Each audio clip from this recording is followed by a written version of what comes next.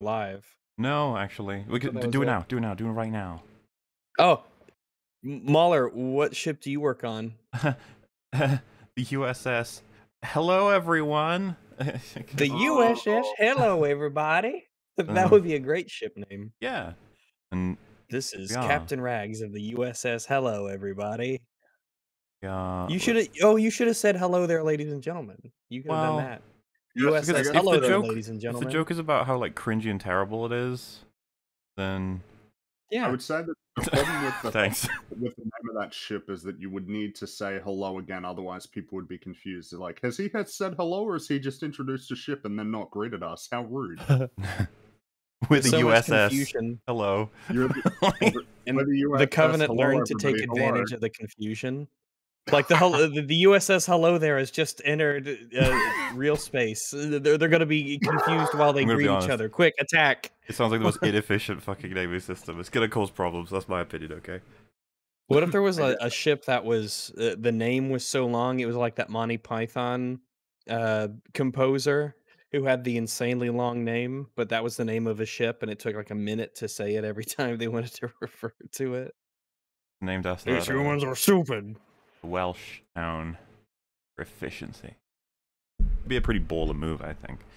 Um, but yeah, it looks like everything's working. Everything is up and running. There's people in chat. Public. People are aware. Beautiful. Um, hey, well, I, I, since I'm, I'm pretty certain that this is going to take us some time. We should probably just get right into it, as in explaining what what's even going on. And that is that Yeah. um, we've gathered several people today who love the Halo show to discuss its incredible writing. That is I love it. Mm, It's so Yeah. good. uh, found fans Me from across the internet. Um, I've completely changed my mind since my recent video. that was that was uh, that was April Fool's. You put that out, right? Yeah. I think so. Mm-hmm. Just a little bit late. Turns out the final episode changes everything. It actually did. Yeah, makes it all way better. Yeah. There is actually an element in it that I've heard people. Well, there's a couple of them actually. A lot of people like that finale. We'll talk about it. It's gonna be great. Um, I didn't even watch it. People liked that finale. you didn't watch the last You didn't watch the last one? I the did. show is I- the, the show is so good. Uh, it's it's it hurts me to watch sometimes because it's just that Like, good. Not worthy to watch Mm. it. well, we I, uh, Similar experience. I wouldn't put good in there. I've had uh, some synopsis and I've seen some important clips, but as for like, I don't think I'm worthy enough to watch the last episode because of how amazing it probably is. Oh well, don't worry. We'll uh, we'll let you know what happened in it, and you can uh, you Okay. can let us know what you think about their amazing decisions. Though first and foremost, we should probably welcome who who is where what why for everybody. First and foremost, the the Shadow Master himself. Hey Er, it's been a while. Welcome back to the old E EFAP. Definitely has. Thank you very much for having me back. I feel like and there's for making me watch this god awful train wreck. Don't tell people I made you. They'll hate me. They'll feel like, how could you do that to him? But I'm like, look, I wanted his opinions on it, and ER's thorough. Okay, he had to watch all of it to know what he thought of all of it. And Yep. um, and uh, yeah, like I said, we all ended up loving it, so it's all good. Uh, Sure, that's one way of putting it. I. I, I, I, I think there's probably about a thousand questions that people will be wanting me to ask you, especially as an intro. But um, was was it really Halo that brought you back into thinking I should make a video on this? Was it really that bad? Ah, well, it was it was mainly a friend who was super interested in this Halo adaptation, and uh, I gave it a shot because you know how badly could they screw it up? And uh, within the first episode, it was a complete train wreck already. Because we'll probably So- um, figure it out for the for all of us. But like, how, where would you say you sit on the uh, on the fan of Halo scale? Fan of Halo. I only played Reach one and two like August last year, so I'm not I'm not hugely into all of the Halo lore and all that. But uh, just from a storytelling standpoint alone with the TV show, I'm uh, I'm not a fan. Let's put it like that. You've been offended fundamentally by its storytelling, just in general, is what you're saying. Yes. Sin I'm to really- humankind. approaching this as a Halo fanboy. More, uh, this is an affront to uh, humanity and their creative endeavor. What a deal. I mean, I'm gonna disagree with you there. Gonna be completely honest with you. Um, Oh yeah. but yeah, it's good to have you, man. I'm looking forward to, to chatting about this shit. All right, because there's so much, you, so many you. topics. Um, we also have returning guest from actually kind of a while ago. I can't remember what episode it was. The Act Man. How you doing, buddy? Welcome. Hmm. Doing good. Doing very good. Say you were like a brute with your noises. Is it Yeah. Is it safe to say there was a point where you were like, this show could be okay? Was was that a thing at one point? Maybe for you at some point? No, maybe. Uh, Okay, well, if we're if we're uh, tearing down the charade that we all like to show, uh, What? what? uh, uh, yeah, uh, let's Literally see. perfect. How I'm trying you. to. Th- I'm trying to think. The first maybe like 15 minutes. Actually, I had a problem with the very first scene. I was like, "Why am I watching a bunch of teenagers go do drugs? What is this?" Well, it's Halo. I can do that in I can do that in real life. I don't need to watch that in Yeah. the show. It was cool when they got blasted. I'll say that. Mm-hmm. And then and then it was like, "Oh, okay, now, yeah, yeah, we're back on track." I think I after feel like they scene, really though- front loaded the violence too in this show, like to the first 15 minutes, and then it just never happened ever again, really. yeah. Yeah. oh, Uh, well, when you punched So the guy I'm doing death, great. I'm Good, I'm good, doing- good to hear. Um, think you could threaten my it's, it's, I, I figured this is going to be quite the suitable subject to have you back on the old, the old show to have a little chat, and it'll be fun to have you, you bounce around with a bunch of people because Yeah. the, the I guess the other thing I should have done already is actually sort of figuring out who even knows everybody here. I believe ER has met myself and Rags before, but I'm not even sure if he's met any of you other guys. So what's what, what's I've, I've spoke briefly with Fringy, but aside from that, yeah, um, the rest of you are all new to me. well ER? Nice. This is Actman. Actman. This is ER. Mm-hmm. Say hello. Oh, hello, Actman. Um, in case you haven't met as well, I guess because you just said you hadn't. Yeah, this is the the one between me and Fringy is Jon CJG. You may know him. Well, I know him. Yeah, well, you know him. This is Up to- whoever, I know you as well. the the Oh, shortcut here is and- whoever doesn't I know, know each other say hello. but- Um, yeah. Well, wait. So is this the first time that you guys have spoken then, uh, Jon and Actman? You I think can't so, force yep. me to socially interact, okay? You I can't just force me to did. do that. Ah, yeah, yeah. if you don't It's socially cool. interact, we're gonna ruin Halo. Mm-hmm. well, I'm a it's- recluse as well. I have no friends, no YouTube friends. Well, it's it's also great to have Jon because he's also made his own Halo story. He has. Yep. Jon, I'm gonna be honest. It was better than this. Thank you. Thank. Is that a compliment? I guess we'll find out. Um, but yeah. Well, you know what, and that leads into me saying, "Hi, Jon. Welcome back. Always love to have you." And uh, Oh, thank you very much. I feel like I'm probably the least known person here.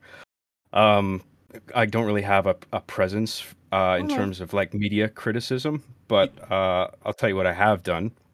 I made uh, this at a YouTube channel back in 2007, 2008. I made Master Chief Sucks at Halo. That mhm. went viral. Worked for Machinima, made a show called Arby 'n' the Chief. Still working on that. Worked for a company called uh, Machinima.com. The Ooh, I heard uh, of them. Yeah, famous. We're- Everyone loves him. where gaming and entertainment collide, and they Oh, exploded in spectacular fashion. Uh, but like two ships in the ocean. But I've been really invested in the games. Obviously, I've I've been making movies with the Halo games since Halo Two, and uh, I really enjoy it. And I got some back in the day. Um, I got some. I got noticed uh, by Bungie. I think Frank O'Connor posted on their website. It was like a blog entry. It said, "Do not watch this video." It was referring to like Arby 'n' the Chief episode one. And it was the the language was so foul, right? So they couldn't like officially endorse it, but it was just like, "Don't look at this." Wink, wink. I Yeah. I appreciated them doing that, and That's uh, awesome. That's awesome. I got I got to They meet say that about Frank the Halo O'Connor. show. I heard too. They say, "Do not watch this." do not. And they Uh, mean it. I'm grateful for some of the opportunities that I had as a result of like being um a part of that uh the Halo community in a big way, at least back then. Like I'd gone to um Bungie Studios when they were in Redmond, Washington. I met Frank O'Connor at E3, talked to him. Um, I worked with Rooster Teeth briefly. Uh, they were cool guys, and uh, so yes, so this show, I was very curious about it, and uh, I think I'm mostly on the same page with you guys. I suspect that I really wasn't impressed It's with it. It's quite and, uh, possible. yeah, Quite Maybe. Possible. Um, Apparently, but uh, this- yeah, that's I- kind of my brief intro, I guess. yeah, no. Thanks for that's- having me. I, I appreciate it. This is cool. Like we always love your company, Yeah. the and show. you're more than familiar with Halo, and so I'm sure it'll that'll come in handy when talking about the I- events of the show. I got a few like- things to say. I may have taken yeah. ten thousand words worth of notes on the show. Don't worry, you're not alone. All right. oh, and, sorry, I kind of took it for granted, but I was just like, oh yeah, Actman knows loads about Halo. and Has done loads of videos about Halo. He's, he's, he's big into Uh, yeah. Halo. For anybody who doesn't know who he is, uh, so The Yeah. Um, I feel it's unnecessary for me to like introduce myself, Rags or Fringy, um, as people who are familiar with Halo to different degrees. But what I would rather do, to be honest with you, is explain. I did mention this last week. Halo is not actually my forte. It's uh, it's it's much more so Rags's and Fringy's. And so with the with this episode, I'm actually going to be passing the reins from here on in to Mr. Fringy to um, mainly direct the conversation through subjects and uh, kind of explain the foundation for how we're going to break it down um, with, with what we're going to talk about. And I uh, will try and make sure that we have plenty of visuals in the background to uh, What? represent what it is that we're talking about. I have access to all nine episodes, uh, but I'm mainly going to be using screenshots, ooh, of course, or scanning through. You know how it is. But yeah, um, hope you enjoy, folks. And uh, Fringy, take it away. Yes, Uh, please take it away. Take it away. Destroy it. take take me away. So, we. I don't think that Is it that would a be very Breaking Benjamin reference? That's what I was I- thinking. Yeah. Oh, that, I no, I'm. s- I'm Only the dumbest. Laws will all the way, Fringy. survive. Give me an hour and then it will be eat all a that bunch of Simpsons try. references. But that's okay. Mhm. Um, I don't think that it would be particularly fun to just like run through all of the episodes beat by beat. I don't. I don't think that would be a very entertaining experience because I think all it would be is just cataloging a massive list of problems that never ends for hours. So that's how I feel. Um, but but we'll uh we'll, we'll get to that. So I figure that what we will do is hit on all of like the main, I guess, beats of storytelling. So it'd be character, plot, world building, and theme in that order. But before we do that, I figure it would be a good idea to just get everybody's in like 500 words or less, which I'm sure you'll be able to mentally figure out as you're speaking. What do you think about the Halo show from left to right? I'll go last though. Yeah. okay. What do you think of this show? Oh, well, that answers that. It's he's Um, making a statement. yeah, I don't know if that's an accident or on purpose yet. We'll find out. well, Definitely on purpose. You know what? Until then, Jon, what do you think about Halo, the television series based on the video game of the same name? Oh, jeez. Um, I had, I went in optimistic, and uh, I was like, you know, maybe, I don't know how, I didn't know what to expect. So I went in, and the bloated 20 minute opening scene started pretty predictably, but I thought, not the beginning, the dialogue's terrible at the beginning, but like in terms of setting up like the beats of it, where you introduce like a human colony and then you get the human characters you see the bad guy on the tv and then they talk about the spartans and how they're demons and all that and then the students or whatever the kids are out frolicking killed by the covenant war against the covenant starts and then chief comes in and kills them all and then you get to see what he's capable of. So i kind of expected it to start in a in a fashion like that and it did. I just wish it was executed a bit better but based on that opening scene i thought this might be okay. Like that i kind of like the action. Doesn't the cgi isn't that great but it doesn't it didn't Not- bother me that much. Yeah Uh, but then it it's just got super bogged down after that into trying to be like this uh, grounded political drama, and uh, it's like stopped.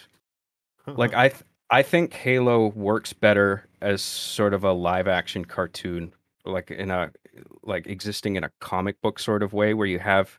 I'm I'm not saying it should be like um like uh like utterly goofy, not not yeah that like. I mean, Yeah, like, we are I talking compared it- giant rings that destroy the universe. So I mean, No, treating it like a cartoon, I very much agree with that. Well, I I had written on yeah, I had written on Twitter like this should be treated more as a cartoon, and then, you know, as with Twitter, you you can always expect somebody to interpret your tweets in the least charitable way, and then they'll Yep. they'll be like, uh, uh, th- "This guy seriously thinks it should be a cartoon," and I'm like, "I'm not talking about Roger Rabbit. I mean something like, uh, you know, like with mallets and fucking, you know, eyes coming out of people's heads. Like, no." I mean something like Batman or Cowboy Bebop or something where you've got these heightened elements uh, in this story that's actually, you know, that actually has something to say thematically. I think Halo has good themes. Like uh, I, I really like the like whatever the it's the themes are also they're present in the games, they're present in the show, uh, but the execution in the show is just so flawed. I only only got joy out of like the the action sequences. Really, everything else felt like a chore.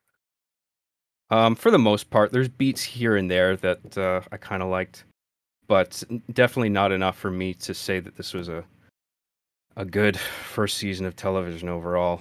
So um, it's So I, safe I to say, not a not a huge fan and not super optimistic for season two. No, I'm not. I mean, I would say the finale was a bit of an improvement over the entirety of like uh, the first eight episodes, but I still don't have high hopes for all the seeds that have him, that have been planted that will lead into the the second season of episodes. You know, Mhm. I don't know. I don't want to go on too long. I, I feel like I've said enough. And by the way, No, I'm pretty sure that was not planned by ER. That was internet. That's my um, guess which- this point. The Wow. timing, the timing was impeccable, though. Like, That's perfect. Impeccable. But hopefully gets it sorted.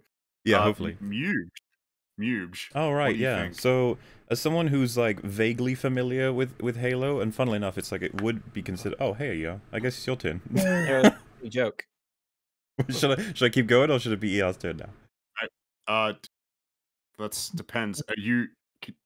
Wait, what was that? That was like I didn't Yeah. hear that. Hmm? What? ER, you want? What do you think about Halo? That was what uh, you were. I was going to ask you before you you ran away from me. Yeah. Oh, my bad, my bad. Uh, I like Halo. I've only played Reach. Oh, wait, I, no, mean, no, no. like, the, I mean the show. yeah. Wait. So show, oh, the show. No, this is one of the worst things that I've ever had the uh, displeasure to witness in my entire life. if um in, in case because you may have cut out earlier than we thought, but uh yeah, just like a like a blurb on what do you think of the show overall? What's your what's your thoughts? And it's it's just how we start, so everyone gets an Um, idea of what we're all thinking before we uh, start going into detail. Oh man, I just sum it all up into a blurb. Just uh, You have like 500 plus words. You'll be fine. It was less than 500, but okay. an absolute clusterfuck of mistakes. I have no idea what they were trying to achieve with it. Um, I thought for sure that the Master Chief and Kwan subplot um, is set up from the beginning was actually going to lead somewhere. It made that made sense. The cliched and played out thing to do, but they completely abandon that within the next episode, don't they? He just drops her off in an asteroid and then Yeah, you'd think they would have had like a buddy thing throughout the season, but it's just episode one Yeah, and half a two ish. be like know, drawing out his humanity over the course of the show or something like that. But no, she drops her off on an asteroid and I yeah, I have legitimately no idea what the fuck they were going for with this show. Just That's- no clue. It's uh, Yeah. definitely a general take. don't understand that perspective. Yes. Not not only does that Quan part like kind of just a dead end in terms of themes, I think the show like forgot about everything it set up with that particular sequence. But we yes, can talk about that. 100% agree. I would have loved to have been a fly on the wall at the meeting between 343 and the showrunners. Wow. You know, So apparently, fly on the apparently, wall. um, the the the showrunners or like the the studio behind the show kind of just didn't care that much what 343 said about uh the games. And Right. about the What love story. I think I heard. bringing? I saw that clip as well. shot. Yeah, I think um uh, yeah, there, there was like a, that there were things that 343 didn't want to happen um that just that that got in anyway, like that the perspective was ignored, which is interesting because Because for if, if as- I was head of Halo and I was giving away the rights for a company to make the show, I'd be like, "No, hold on, you don't do that." Mhm. Ex- know? well, I mean, it's uh, it. I probably should have prefaced this earlier. This might be um, hmm, no, we'll we'll leave that until after we get everybody's perspectives. Mubes, you're up Well, next. Yeah, What do I was, I was just gonna say it's kind of funny, right? Like that they would be whatever input they had, at least somewhat of it was ignored, and it's just like you feel like Loki and Ragnarok was like, yes, that's how it fails. Like because three little three, you know, they've they've they're not exactly popular with the Halo people anyway. like so, They've uh, they've made some very interesting decisions over the course of their years being in control of years, which now are longer than Bungie's tenure at this Mm. point. So yeah, uh, for me it was uh, like uh, like I I think I've said I've played three and Reach, uh, like the the main ones that I played. I think I played ODST. I can't remember anymore. I intend to play one and two someday to be a cool kid, and then possibly even four and five to jump in on the fun conversations about how great those games are as well. Um, so yeah, I'm, I guess I'm, I was in a unique position, but at the same time, uh, it had enough familiarity with Halo to know that when I was watching the show, I was just like, this is um, this is not at all the the uh, the thing that I knew this was. But as as is important, I was like, I'll just take it as a sci-fi show. Let's just see how it goes. And man, do they drop the ball from like the first few minutes, and and everything just unravels in terms of making any sense. And it was interesting because, of course, when watching it with uh, Rags and Fringy, I had little pieces of information coming at me from what the the narrative is supposed to be in terms of how mechanically some things work, and what it meant by knowing that is that they couldn't they're locking themselves out of payoffs as we went on, and then it could be that they actually try and maintain some of them, and they're completely fucked because they've lacked important context. There's lots of these like different pieces that were coming in on top of the fact that it was just a really bad show anyway. Seriously, after episode one, I don't think I would have carried this on if I knew nothing about Halo. I didn't even uh, let's just pretend the only Halo thing in the world that existed was this show. I'd just be like, this is a shitty sci-fi show, but man, it has a budget, which mm-hmm. is really weird because like, why does it have such a budget when it's like brand new? It seems like such an experiment, but yeah, we're in a world where it um it is being based on something, and that uh, clearly didn't matter at all. And by the time I reached the end, it was just a joke, lots to laugh at, and there were several uh, plot lines where whenever they cut to them, I was frustrated mainly because they don't involve characters that do the goofiest shit. And so I was bored. I was like, you're not going to do funny, dumb stuff. You're going to like talk for ages about terrible things with bad dialogue. Um, yeah. and that was my engagement with the show until I finished it. We talked a decent amount about it um, at different points, and now, yeah, I'm totally ready to just just talk about this is a fucking disaster. And I feel bad for Halo fans. Luckily, I can separate out a little bit because I was never that into Halo, but oof, bad stuff. Yeah, same.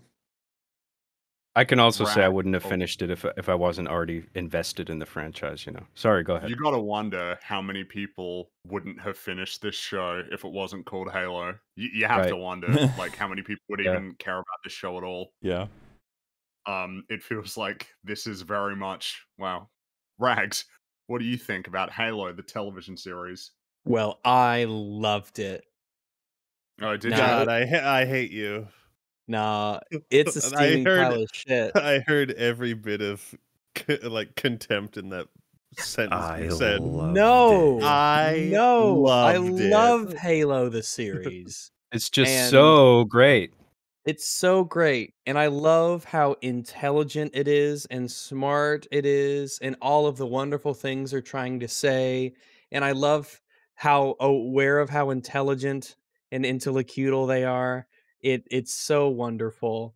I totally didn't want okay. So okay, Halo is shit, okay? Um I like virtually nothing about this show. We get nine episodes, so there's a good like eight hours of, uh, yeah, a good eight or so hours of content here. And I think the only things that I could legitimately say that I liked about the entirety of the Halo show is a few surface level things here and there. Mm. Oh, look, that looks kind of neat. Oh, hey, that looks kind of neat. Oh, hey, that's sort of neat. And that's it. That's the only thing that I liked about this show. That was it. Nothing else is good. It's all bad all the way through from the first episode to the last episode, all the way through. None of the characters work. Every person and every faction involved is a big dumb stupid idiot. I I absolutely hate the world building and what they've managed to do to two alien races. I hate what the show I get is trying to say.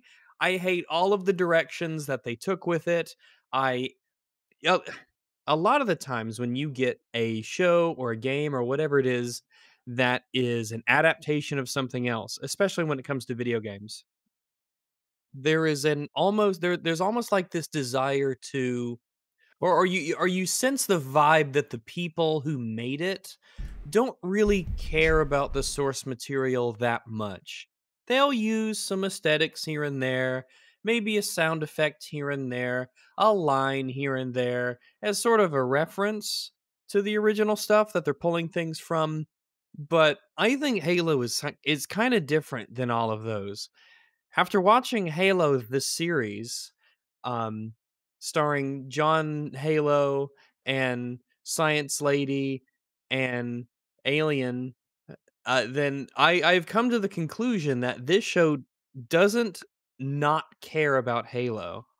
I think that this show and the people who made this show have utter contempt for Halo. I think that they do not like Halo. They see it only as a tool, as a as a vehicle for them to tell their crappy sci-fi story. All of the references to Halo that exist within the show are either one of two things completely surface level and meaningless or incorrect, right? We know that battle rifles exist from the game. Ooh, that's great. We're going to make it fully automatic. We know that shields exist in the game on the Spartans, but they're going to be virtually nothing like the shields actually in the game. Like they knew to take things and throw them in here and there in the same way that maybe uh maybe someone would toss scraps to an animal, right? Um, there is no sense of respect whatsoever for the for for Halo as an IP. I think uh, I think they just flat out don't like it, like it, or they just hate it. They hate what it stands for. They hate the the what their concept is of the story. I read an article uh, yesterday from someone who really thinks the show is the gold standard of what adaptations from video games should be and and she was talking about how oh master chiefs is in the games he's just this dull shitty blank slate of masculinity and there's nothing to him he doesn't have any personality and fa- and that's bad and fans shouldn't have you know this this contempt that people seem to have for the thing they're pulling from the thing that necessitates this show. And um yeah i really really hate it. Virtually nothing in the show works from plot to characters to the clunky ass horrible dialogue it's all terrible. And i think that if you like it then that is so sweet. Um uh Other, other but than all I- that, you liked it, right? Yeah, I was fucking- but gonna other say, than that yeah. other other But than that it was that, pretty it- good i really enjoyed it i was i was sad when it ended because i just wanted so much more um Hmm. yeah. You know what? I Yeah. believe you. I believe that I- that's a true I do statement. as well. But thank you for that. That's that was that was more than 500 words probably. that was 499 on the dot on Nice. the dot, was it? I'm sure. Yeah, that I someone ca- I- will be Use able to i counted on my fingers while i was talking I, well said. I I'm now just imagining like you sitting there running through like all of your fingers as you're speaking, trying to keep Yeah. track all the way up to four. Quite a multitask. I'm impressed. Nice That's how one, they did it back in the old days before Mm. calculators and uh, science technology. They would use their fingers and they would count and they'd they'd they'd use the knuckles and they would uh yeah. Turn their Use hands the back and knuckles. forth. Why don't you Yeah. explain that? one? Use the knuckles to count words. What does that mean? Oh yeah, well if um now I'm a dog of course. Uh so this might work different for me, but you could bend you one could bend their fingers, right? And you could like count like all the little knuckles, the little little joints and then you could turn your hands back and forth like if it's facing away from me or or to me. And that's like that like doubles each hand's worth of counting. And What it, it's a What about your weird dog thumbs up along your legs? You Oh, those a, a million and one uses. You have no idea. No idea. I hide my power level. I Pow- I feel like- power level. are those do- are those like thumbs actually superfluous, or do they serve some sort of utility? Oh, they're super all right. I Really? what do they do? what don't they do? Well, Actman, what do you think about Halo the series? I was waiting for that. Doggy thumbs. Uh yeah, it's um uh dog water is more accurate, Hmm. but Wow. So it's yeah. good? well, you think it's good. Dog water is you're good. alone, Rag. You're No, alone. Northern um, Island. the I show love water. The show is hard for me to watch. And when I say it's hard for me to watch, I mean I didn't finish it because it just it's it triggers one of those things in me where I can't really just sit and enjoy it uh, like either from like oh this is good or from an look at how bad this is. I don't I don't necessarily enjoy it from a making fun of it perspective like I do with like The Room or uh, Samurai Cop it's just uh it triggers that inner review of me where every 30 seconds I pause it and I'm just like, well, wait a minute. That doesn't make any fucking sense. The, what what are these characters doing? Why did they say that? So uh it it's hard to watch. It's it, like it's that bad. For me. Here, here. Yeah. Here, here. Well, you you were not alone because I I hate this show. I I really hate it. Um, I was doing the same thing pretty consistently across all episodes. I'm like, what?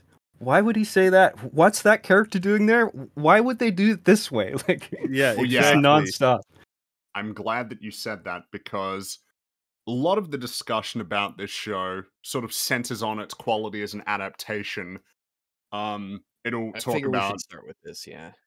Well, yeah, I, I, I, I yeah, it's it's worth, uh, I guess, laying it out because here on EFAP we have uh, s- something of a contentious perspective on, uh, I guess, adaptation when it comes to how we factor it into discussions about a story's quality.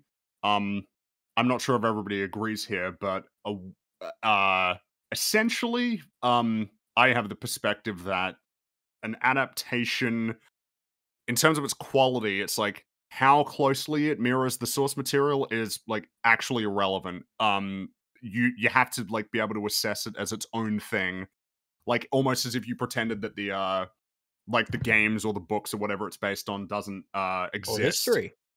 The the reason is essentially because that's going to be the experience for someone. There'll be somebody out there, probably not many people, who watched Halo and it was like their first introduction to the series.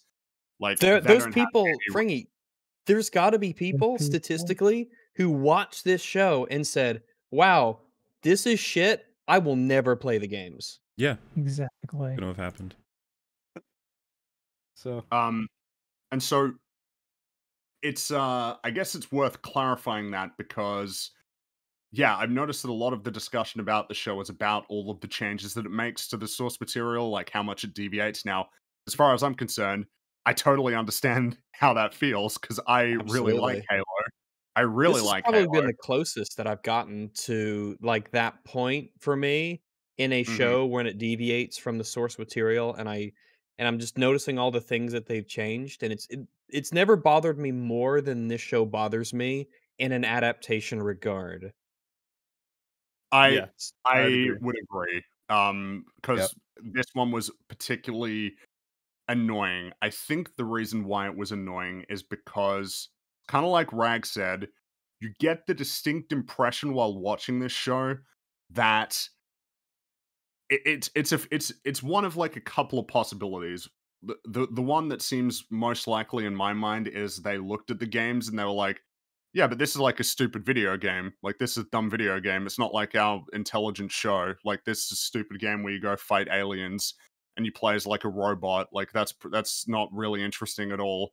Unlike our television show, you really get that impression. Yeah, while- we we are very smart, intelligent writers, and we have degrees in literature, and we we we know what plot and character and themes are, and we are artists. yeah, and we aren't like those written in the stinky game. video games that boys play where they shoot aliens.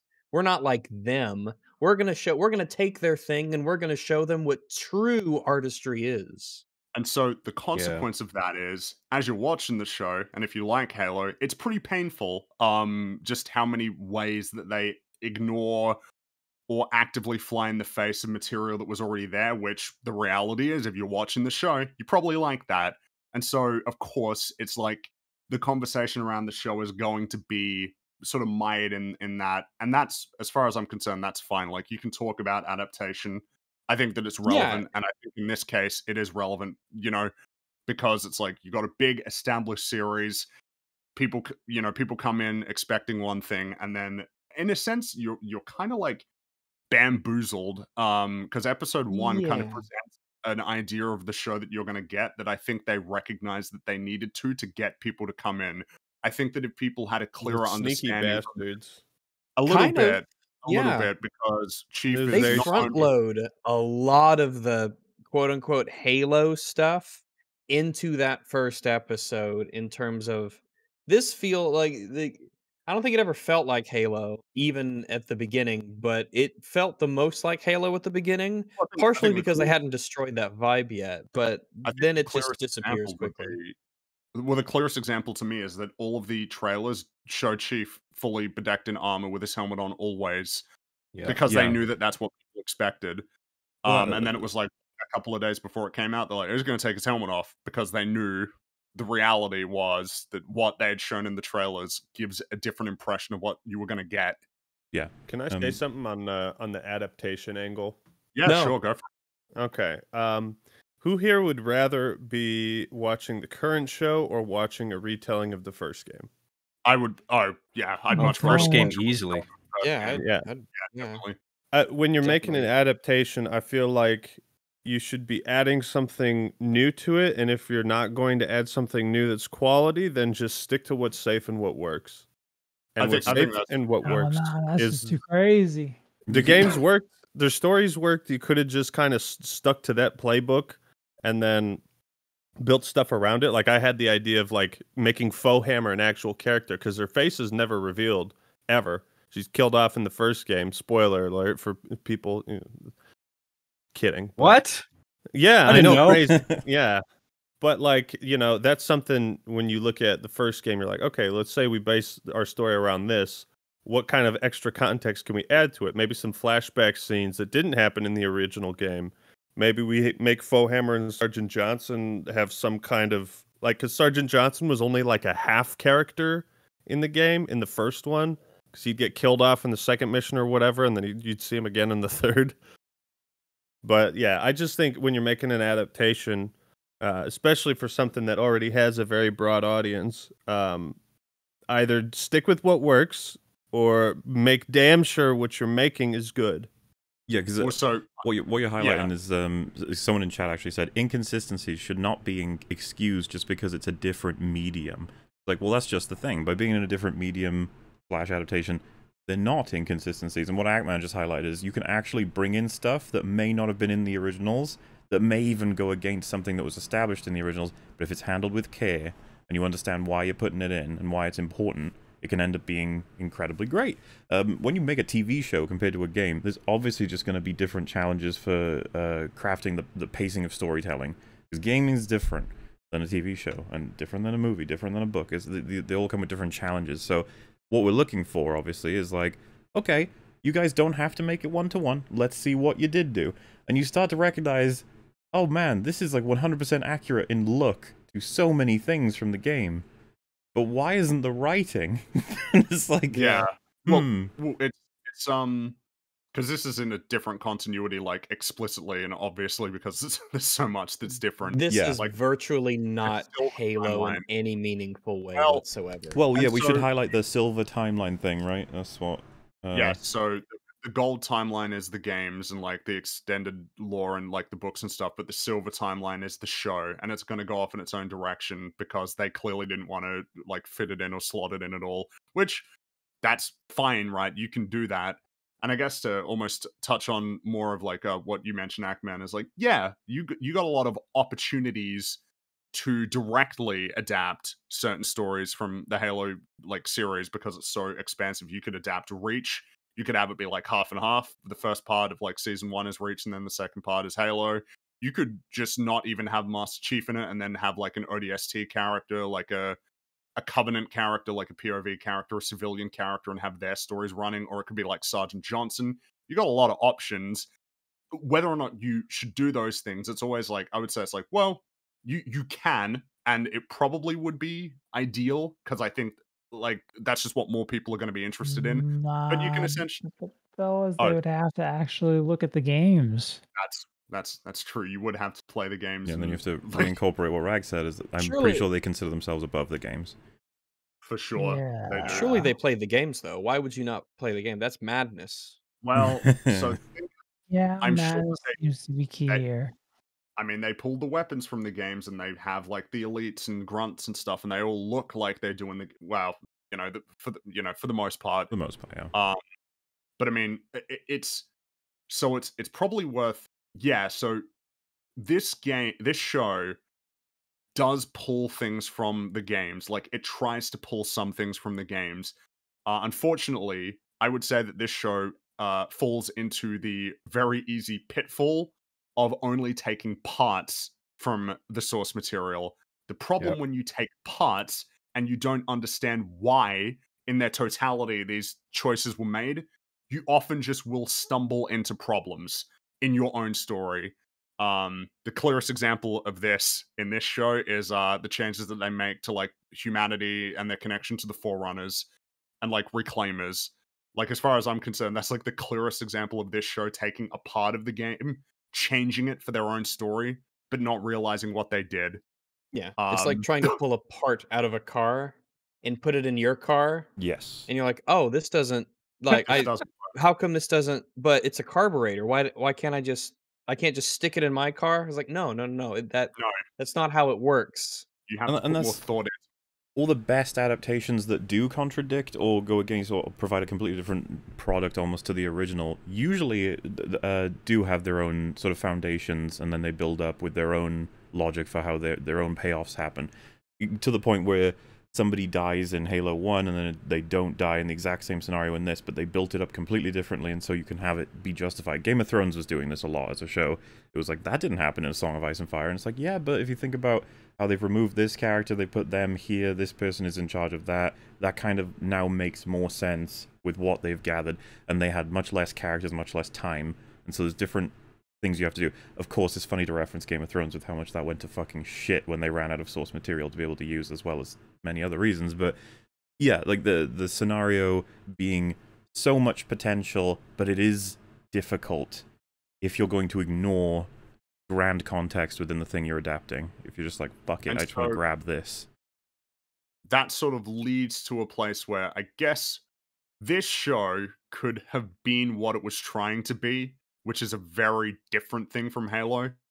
And on its own terms, it could have been great, but it's not. Like, not not only do I think, uh, because because that's that's where I'm at with this show. I guess this will be my like what I think. I think this show sucks on its own terms. I think that Yeah. it's just an incredibly Hear, poorly written hear. science fiction show Yeah. it just adds insult to injury that it's a completely sort of contemptuous adaptation of Halo. Well, some people Like, are. Contemptuous is a word that is it seems accurate. Like the Halo never I don't think ever before and of course I haven't seen everything, but never before have I seen a product that seemed to treat what it was pulling from as just brand utility. Mm-hmm. Um, The people who made this show do not give a fuck about Halo. you see what's on screen right now, by the way. we can use this. I just think it's Yeah. funny. Oh, let me click on it. I got funny. my. Uh. Not the best VFX example. Wow. but the, uh, what I'm one is- trying to point out is the uh, the crosshair. It's like that's not. oh right, yeah, yeah, yeah. He's not aiming where he's aiming. Yeah, but It is a little. looks a little awkward there, but that's fine. So it's very frustrating, right, for fans of the games because like it seems that the television showrunners thought that because they're video games, there is no quality story or cinematic um, content to extract and kind of transfer over to the show. So we'll just do our own thing because television is a different medium and we understand television, all this bullshit. But the fact is that there actually is a lot of great story and cinematic material in the Halo games. Like I think the really the, is, yeah. the first Halo game, if you were just to watch that as a string of cutscenes and maybe like make scenes out of all like the gameplay sequences and just make like a movie out of it, it's a pretty solid, straightforward action sci-fi Yeah. kind of almost like a a B movie, kind of silly, but still like actually has something to say. Um, It's silly It's- until the it's good flood show up, and then it's like you get side, you get uh, what's It's the big phrase? heel turn. Yeah, you get uh, like smashed by a truck in the face, or what's the word I'm Right. looking for? I, I'm I love that you brought that up back, man, because that's such a great beat in that uh, game. It's like a it's an authentic like horror movie beat, you know, where he like like hey, uh, I almost said Halo. Master Team Chief went missing. Go find them. Oh, they were in the swamp. Oh, where are they? You're looking for them and you can't find them. What's this? A helmet. Oh my goodness. Yes, Like it, it kind of it builds itself up not too slowly and not too quick. It's like, oh, we're gonna you've been fighting all these aliens. We're gonna throw in this little extra thing that's definitely different. We're gonna shake things up. Yeah, there's a genuine sense of mystery. Master Chief gets to the bottom of this facility, finds the helmet, and then you get this kind of creepy, elongated beat where he's going through like the recordings of like the guy's last moments before the flood attack. Jenkins. Watch And your you're just mouth, like- son. Yeah, it's like, Step oh shit, your what's down here? And then the reveal of the flood is really cool, and then you have to fight your way out, and like Halo One is filled with lots of great. Halo One is awesome. Like that game is super tight. Uh, Mm. Like in terms of its campaign, it's really strong, and a lot of it is just um logical progression of events and these really fun twists that are like super interesting because it's not even just the flood. The big twist of the game is, yeah, Halo's a weapon. Uh, kills you though. Like that's Yeah. that's the big reveal. You think that it's going to help you win the war, and then you realize, oh, like, damn, like it, it, it's it's what a great idea to have like the big super weapon of the series be a thing that kills like humans and Covenant and everybody. Like it, it's not something you can ever use really. Um, and then it's like, well, now Master Chief has to find a way to basically deal with both threats simultaneously. It's like Yeah. it's it's got a really good structure in terms of um leading that's it's it's kind of the reason why like Halo 1 is ripe. You could do a whole season of like an extended campaign on Halo. Um Oh, it's yeah. it's a really like easy Yeah, you there's could, a lot can going on. have it be that each episode is the core mission, right? So like episode 1 Pillar of Autumn, episode 2 is on Halo, then episode 3 is like Truth and Reconciliation. You could go through it in that order. And I guess that's like that's kind of the when I watch the show and and it it just like ignores a lot of material that uh is pretty ripe. It's just annoying, you know? Like it's a little Yeah. bit annoying. Yeah, I think it would still be important, even if, like, let's say they um they did try to retell the first game or even the other games eventually. I think it's still important that they find ways to surprise people that have already played those games and know Yeah. those stories very well. Um, Mhm. Not exactly sure how I would have gone about surprising people, but um, yeah, yeah, I think that's still important. I imagine that you would have because if you're doing a show that's you you don't if if you're going to adapt it and you aren't going to make changes, you could just have a change in circumstances that could be like surprises for people. you could have it be that uh, I don't know, like the, the the the show starts off like a lot earlier in the timeline, and then it will progress over the course of like years throughout the seasons until it leads all the way up to like the end. I guess that would be more like if you had the whole thing mapped out from the beginning, you knew you were gonna get like five or six seasons. I feel Mm. like you've got a lot of options to keep suspense, and that might just be introducing new characters, but still having some characters who are the same, which they kind of Yeah. do here. But it's so different that it doesn't really matter. Like it's a totally different story. I have no idea what's Yeah, going to happen. just- I know this. I know that name, but you're just not the character, and you're not where we know that character to be, and you're not anything like this character in terms of role or personality. You just wanted to use their name. You just wanted to say Keyes. You just wanted to say Halsey. That that's it. That's all that there is to it. Well, because yeah, those characters are essentially like at the whims of um of whatever the story needs. Which I guess this might be a good segue into the characters of this show and what we all think of them. Perhaps starting with oh boy. the main character himself, John Halo. John the, Halo. the, Maester, the Maester Chief. The robot John Um, Halo. The yes, the well, as we find out, no, he's not a robot. He's a human. he's super. He's, Oh he's my very- god. Where do we even? is he? Maybe he is. Yeah. Where do you even start? Would you just like when did everybody realize? Oh God, this isn't this isn't him.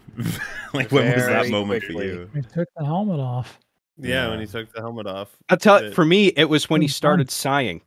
I'm like, this is weird. That immediately threw me off. You know what I mean? He's sit, like sitting in the ship with the artifact. He's just like, "Ah." Like you're supposed to be like composed all the time. Like I feel like that's a consistent trait Well- with Master Chief in the games. You know what I mean? I guess it would be uh th- this might be worth laying out as sort of almost like uh, the backstory i guess to point out the differences between the game and the show so that we understand where the show's at so in the games and the books now correct me if i'm wrong but basically the spartan program uh, it, it plays out um master chief is essentially like the most competent spartan that came out of it and the conditioning and the training that he went through essentially turned him into the character that we know who doesn't speak a lot is very calm and like oriented around achieving his objectives. Still compassionate for people though which i know that the show i i imagine the show actually doesn't believe that to be the case in the games. Like he's basically a pretty reliable hero who will do the thing to save the day. Um in this The, show the important thing to Oh, yeah? know about Master Chief and the thing that 343 has kind of been fucking up with ever since they got the series is that Master Chief works better as a piece of a larger story, not the main focus of it himself. i because agree if you look at Halo 2, I'm pretty sure there's like Master Chief has f- like 14 or 15 lines of dialogue in Halo 2. Like that's it. he don't talk a lot he's doesn't um he's speak much, much more at of all. a- Oh God, I he's more- wish he wouldn't talk so much. I, Yeah. I, well, I do too. He's very chatty in the show. This John Halo Yeah, is very. but that's very because they base the whole show around him as opposed to like he's kind of our view into this larger conflict. Well, that's um, yeah. So, because that's the way that it works in the games is essentially he's a blank. He's he's basically a blank slate. He does have traits, but they're very like standard sort of hero traits. He saves people. He's composed and he, he goes and fights. Super competent, but he's His very suit much jacks like him off, you know. yeah he's he's essentially just our vehicle and and so a lot of the drama and the development stems from other characters like cortana and arbiter and and, and keyes and johnson. Um now you you can have him be more of an active participant in the story for sure um but i would imagine that it might have informed their perspective on this is that you couldn't have had him be the way that he is in the game. You have to make these changes to make him character that is more involved in the story i disagree um but i guess i guess it's um the the change the changes that they make to his backstory in this show like the big change is that he has his memories removed of his childhood uh so he doesn't know about the nature of the spartan program and he has an emotional suppressing pellet in his spine and all of the spartans do and so when he removes that he becomes a very different person and I guess I might float this question by everybody. Given that he essentially has the same training, military training, is it not a little bit odd that as soon as he removes the pellet, he becomes a highly emotional, pretty erratic, and unreliable soldier? It is I, I think it's a it's a good time, I suppose, to state the difference between what the show wanted to be and what the games presented him as. Maybe, maybe Sure. that's a that's a good place to sort of begin. Why? Yeah. yeah. Why don't you explain that? All right. So in the games, Master Chief does have a personality. He is not a complete blank slate. He is generally as a way for the character to interact with the world in a sense as the player character, but the Master Chief does have a bit of a personality. He does care about the Until- people. ar- Until Yeah. Halo 4, he would never speak during gameplay. So No, he didn't. He Yeah, Halo talked- 4 was very strange because he turns very a lot more chatty in that one all of a sudden. Uh he's he doesn't speak often. He is a man of action. He is paying attention to everything that's happening around them. If every once in a while if he needs to ask a question, he will do that. He will explain himself when he's asked things. Um he's not purely passive by any stretch of the imagination. He's just not a chatty person. He is very much a, a doer uh, not a talker, but he's very observant. Uh, he will he he cares about the Marines around him. He cares about the well-being of humanity. He uh, will reassure the the the friendlies that are with him, whether it's patting them on the shoulder or he he knows that he is an inspiration. You you get the feeling he knows that he is an inspirational figure. Uh, he is aware of this. He is not an idiot. Uh, he is not aloof. Um, he is observant and there is a lot to work with in terms of using that as a character for a show. He doesn't have to be necessarily the only protagonist. That would that might not work well in terms of a TV show. Um, you could have him with someone else, someone either a, a marine buddy or a Maybe like, uh, or- Arby and the Chief? exactly yes. Um, So, Well, and we'll mean, get in. We'll get into the horrific, odd lack of covenant in this Halo show later. Yeah. But Yeah. there, there's plenty of room to take Master Chief as he is in the games, and and have him be in the show to a very high degree as a doer and who can who has someone to interact with, not talking all the time and pouring out his feelings all the time and losing track of his emotions and Well, not being uh, able to handle things. what I wanted to highlight there is that a, a lot of talking about who Master Chief is in this show just is like, oh, he's not the same person, which he, he isn't the same He's not the person. same guess it's more a question of does it even make sense, given his backstory in this series, that he is the person that he he is in this show? Yeah, because th- this is uh, for, for me, right? Because it again doesn't have to be the one from the game, but uh, to to go more specifically to the question you had originally, uh, uh, Fringy, with the the what should happen, what should we see happen if he removes an emotional inhibitor? And uh, this has been done in all kinds of media, loads of examples, be it technology or like uh, like a chemical substance that was in there, or even mechanical for whatever kind of thing we're talking about that something's removed uh, in a robot that allows them to feel again. Also, I'm literally thinking about Futurama. There's a fucking episode where Bender Ind- gets indoctrination. Indoctrination is not a pill. I'm sorry. So, well, so um, what what are we what have we got? It's like a guy who went through all of the the military training that should lead to personality X, but he was also given an emotional inhibitor, which has led him to be almost robotic. But then he gets the inhibitor removed, and it's like an explosion of personality. A switch is Why? flipped. yeah, it doesn't like- feel like we got the military man anymore at all and um it, it almost like overshadows any of that history and they show us plenty of flashbacks of different things to imply a lot of that history um and then you look at like i forget his name but um you know his friend who left early on did, did, did he mention anything about his chip did he take it out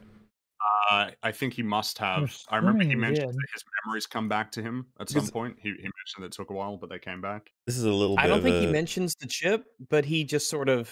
Well, I, I guess we are he led does, to does. us. He does. two, Okay, does. okay. He says And- he it because he's talking about how like fruit tastes delicious when you don't have the chip or something. it It's was important that to make a good soldier, you remove their sense of taste. taste, It's yeah very, very... which is very Hey, that's what happened to the writers. They also have no sense of taste. um Nice. Um, So, uh, yeah, because what I find interesting then is that like they make a big deal out of where it is and what it is, and Cortana, like the most advanced AI in history, is helping him specifically remove it. But two other characters just got rid of it casually. A thing that is designed to prevent you from having emotions override any particular decision you're making, which sounds like, it's like so that's got to be well integrated, right?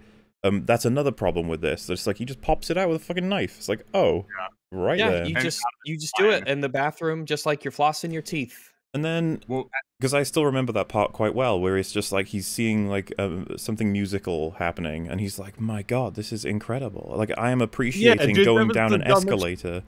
It that feels was the dumbest shit. I was Yeah. like, why is Master Chief at a fucking orchestra concert? What is this? He's what I said experiencing the beauty like- of life. Well, yeah, that's of what they were clearly No. going for. Was that he has Yeah. been he's been awoken now. He's no longer a robot, and, and and it's just like, damn. Does it? So what was his personality before he Yeah, got the emotional sorry. inhibitor? Was he N- just like yeah. a big old party guy? I'm, s- I'm surprised they didn't have a scene of him like you know in a flower of or in a garden of flowers, and then he s- steps down and picks a flower up and is like, "Wow, Sniffs it. this is so beautiful." It's- it's, it's what turns into a 1920s cartoon, and all the flowers are dancing, and it's worth thinking about that him removing the pellet is not going to remove his memories of all of the stuff that he's had to do as a soldier for decades you know like that should be informing his history but it's like it gets ignored completely If we can do that an, escalator shot. I know, right? If we can do an easy to understand comparison from a series that, to be fair, hasn't even handled this character that well lately, um, Bucky in the MCU. Mm.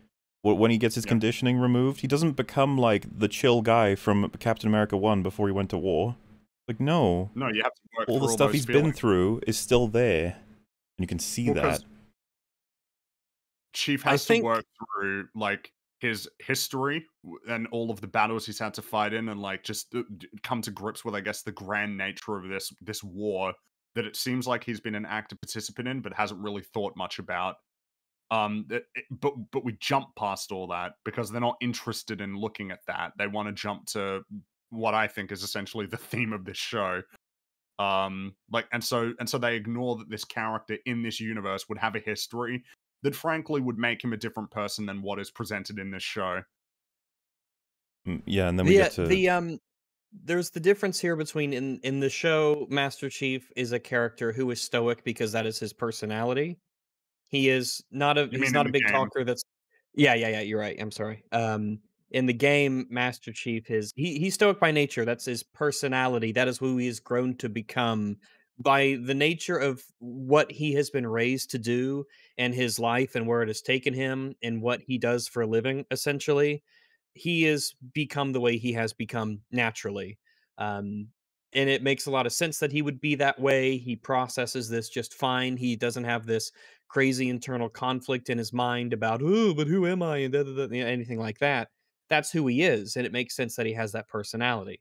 Whereas in the show, it's just, oh, he has a chip inside of him. Always thought it was low, weird that it was um, uh, at the very bottom of the spine, way down there, when it's like an emotion. You think it'd be closer to the brain. Well, how else are they, are they going to throw in a scene of him naked? You know, Show off that ass. He's good more than once. Um, Yep. yeah. Uh, that's how I remember Master Chief is uh, butt ass naked and having conversations with people. Well, so essentially, I guess what I'm trying to highlight here is I consider this to be like a flaw within the show itself that you have the Spartan program that is presented as being largely similar to what it was um, in the games. It's a program that is trying to create super soldiers from a very young age, um, conditioning, getting them to a place where they're going to be like your most competent soldiers.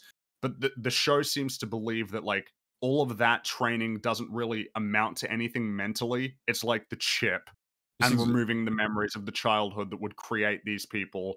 It's Um, precisely and what so, you like- um, described. You they they took a big box, but they left some components behind um, from from the source, and the, the the confusions now come in. At um, they try to almost argue, especially with Kai. It's like this is just a normal girl. She's a normal girl, and what was preventing that was the in- emotional inhibitor. It's like, oh, that's not at all what I expected for these lads. Like with everything they've been through and trained up to be, from what this show's told me. This- exactly. At this point, they have a history that would have turned them into a, a type of person. Not to say that removing the emotional inhibitor wouldn't have consequences for Yeah, them. of course. Um, Well, the idea of an emotional inhibitor is just dumb to begin with. Um, I, I, so this is the thing. I, I'm kind of like I agree and disagree, and and and this is kind of like I'm already in the same boat. Yeah. if you have.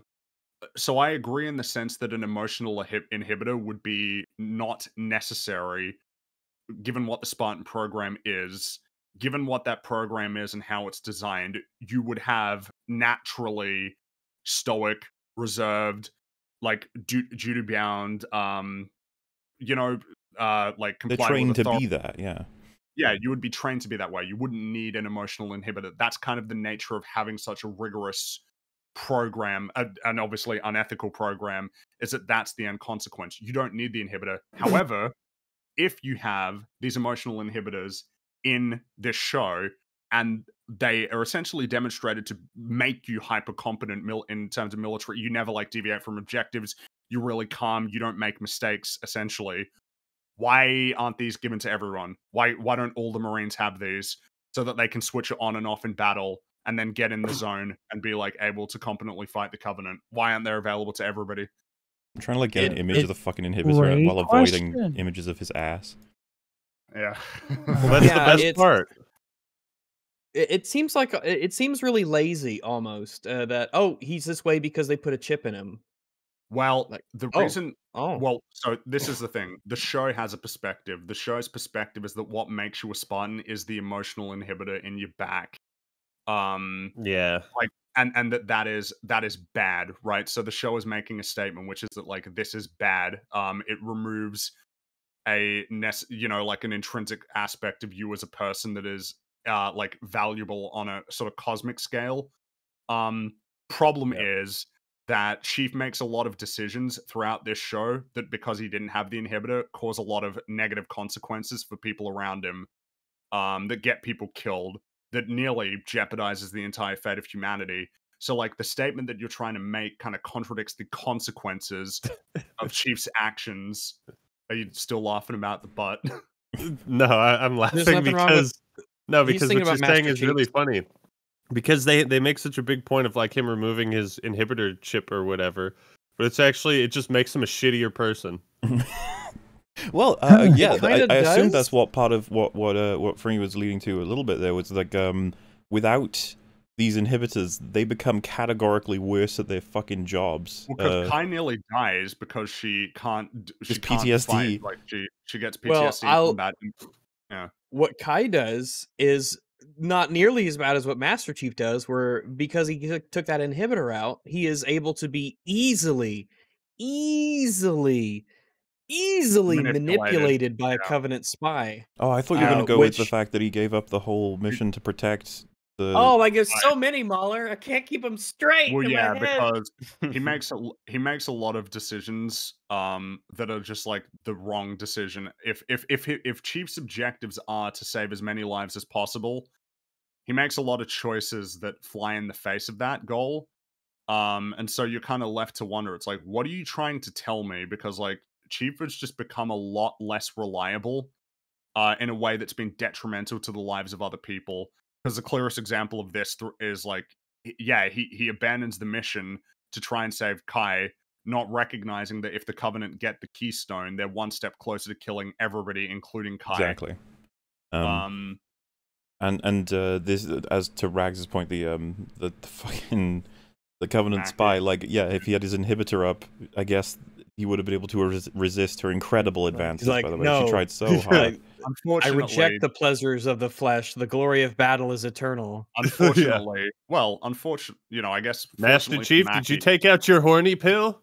he did. Hmm. Well, I like how nobody even asked that. Like Halsey knows, but Parangosky doesn't know. Keyes and doesn't there know, are and they just red flags everywhere. all, all over the place. Well, I mean, I mean, I feel like the biggest one is he tried to kill Halsey like twice. What Yeah, he, he totally did the second time. The show likes to pretend that didn't happen though. Well, yeah, because which is and- why and- you use that as the uh, the picture for the thumbnail. It's such a it illustrates so perfectly everything that's wrong with the show. I think it's quite well, it's- poetic. It's, um, I, I guess um, this I um I don't know. This might be a more. This kind of leads into theme a bit, but I flat out think that it is a more boring choice to have Master Chief have his memories of his childhood removed and the emotional inhibitor in his chip. And then when he finds out the nature of the Spartan program, he's vehemently opposed to it. I find that that is a much shallower idea than having Chief be fully aware of what happened to him. He knows that he was abducted as a child and put into a rigorous program, and that a lot of his peers died in the process of augmentation. And and and then he he knows that he doesn't have any like emotional suppressor thing in his back. He's become this person, and he accepts what's happened to him as an overall good thing in the pursuit of a broader objective of saving humanity. I think that that's a lot more interesting thematically than what they chose to do in this show. Especially Absolutely, considering how much of Halo 3's, not just in the game itself, but particularly marketing wise, how it was very hopeful and inspiring. Uh, that you know, this is the end of a trilogy. This is the the, the Master Chief has become this icon of uh, of hope, of our willingness to you know fight and survive. And they had all this stuff that they could have pulled from that Bungie was very, very specific to make a part of their games, which I guess you wouldn't know if you didn't give a shit about the games. This stuff exists. It's not like you had to the the, the need to completely strip all that away from uh, the show or maybe it's not even stripping it away. They didn't even know it existed to put it in the show. You know, Um, you I don't think they identified it as a potent thing, and the reason because these are the reasons why I think that it's a more potent way to do it. It's interesting to think about if you have Master Chief and you're like, so you know what the Spartan Two program was, and he says, yeah, but um, this is better for the overall, you know, humanity. It's interesting to think about. Well, so he's cool with it, but I'm not, you know, because because it's such an unethical like program. Um, he has this perspective. That's probably the most important part. But how much is it his perspective? How much is it just the consequence of him going through the training? Is this what John, like John, the, the person, would feel? But does that even matter now if this is who he is and this is who he's become? And then, of course, you get into the discussion of like the concept of greater good and um and and a hugely important aspect of that would be well how do the people who were robbed of their lives how do they feel about it?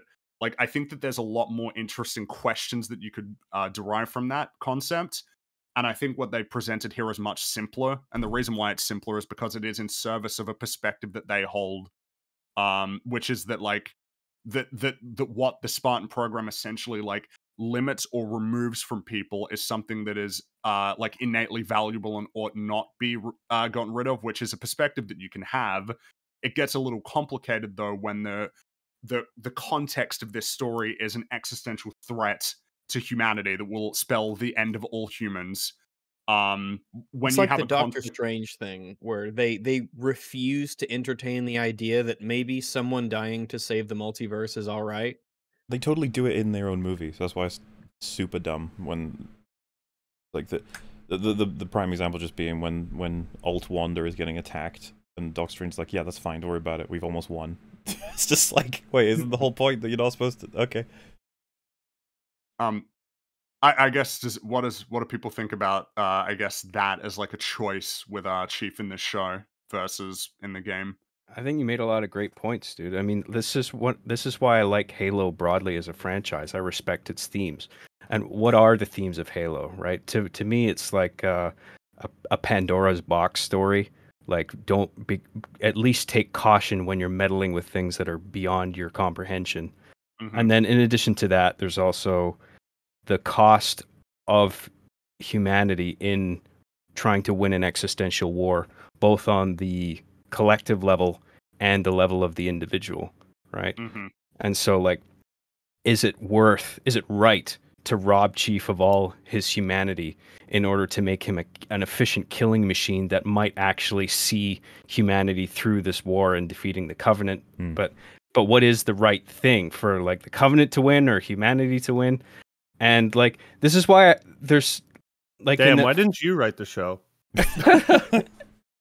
in the finale there's like uh the the whole thing with Cortana completely Yeah. overwriting uh Chief, right? The execution of that is terrible. But I Mhm. actually like the thematic question that it poses, right? It's like what is Mm. Chief now? He's extremely efficient at killing aliens now. Like to the to like a robot level of efficiency where you can just calculate the trajectory and and movements of every alien around him and just kill them basically instantly. That's like pretty much what happens in that last fight scene. And is that the right thing so they can win, or is that the wrong thing because an individual has been completely robbed of everything that makes him him?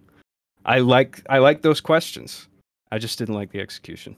Oh yeah. I I would say that I like that question as well, but yeah, I agree. Not well, I guess this is what I would say. I would not only agree that the execution is flawed, but I also think that the show kind of needs to put up a compelling counter argument.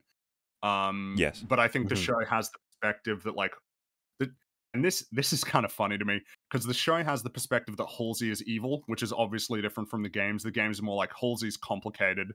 Um Yeah. Yeah, Halsey that's a great evil. point. Yeah. Well, Here's she's she's a bad bitch, dude. She's an outright Like, villain in yeah. this show. Well, the so- villain, yeah. the the thing about Halsey, and then I think we should hear from ER because I want to hear more of his perspective Mhm. after this. But Mhm. but Hal- Halsey, this is one of my main problems. She doesn't feel like she does in the games, and in the games, especially in Reach, she's like she gives the impression, okay, yeah, this is a woman who could totally control a bunch of super big, badass, fucking beefy guys and dudes, right? She's like, Mm. are you a puppet or a Spartan? You know, she's she's like putting them in their place while she's behind a glass wall hiding, but she's just like she's just an older woman. But you get this like motherly vibe from her where it's like like she will lay down the fucking law and they will all follow it. You know what I mean? Right. Right. And I don't you get, get, a that sense that you can impression. respect her in the in the games. She has this efficiency and pragmatism and sternness to her that's backed up by someone who is intelligent.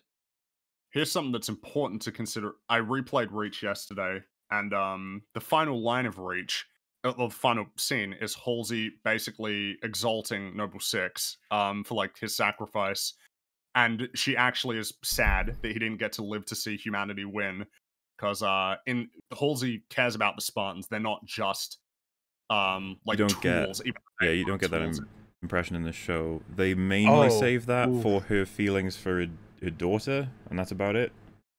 But here's here's the awkward part though. I don't so in the games, the Spartan program, or I guess in the books, the Spartan program was not created to stop the Covenant. The, the Spartan program was created to quell insurgencies. Um, it just so happened that the Covenant attacked when the program was completing, and so that just became the heel turn. And it's something that's kind of acknowledged as like, well, nobody really cares about the Spartan program anymore, like what it was and how unethical it was because it achieved this goal, even though it wasn't the goal intended. So, like, in the show, though, I don't know if the Spartan program was created to quell insurgencies or if it was created to stop the Covenant. Because if it was created to stop the Covenant, it's like, huh, like the Spartan program in the original law is like a, a hell of a lot more unethical in and of itself as a program. Um, but we we don't know in the show though, like it's unclear. Um, and and so it's like a little bit more awkward to make Halsey more evil when like the context that it arose in is much more ambiguous, and Mhm. maybe even be the context of stopping the Covenant. Um, I I have no idea though. I don't know. I Like, think I'm- it's implied in the first episode that he was made to go after insurgents, though, such Okay. as Kwan Ha's ma, who That- he there is just that, killed. yeah, that's true. Um, I guess I guess it's It's hard, hard to tell because the Covenant are there too. So Well, and they don't believe the covenant exists as well, remember? So, Ye- yeah. which- yeah, which we were confused for a while. boggling. I thought Well, it I was mean- UNSC propaganda. Ah, That yeah, that was yeah. That's dumb. That's dumb. There's some Yeah. things. It's it's like the Unbelievable. Yes, the- the UNSC propaganda of we. There isn't actually an alien race who's destroying planets and killing untold millions of human beings. No, no, no. And there's certainly in the future is not like photographic evidence of this. No, Well- no, no. It's just UNSC propaganda. Yeah. So Kwan says you can doctor video, and that's Oh that's well, her- that takes care of that. Yeah. Well, here's- why believe anything then? like, it- it- Now, into it uh, that allow me to go back to my dirt farm. Here's something a little bit awkward though. she and- gotta and- believe and- her dad being skewered right in front of her. Yeah, there you go. now she Well- No, that was that was Well. UNSC propaganda. No, Yeah, was- right, it was yeah. As a possible. hologram. It's Here's like the the it was chief in a in a meat suit. in her Yeah. Episode, around the clock with that shit. well, in her episode, her dad's like the the insurgents. They say, "Oh, the UNSC's like spread thin. They're pulling out." It's like, "Oh, can you not connect the dots as to why that might be the case? Why else would they be spread thin? What else would they be dealing with if not the aliens? They don't have You know, communication though with like other planets and in a network of Well, anything they- beyond. They've got television, there's right? just no Like, way that the Covenant have been active for this long and that they're not believing it. Here's the big problem, MauLer. Madrigal exports a lot of material to other planets. They have a lot of material that they export to other planets. So, if multiple planets have been glassed, uh, do they not believe the people who UNSC say, propaganda, "Yeah, bro. Eh, Hey man, I mean, some people still believe the Earth is flat. yeah, but, true." but not a No, whole no, this- planet's this, worth. planet was always like that. It was always like that. Also, the planet being It's- round is UNSC propaganda. Okay. And yeah, Tards. it's- I don't.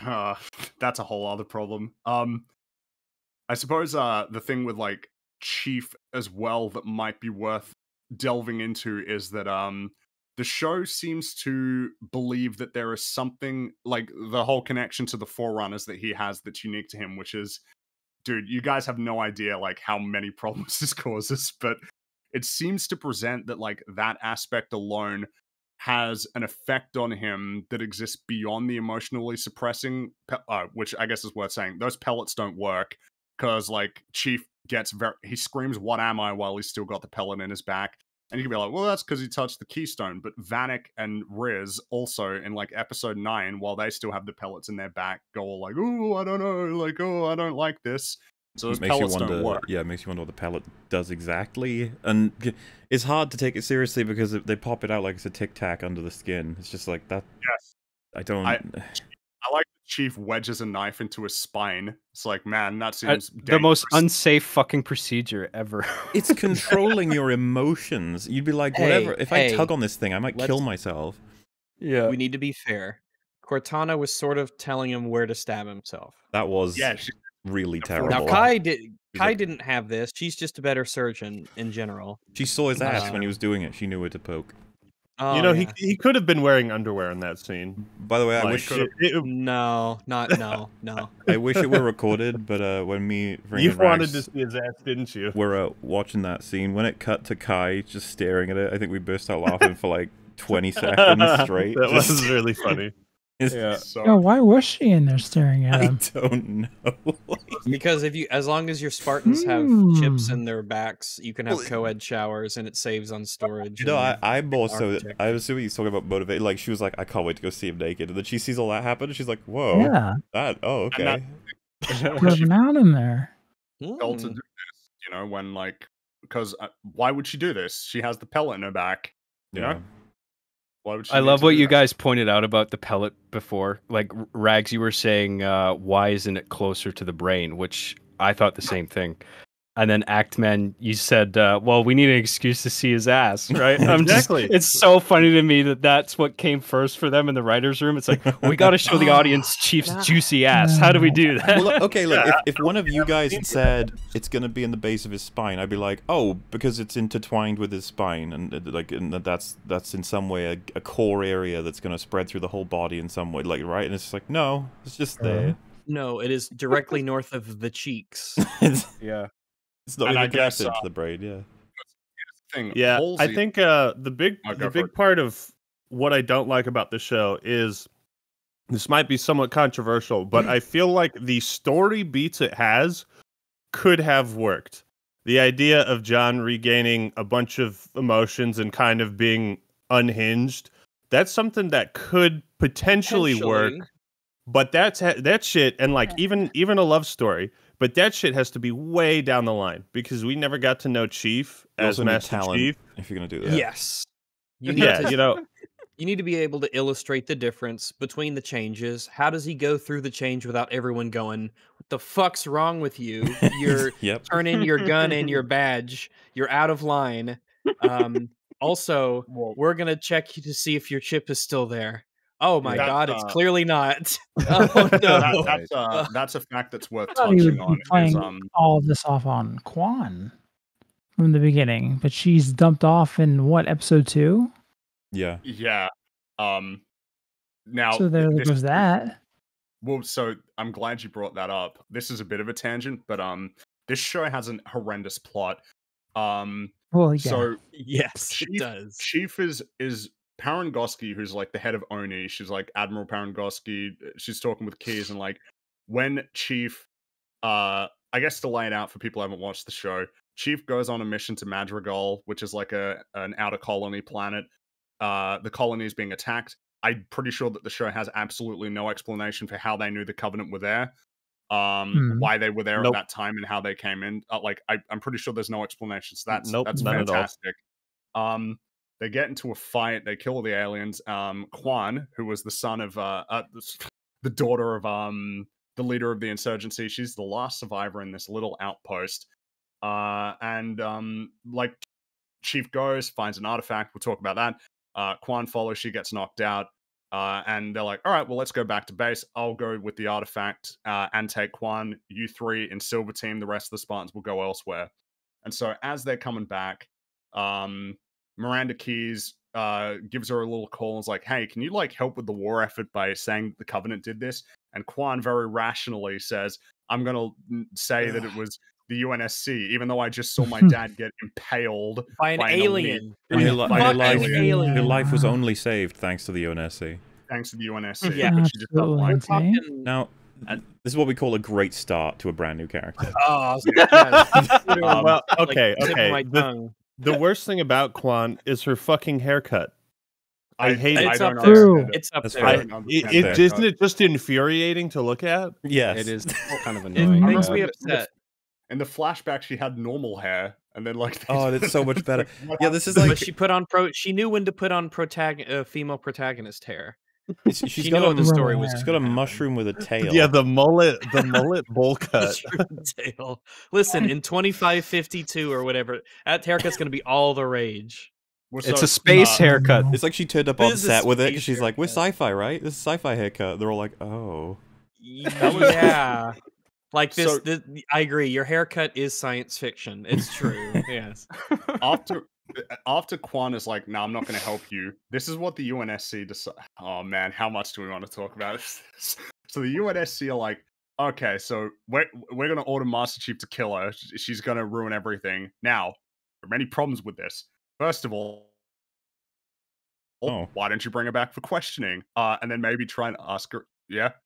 You you like cut out. It sounded funny. Oh. um. So why don't you bring her in for questioning? Might be worthwhile to maybe talk to her, see if she knows anything about why the Covenant were there, what happened at the base, like any strategies they might have employed that might be useful, and of course to try. and no, let's kill a convince her- child immediately. So, yeah, That's, that's what they decide instead of yeah. and of course, not only even if they wanted to commit to this absurd decision, which they didn't need to do, because if she doesn't want to comply, you could just like lock her up for a while. If you you know, or maybe try and convince her when she isn't as angry. You have a lot of Or options. just you get know. a fucking Yeah. like someone Well, to but they- pretend to be Kwan. They also have all the cameras from all of the Spartans that were there. Like, there's just well, she, the threat of this true. woman spreading a lie is just minuscule. it's minuscule when you have Mhm. four helmet It's cams. absurd. Yeah. Release the footage straight away because it's like, oh, this happened like today. Well, we, we uh, don't have time to edit this footage. you Hopefully, know? they recorded this conversation too, where she's like basically threatening to use I- this as an idea. I imagine and the. UNSC would just turn that on the rebels and say these rebels are so ridiculous and so unable to be reasoned with that they're willing to cover up an alien Yeah, attack on a human Covenant settlement just to in order to make the UNSC objective. look bad. That's how so- that's how evil they are. Because Kwan Yeah. is from the beginning, from episode one. She's a fucking idiot. what we're kind of getting at here is that they made the worst decision, which was kill her en route back to Reach, Master Chief. That's the Mhm. decision they make. Now, of course, they believe that he will follow this order because apparently that's something that Master Chief would do in this universe. Big difference from the games. Uh, Chief would not do that. Um, Which makes you, which makes you do that. think like so they don't have a moral compass at all. They are just automatons. They are robots. I- yeah. I think that the, the big thing here is that in the games, that's not something the UNSC would do. No, it's because the UNSC um, isn't. This, this show definitely wants to portray human military is bad. Yeah. Well, so the thing is, is that's something Oni might do in the in Yes. the games. Yeah, And yeah. Parangosky is There the head of Oni, but it's UNSC who make this choice. The Oni Um, doesn't exist in the show, does it? Yeah, it does. uh, I It think does? it's briefly actually- mentioned in one episode. Yeah. Admiral Parangosky is the leader of Oni. Um, Yeah. Okay. But I don't, I don't think they mention it often. Um, yeah, because it's because it's UNSC doing all the That would stuff. be So that would be confusing if there's two, you know, governments. What? What?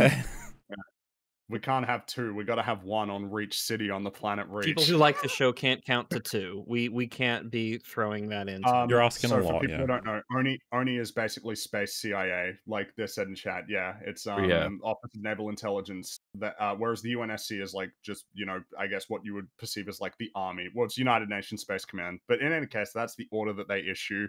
Well, yeah, and, and Um, if I could just, just for a second, like being someone Yeah. who's just like taking this all in, this episode, being like, what is our plot gonna be? And then you realize at this point in the episode, it's Chief has to decide whether or not to execute this girl who's threatening to say mean things about the UNSC. It's just like, are you kidding me? you fucking kidding Yeah, me? so This is the plot. And so here's the thing, though. Chief's not going to do it because when, dude, do we want to talk about that artifact? No, we'll get to that later. He touched an artifact that kind of flunked with his memories. He's he's confused. Mm-hmm. Um, so he decides. Oh, I I wasn't prepared to because like I think it's so probably- wrong with this. I, I think the Um, artifact uh, it, it's very very important uh, to the show. Damn. The, sh- the show, so The inciting incident. as- Yeah. They're Go the for it, yeah. So- MacGuffins of this show. Yeah. We're in a free-form Um, world. Go for it. okay, so let's let's walk it back a little bit. The Covenant on Madrigal are digging and they have excavated. Well, Fringy- this- Uh, maybe it might be important for those who don't uh, know the Halo stuff, just as a re- as a reference to compare it to. What are they in in the games, real quick, and then we could see what the what the show does with it. or the you mean the Covenant? Oh, so the, like the the artifacts and So in the games, the Forerunners are uh, an ancient alien race who created the Halo rings. Like they created the array. They're, super duper advanced, but they uh, lost to the flood. So they activated the rings, uh, wiped them out, and then you know, hundred thousand years later, humans be here doing their own stuff. Um, and oh, this th- I know that this is contentious. Um, so what you basically learn in the games is that humans, for whatever reason, can interact with Forerunner artifacts and they can interact with the Halo ring. They can fire it. The Covenant can't. Nobody in the Covenant can't. But um, but but Chief can and humans can. The reason why is because prior to 343, uh, humans were Forerunners, or at the very least, descendants of Forerunners. Um, I think Which that's is why the arc is on Earth. It's the reason why the Ark was going to be on Earth. That's right, and why the portal is there. That's right. Uh, and in fact, um, Guilty Spark explicitly says to Chief in Halo Three, "You are Forerunner." So yeah, that's that's basically the nature of the dynamic. However, the Covenant believe that the Forerunners are like gods, um, but the Prophets, Truth, Mercy, Regret, the leaders of the Covenant, essentially know that this is a lie. They know that humans can interact with these things. Um, and so like the lie propagated is humans are unworthy. We got to wipe them out. They they they're like unworthy. They can't tread on these on these sacred things, and um, that's kind of the nature of the um the conflict. So what you're looking at on screen there is uh, Chief when he went to Madrigal. They found that the Covenants were digging up a uh, a Forerunner site, and there's this this weird little floating thing there um chief goes in grabs it and uh it, it does this weird holographic lighting thing but it also kind of shows flashes of uh of this boy running around and he's got a dog and he's like drawing pictures and living in his little family home which we later realize is uh chief's past that's locked away from him. So this artifact unlocks his memories. It does a lot of other things um but it unlocked his memories and because of that he's kind of doing things that are a little bit odd a few moments later after they allow this covenant guy this elite to escape and inform the covenant Yeah. that he could touch the artifact which is a huge critical plot thing i guess these two just didn't see him standing there um he he goes outside and he's like yeah i'm going to take the artifact and i'm going to take kwan um and kai is like oh that's against protocol now if chi- if Spartans never break protocol ever, how is this not a red flag instantly? Like something that you would flag up immediately. I guess we don't care because we've got a plot that we need to progress. We we got to do our own thing. I know their radars aren't working. They have eyes. Like maybe check the whole place instead of just walking to the artifact without sweeping through and making sure there's no one inside. There's a phantom outside. There's no reason to assume that there are no other aliens left. Maybe make sure that the area is absolutely secure. These are meant to be the most competent soldiers ever. Yeah, and you're supposed to keep someone were on the joking? entrance then as well. Yeah, wow. a Phantom is a big ass Covenant like ship, Drop a drop ship, essentially. Uh, for those who didn't know, it's it's very it's very conspicuous. Um, it's very conspicuous. It's pretty visible. Um, I guess it's a good thing that none of the people at the base saw it fly over. Um, but whatever. That is- They, yeah, he decides to take the artifact in his Pelican, uh, and he's been looking at it for a while. He's he's a little bit like, oh, I'm not sure what to do with this. Like, I'm I'm feeling conflicted. That's kind of the way that he would describe him. So conflicted that when he has a conversation with Kwan, he discloses what is probably very confidential information about his top secret missions to her. Just he feels like it. So he's already pretty much Being not himself at this point. Yeah, because Um, because him disclosing all this information is not at all necessary to him not killing her. it's necessary for plot, though. Um, at least the objectives that they want. but whatever. And so when he gets the order, he doesn't want to follow through on it. Um, which is unexpected because Spartans seem to always follow these orders like all the time, unquestioningly. Uh, and that leads to like the the first major sort of conflict of the story, which is that Chief doesn't want to kill Kwan, and he is now actively trying to prevent the UNSC from doing things. So like he's turning off cameras in the Pelican. He- Shit, he's I want to kill Kwan. To, yeah, I guess to be to be fair, yeah, she's too stupid to live. But I um, wonder if the audience is meant to assume that had n- it not been for the intervention of the artifact and Chief got that order to kill Kwan, that he would have just done it. He would have immediately I just stood up, are. pulled his gun out, and shot her. I think know? so. That's what the show is saying. What The show Another? Yeah. the show is saying that like the artifact causes a huge change in him uh, which i guess we see in the episode because yeah he's going out of his way to save her and that is unexpected. Like it surprises unsc command it surprises Keyes and Parangosky. Um this this then leads to a sequence of events that is so utterly contrived that i don't even know where to begin. Let It's me very the show very quickly lets you know that there doesn't seem to be many rules in terms of what you might expect can happen. This is sort of our first foray into just sort of expect whatever the writers want to happen to just sort of happen. Well, so what what we see happen is Chief shuts off the UNSC's capabilities to track his Pelican like hours before he expects to arrive on Reach. Like he did it hours ago. Um, and I guess Command just didn't think like, oh, what the hell is he doing? They just decided to deal with that several hours later when he's much much closer to Reach. Um, the fact that he they're was um, breaking off from the team and stuff was already enough for them to be like something's wrong with Chief. should have been. should be. It should have been. Yeah. But but in, so they see him like turning off the cameras, and so they they drain oxygen from the pelican to try and kill Kwan, um, and then they drain oxygen from Chief's suit. I guess they can't lock his armor, even though surely armor lock would be a feature of this armor, Yeah, it Yeah, feels real weird that they would have control over his fucking oxygen, but nothing else. but not his Significant. Right. Well, um, Yeah. and and it gets a little awkward when in episode nine they jump out of a pelican from like two kilometers in the air and land. It's like, oh, so you do have some sort of armor lock capabilities, right? Surely, definitely, yes. Um, but I guess not. Um, maybe it's not a part of this show's canon. Um, and then Chief, they drain his oxygen to forty percent. They're gonna knock him out. They don't want to kill him. Fortunately, he lands in the Pelican next to a control pad that when he opens it up, he can just restore oxygen to the ship. Damn. Isn't that lucky? I Yeah. guess command can't Pretty that again. hilarious. They can't just drain more of his oxygen. They can't just do it to the ship again. Um, and now Chief is be quite the engineer. he he's very competent engineer. But here's the thing: you might be thinking, man, UNSC have basically written off Master Chief as an asset, even though he's a war hero, known, renowned in humanity. Um, that's an interesting choice, considering that this order is absurd. Uh, Like you hold all the cards, so I don't know why you would want to execute Kwan and have it happen en route instead of bring her in for questioning and trying to convince her of doing anything. yeah, Um, you can always execute her later, but you can't unexecute her. Exactly. Yeah. Um, and if UNSC are as evil as they are in this show, it's like I don't get it. But then, you know, Halsey's seeing all this happen, and this is what she she decides. Like, no, I don't, I don't want Chief to get killed. So here's what I'm gonna do. I'm gonna go to Silver Team, his Spartan buddies. I'm gonna tell them that if any UNSC soldier tries to apprehend Ma- Master Chief, you can kill him. You you- like. Now It's you'll see nuts. it later. There's like ten thousand Marines. They can't take Mm. them all on, but nevertheless, she makes this choice. Yeah, Um, don't don't blink on the Marines. You'll never see them again.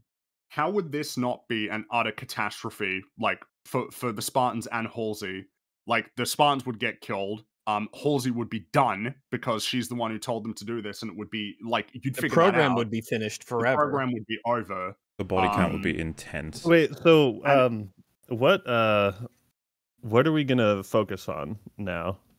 Oh, I, at this point, I think we're just like explaining how terrible Whatever entire you feel like. is, But you can. This you section jump is in. called miscellaneous.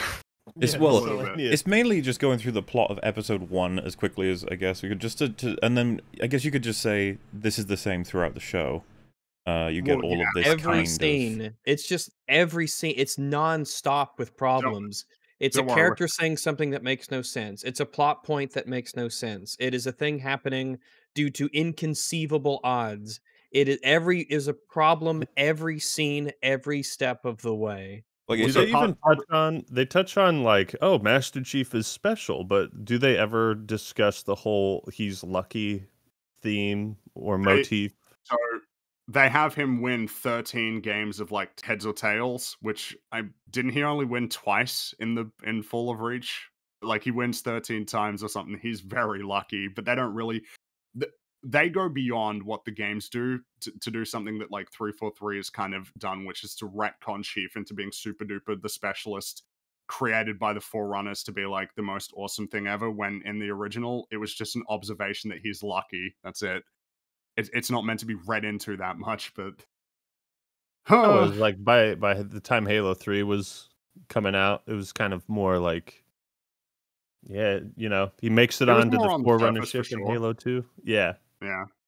Um, Um, I, I just want I to guess like, uh, make sure that it's yeah like stated though just the, the insanity of episode one being that like you, you know just as I was saying that the whole like oh my god the plot is going to be whether or not he kills this girl because the UNSC is stupid and like that's not even close to like it all starts to tumble out No. into well now that he's gone AWOL because he refuses and they tried to kill him or at least subdue him and that didn't work we're now going to have our entire base prepare to take down Master Chief and then Halsey in a response is like Spartans if they even try kill them all and you're just sitting here Kill like 'em. how the hell did we get here in like Exactly. 10 this is minutes the planet yeah. This yeah, is the this first is the planet's military base. This is where all this is the this is Reach City on planet. Reach or wherever. It's it, Um, it's it it would be awful.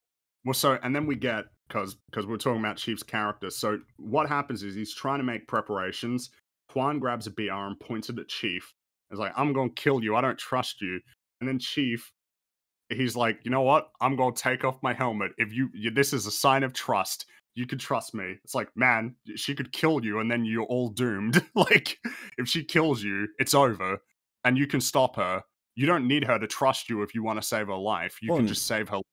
Putting surely your life him in not her killing her would be a form of like you can trust me I, I could have killed you at any point and he can still just walk up to her right now she can fire as many shots as she wants he's taking that gun off her Yeah, uh, but he decides to take off She his shoots helmet. for him right directly in the face, as she should have. well That's what I was hoping for. That would have been the most hilarious outcome. Yeah, if the show ended there, just him getting shot in the head, and then it's like just the end of the episode. But yeah, he he just like like now this is pretty stupid, and it seems not like the kind of thing that a hardened super soldier with years of experience would ever do. No. Um, yeah. Pretty incongruous with who he is. Um, He and should have been shot, and the credits roll over his dead face. Yeah, exactly. and they were like that was a Um, really great joke we'll start the actual show next week you're like oh okay Now, here's the thing. The show tries to present a justification. They say that like the helmet is the means by which the UNSC can like mess with the suit's functionality and communicate with him. But I don't really believe that. Um, because like if they if they lose their helmet in combat, like a Spartan loses their helmet, is that it? You can't track him, you can't find him. There's nothing you can do to contact him. Uh, and also, wouldn't a lot of that functionality be built into the suit itself instead of just the helmet? I don't buy it. I think it's a really shitty excuse to try and justify him taking his helmet off.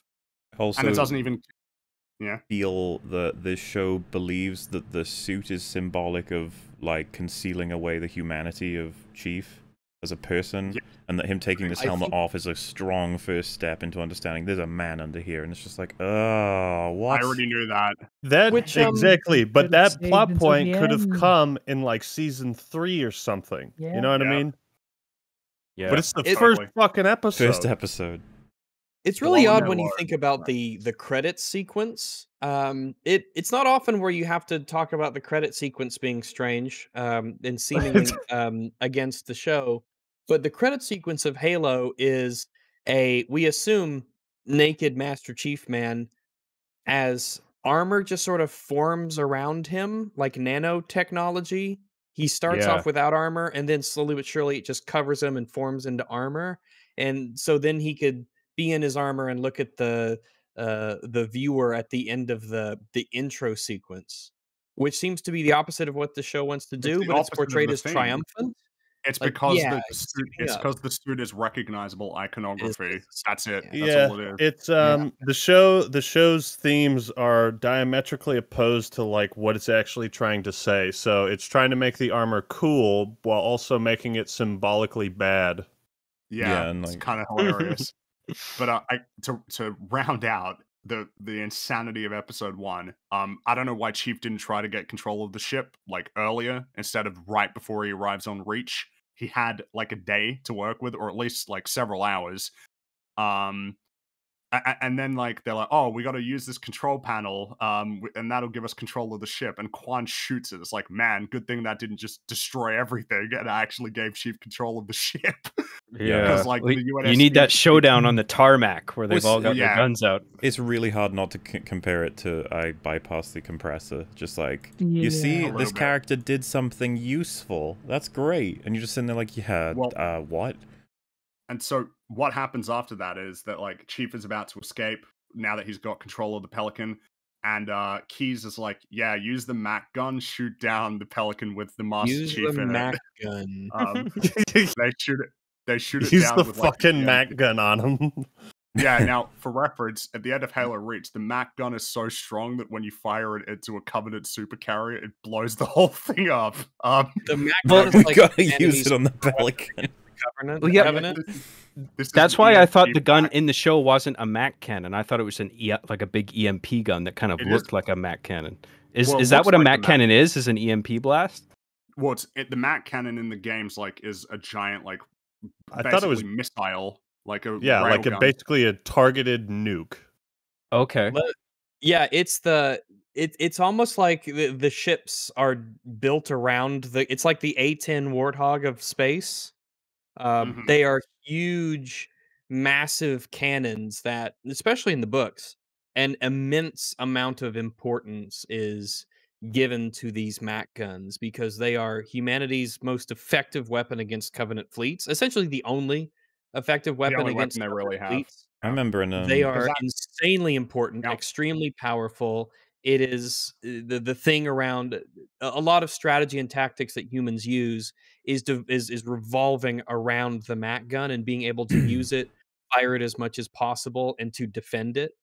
To Yeah. Uh, expand and upon losing a Mac gun is a is a is a huge loss for humanity if they're if they lose a Mac gun. to expand upon Rags's point, um, the like you said, uh, it's one of the most effective weapons that humanity has in the games against the Covenant because the Covenant uh, have superior ships. Um, that's like a big aspect of why um, the Covenant are so scary is because they are really they they've just got better ships and that's a huge part of warfare. You wouldn't know that in this show though because the Oh, yeah, the are show- not much of a factor at all. Covenant's not Oh yeah, the, no. you you rarely you, you rarely ever You- see Covenant actually that it's an using their fleet. threat. Well, you just wouldn't know that the Covenant are an existential threat to humanity. You think they're a, a mild annoyance who occasionally appear from time to time. Um, yeah. Look, but we'll, we'll talk about that a bit more. In any case, they shoot the Pelican down with a Mac gun. It's like an EMP, and then they get surrounded. We've got this big tense build up as they're going to break through. But oh no, the Silver Team's gonna. They're probably going to kill these guys. But Chief is here, just staring at the uh the Forerunner artifact laying there. He's like, "Whoa, what does this do?" And then he grabs it, and it emits an EMP that knocks out all power to Reach City and all of the hmm. equipment and everything around them, except it restores power to the pelicans so that they can escape. Yeah, what do you think makes sense about that? fucking it's completely random whenever it does that too. Sometimes they'll touch it and there's no gigantic pulse wave that knocks everybody. Yeah. It also Yeah. knocks people around sometimes is- rather than just taking out like systems and devices. I, I I don't don't, understand the rules for this. Well, y- you The see, the artifact has a very special ability, you guys. It does whatever the plot It does demands. whatever It is- Yeah, Yeah, that- it's, it's nailed it. It's extremely I, I guess it depends on what you're you're because a lot of people use MacGuffin similarly, but not always the same. It does seem to be this like it does what it needs to do thing in this show. Yeah. Uh, it does not. suppose you call it a behave plot device, right? It is essentially, yeah, it is a plot device. A device, yeah, like literally a plot device.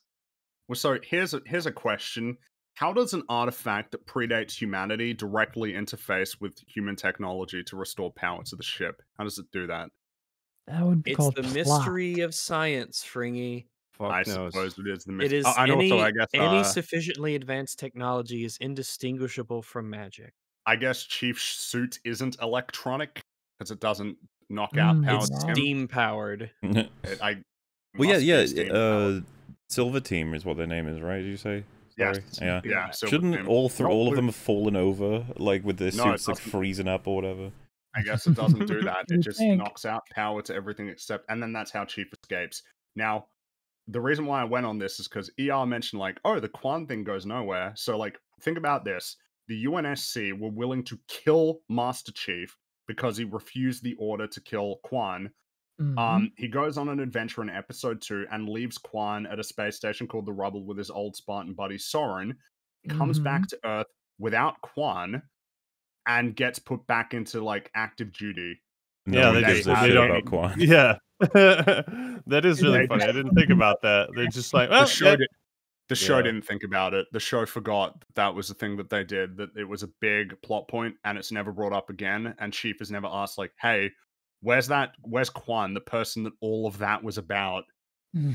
Because that's not it, the show needed drama, needed to get him away and then get him back, and then not have to deal with it because it's a really badly written show.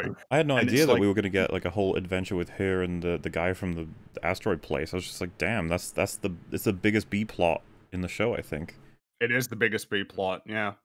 and it all stems from irrelevant insanity. plot that I've ever seen. Oh, it's, It it's a has no complete bearing. You drag. completely like just get rid of it, and it wouldn't change the overall structure of the story whatsoever. And if someone told you we've got um, Master Chief's childhood buddy who had the exact same upbringing as him, except he at one point broke off and lived his own fulfilling life, you're like, and how is that going to play in this story? And you're like, oh yeah, there's so much that they could compare with. Mhm. There's so much like conflict those two characters could have. It's like, how much screen time do they have together? It's like, well, you know, maybe barely 10 any. minutes maybe ten total? minutes. Yeah. Well, yeah, this this um I think the only reason that Kwan exists is because they want to set up a connection to the Forerunners because she she she, she visits desert mystics who give her like a, a juice that she drinks and then she goes on this vivid hallucination that reveals to her her ancestors, many of whom she never would have met. Uh, and it also reveals a Forerunner monitor in a well so it's like, so this is magic then, right? Because how do you have these memories? Like, how could this Mm. be a part of your subconscious?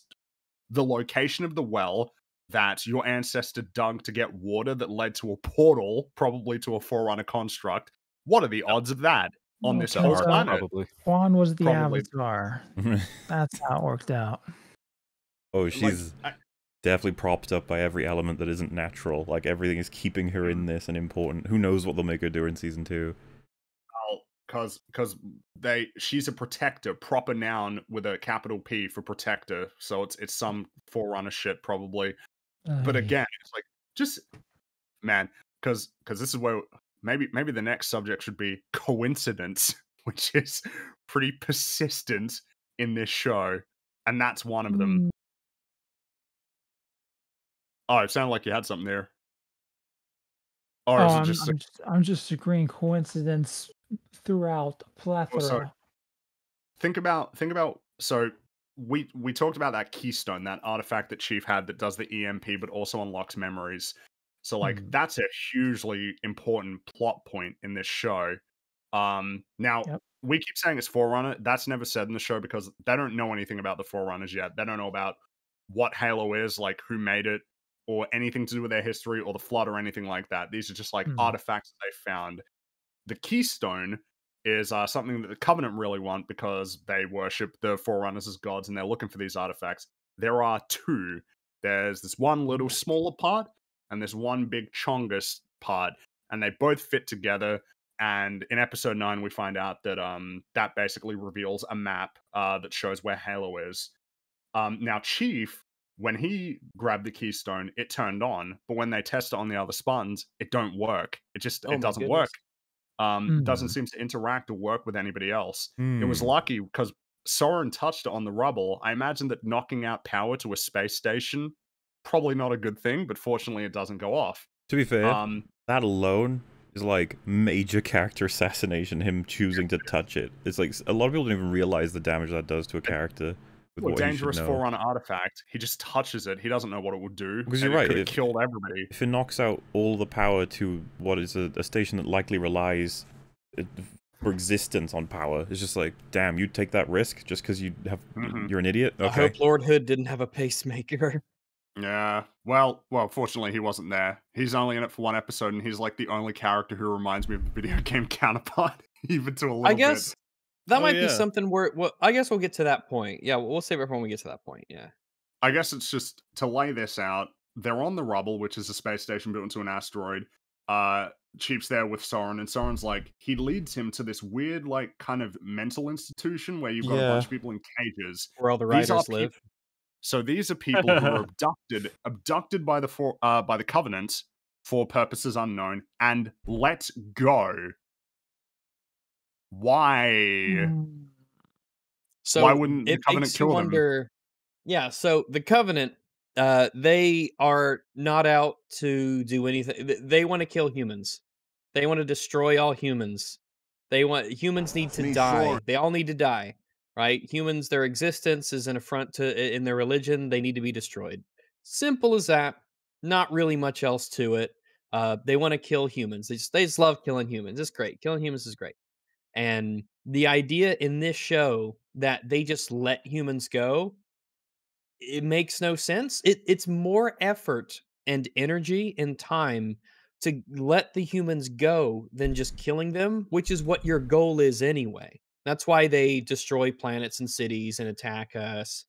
That's their whole Which goal. is um another great example of taking something from the source, but then confusing the hell out of everybody when we try and it's like because ah, Covenant hate humans. It's like, but they have a human Well- that's really high ranking, and it's like, They, they would what? still capture them for like whatever reasons. Yeah, sure. Maybe no, more- yeah, but what just said was like they would surely execute the ones they're done with. They wouldn't return Yeah. them. That is really strange. And so when you we, we talk about ad- adaptation, we're like, so they're trying to tell us something else about this covenant now. This covenant is different than than the game one. And then by the time you hit the end of the season, it's like, no, they hate all humans.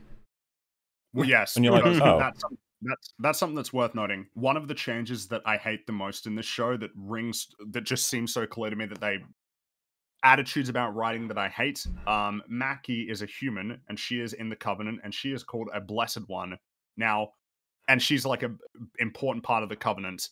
Um, because I imagine they were like, "Why we can't have Arbiter be a POV character? Stupid, he's an alien, needs to be a human." Um, they have no idea what they've done in terms of the changes that they've made to accommodate this story beat that we are about to get into.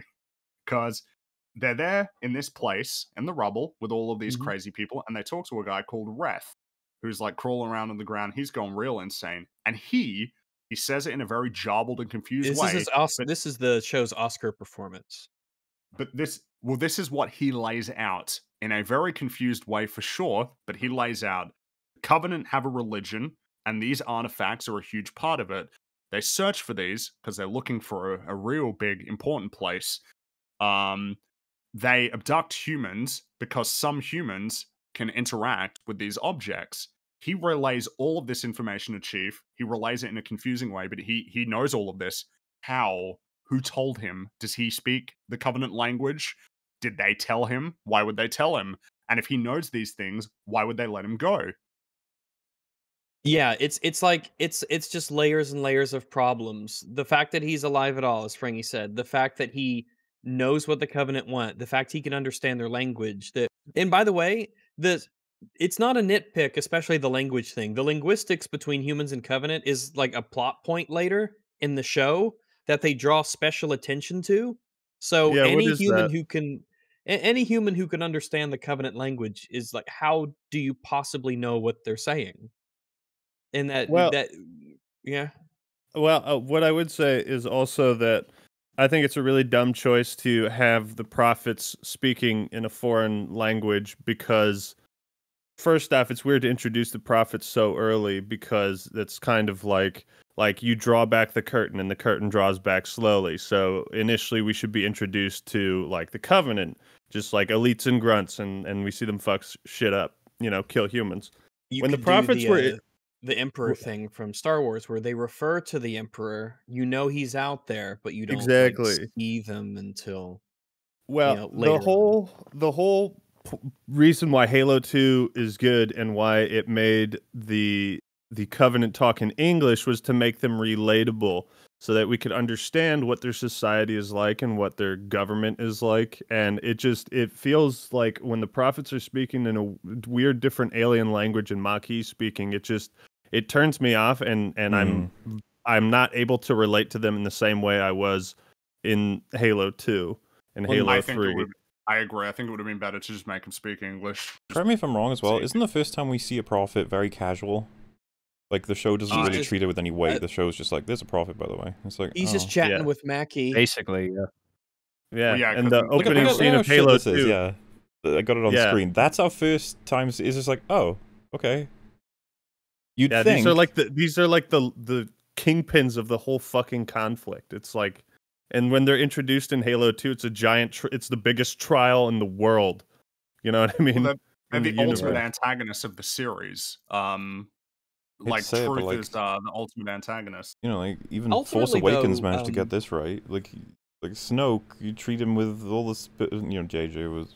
I'm just saying, like, you have elites needing to. They're drawn in. Maybe even have some fear of the prophets from uh, some of the Covenant members to just build the audience up a little bit before you're just like, oh, there it is.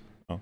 Yeah, they don't come Mhm. across they don't they don't establish them off the bat as important as they actually are. Um and it doesn't help the fact that they're in this like architecturally what the fuck is this? Oh, the mushroom.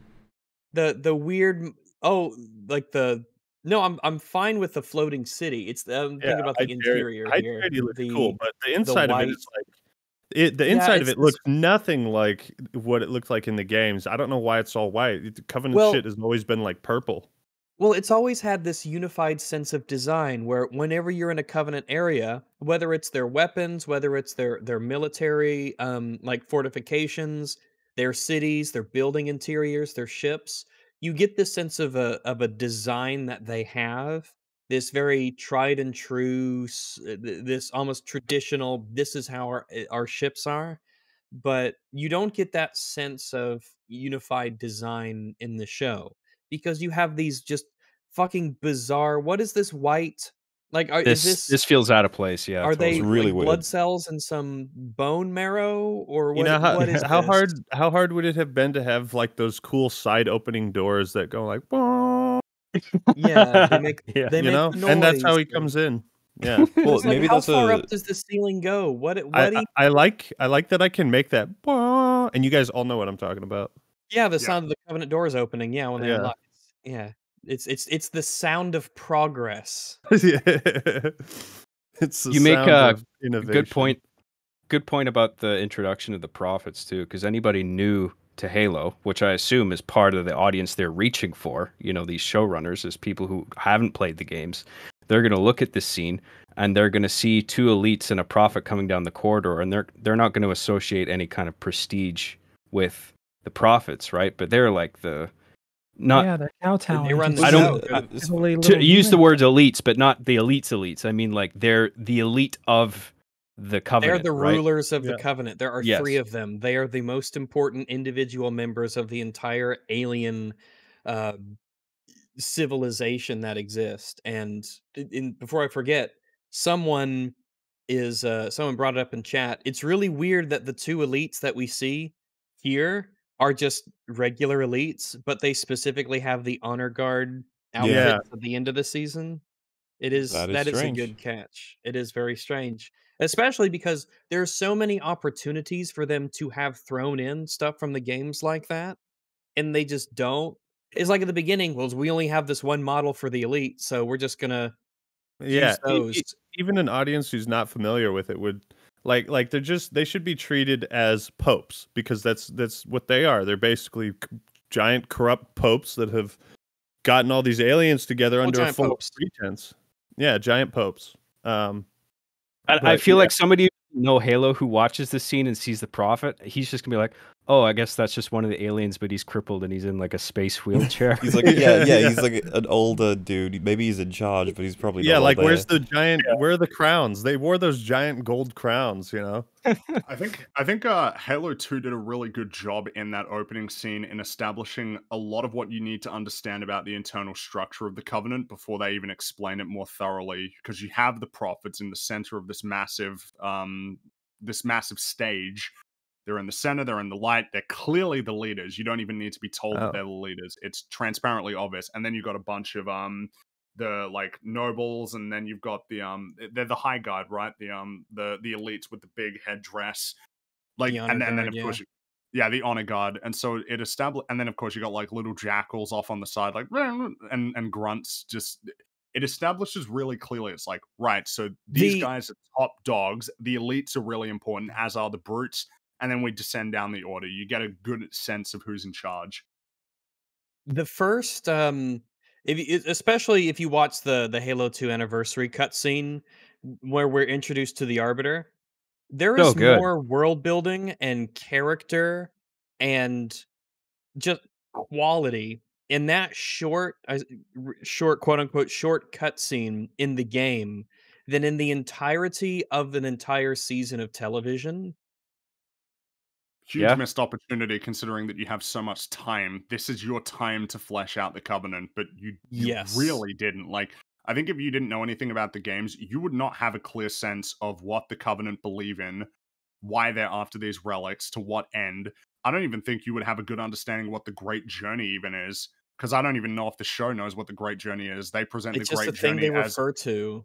Well, so here's the thing in the games, the Great Journey is basically heaven. That's after you activate the rings and you die and you go to the divine beyond. Uh, like, that's what the Great Journey is. The show seems to think that the Great Journey is going to Halo, like heading to Halo to activate it. Yeah. Um, but I, I- and that's what I mean. If you don't know anything about Halo, I don't know that you could fully understand what their goals are, and most importantly, why do they hate humans so much? It, it especially becomes complicated when you have a human within your ranks. It's like, wait a minute, do you do you hate humanity? What what's what's the deal? They're a blessed one. It's like, does this not cause problems for your religion in the games? It's a lie. It's a conspiracy. Like nobody actually knows that you need humans to activate Forerunner artifacts. But in the show, it is known because she's part of the she's part of the high structure. She's like within it. She's a known entity. Does that not cause problems for your religion? This Hmm. is why you need to be thoughtful about the changes that you make if you're going to adapt. Because all this does is present problems. Um, the problem being specifically the blessed one system. Reclaimers, not all humans are reclaimers. It's a very small number. We later find out that it is chief It's like one in a billion. Two in a two in a billion. Remember, Rags? It's one in five hundred million. I feel Oh, like right, right, right. Yes. I, I wouldn't want to accidentally. Yeah, yeah. yeah, so I guess you may have remembered earlier. It's like all humans can interact with them uh, in the games because all humans uh, for are, are reclaimers essentially. Reclaimer is like the title that Guilty Spark gives to Chief. Basically means you you're back. You can activate the rings. You can you can do what the Forerunners did. But in the Yeah. show, it's the Blessed Ones, the Reclaimers. They don't call them Reclaimers, but we'll just call them that for the sake of ease. Master Chief can interact with Forerunner artifacts. Makee can interact with Forerunner artifacts, and as far as we're aware, no other humans can. It is an exceedingly rare genetic trait that enables you to interact with um Forerunner artifacts. This is a big problem, guys. And I strongly suspect that the problems. show's writers haven't thought about why that's the case. You know that No, it's now haven't. limited to blessed thought. ones, quote unquote. Right? Well, because they need to have sex. What do you mean? Yeah. It- it- it may it may? Reclaim it may well- her. yeah. It's so, funny how that so can be. hot. that's a meme, but you may well be right that that was part of the reason Ex- why it's did the it. same reason why he his That's ass what they had to be used, shown. yeah, to establish so- their connection on a deep level. So I guess to, to lay out the background to under this is this is coincidence on a level that is absurd. Later in the season, we find out that Chief, as a youngster, lived on a planet called Eridanus 2. Uh, it was like a, a planet where they were doing like a um, a terraforming kind of project. And while he lived there, he stumbled across the second piece of the keystone. So, man, what are the odds that the one of like two known people in all of humanity who can interact with the uh, Forerunner artifacts on two separate occasions came into contact with both pieces of Forerunner technology. Oh, And ended up have having sex. drawn him to it. Yeah, and this know? isn't like Yeah. Mona Lisa. Magic. Ugh, Wow, I think the show wants you to believe that he's drawn to it with magic because Makee says at the end, like, they've been guiding us. So here's a question Did the Keystones guide Chief's family to settle Well- on Eridanus 2 instead of anywhere else? Did it guide the program to be set up within a one kilometer walk of this incredibly rare piece of technology? Did it did it guide the UNSC to send Silver Team to Madrigal to fight the Covenant at the time that they were excavating the Forerunner artifact? It is one of the weaknesses of this show. Um, it's it. One. This show essentially it. There's essentially magic in this show. Oh, there's um, a tremendous amount of magic in this show. The, There's a the Forerunner coven in this technology was. No, There's a freaking witch coven in this show. There is a witch It- coven, and, and that's another- mystical magic. It's their thing. I'm so glad you brought that up because what are the odds that the one out of like all of humans who ever existed who can interact with Forerunner artifacts was sent on a mission where he came into contact with the last survivor of a Covenant attack, who herself just so happens to have a family lineage that directly connects her to the Forerunners. Yeah. Wait, oh my god. So what what happens to Makee in the, the ninth episode? Because I didn't watch it. Oh, she dies. Um, Kai shoots her because they've Oh. got the keystones there. They she's activating it and it's revealing the location of Halo, and she kills her. This is presented as sad. It ain't. Uh, Makee's an awful person. She killed so many people, and even even if that was all out of the way, she was actively in the process of revealing what, for whatever reason, they've already. Did they assumed it's a ever secret weapon. revisit her like backstory, or was it just that Um, one scene? Well, so what? Well, what they got was in episode eight, where she's like, "Ah, see, humans are evil because I got tased uh, when I was a kid before the Covenant saved me, and now I'm getting tased because I admitted to murdering hundreds of UNSC personnel." Well, because they had the, the one of the funniest parts of the show, and I actually had to stop and and like sit there for a few minutes to process it. I think it's in the third episode. To finish laughing before you. yeah, yeah, yeah. I- you might know where I'm going with this, but I talked about it in my video. There's like her backstory is she's like on some dumpster planet, and she's reading a book with some other kid, and they're about to kiss, and then some guy just like jumps out of nowhere with a baton and chases down this kid and beats him to death. Yeah. And I'm like, I had to pause it. I was like, what the fuck am I watching?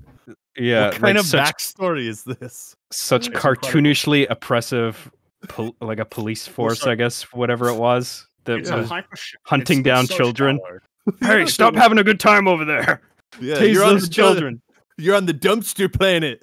it's an incredibly shallow like plot point for sure because uh, the thing is is like Makee herself has no conviction she believes vehemently in the covenant stuff until she meets john halo and then they have sex and then she decides basically that she doesn't want to help the covenant anymore and Well, then it clears her tased, head. she wants Good I, dick will do yeah, I guess for it you. does. That's what I mean. It's like she doesn't believe in anything, but wh- when she does change her beliefs, she believes in them vehemently, very quickly. She's nothing. She's Kylo Ren. She's confused. That's her. She does whatever the plot. I needs think I like to for the sake Kylo of Ren a lot more than Makee. Oh, absolutely. Adam Mm, Driver's a really good actor, so there's that. He's yeah, that's what I'm saying. Yeah, agree with that. Um, she's just Oh, annoying.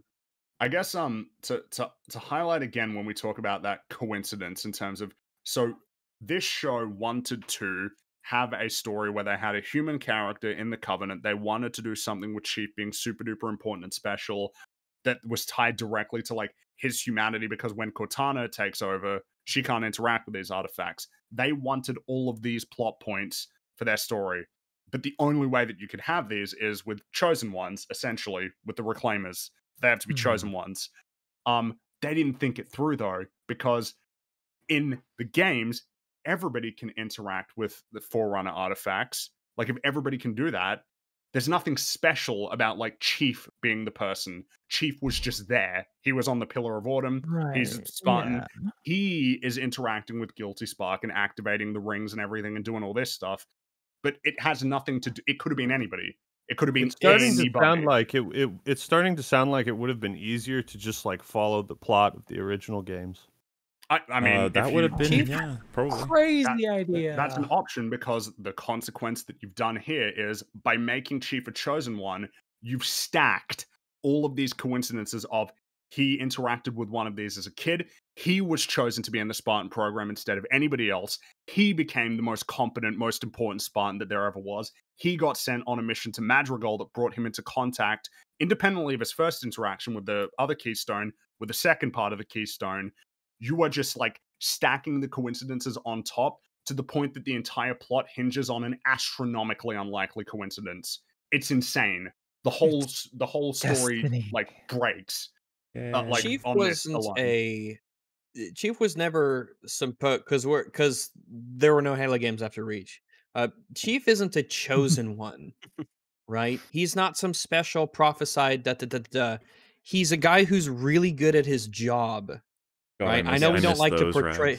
I know, right? We don't we don't see those portrayed in media often, but he's a soldier who's very good at his job, and that allows him to get into situations where he can interact with Forerunner architecture, where he can do all of these things, right? Because he's extremely competent at going places and doing things and completing objectives. And in the show, you never get the sense of he's just really good at what he does, therefore he's able to do these things. It's he it needed to be him all along. He's super duper mega special on some intrinsic prophesied level. And it's just so lame, honestly. He's one of the chosen ones based mean, on a I- billion to one genetic deformity. That I agree that it's lame. I. It is lame. I can, by the way, because I really enjoyed uh, Actman recanting the the history scene we get for uh, Makee Makee. Um, that you you uh, have several moments without throughout the show that you you'll just say out loud. I'm watching Halo. Like this Yeah. is um, and yeah, uh, that scene though, the writers consider that to be quintessentially important because if you remember when they're hanging out, um, Oh yes. uh good old John and and uh, and and her she has like flashbacks to it as if to imply that kid that she kissed back then or didn't didn't manage to kiss John is now fulfilling that part of her like I think this is how they would describe it. They would be like she has a half and half view of humanity. Half of it is the love and experience you can share with each other. The other half is that evil piece of shit that beat her friend to death and and, and electrocuted her. And you see like yeah. in this episode they almost try to set up it's like she's falling for chief this is a wonderful romantic story where will it go but it's all ruined when they um when they hit her with the taser and it's like guys you haven't earned any of this this is insane she's a horrible war criminal Like, why Well, yeah, Right. she's she's killed a lot of people. the show wants to pretend though, like their romance trumps everything else that's happened in the show Well, also think- that's that scene where she invades the ship, and and you see the the hunter worms, the let go low. I why didn't they just have hunters? they seem pretty did. good Why? Well, why? here's the thing: for a brief moment, you see them standing around. Um, they just never. That that's it. For a brief moment, you see them standing around in the, in Covenantville.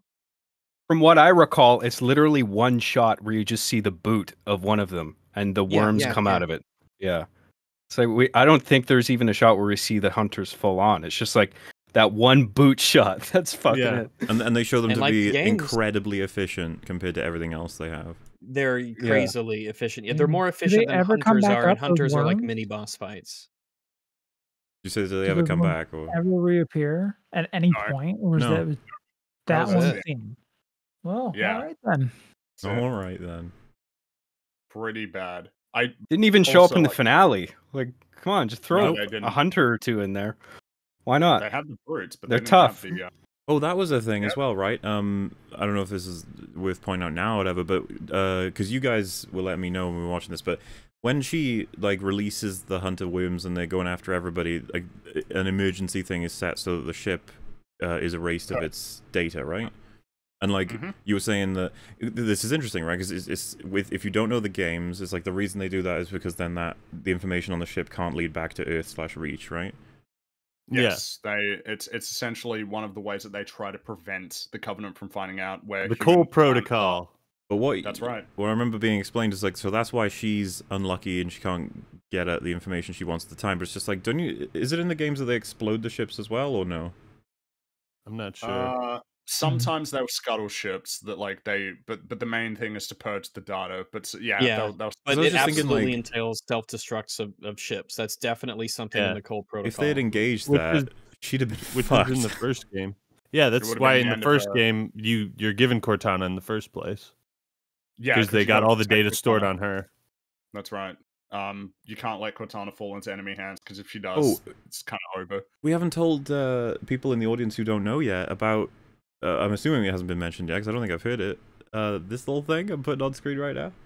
Uh, the energy sword in The her energy sword finger. That was- fingernail. Absolutely hilarious. Um, that is indeed an energy sword that comes out of her fucking fingernail. Everyone. This is so stupid. Like, so dumb. Why? Someone, I- so one of the writers hold thought on, this would be hold so on. cool and I badass, and like- scary. I like the concept of like a stealthy based assassin type elite that maybe has like wrist blades, or they even had those wrist like blades on some zealots of from the StarCraft. Yeah, yeah, they, yeah. They had a couple uh in the last scene on Reach, right? Uh, when when Noble Six dies, they have some of those elites with the wrist blades.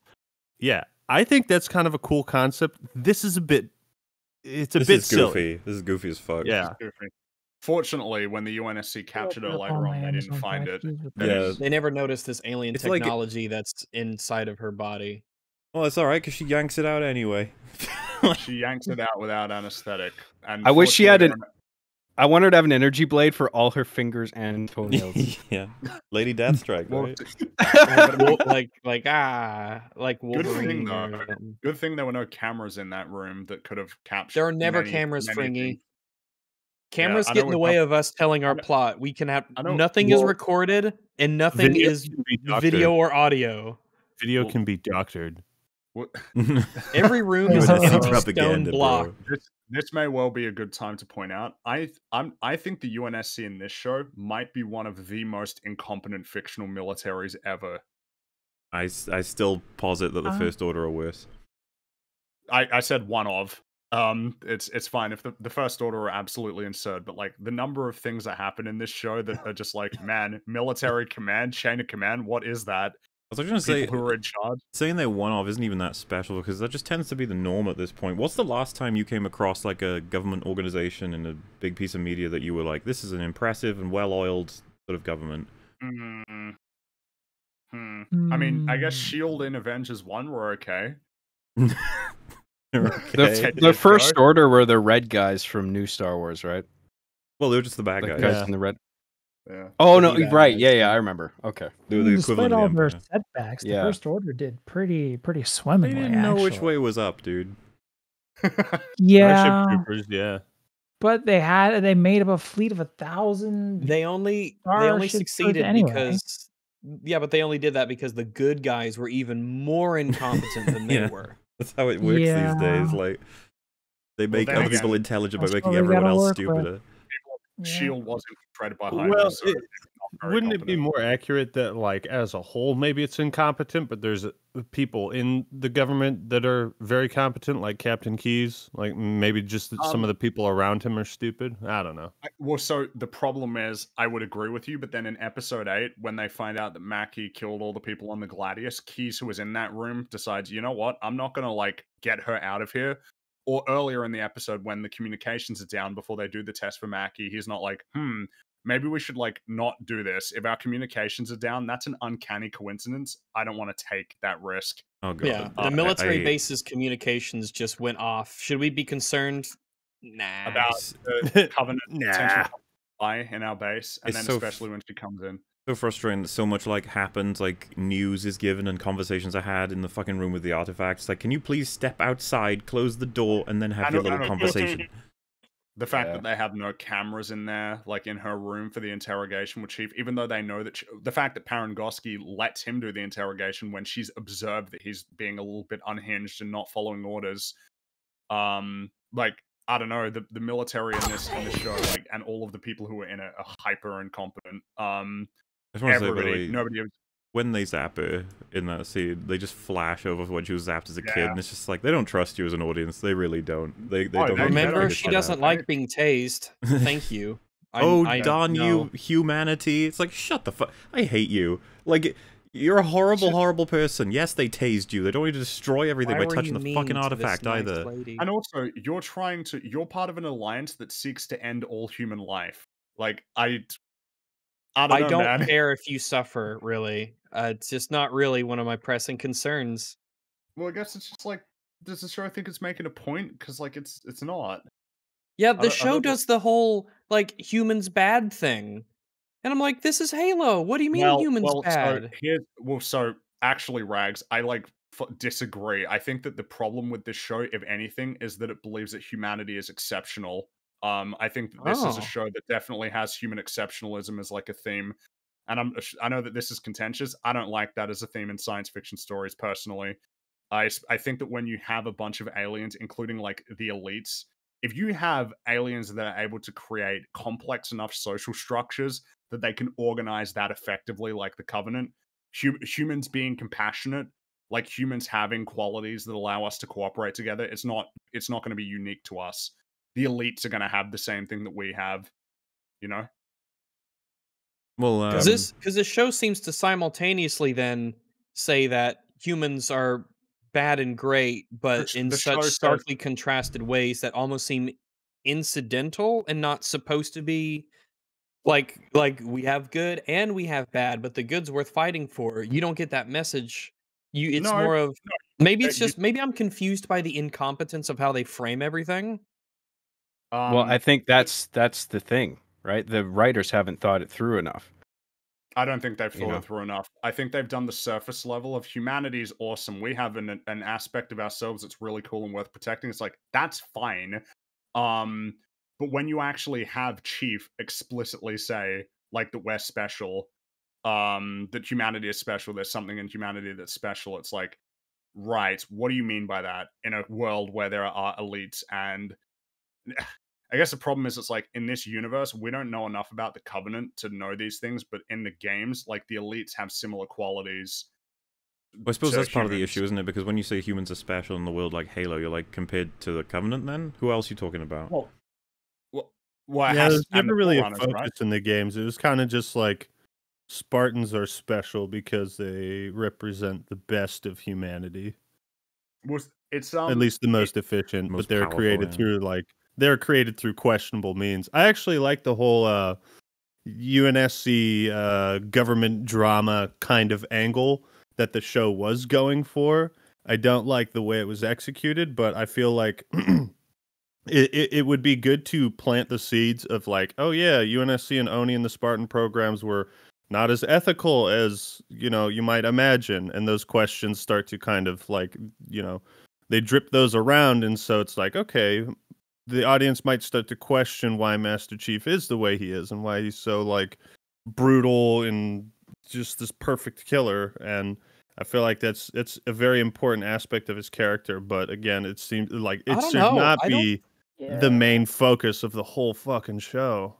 I think that Um, Master Chief's childhood is practically irrelevant entirely in the games. It it it's- is, it's never but the fact that he had one is important. Everyone had one. Yeah. What do you mean? What do How I mean? Is, that- is that is that like how does how does a kid go from being in this program to being like the guy in the armor? Well, that's only something you know if you're like told it. It's not necessarily intuitive at all. Um, Yeah. Like if if they would have never explored his childhood and just essentially held firm to the idea that Master Chief is a really good soldier, then I, I don't think that necessarily you'd have to at all explain that this is some kind of a military program about children and things of that nature. You could if you want to, but I almost feel like that's taking time away from something that could be much more interesting.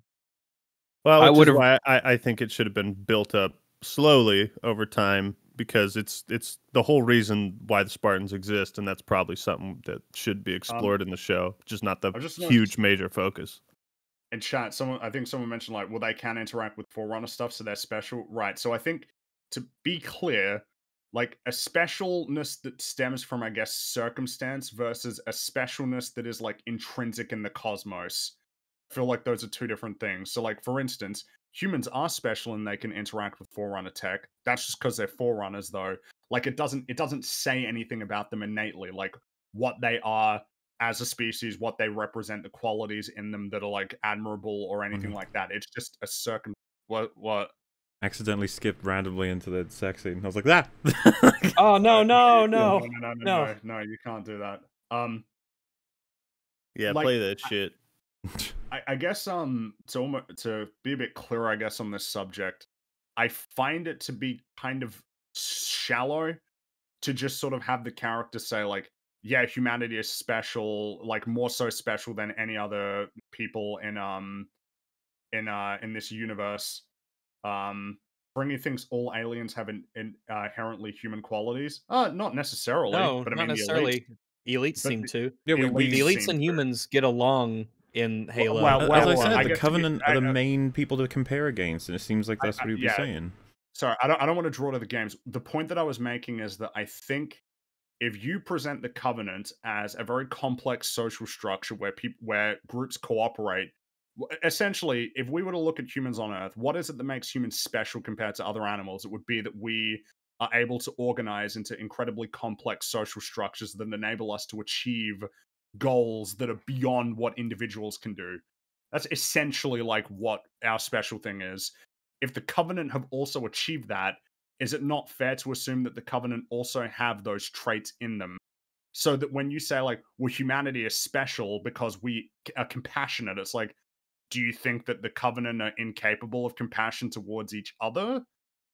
Like do they uh, do they have no qualities like a level of benevolent even though they're obviously evil and antagonistic towards humanity what are the qualities that they have in and of themselves yeah, there's got to be covenant mamas and papas and that sort of thing. Well, yeah, like I- especially brothers in arms, and that's got to be a big part of their culture. We've talked about it before, but when um, sci-fi usually gives humans the um, a, a unique trait compared to all of more advanced alien societies, they'll often appeal to like humans don't give up, and that's usually framed from the fact that we're on the lowest end of the spectrum for technology or abilities. Like we're behind all the cool sci-fi alien people, and yet we'll we'll still we have that resolve and the spirit, which doesn't necessarily denote that we are intrinsically special, but it's nice to to hear. And I imagine that's part of what's frustrating about this show is that they didn't really expand on what their thesis is related to that because I wanted to add to the like what do I if if, if there's something to draw the this show's perspective on humanity I'd be like I think it's trying to say Halsey represents the worst of humanity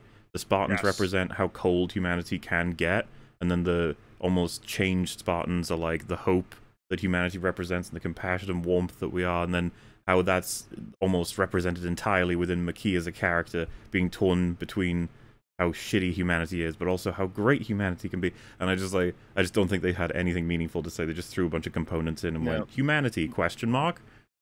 I think you can My friend that. was killed on the dumpster planet. And I was exactly. about to get him. That Halsey did guess- nothing, nothing wrong. Absolutely nothing. The wrong. show doesn't No. agree with you. It has nothing interesting to say Well, about yeah, that. because that would Unfortunately, the show is wrong, and in so many ways, but that especially. Well, the thing is Yeah. with Halsey is you're right. Like Halsey, Halsey is um definitely she is presented as the perspective on humanity that is incorrect, which is the idea that like controlling human evolution strips away like the aspects We of need- humanity that are special and worth preserving. Which that's Well, obviously a conversation that's worth having for sure. Um, the show has an opinion on it though, which is that she's wrong. Um, Well, it's, it's her view, I think, yeah, that we need to transcend what we are, whereas the what they portray is the correct view of we need to stay as we are because what we are is good as it is. Well, Well, not her view is it on humanity makes no sense to me because she's like she's so obsessed with elevating humanity, but she seems to think that the way to do that is to el- erase humanity out of people. I And think that's what And it's like, Yeah. well, Yeah. what is it you want then? Especially with Like, those inhibitors, right? That's a that's a show's creation, and it's so tying into the whole like we should embrace our emotion. We shouldn't hide it. Like Right. uh-huh.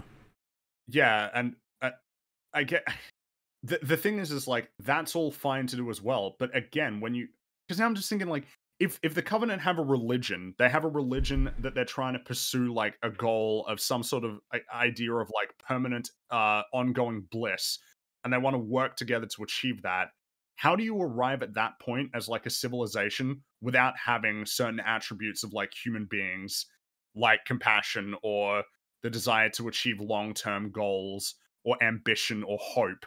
You know what I mean? Like Mhm. you can't the covenant as they are and then dismiss them as being like that they have none of the attributes that humanity would also have. Because of course we see that in the games when Arbiter finds out that the whole religion is a lie and then the covenant fractures because of everything that's going on with like the destruction of the elite. I mean, you even have like when the when the hierarchs get killed, um like the elites i feel like dogs have compassion are we actually going to compare like the elites to dogs the elites are sentient like Yeah. well, it's funny because they are they act like humans in a lot of ways, but then they'll do like battle wait, roars that- and like weird stuff, like when they're yeah, fighting. they do like, act like "Rah!" humans in a lot of ways. Yes. But, uh, Yeah. but to be fair, then that would just bolster Fringy's point. Because if I said humans are special Yeah. because we have compassion, then someone could say, "Well, dogs have compassion. Why are you saying that?" Yeah. Like that humans are well, like you, you got to do better than that, and I think the show doesn't put any effort into it. But uh, on the flip side of the coin, the other problem is we don't know the Covenant at all in this show, really at all. we don't Like, know they- anything yeah, you never them. learned really Mhm. anything about him. You know what's great about the Halo games is the way that the Covenant is revealed. Um, like and and kind of that thing I was talking about about how fast you draw back the curtain. If you go chronologically, I, uh, Reach was the last game Bungie made, but it's it's the first chronologically, and I find it that they made a great choice by going back to none of the Covenant speak in English except for the grunts because that's funny and they get a pass. Um, but the elites in Reach and CE didn't talk in English. I mean, in Combat Evolved, they took Johnson's lines and reversed them and fucked with them. But uh, and then in Halo Two, they start talking in English, and then in Halo Three, the you know the elites and the humans and the UNSC they start working together. So it's they find out that they do have some. They go from like this mysterious alien race that's really threatening and imposing to hey this character arbiter is kind of similar to this character master chief and then over the course of time they find out they do have some similarities Hmm. and they're they're able to work together and i feel Well, like the way the covenant were yeah the way they were presented was just it's pretty much flawless and i just wanted more of that like honestly when when i look at high charity and i, I just think to myself dude there's only like three scenes in the main covenant fucking area before it's uh taken over by the flood in this. Well- yeah well i'm talking about in Oh, halo well, 2 yeah. in Halo 2, you barely see high charity in cutscenes. And I feel like that's like like I would want to see way more of that in the show. Well, you get- i- it's it's a ripe opportunity and yeah i mean I, I i like halo 2 what we get in halo 2 through the perspective arbiter is the character who goes on an arc in that game not chief like his arc is essentially realizing that like his whole life is built on a lie that he's been a tool of the prophets to achieve the ends that they want that are actually contrary to his own um and then sort of basically gaining a level of independence of his own thought and making choices about what he values. Now it feels a little awkward when you have that be the arc of a character in the game and then in the show you present it as like well no like what we have as humans is special to us when if anything like the whole point of arbiter is that it's kind of like the same it's the same things um they have a different they find some common ground. Yeah. They find some have common ground ground. that they can become friends Yeah. and like connect with. And I kind of don't see that ever happening in this show because of the point that it's trying to make. The point that it's trying to make is so geocentric, it's so about humans that there's absolutely no consideration for like what the covenant is, why it formed, what they believe in, and what individuals within the covenant think, and whether well, they, they should have been minds changed. they should have been introduced as like a lethal alien force that we know nothing about. And like I said, slowly draw back the curtain, which is again why I think showing the prophets in the f- second episode was a huge mistake. And even Makee and trying to like build up some kind of hierarchy because we need to establish first that this is a major alien threat. That's what you need to establish first, and then we need to have various battles and scenes and UNSC and people being like, "What the fuck? Who are these aliens? What do we do?" Blah blah blah blah blah, and then again draw back the curtain a little bit at a time. Maybe at the start of season two, we start seeing what the Covenant society is like, and you know, it's kind of like, have you guys seen Attack on Titan? Yeah. Oh, yeah. No. Okay, well, uh, I won't I won't spoil anything, but um, it takes a long time to learn the origins of the Titans, and Mhm. that makes them mysterious and interesting for a very long time, basically for three three seasons or so. And I feel like it's it's a similar concept of like you don't just play your hand right out the gate. You don't just have Master Chief take his helmet off in the first episode, and you don't just show the prophets in the second. Yeah. Take your time. You got the whole season ahead of you and multiple seasons already confirmed. You can go slower. There are multiple which- seasons confirmed. Oh, there's already season two. It got greenlit before the first one came out. I wonder if they would have made that decision if they waited Mm. until Even the with first our guy not exactly around. I was Oh, actually it going to say, can we, can we talk yeah. about that? Um, is because we, we, we kind of started with Master Chief as a character. Did he, did he have an arc in this show? Of Um, his bec- arc is Oh, realizing arc his is- humanity. His arc is to become progressively more detached from the character he's based on. Well, it's real. It's really flawed, right? Because it's established in the beginning that this is going to be a, a soulless soldier, like kind of brainless, who discovers his humanity, and then by the end of it, he loses it all. like, well, yeah, so because I, I was going to say, I'm not sure if Actman is fully aware of how this episode goes, but like right. They got to stop all of the things from happening for the bad guys, and there's just this this climax moment where we need to get the artifacts off the planet and back into human hands, but we also need to get the Spartans out of here because they're all currently disabled for different reasons, and uh, all the Covenant are closing in. So Cortana says to Chief, "You got to choose either the artifacts, get them out of here, or save your team. You can't do both." And then he's like, "Yeah, but you can do both." And what he's referring to is that if she controls his body fully, she'll be able to. She'll be so good that she can do both of those things. Um, Yeah. and and Which before we get into the me- mechanics of, of that, I was just gonna say like that that that happens, and by the end of the episode, he's uh, controlled by Cortana and doesn't speak and just does everything efficiently. Yep. It's the only cool scene in all of the show, by the way. No. John is shooting people, everybody up. That was No, it. it was very silly. It made no mean- It was silly. It was silly. I will grant you that. But it was the only bit where I was like, yeah, finally. Well, it's What I liked it didn't it lasted like maybe that. five seconds, and I was done. I don't know why they didn't have it do that the whole time. That's the big problem. Yeah, Yeah, yeah, the more- that's more yeah. relevant- Like finally, re- and then what I did appreciate about the finale is that it was like a sigh of relief because it finally was willing to let itself have some fun and inject some yeah, act. You know yeah, what I mean? Like, Yeah, oh, thank exactly. Like, uh, where was this Halo? I from the so I didn't want. That's just. Why I, I didn't like it at all. all I, this I no, can- I, I can- I agree, kinda cool. It's full of fucking problems, but like I just appreciated that it took itself a little less seriously. It injected some jokes. You know where like Cortana has that bit about spaghettifying the crew. Like that actually kind of worked for me because I I liked Oh, that it was like I wanted Uh, to work, but I was too shocked. I was like, "You kidding me? There's a chance that we could all die," and she didn't tell anybody because she didn't want to worry them. That doesn't make any fucking sense at all. You have Yeah, to tell I- them. you're right, MauLer. I know. I, this is what I I- mean. I I understand what didn't you're saying, but I couldn't have fun because I was too distracted by all the stupid. I was just like, "Why the fuck would this be the way that it works?"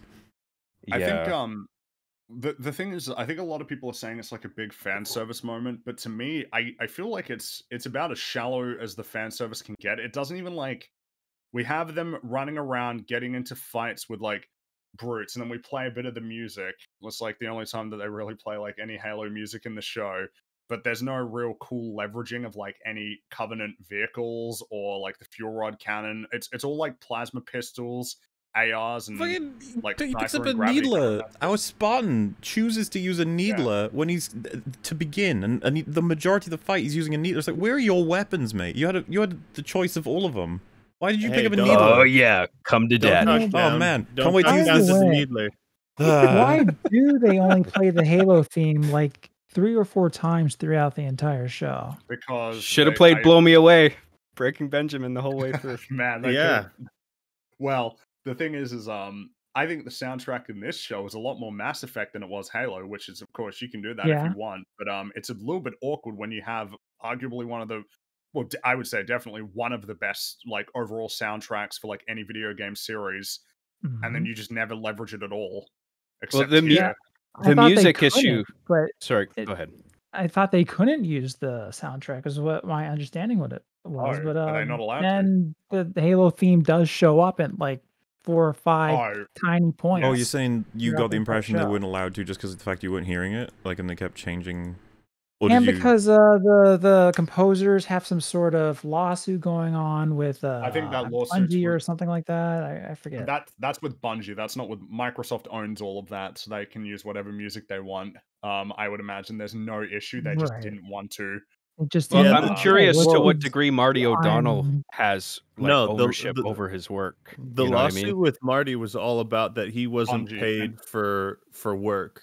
Uh, Okay. It was for Destiny. It was yeah. for Destiny. Music of Well, it was also for um, the with Microsoft with the Halo soundtracks. I Oh, was think. it? I think. Uh, don't quote me on that. I but I I'm pretty sure he he was basically suing because he kind of got screwed out of some money from Microsoft too. Oh, because what I remember with the lawsuit was I think it had to do with stocks that he had in like Bungie. yeah, yeah, like, that was that was for Bungie. Wrongful termination. I think was part of it, and then there was the stuff in the music of the spheres. I don't know how much that because they have the theme and they have arrangements that they use in like Infinite that are rearrangements of the old. I- I'm pretty sure they own it all. They could have used it if they wanted to. They just didn't want to. Well, Um, that's for just whatever reason. crazy. yeah, Pe- I People mean, went it's crazy odd. over that moment though, where they they bait the. It's almost like the track isn't used meaningfully as a, a form of accentuating storytelling. It's just like it is a reference. It is a key jangle. Yeah.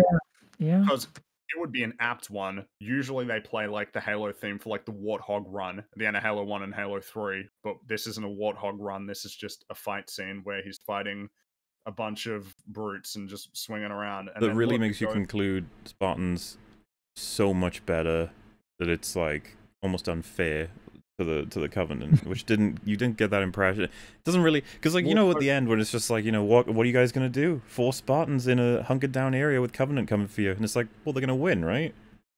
Well, so this I is think an it's the way they portray how good they are. It's not like the Spartans. The Spartans don't work for their success. It's one of those we're just going to stand here and not care if we're getting shot because we've got plot armor and we're just going to shoot them all. and there is no sense of superior tactics, intelligent maneuvering in a battle.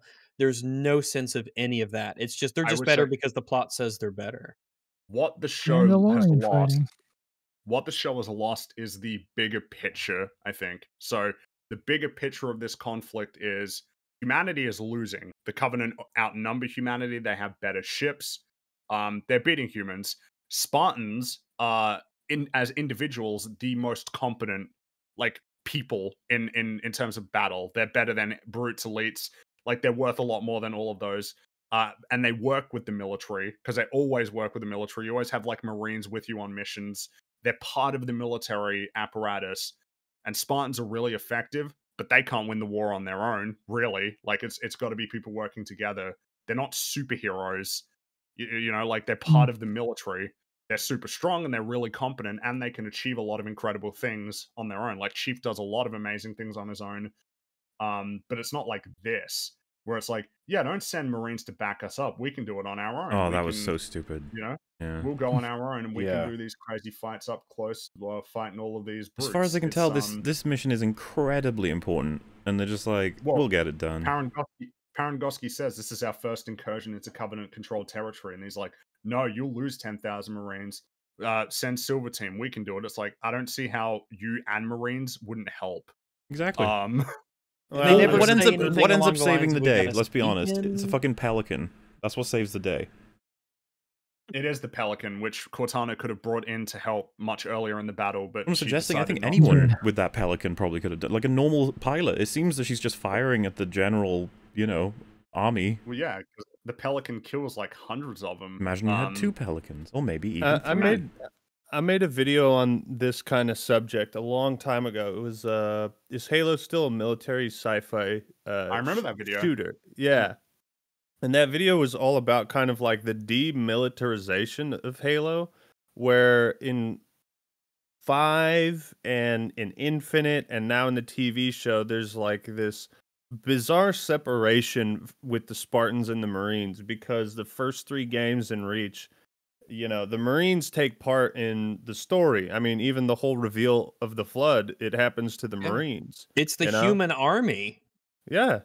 And and it adds character and life and charm and humor and uh, a, a semblance of uh relatability and people for you to care about, people that Chief cares and a, about in and a the chain of command. Well, it's, it's Because- more Oh, don't say that chain of command Yeah. words. This Well- show doesn't give a fuck about chain of command. Well, Captain Captain Keyes is important because he like you know you see all those people on the bridge and they're pilots and or, or whatever, and then they land on the ring, and then you got to go you know scrounge up an effective resistance, and the show just seems to like in even newer Halos just seems to kind of want to distance itself from the military aspect and the Marines, which I've never really understood.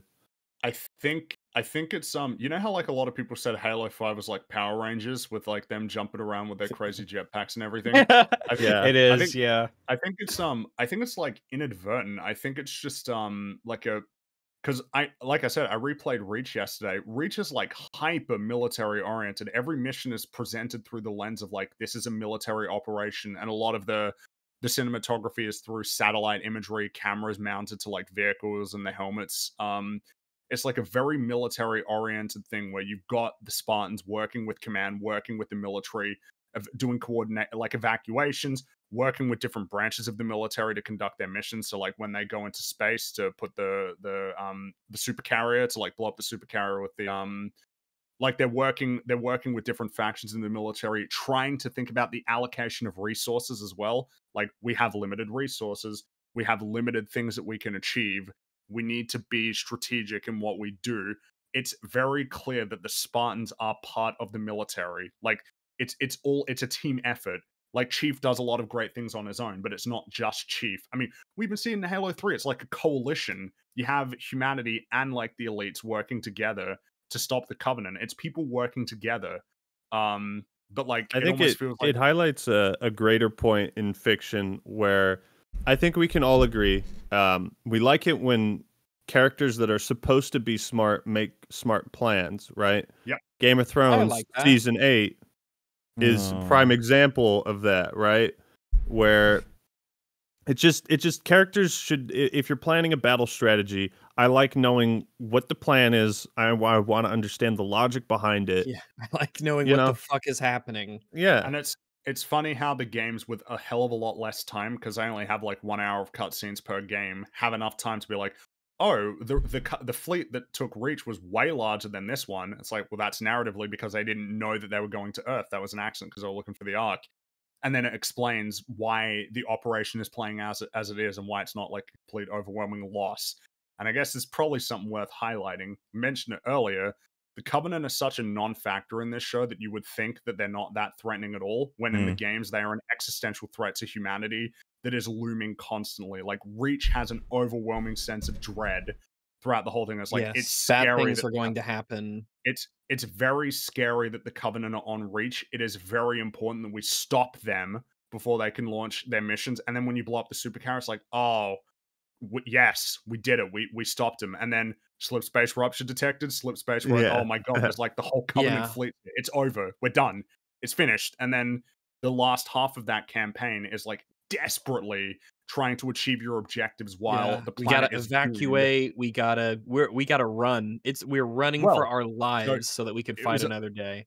it was a moment that I forgot, but in the mission, uh, I think it was i- i- it's the New Alexandria, the first mission in New Alexandria. This is after the Covenant. You've been separated from like Noble for a while. You go to the planet. You you help civilians try to escape. You get on a Falcon, and as you're moving past, you're just watching as like Marines with civilians by them are just getting demolished by they're, they're left. It's everything's falling apart. Like the military can only do so much in such an overwhelming situation. People get left behind, people die, and you can't save them.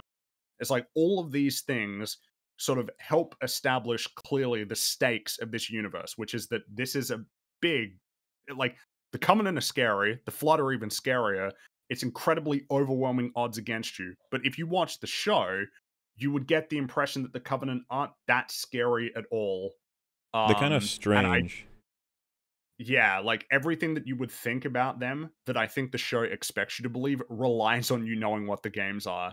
And so in that Absolutely, it sense, I think does, the show does a really bad job of establishing in its own story the nature of the Covenant, how scary they are, and the threat that they pose. Think and about really- She um, says You remember what they send to collect that first uh, artifact in episode one? It's like how many even elites are there? It's like five, and then uh, mostly other things. Like what I'm getting at here is just like, wow, you know, you'd expect them to send all kinds of shit that are really threatening and yeah, yeah, why not? It's one of two artifact pieces. is that important. Yeah, it's that important to the Covenant. They will send a fleet. They will show up at slip, slip space. They will kill anything that moves. They will take it. Well, and so yet apparently they just spent handful of s- dudes. yeah Well- they sent a dozen elites and that was think- apparently in their minds enough Well, think about it. The elites were there for long enough to dig out this excavation site enough to get access to the artifact. They've probably been on Madrigal for a while. Where are the? Where's the? Where's the cruiser? Where are? And also, even after you fight them on Madrigal, is there no concern on your part that Madrigal might be glassed? You know, like you've got the artifact. Maybe they'll be digging around for it, but you're not concerned Well, about they leave. They do leave. that's the Um, thing Madri- you have the initial fight on madrigal and then after that it's just they it's it no one cares. No, the unsc don't show up to collect the elite bodies and a, technology. No, the the locals don't go back really. Um the covenant i guess they don't care anymore even though they found a human inhabited planet i guess they just don't care. They have better things to do. When it just it stops Well, it's just they exist only when we need them to exist for the sake of conflict, but then otherwise they're just a non-factor because we got to focus on the insurgency subplot with Kwan, and we got to spend all these episodes exploring the humanity of Master Chief while he's walking around in like Reach City. It's just we are we are poorly allocating our time to things that we need to establish, and if there's one thing that the show needs to establish, it is what are the stakes of this conflict? there is a threat yeah Because here's another master example. chief says we gotta use this to stop the covenant in, Well, this war I'm and i'd be like you'd I'm be glad you forgiven for up. forgetting there's a war at all I'm, well, I'm glad you brought that up because um, th- they assume that Halo is like some sort of weapon. We know it's a weapon because of the games, but there's nothing in the show to tell us that it would be. yeah we brought that up a couple times this assumption that halo is a weapon Yeah, or, or that it, it it's meaningful in any way whatsoever. Like that's it, th- they don't know what the keystone is. They don't know that it will guide them. To, and remember, the only reason they figure out what Halo means is because when Kai removed her like implant, she was speaking the Covenant language around Miranda, and then she's like, Uh. "Oh." Think of asking you, people who've interacted with Covenant for a long time. That was awful. Oh yeah. So Oh fucking God. awful. Yeah. That seed. Okay. Yeah, it's just for Yeah. Too anybody who isn't picking up the pieces there. They crack Sangheili translations because the Spartans are just like, by the way, we've picked up some words for Sangheili, by the way. Just yeah. Yeah. just by the way. They just know. know them, and then they help them out, and they're like, "Oh, Sacred Ring, Halo," And and, then they the- play the Halo music. It's like, God damn you people! It's like if they'd never brought it up, we'd never have any issue in in the in a sense of like, wait, translation. Well, why wouldn't you just start at record everything from their suits, from all the things that are heard, from all the the interactions you've ever had with all of Covenant, and try and match it with things they're pointing at or commanding other people to do, and you have a huge cross section, linguists working on this all the time. Why would you rely? On one curious scientist and someone, a bunch of Spartans just being like, pretty sure "Ugh, ugh," is apple. It's like, really? Okay. well, there, are, there are no other. Not only are there no other mm-hmm. scientists in, there are no scientists in the base except for there are Miranda two scientists and that humans have Oh, well, halsey there and is- miranda There is Yep. there is her assistant buddy who only exists to die Who's so that? that Halsey can Oh, escape. Don't, don't he- forget his he- other famous scene. Yeah, he Oh, has one other trait. Dude, that's a Yeah. whole thing in this show is that bizarre fucking like Scientist clone dude. lady. Oh, well, because Oh yeah, when he tries lady. to sexually molest the the clone really fucking weird. nowhere. It's so weird. I don't understand what they were doing. Yeah, that was. I yeah, think that was what they- had this one like little scientist guy who they wanted to make needlessly creepy with that kissing scene. And yeah. there's they have this little brief exchange of dialogue before that kiss where it's like will it hurt?" And he's like, "Oh yes," like in a really Oh, sort of can tell her creepy that, way, yeah. where he's holding the syringe, like he kind of So- relishes the fact that this is going to be painful, and, and it just like comes out of Mm. nowhere. And then he I- leans in for the kiss, and I feel like that creepiness was only done so in the finale a Spartan when he dies. kill that guy Yeah. with And- absolute like Yeah, we uh, wouldn't so- mind as the audience because we're like, well, he was creepy. By the way, right. I think Right. In that guy's why- death, I think the audience was meant to go, "Yeah, they killed the creepy dude." So Uh, I didn't get context. that vibe. I was just like, uh, I don't know how I Well, the only- about that.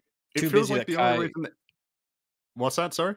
I was, I was just I was too busy being angry that Kai, of course, took her fucking helmet off. Yeah, because Yeah. so to, to understand what's happening there, Halsey's in big trouble. She's trying to escape Reach, and Kai like runs on, jumps on the ship, gets inside, and then takes off her helmet and turns her back on the creepy scientist guy to yell at Halsey. Oh, so The creepy Spartans, scientist everybody. guy- the creepy scientist guy hits her in the head with like I don't know, like a baseball bat, and then she kills him. And she's distracted for long enough that Halsey gets to an escape pod and gets away. And this is Yeah. how she gets away ultimately in the whole show. And it's like, man, Kai, why'd you take your helmet off?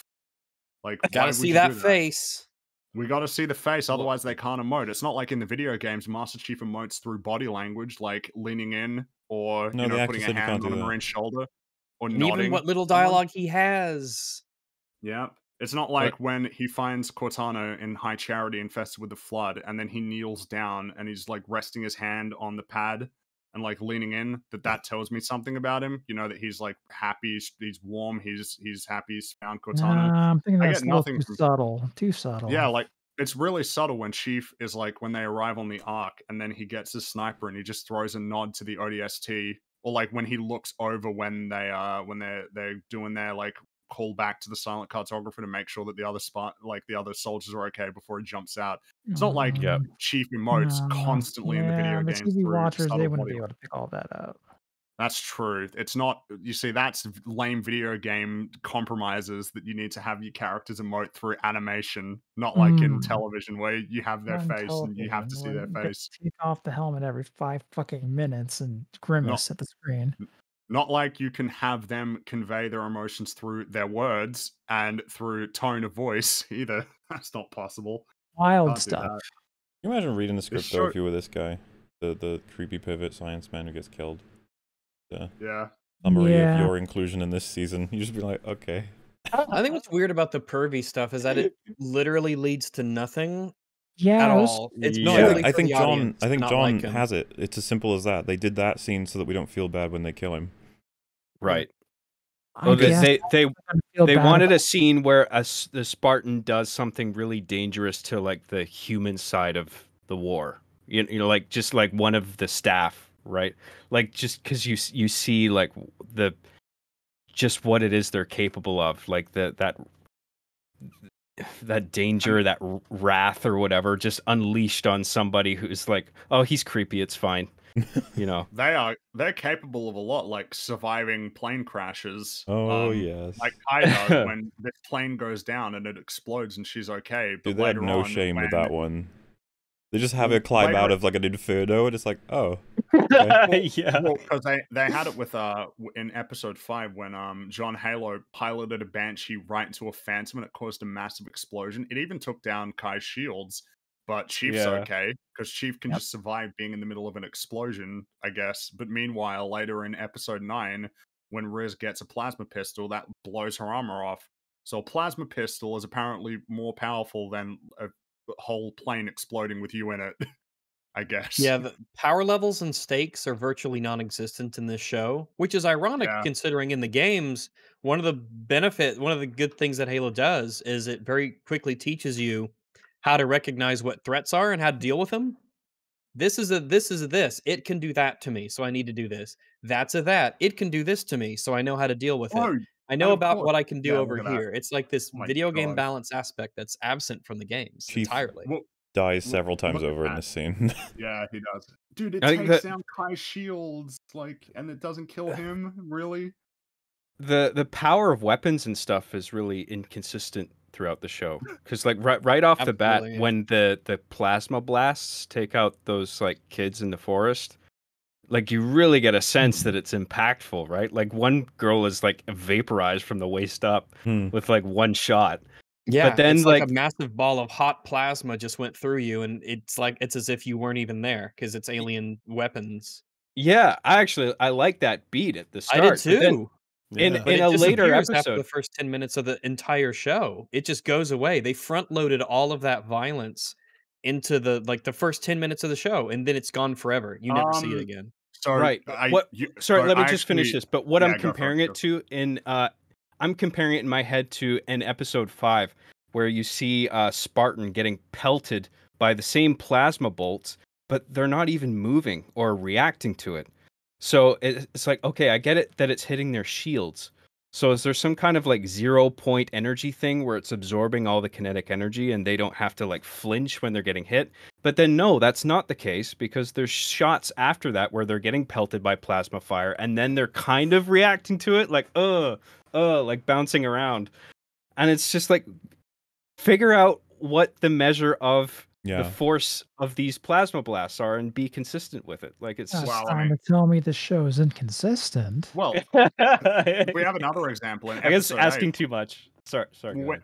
when Chief is fighting uh, Vannak and Riz, uh, he shoots some pistol shots at, at uh, Vannak, and then later on, Cortana says two shots to take down his shields. It's like, okay, so I guess they don't recharge, and also six pistol shots will take down a Spartan shield, but flying into an explosion with a Banshee through a Phantom won't do it.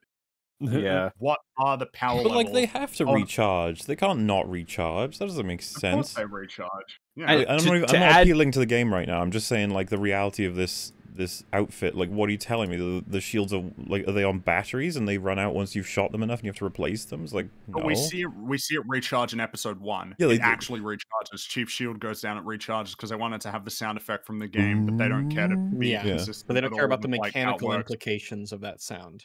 Oh, oh, you've got the scene where Chief, without his armor, uh, basically manages to hold his own against two fully armored Spartans. it's pretty retarded. like- yeah. It's insane. um, th- does the armor do nothing? Like, what the hell? How could Chief win this fight? Oh, well, he, also had Cortana Wow. helping him tactically, right? Yeah, like she- taking did over nearby. Like, She look out for that guy over there. Because when she, She activates the car, we were like, okay, that's something. But then she just like doesn't help for ages. I feel bad. I feel bad she- for Jen sh- Taylor. I feel like she, she- got brought in. She advises to strike another Spartan in a very specific area because she's calculated. Like she's like hacked. She's accessed the other Spartan's armor system and figured out where the like weak point is. Here's to, like, she- thing, she though, can't if lock she, it if she can access it, it yeah, Yeah. that's probably. But unfortunately, I'm not saying it's I well think- done. I'm just saying like that's an element Yeah. thrown in where Cortana say- is giving him advice to like how to speaking get through the situation. Go ahead. speaking of Cortana, a lot of people say, "Hey, she's like in the games." She's not. I don't even know why Not people are saying that. Um, now that's that's one thing, but also like I don't really understand Cortana in this show. I don't know what she wants. I don't really know what her goals are, uh, and I don't know how it informs the decisions that she makes. Like Yeah, if we can all the time. clarify for people who haven't seen the show, she correct me if I'm wrong. According to the show, she was created to eventually take over Chief's body and make the ultimate Spartan, right? Yes, that is the it purpose seemed behind her like. creation in Yeah. the show. Um, well, I think that's what Halsey wanted, but Cortana kind of she's like her own agent. That's part of the way she yeah, that's what I'm saying. built. That's what she was Yeah. created to do, and she eventually decides she doesn't want to. But then, funnily enough, ends up doing exactly that by the end. yes, yeah. because he does do that in the end. I guess it's just like she's in the show, but she doesn't really. You don't get the impression that she's actually like curious about anything or wanting to actively participate in things, keep an eye on what's going on, talk to Chief and get to know him like she says she wants to. Hmm. Um, Mhm. she she doesn't seem to have any goals at all. She exists only when she is needed by the plot, and that's really lame. Um, since this is like a dynamic that's incredibly useful narratively, and I was thinking about this the other day. You've got the scene up where, you know, she basically makes the choice to take control. Wouldn't it have been interesting? Hold on, I wrote this down. Let me remember because I remember I, th- I was thinking, yeah, like, wouldn't it have been interesting if Chief because after Makee's dead, he's the only one that he knows of who can interact with Forerunner artifacts. Imagine if he's like, "No, I'm going to kill myself. Um, nobody can use these. I'm gonna, I'm gonna kill myself." Um, uh, like because they're overrun, they're gonna die anyway. So uh, or like he doesn't want to be captured, so he'll make sure that he kills himself. And then Cortana makes the choice to take over against his wishes to save his life and to retrieve the artifact. Wouldn't that be an interesting source of conflict that you just kind of didn't use? It's certainly better Mm. because as it stands, uh, I've talked to a couple people about this, including, of course, uh, when me and Free and Rise watched it. This is a little bit confusing. This scene, like, um, Mhm. Oh, it, the- yeah. it seems at first that it's something she can just switch on whenever she wants, but then, like, it almost feels implied that he needs to be dead before she can do it. Yeah, because his armor shuts down and he flatlines, so- and then takes over. What I want to know is is is she controlling his actual corpse or is she just controlling the suit? he has to be alive, right? But- he but must be alive. flatlined. Like, Well, uh, exact. No, that's a great point, MauLer. Right? Because they established that in sound design. Right? They have like a Yeah. POV shot in the helmet or something, and you hear like that beep beep beep. So you assume that okay, he's he's a corpse now, and that's why Cortana can go in and take over hundred percent. Doesn't so, even make sense though. I don't know how he's going to come back from that. I that. really believe it because of course they have to bring him back. They can't leave the guy dead. They have They're well, they really have to bring him season two. But also, like mechanically, you're in his brain. Like, if he's dead, what can you do? He's dead. He has no circulation. He has no blood flow. You're in his brain. You are linked to his brain. If he's I mean, dead, you're dead, right? Maybe she's doing it manually to keep him semi alive until Maybe. season Yeah. two. I don't know why you from would. have dead. I don't know why he would need to be But killed. for- gentlemen, it's it's been a pleasure. I do have to get going. Oh Hmm. dear. Okay. Well, do you have any you. final final thought that you want to add? Like, if there's anything that you wanted to throw in before you head off about the show? Hmm. Well, despite all the crap we've talked, I feel like there are some aspects that are uh, good, if not all right. And I think a lot of the art style on certain pieces of like like Chief's armor looks really good to me. Yes, it does. I think some of the um some of the warthogs and like the marine outfits, I feel like the costume designers did a pretty good good job yeah. overall. And I, I think uh th- there's there's definitely uh, an art style to the show, even if some parts of it are like really weird. But um yeah, I, I think it you know, we get wrapped up in like the negative critiques uh and just kind of go down that rabbit hole. But sometimes it's nice to find good things to say about something that we really, really don't like overall. We do There it were things I liked about it too. Yeah. Yeah. Um, no, I I could see that, that that's actually pretty common these days. I find that um, it's the writing that's the problem. Everything else, there's lots to compliment. And it's like, yeah, that old chestnut. Yeah, people are Oh, working really hard from the production standpoint in terms of the yeah the props and stuff. Like the props are really cool, and I like that the Covenant look like the Covenant. That's so Yeah. much so much of it is in the fucking writing it's like frustrating when they don't pay close enough attention to that you know or they just get amateurs to do it like Yeah, Yeah. yeah. It all hinges on the writing. Yeah But yeah, uh, it's been a pleasure. Thank you guys for having me on. Well, Uh, Thanks for coming on, Yeah, dude. thank you so much for coming. Um, do you want to tell the people in the audience where they can where they can find you and why they should subscribe? yeah, you can subscribe to the Act Man for all kinds of awesome content. Do all sorts of video game reviews, commentary, critiques, that sort of thing. Hmm. So just look it up if Well, you care to check it out. If you've enjoyed his commentary on Halo, he's got plenty more on his channel. Able Oh yes, I have if a right bit through. too much. well, Too yeah. much. yeah, like I said, uh, link is in the description for anybody looking for that. And thank you so much for joining us, especially for three whole hours. That is actually Oh, long yeah. for uh, Yeah. a, lot, a lot of people. So I appreciate it, man. And um, yeah, of course. have a good night, and we'll catch you around sometime. Later, All right, it's dude. Take good care. to talk to you act man Good talking. to Hey, you, likewise. Yeah, I'll add you guys on Discord if you want to chat in the future, or just Cool, message cool. me shit, vice versa. Right Mhm. on man All right, All right, peace. See you later, dude. See ya. later. Um, that that that, that finale uh scene that I just remembered. Remember the part where it's like the prophet commands that because Makee is dead, that they can't kill Chief because they need him, No, that. and and then then the the- brute proceeds to kill him. like, Yeah, just smashes him. i It's forgot about entire- that yeah yeah, and even the It's so- prophet's like, "What are you doing?" And I'm just like, "Why are you why are you portraying them this way?" Speaking of what are you doing? Um, Kai or Vannak, they're right there. Kill him. They're the prophets. It's They're insane. the leaders of the whole Yeah. covenant. Kill them. They're I don't right know there. What they're doing having the fucking Someone prophets floating right the- above them. Someone said in chat the Brutus is Atriox. It's like, yes, definitely. That's what they're trying to set up. They're trying to set up a big beef with Atriox and like, ah, Chief shot him in the face. I that annoys me actually. That's like, yes, we at 343 must have our Atriox dude, not Arbiter or the shipmaster or uh or um Ta- uh, damn it. What's in two? Halo 2, Tartarus. That's right, Tartarus. Yeah. We can't have any of those guys. It's got to be Atriox, our our OC character, our o- Yeah. original character character. Right. The new big know. bad brute. Well, yeah, he is the new big bad brute, even though he wasn't even in Halo Infinite, right? It was just flashbacks. Oh yeah, How I guess he isn't in like any game like present day gameplay. Man, Yeah, just to it's highlight to people though, because I got a good shot of it. The demon lives, says the prophets, that are floating literally like seven meters above the Spartans. Wow. Yeah, like man, One, and Yeah. this is the thing Cortana could literally have just killed them both, one shot each. yes, Cortana had no reason not to be able to. Dude, she could have single-handedly ended the whole like Exactly. like. Unless this is Halo Wars mode where the prophets have the little shields that can tank a shit ton. That they have their little shields, but Chief can fight them and then jump on and punch him in the neck. Oh, totally. Well, like- I, I, they didn't address any of it. They they just want them there for commentary, and they couldn't figure out where to put them. They're just like, Yeah, I don't know. they're here. Shut up.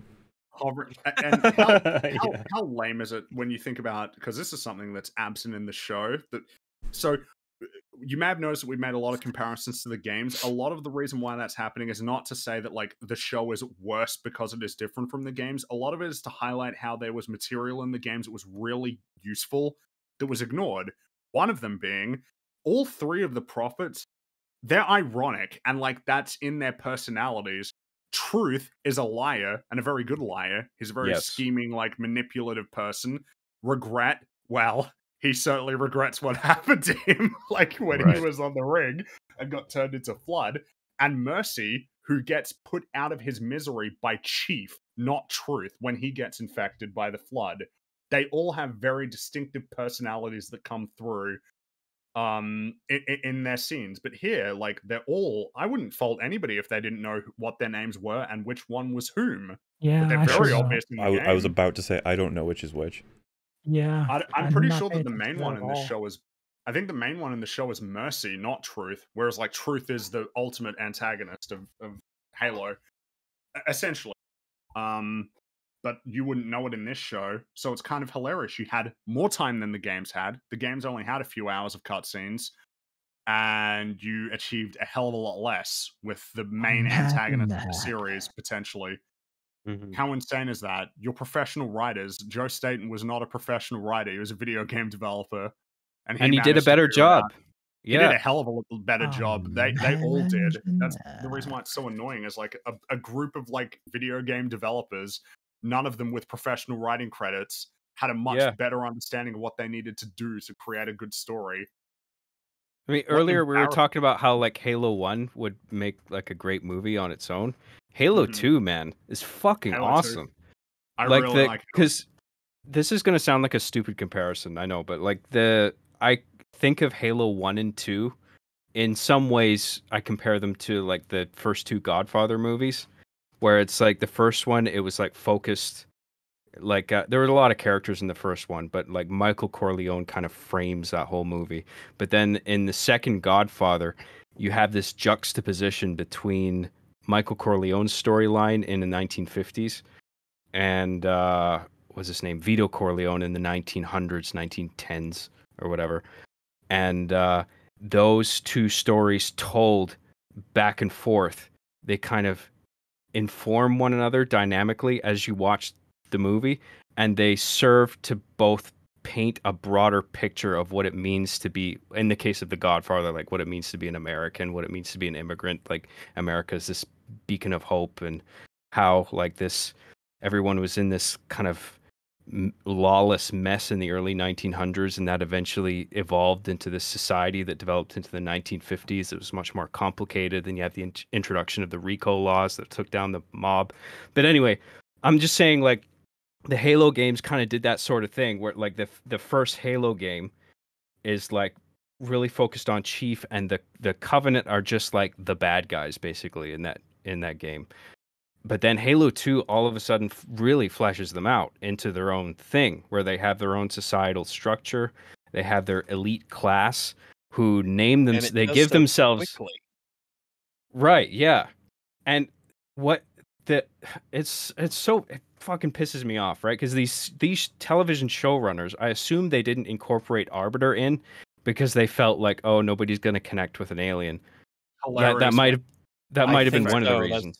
I think that's their main thought process. We got to have. That's why it's so human, human, human, human, human. Everything's And about Makee, human. There's yeah. just no alien anything. Yeah. And There's yeah, no and her alien. inclusion. When it's Right. like, have they not seen Guardians? Come on.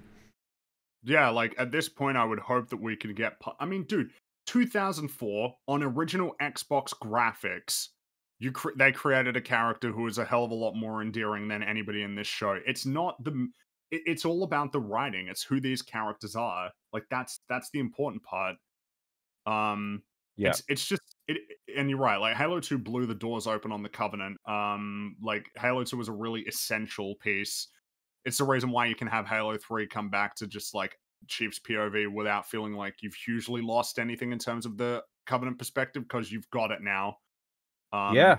I think all you think about when you think about the games is all of these amazing opportunities that like you guys remember the the the commercials for ODST where it was like the it's it's basically the story of that guy's life where it starts at a funeral then he signs up to be an ODST jumps into battle um and then it ends with him as like a captain and then we follow that and then it's like moves on to the perspective of another new younger ODST like that's 2 minutes worth of just taking the premise of Halo um like using the premise to tell a story in this world and in two minutes in two minutes they achieve like more emotional highs in an ad in an advertisement than they did in this show like in well, terms of the uh, the whole reach Halo Three is particularly Halo Three.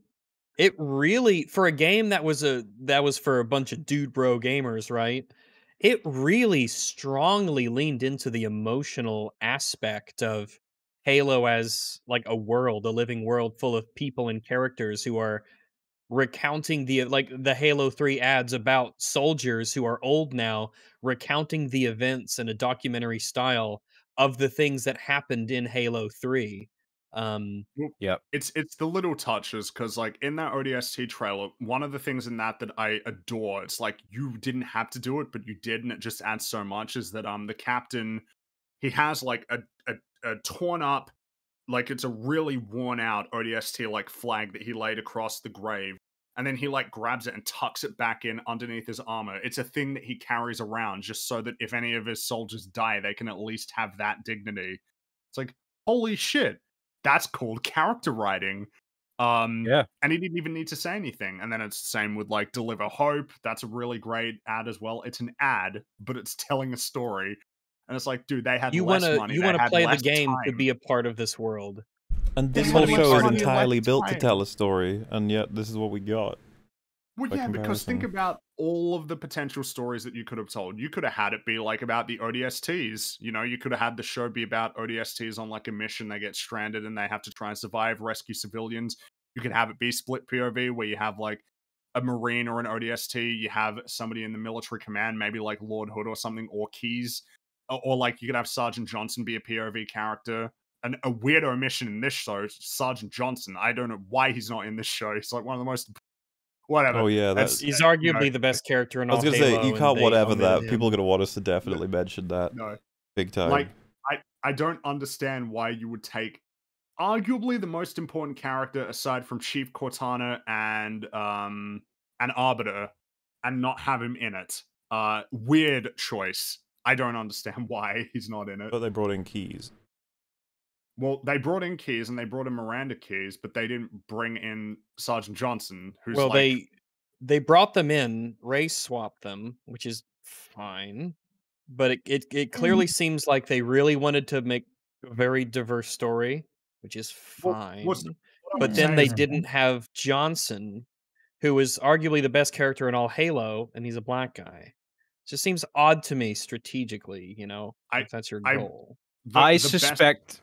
Go ahead. Yeah, Sorry. go for- Frank. no, go for it. Go for it. I suspect that the reason for that is that they don't want to blow their wad completely with this first season, and they want to have like those headlines that are come gonna come out before season two comes out, where it's like we've secured the cast member for this role, Sergeant Johnson or whatever, and Man, now the Arbiter. We got Keith David to do the voice for it, right? Like they need You might be right. some. You They might can't. right about that. They can't like shove everything into season one and leave nothing for season two to act as a hook. You know what I mean? It's I so feel it like seems so backwards. It's like the Marvel thing. Instead of giving us something to be excited about, they're saying, "No, no, no, you will be uh, excited about a thing that will happen maybe." Instead of giving us that thing to actually care about. Yeah. I can already see that now. Like one of the later ads for season two will in, involve like they're struggling in some fight, and then they're like, then "The sergeant's here," and then like a d- door opens and it's whoever's and he's playing got him. a cigarette. He's got Yeah. a cigar. yeah, totally. I, I, I mean, it's I don't really get where they go from having Master Chief, you know, fucking dead. Uh, they're gonna bring you him back. from They don't that. give a shit. Yeah. back. but like, man, you kill him at the end of season one. Wow. like, I don't know. I think the show might in actually not have him come back because they think he's No, complete as a no, character. no, no. I, I think, I think MauLer said it, and I agree with him. I think he'll be back at the end of episode one uh, of season two. I don't think they're going to fully commit to that because we got to have the actor's face. We got to. Well, then again, they could. It we- feels weird for them to have done this the whole thing. season. It's because the actors can still be present. That's true. Yeah. well, So so but we need to have the actor's face. And I think they were deliberate in not showing us what it looks like for Cortana to make him speak. What does that sound like? What does it look like? It's like they we'll leave that decided because yeah, because they can they can figure Mhm. out exactly what they want to do. I assume it But would just for- sound like him. Well, it's it's gonna be strange just because of the fact that it's not gonna. I say this as if I'm a fan of him as a character or something, but like it's going to be her speaking through him, so it should like come across as much different if they were treating this uh seriously. Like just the things he chooses to say or how he says certain things and how he re- inflects certain things. Like it should all be uh like coated with Cortana. The thing is, I don't know either of them that well enough to even spot necessary differences, but I just don't think that they would commit to this. Um, She's more quirky than he is and fun. I would assume that instead that they will bring him back and just work again on their relationship. I assume they're going to think that that's more important and that this will be a moment for them to have proven that she can trust him and he can trust her, sort of thing. Which, yeah. I don't know why they put him in, in, in his head. I feel like there's a lot less stupid. utility in having him in his head than having her on a chip that put into computers and stuff. And that, right. That's all it needed to be was a chip that goes into the helmet. I don't understand the fucking brain injection thing. And I The don't reason why- understand Yeah. why a clone had to be sacrificed to Sorry. create that AI either. That was also, So, s- I think that was to make Halsey evil again. No, that's it's because yeah, that's it's how, a setup very well could be the case, it that, uh, it's because that's how Cortana was created in the games. Is she's based on Halsey's cloned mind? No, no, no. But- sorry, th- it's the show's opinion, it's Oh. not mine. Oh yeah, yeah, yeah I get you. Uh, but but to touch the reason why they don't have him on a ch- uh, her on a chip is because he takes his helmet off all the time, so it wouldn't work. And they wanted to have Cortana constantly be right. physically seen.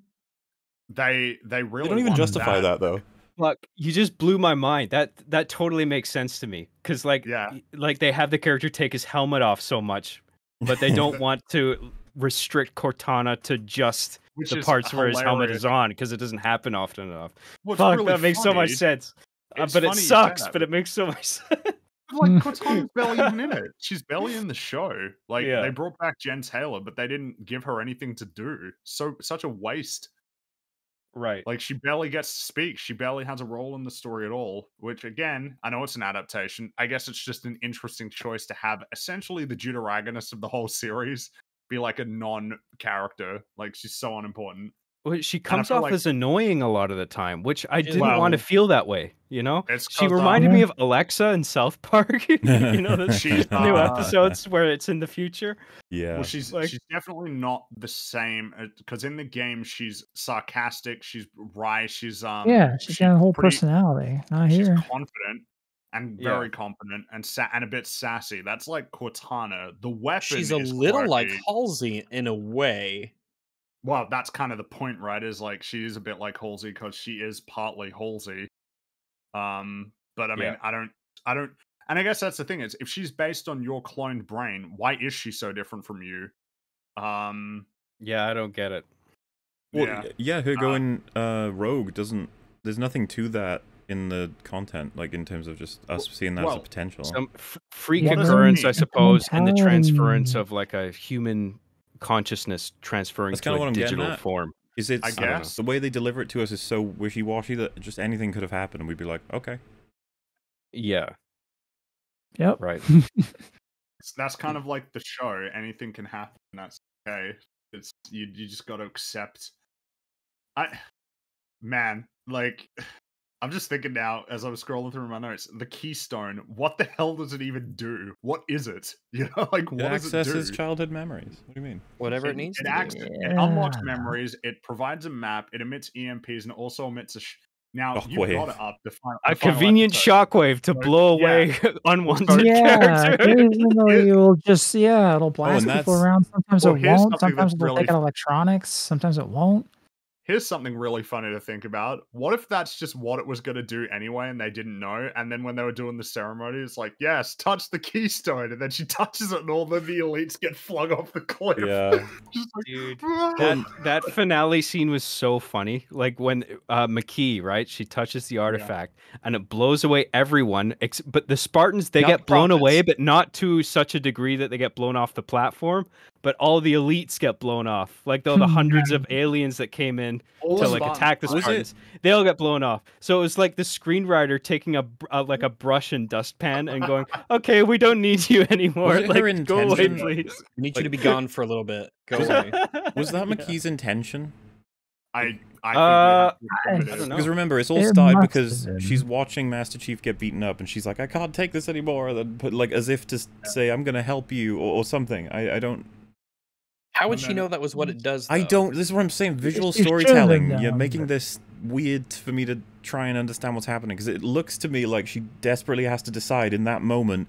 Do I pi choose to help John? Do I choose to help humanity? And then she does, making her death tragic, quote unquote. Even so it's just like, yeah. uh, but I don't. Could she have known that this is what it would do if she touched it? I don't. I don't think so. I guess I don't know why she would, but fortunately, Magic. and I guess a good thing as well that the brute didn't just kill Chief like immediately. Oh, He yeah, there's a lot of that. Out, like, I'm gonna get you, Chief.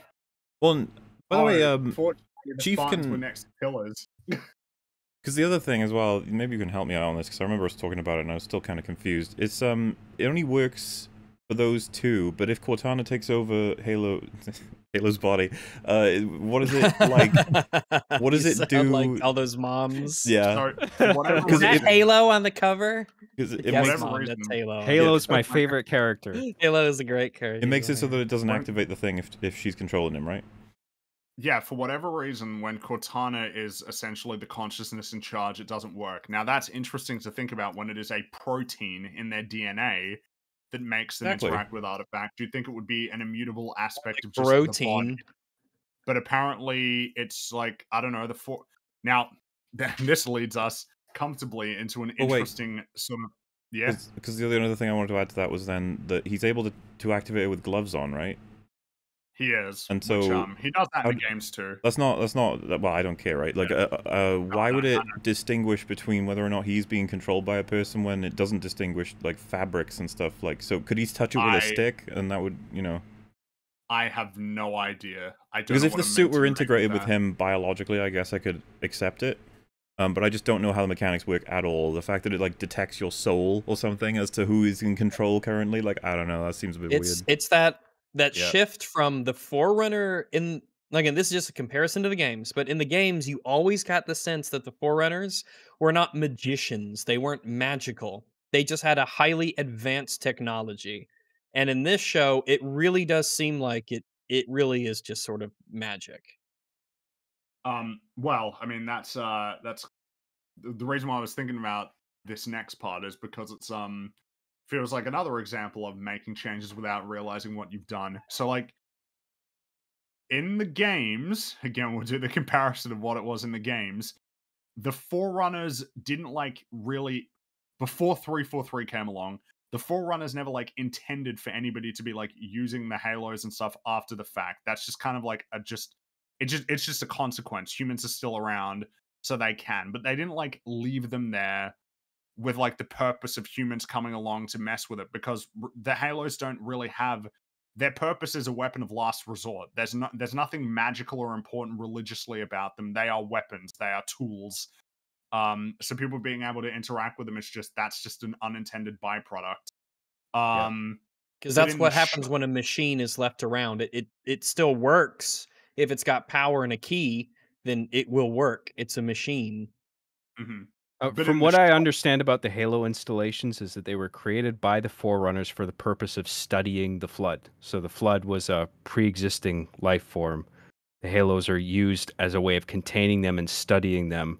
But then, as a last resort, if the Flood were to be were to break out into the universe and start infecting everything, that the Halo Halo installations would also serve that function of doing a the blast or whatever it does to eliminate all life to eliminate their food source. That's right. Yeah. Well, so that that's that's essentially what it is. It's kind of the whole idea is that for as mysterious and interesting as the Forerunners come across to humanity and the Covenant, they died. Um, they died fighting an, an, an uh, flood. They couldn't beat them. There's nothing. There's nothing grand about it. It's it's tragic in a sense. Um, if the show has it to where there are individuals who have a protein in them or like some connection to Forerunner stuff that leads them and guides them apparently to do things like to to lead to a certain place um why? Why why? Why would that be the case? Why would the forerunner it, it- this is the problem is we don't Yeah. have the answer now but if the show is going to pull from the games that the flood that halo is a weapon to kill all sentient life and it was to kill the flood you will need to have a reason for why the forerunners would have people who are essentially selected to be able to interact with these Especially things so and to what end well, Mhm. why that's it why Yeah, why would you want gotta have a reason? Because it seems guide it? counterintuitive as it's presented so far. Well, what I'm saying is like, why would the Forerunners want anybody to be guided to Halo? Like, why would they want that? Um, Right. why why is that a goal that they would have? If if the Forerunners succeeded in their mission, that's the end. There is no more uh, further purpose for the rings. Um, so why would you leave behind anything that would be like clues to lead people there and guide them through like these subtle things and teleport their minds to the ring? Why would you do that? Um, Yeah, and this this this that. might be a problem that lies with the initial development of the game story, right? Never mind the the TV show, because it was designed to be a game first and foremost, right?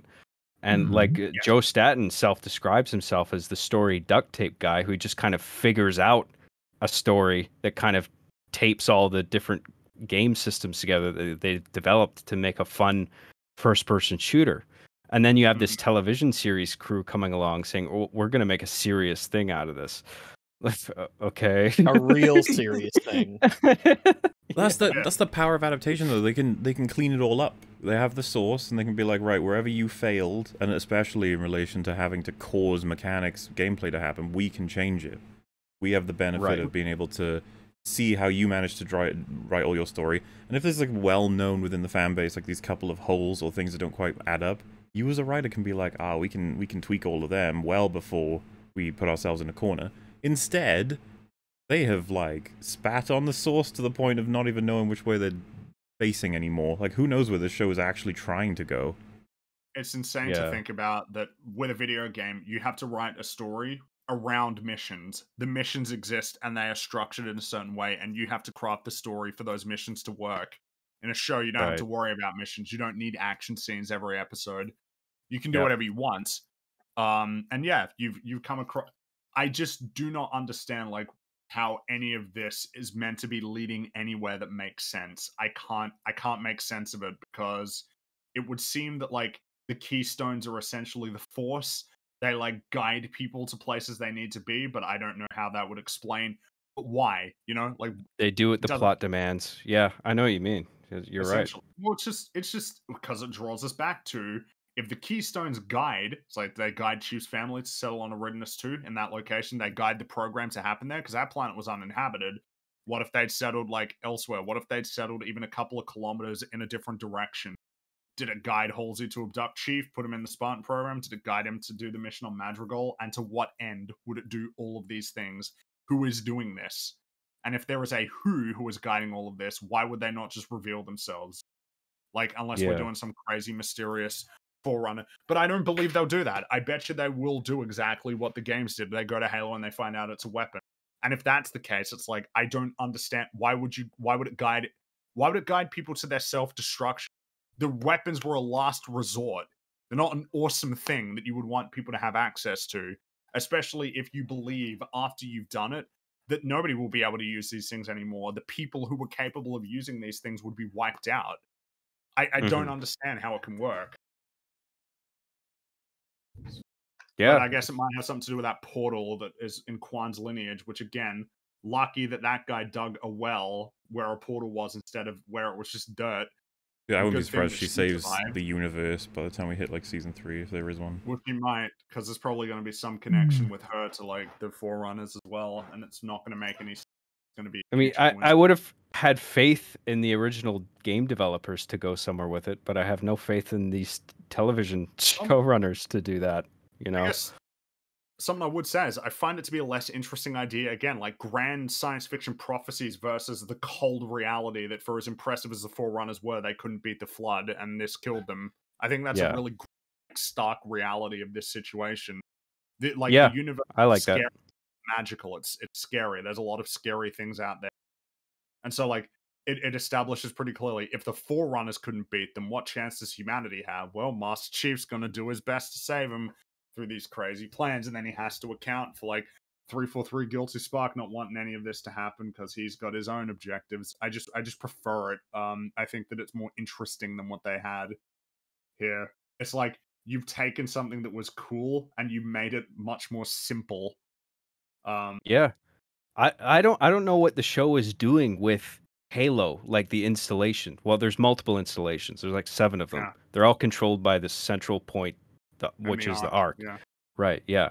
And but the the first season of the show hasn't referenced at all um the flood or it, it's only ever shown Halo in those weird flashbacks or I don't know, they're not flashbacks but like visions, I guess. yeah. Where that's it's him- shared visions. Not surface of yeah, they're they are shared visions where it, it transports your consciousness to like someplace else because other people can be a part of it. Yeah. Yeah, it's the Halo I, vision. I feel like they're they're doing some Adam and Eve sort of thing where like uh Master Chief and Yeah, Makee that are on this Halo and they're meant to just go forth and multiply or something and like populate Halo. That seems to be the implication to me of like the yeah, I don't know visions. what their the point of the visions is trying to get them to do. I worry Yeah. that it might be as simple as the show just being like, isn't this romantic? Aren't these two meant for each other? How tragic Uh, that they can't be be with each It's- other. It's like, it's oh, Two exactly sides of the same coin. You see, they were both 100% robbed of their childhood. this They movie is both robbed of their so childhood. They were crap and hollow. If that's all it indoctrinated was. for whatever side they're on. You see, Yeah, because I know There's if I'm robbed of my childhood, whenever I see another person who's robbed of their childhood, I I just I really just have an uncontrollable ur- urge to fuck them. With with your with your onboard AI watching. Why did Yeah, it, no, yeah, I get harder whenever Yeah. people watch Yeah. Why would Yeah. they have just Cortana Cortana, watching? What were they thinking? because she can't not watch. She can't turn herself Can you- off. like, Oh, has there been? Uh, there's gonna be other shows. Boba Fett kind of did this too, but like a show that's most of its marketing is done by people just going this, this, this, this, and everyone else going no, no, that didn't happen. You're like, They wouldn't did. do that. That's a joke. You're ju- you're that's a lie. You're lying to me. yeah. Yeah. I- I feel like you've just raised it again, but I feel like it has to be stressed. So the reason why Makee, so what happens is they're on Eridanus 2. Um, when Chief touches the artifact, it like reveals the location of the artifact. I guess it beams it into Makee's head. I don't know what that would mean. Does she have an intuition of where he is in all of space on a planet? In a, s- how does that information? How how can that information be imparted into a human in a way that they can understand? And if so. Yeah. why? The same way that Um, humans just magically can know the covenant language if they need to for the plot. but well yeah and then and then the the the covenant come in they get the artifact but then they want to do a switch it's like ah we're gonna drop Makee and pretend that we had her as a captive um a- a- like to try and drop her off so she can get information or access to the second keystone that's their plan and it works bafflingly but the But, reason why Well, ironically, because- it makes the covenant seem super competent because they have to know that the UNSC is that incompetent. It will work. Yeah, in a, in a sense. I, don't know, I 'cause they wouldn't argue that. off They're, they're both retarded, right? Like, why would the I know, I government was- I was ever think making, that like- would work? I was making like a joke out of the the absurdity of it. No, because like there is a validity in saying that uh, to anticipate that the UNSC would actually uh, engage on this level, but uh, it never made any Right. sense. Like nobody would ever assume anything like that. I think we talked Yeah, about it it when um, sense. It- the episode came up. We were talking about right. how if a enemy prisoner was just landed in front of you, that had been there since they were a kid. It's like, yeah, but they're human. It's like so. Well, yeah, because because it's y- you've just dropped off a, uh, somebody who has lived with the Covenant for years, and you think that they're not a spy. That they, why would she be dropped off? Why is she still alive? Why wouldn't they have killed her? Why would you ever trust her with anything? Least of all, after a couple of days of her being in your custody. Why do you have no cameras in her room? You know, Yeah, like, that's why the are there no cameras in her room? No cameras in the room. Nothing's recorded. The fact that humans, particularly Master Chief, falls for this insanely stupid plan is it's outright bizarre because you're just screaming at these characters the entire time at how dumb they are and how none of this makes any sense. Yeah, because Oh, there well, was. Go ahead. To be fair, none of them would have been able to, to foresee all those tentacle monsters that she brings out of nowhere that Yeah. are completely unstoppable, and then they they, don't never shoot show up her. again Never in the show. Oh in, uh, yeah, when she walks down the hallway, they all have their guns pointed at her. They don't shoot her.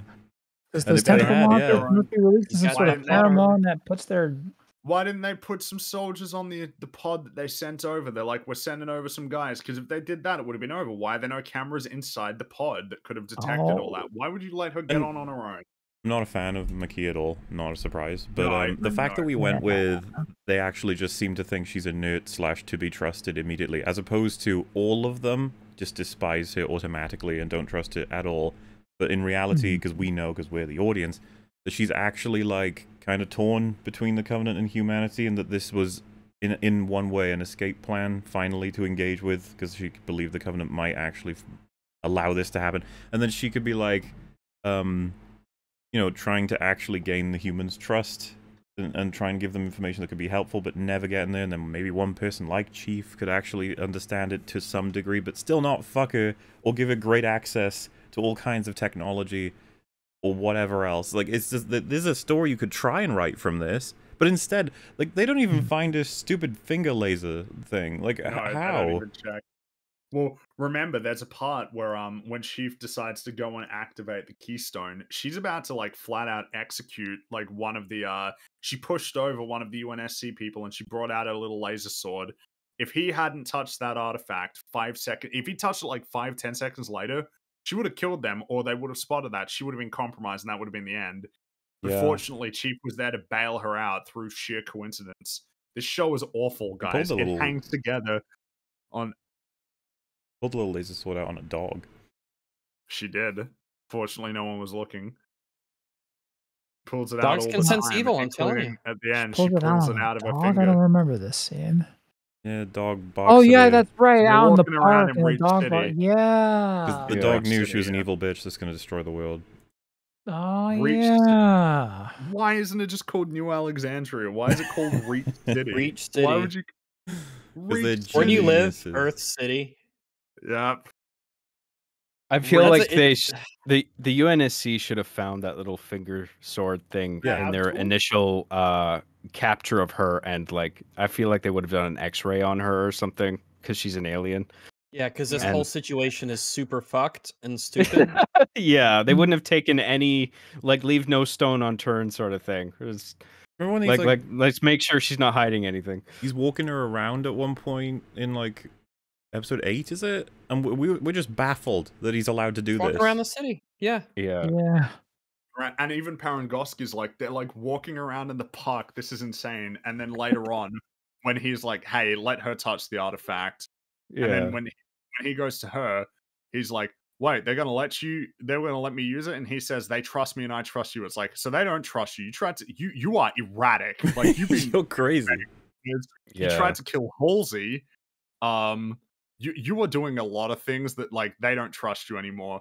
And I don't know why Chief trusts her either. It's like, oh, she's being honest with me. It's like, why would you, why? Why why? You Why would believe that think she's being honest with you. You just You're determined this.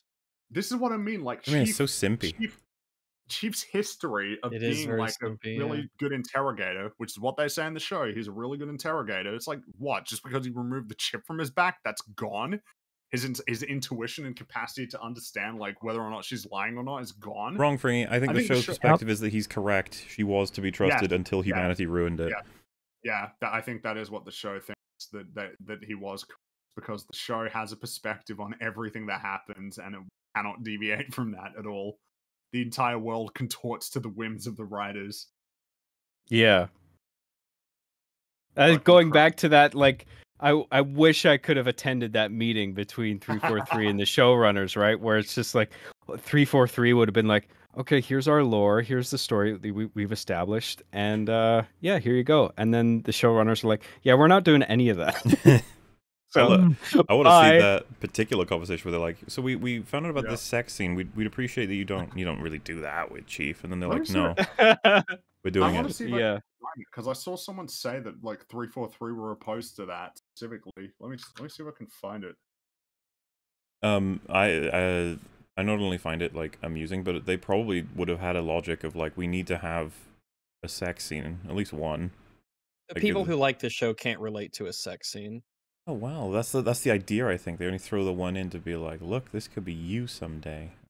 Wow, No, that'll that'll never be them. it's, it's wish fulfillment, right? It is strange though in terms of a um like they really wanted to make a covenant but a human so that she could have sex with Master Chief or this version of Master Chief. Like it's it really it's really strange fanfic that somehow got millions of dollars thrown at it. Dude, um, Das was in chat earlier saying that he'd only heard the rumors. He hadn't seen any of the context, so he thought that Master Chief fucked like an elite or something. I would have preferred I would have preferred that. I want Master Chief and would've Arbiter to have funnier. some bro sex. This is the custom on Sanghelios. I promise. It totally is. that would have been great. One of one of the small things I appreciated about the the finale was that they revealed that they were in fact using her.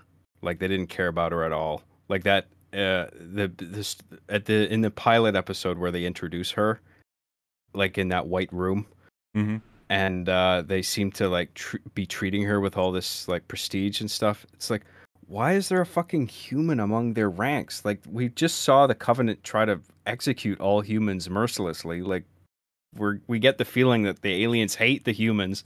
They're trying to exterminate them, but there's this one human among them that's like, "Hey, I'm Was, just hanging out here." That was their strategy, like- I guess, right? Because it's weird to think about. It's like she has information they want to make use of, and they want to use their ability to touch the stuff and make stuff happen.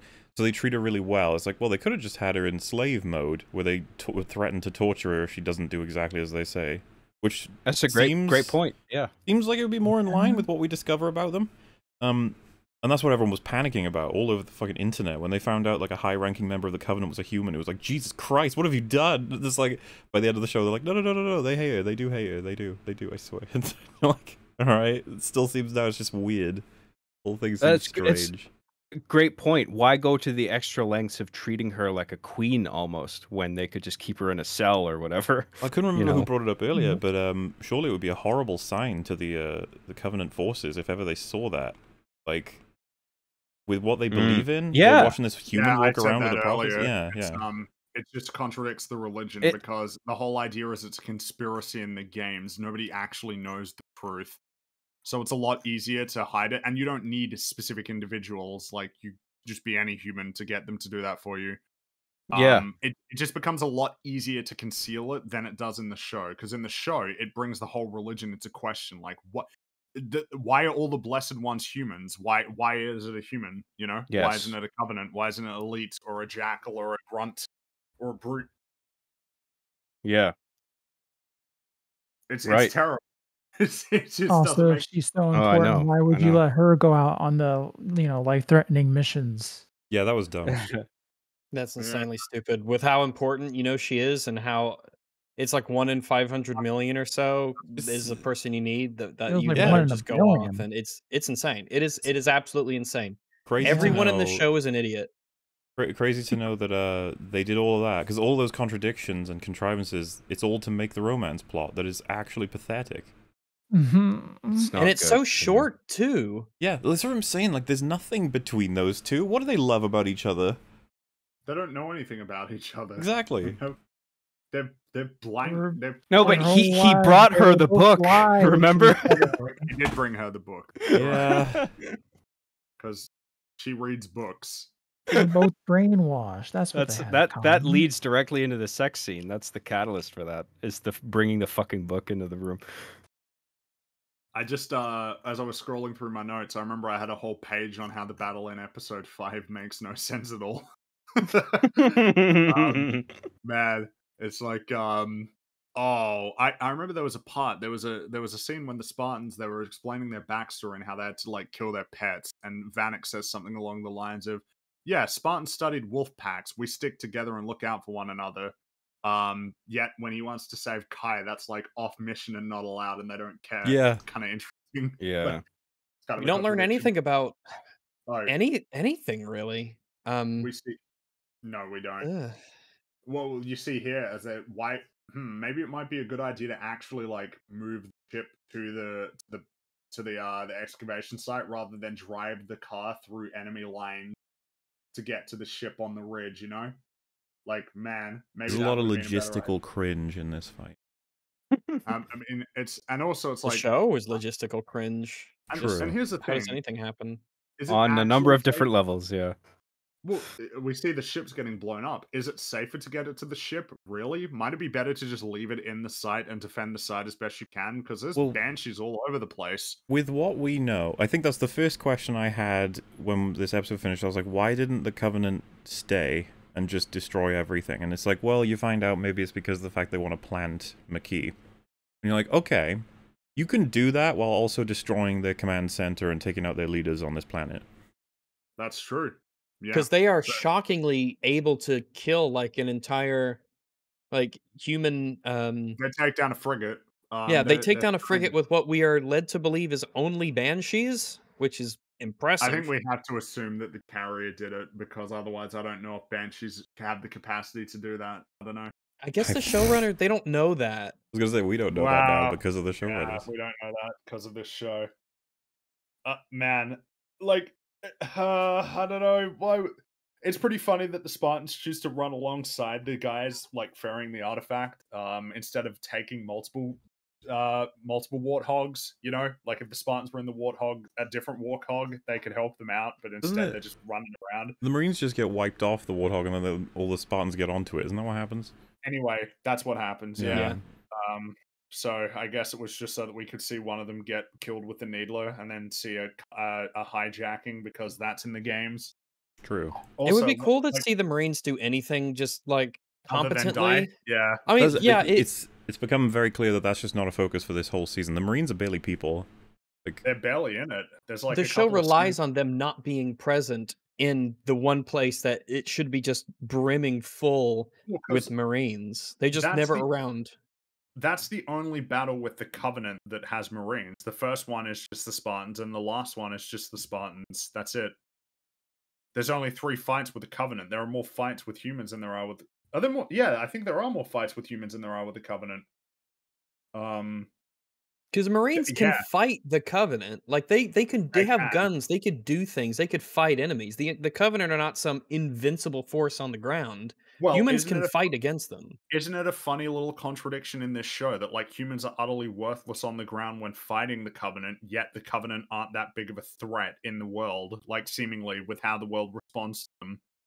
Ain't that interesting? Mm. Kind of just Yeah. bad writing, really, isn't it? Um. Oh, and then you have like the part when they when he jumps off to try and save Kai, and he jumps onto a banshee that's flying past. It's like, man, timing. Like Yeah. if that banshee was a minute, a, a second earlier or later, you would have just fallen off the cliff and crashed into the ground. Yeah. That's pretty funny. And then, of course, flying it directly into the Phantom. Really, you're dead. It's over. Like you're done. I don't believe you survived that. And between those two things, he like jumps on the banshee and he pulls out his pistol and And he shoots a few rounds into it, but there's no bullet holes, there's no sparks. It's Wow, like the he just it's just pretty bad. it, ju- he's just pulling out his gun and shooting because it looks cool, I guess. It doesn't look about cool it. though. It looks really bad. looks Yeah. really. Uh, though, also, by the way, though, Rags, you said there's not much gore past episode one. You're you're wrong. Um, there's a lot of gore in this show. A lot, persistently. I just throughout it. showed when he explodes from the needle as Yeah. a big uh, red piss cloud. Well, that was what reminded me. I laughed out loud at that. That was that- those are the only two things I like really remember. I Well, so I guess- you don't remember you don't remember in episode nine when the plasma pistol leaves her exposed ribs and lungs. Like, oh yeah, I guess that ribs? yeah. Um, There's also like when Chief crashes the Phantom, the jackals are like split in half, their guts trailing out from there. Doesn't someone vomit? From, One uh, of them vomits or something like that. does it? I, think I so. uh, yeah. There's a lot of gore in this show. Uh, I was actually surprised when you said there wasn't. It's like, dude, if I there's guess I anything, just none of it that's- just stuck with me in my mind. right. Yeah, there- it's not a of really- it. I can't Um, think of it myself. To be fair, all I'll say is it it might in frequency it might be higher than Ragstoll, but like man, is it like there's so much there's Super so many, condensed. there's so, maybe? much, so many stretches of not gore, if you know what I mean. Yeah. Yeah. Yeah, Right. that might be They're- why. they're There's just so localized to the action scenes. There's so few of them. Yeah. Yeah, well, and I'm okay with there being like a few action scenes. That's okay if there was a trade off of A good story. storytelling and like other scenes, but there isn't. So this is all I want is them to fight. There was a persistent feeling while watching the show. Where are the aliens? I want to see aliens. Where I hmm. want to see Chief fight aliens. Where are they? The, the the entire reason they don't get the Oh, artifact yeah, back is yeah. just a banshee just happens to fall on them. Into them and knocks it off. the Because that's not even like a deliberate like kamikaze, right? That's just the banshee just falls on them. I think it was getting shot and then it crashed into them. Yeah, It just it's a fucking crash. That's uh, that's lame. look at that. You suck. How did- unlucky did- because they would have had the they were right next to where they wanted to be. Would have been good if Cortana hit the brakes since she has remote access to any vehicle that she needs. Dude, this this Spartan should be able to react fast enough to do that. Yeah. Like to Uh, see the thing. right- they were right there, and the only reason this happened is so that Atriox or whatever could grab it, and then we lose it. Yeah. We need a act low point, kind of, even though it's like halfway through the show. Man, so bad. In like- regard to the neglect of the aliens overall in this show, there was one scene that felt like, or no, one shot that felt like such a middle finger. Like we haven't even talked about um Vinsher and how fucking uh, one-dimensional, terrible bad guy we he is. haven't talked But, about uh, Kwan at all. Oh yeah, of course we haven't talked about Kwan. Well, Oh Well, let me- shit, you're right. We've just like totally skipped over her entire was a existence thing, in yeah. this show. What were you saying. Jon? You're right. Let me let me just uh, button up this shot that I'm getting at though, where it's a low angle shot. There's a there's a elite's corpse in the foreground. Vinsher Vinsher is smoking a cigar and he Oh, stops and he looks down. He's like, "Those are the, the aliens, huh? Hmm, ugly bastards." and then, Yeah, it's like, and then he takes a puff and he walks away. And it, it's it's as if to say like, "Oh, there's that." more interesting enemy than I am, but whatever. Here you go, audience. Yeah, no. Here's me and True. my humans, and we're all one-dimensional cardboard fucking villains. It, like, it amuses me cares about because like covenant? when you said Vinsher, I was like, is that the black guy or is that the evil guy or is because I can't remember anyone's fucking names. Victor is the evil British. Oh, I'm so Yeah. glad because Yeah. I, I also wrote that whole action scene. Oh my god. Yeah, like we need to talk about this action scene. So essentially, what happens is Kwan she goes to the Mystics after she abandons Soren, who She goes to the desert witches, yes. yeah to, to lay it out like Oh, rides she- into she a desert go- cloud and just blonde, meets the desert mist. she, what she the wants, fuck? She, she wants to go back to Madrigal to like do the the to to have the insurgency to to continue the revolution, and Soren takes her there in exchange for money. He gets neither his, not, he gets no money. Uh, his ship gets just like impounded and and seized. Uh, and despite that, he still doesn't capture the bounty on her. He decides, yeah, we're gonna get you off world. We're gonna go back to the rubble, and um, she zaps him and then leaves him there in the desert. And then she goes off on her own adventure, and then she finds the desert mystics, um, who then give her all that Forerunner flashback stuff. And then she's told, go back to where it began.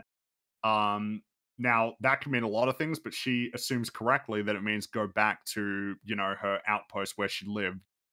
Um, and so she goes back to her outpost and she's walking around, and then like Soren shows up there, and he's like, "Oh hey, Kwan, I'm I'm I'm I'm gonna take you back to the rubble now. Uh, fortunately, he showed up then because a few minutes later, Vince's men showed up. Oh, Um, so dumb. Had Yeah. he turned up a day later or even an hour later, Kwan would have been killed. So, um, a- and also, be did fair, Kwan even tell? Both of them Soren should have been Wetchin would- dead, no matter what. With this well, they scene. should have been, but it's just let's just lay it out. They, they, Like yeah, like, did Kwan even tell Soren like where she lived? Like, did she? Did he know that information? He tracked her even if he because she has what- this revolver, and that's Ah, not even yes, something that's in the his show. But let's just yeah. pretend that's what it was. There you go. And then Sure. yeah, you have like you look at all of Vince's men. There's like 50 of them. Um, uh, there's no way they can Well, win this. It's so- like uh, like If I could Yeah. get a shot of it, because like I I kept repeating when we watched it because I couldn't fucking believe it. But this is like the most video game scene ever. They're in this like Mm. like our characters are just like sort of discussing and figuring out what they're doing. Then we just sort of realize, oh, we're in an arena with lots of cover in different places, resources in different places, and an overall goal of blowing up like a tanker thing. But to get there, we're gonna have to put ourselves at risk at rounds, literal rounds of enemies. It's like th- th- you know you have a selection of the worst Yeah. format of, of the enemies first, and you can take out most of them. But then you know. As it gradually goes on, your health bar's getting lower. I was just like, "What is this? This is so stupid." It's like, Splinter Cell slash Call of Duty sequence. It's really shit. because But any game that he's has that kind of arena wave combat, you know, where they come in waves. He's doing the thing. Like, how many games have you guys played where like a bad guy locks you in an area and then commentates like the arena shooting you're doing? It's just like, oh, you're still surviving, are you? Take this. Like it reminds. I think the latest one might be Heisenberg from um, uh, Resident Evil Village. Do you remember? He's like commentating you running through the werewolf like underground pit thing that he's. Is that is that Yeah. shit? It's like I was like, what is this cartoon shit? Just kill them.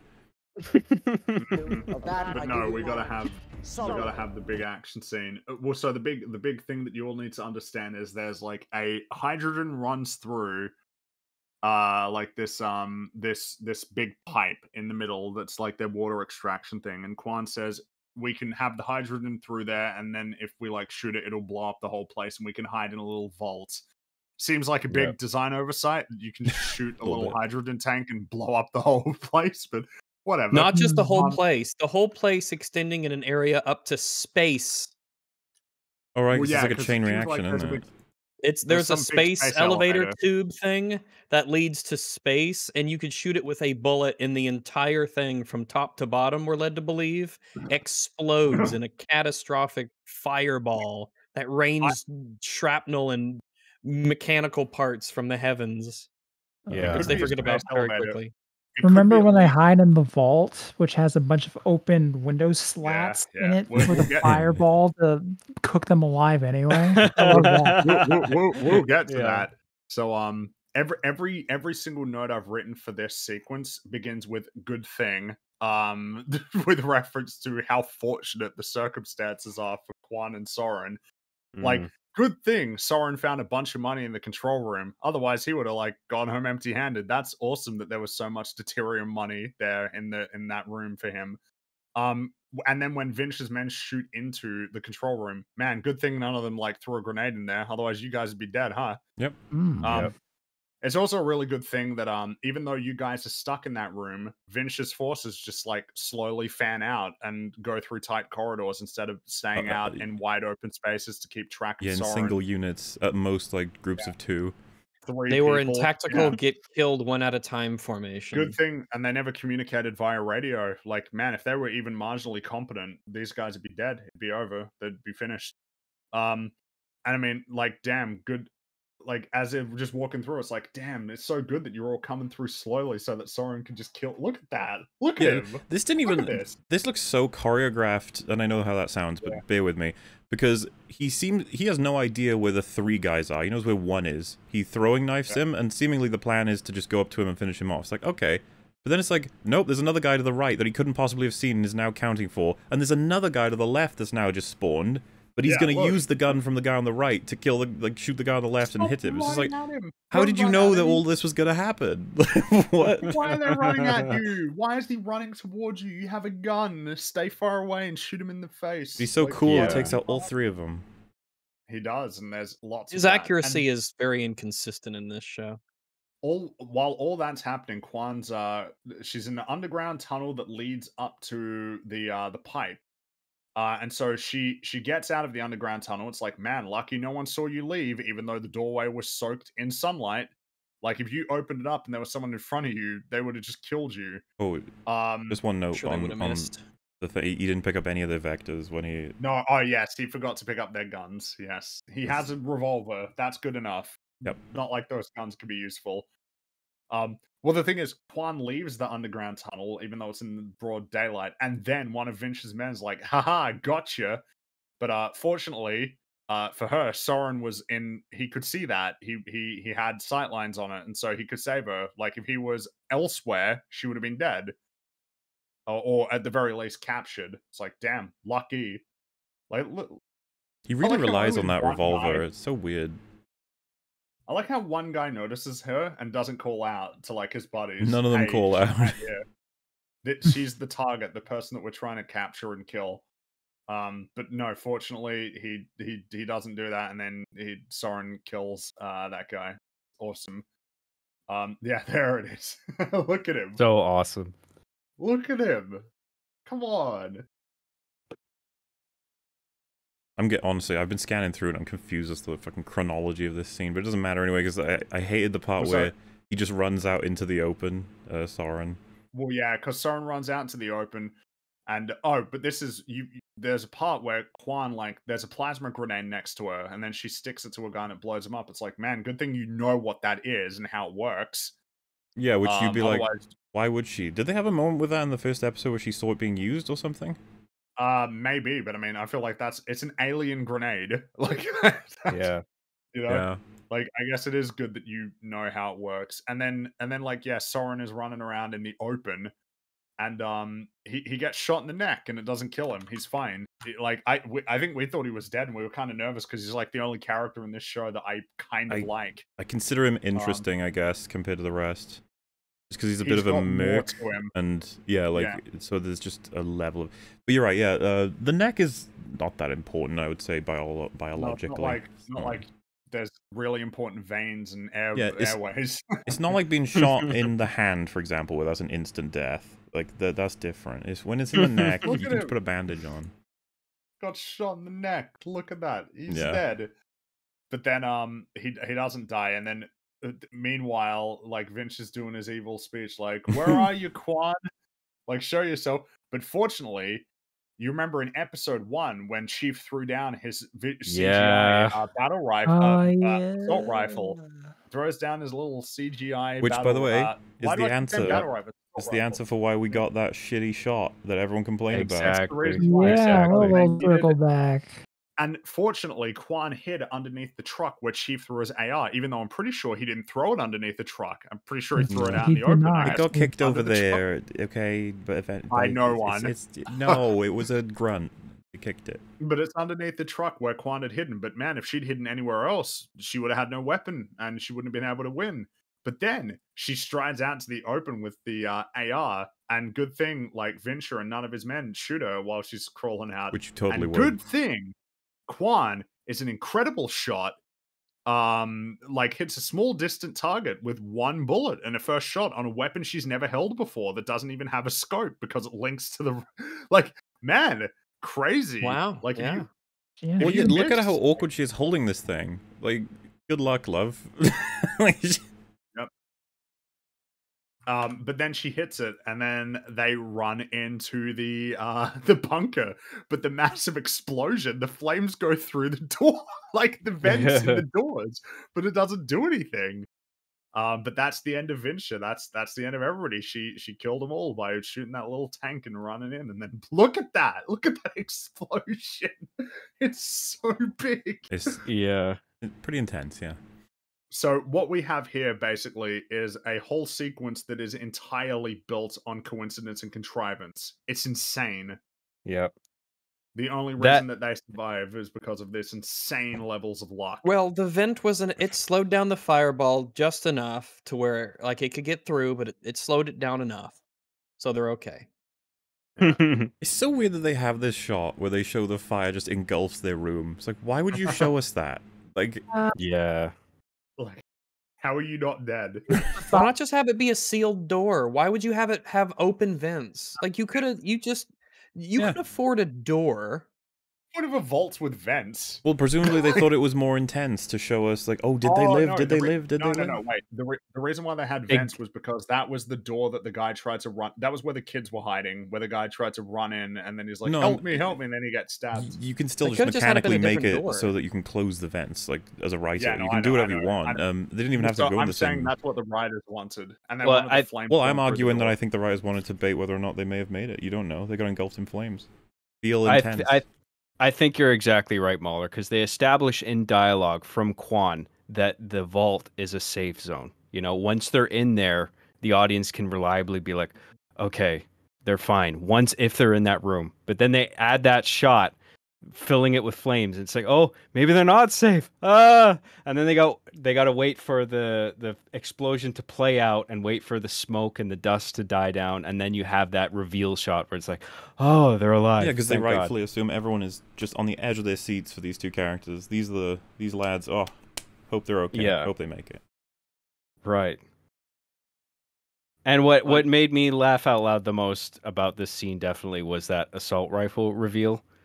Because not only did it Mhm. become clear why that shot was there in the pilot, which was famously seemed out of place. Like I, I know a lot, a lot of YouTube critics, like criticizing the show, were like, "Why the fuck is that shot there?"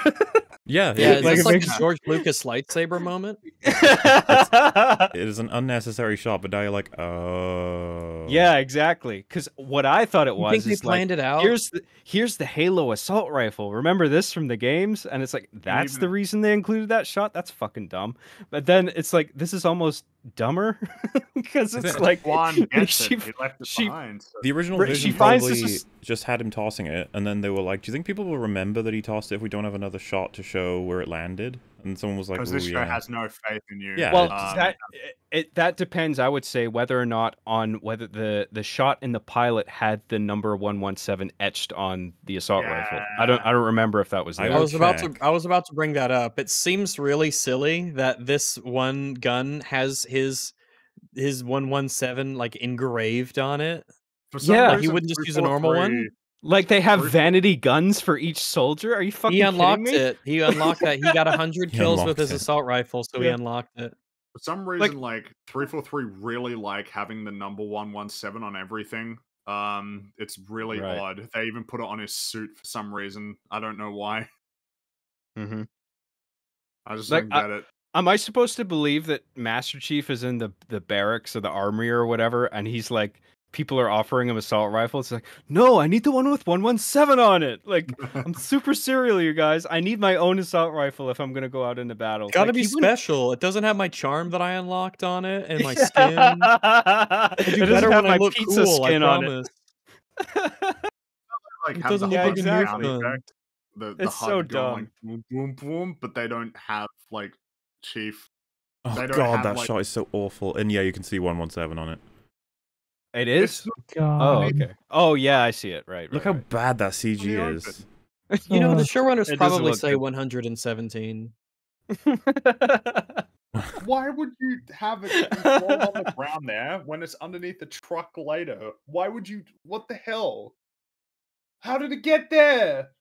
Who put it there? Nobody went back to the space. It's been empty the whole time. You really time. need more explanation than this beautiful shot, Fringy. Why Really? would you do a CGI shot that is a continuity error? I don't understand. It's so awkward. It is. Um, yeah. so It's like blurry. shows- Like this is a rush shot. They probably it's one of the last things they probably did. And they forgot to color in the the plasma pistol. They forgot to Yeah. color that in. We haven't talked about that. I just I- I, just I've love heard it. I think we've actually figured out why the show exists now, and that's cool. I was like, yeah. Remember, guys, ten million dollars per episode at least. Yeah. I mean, couldn't you just like have an actual prop assault rifle and throw it on the ground No, instead of no, oh, No, that's no, not possible. be- Too, It's not too- possible. genuinely though, too late because everything was wrapped up. This was probably caught really late. Someone was like, "Guys, the audience has no idea that he dropped the gun in the first episode." Okay, and that's a really clever thing that we've done. So we need to make sure they understand that. Has anyone got like a cursory glancing shot at the floor that we could use, and then someone could animate a gun on it. It's a literal animated. It is an animated CGI Chekhov's gun, and it still doesn't make sense. No, well, I was just thinking about how, like, well, doesn't this just highlight that once the fight is over, which that is something that happens, wouldn't you be like, I better go grab my gun? Like, instead of leaving really important why leave UNSC it? Yeah. equipment, well, Why not More put it on importantly, his the back? alien Yeah. bodies, the bodies of the aliens, Yeah. the UNSC never goes back Pla- to dude, retrieve. there was a plasma Right. grenade sitting there. You want like insurgents just getting a plasma grenade? Like just you just leave them out there for people to grab? what They're a fools! busy. Yeah, they are too busy. yeah, but they s- it's set up. Shut up. Really cool that she yeah. grabs it. She uses his weapon to free herself from the chains of the evil man. Well, 'Cause that's she's- the extra layer of dumb that gets up, applied on this, right? Is that this is a desperate attempt to tie Kwan's story in with Master Chief's storyline and make it seem like the whole Kwan episode was relevant, right? It's like, oh, she's Mhm. picking up Master Chief's rifle. She's using Master Chief's rifle to shoot the thing that blows up Vinsher. I sure wish that was me.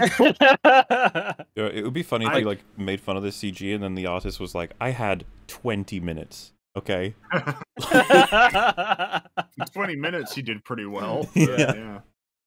I, I- it's uh, something that's worth noting about the Kwan story as well is, you know, like, does it make any sense in a world where, like, there are aliens that is an existential threat to humanity that you would still have these kinds of smaller conflicts happening? Wouldn't this draw a lot of people's attention away from that?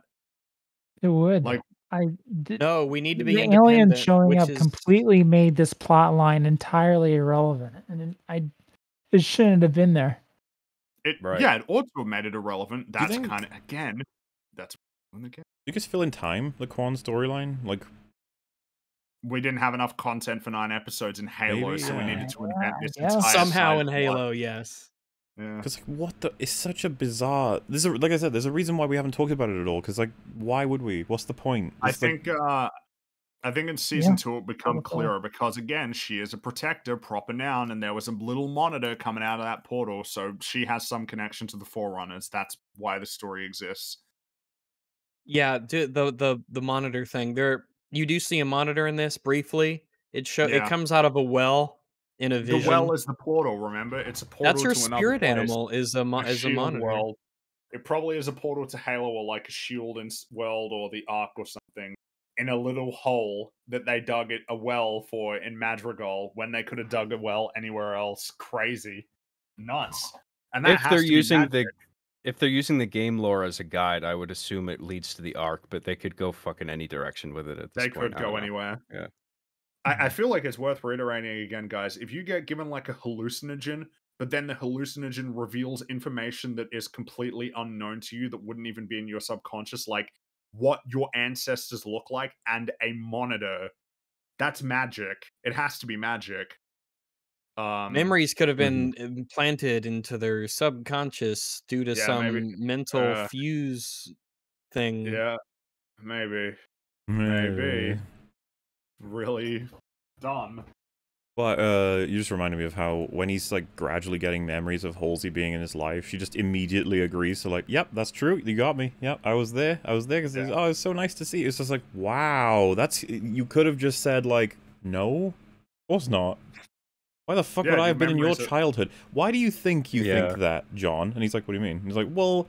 Don't you think it's a little convenient that the person you hang out with, one of the most important people in your life, is now injected into your memories? It's like, don't you think that it's more likely that you're just putting me there because you don't know what was actually there? Mm-hmm. But no, she doesn't try that, even though she's supposed to be like that kind of intelligent. Instead, she's just like, huh, weird. And I guess I just never told you that because, um, yeah, I just didn't. Yeah, weird. because. Ah. Ooh, this show is really bad. I think there there is uh, utility in uh, the the dual main character juxtaposition kind of format of telling a story. It's For one that sure. I would have gone They- with for having have been, Master Chief surely. prominently, but Yeah. definitely not in this way. I definitely thought this was going to take an entirely different direction. I thought they were going to be side by side for the entire show. She would humanize Master Chief while he, his emotions start, you know, come roiling back in. Yes, But, uh, exactly. he drops her off in an asteroid in what episode two, and that's that. Yeah. Oh, we haven't So- talked about how stupid the rubble is. Sorry, but go for it. Wait, how stupid I the what is? the rubble, the space station, and the asteroid. Oh yeah, we can do we can do that. Yeah, this this this Doctor Who world that is so the other thing, this show n- never really feels like Halo. It very rarely even begins to feel as if you are in a Halo universe doing Halo things. It's very much it feels more like Doctor Who than like a Halo show. And I not in think you good say that way. is just like, what is Doctor Who right now? It's like I don't know. What even like what is the feeling of Doctor Who? They're they're going through their own whole thing. Well, Uh, only only the finale came close for me. Everything else was just like like it's just like eight episodes worth of like drinking diarrhea, and then all of a sudden you get like a cupcake with some like tur- sprinkled with cat turds on it, and it's like, oh, there's something here. It's still lame, but like this closely resembles what I was looking for from the beginning, right? Just like action and some jokes and and uh yeah the even the fight sequence in episode 5 didn't feel like halo for me cuz like it did for a little while but then there's that beat where chief like stomps that fucking alien's head yeah. Oh yeah, when I, I don't know how I was off. meant to feel after that. I think they wanted the audience to be like, "Yeah, awesome," but I was just kind of alarmed. I was just like, mm, "I don't yeah. know how I feel about this. Like this, I don't know if this is the chief I know and love. You know what I mean? Like It's I- not Chief. It's John Halo. John Halo the robot. Yeah. It's so bad. Well, you just had the Yeah. picture of the rubble there. It's a space station built into an asteroid. Oh Yeah. well, no, just there's the clip. Look at Well, it. yeah, Look at this. The only thing I was just gonna say Oh, I quick was dying laughing at that. Because I'm trying to think like what is the show's opinion on this moment? And it's like, well, they have Kai being like, "Chief, Chief," like like you know, you're going too far, maybe. Uh, But it's like, is that what what does the show think of this? I'm not even know. He's well, it's it's so- unclear. I- It's unclear whether this beat is informed as a result Oh. of the the beat where uh Chief was drastically affected by the artifact to the point where like he f- felt the need to try and punch Halsey in the face. but like I guess there's some like residual effect from that where he's so like amped up emotionally and angry, I guess. We guess, gotta see their Yeah. face. We that he's can't been lied have- to, that he's carrying uh, that anger into his punishment of this poor elite where he stomps his head flat. oh, and as everyone's No. pointing out, yes, discount Iron Man. It's it's kind of His face. it's kind of like distracting as fuck that they did this We- for head, uh, for we Master gotta Chief. We have to. We can't have it. Look at that. What were they So thinking? uh I don't know if I understand the Iron Man reference. What what which one? Oh, because Iron Man with his, you know, It's when he has his, his yeah, in helmet camera. in helmet screen HUD. oh yeah, yeah, yeah, yeah, like, totally. It's like thudding into his face, like he's trying. It's so funny looking. Yeah, I know. It And, doesn't even make His the- eyes are static, but just he's to- really his head. to clarify, right, the reason it does that with Iron Man is so we can see Robert Downey Jr. expressing himself all the time, right? It makes sense. It's just like, so is that the same reason they're doing it here? And it's just like, yes, because they can't for a second have a sea Master Chief and not see his face. Like it has to be. Yeah. Uh, Totally. D- uh, this makes me you know the scene where uh he's in his orig- his home, his old house. Yeah, he's looking and they around. They have not one but two different fucking Yeah. angles inside his helmet. yeah. They have the they have the Iron Man one that's right on his face, and they have the kind of angled one that's like, you know, But on by one his side ear, of his face, kind of his ear, yeah. accentuating one eye. Like Yeah. you had to have two cameras in his fucking helmet. You didn't I'm have the starting to think- restraint to just like keep the camera out of his helmet entirely and just you're so scared of not showing his face, you know, because you're I guess afraid that the audience is going to lose connection with the character Yeah. if he, if he's always got the helmet on. Because I it's think you not actually like see- Chief Um, Iron Man as Iron Man more than uh, Robert Downey Jr. as a ratio than you do see this guy as Master Chief instead of John Halo. Yeah, I think so. Pretty Mm, sure. Yeah. Mm-hmm. It's so bad. Like, why would you do this? It's so stupid. oh god, that's- we have to see his face.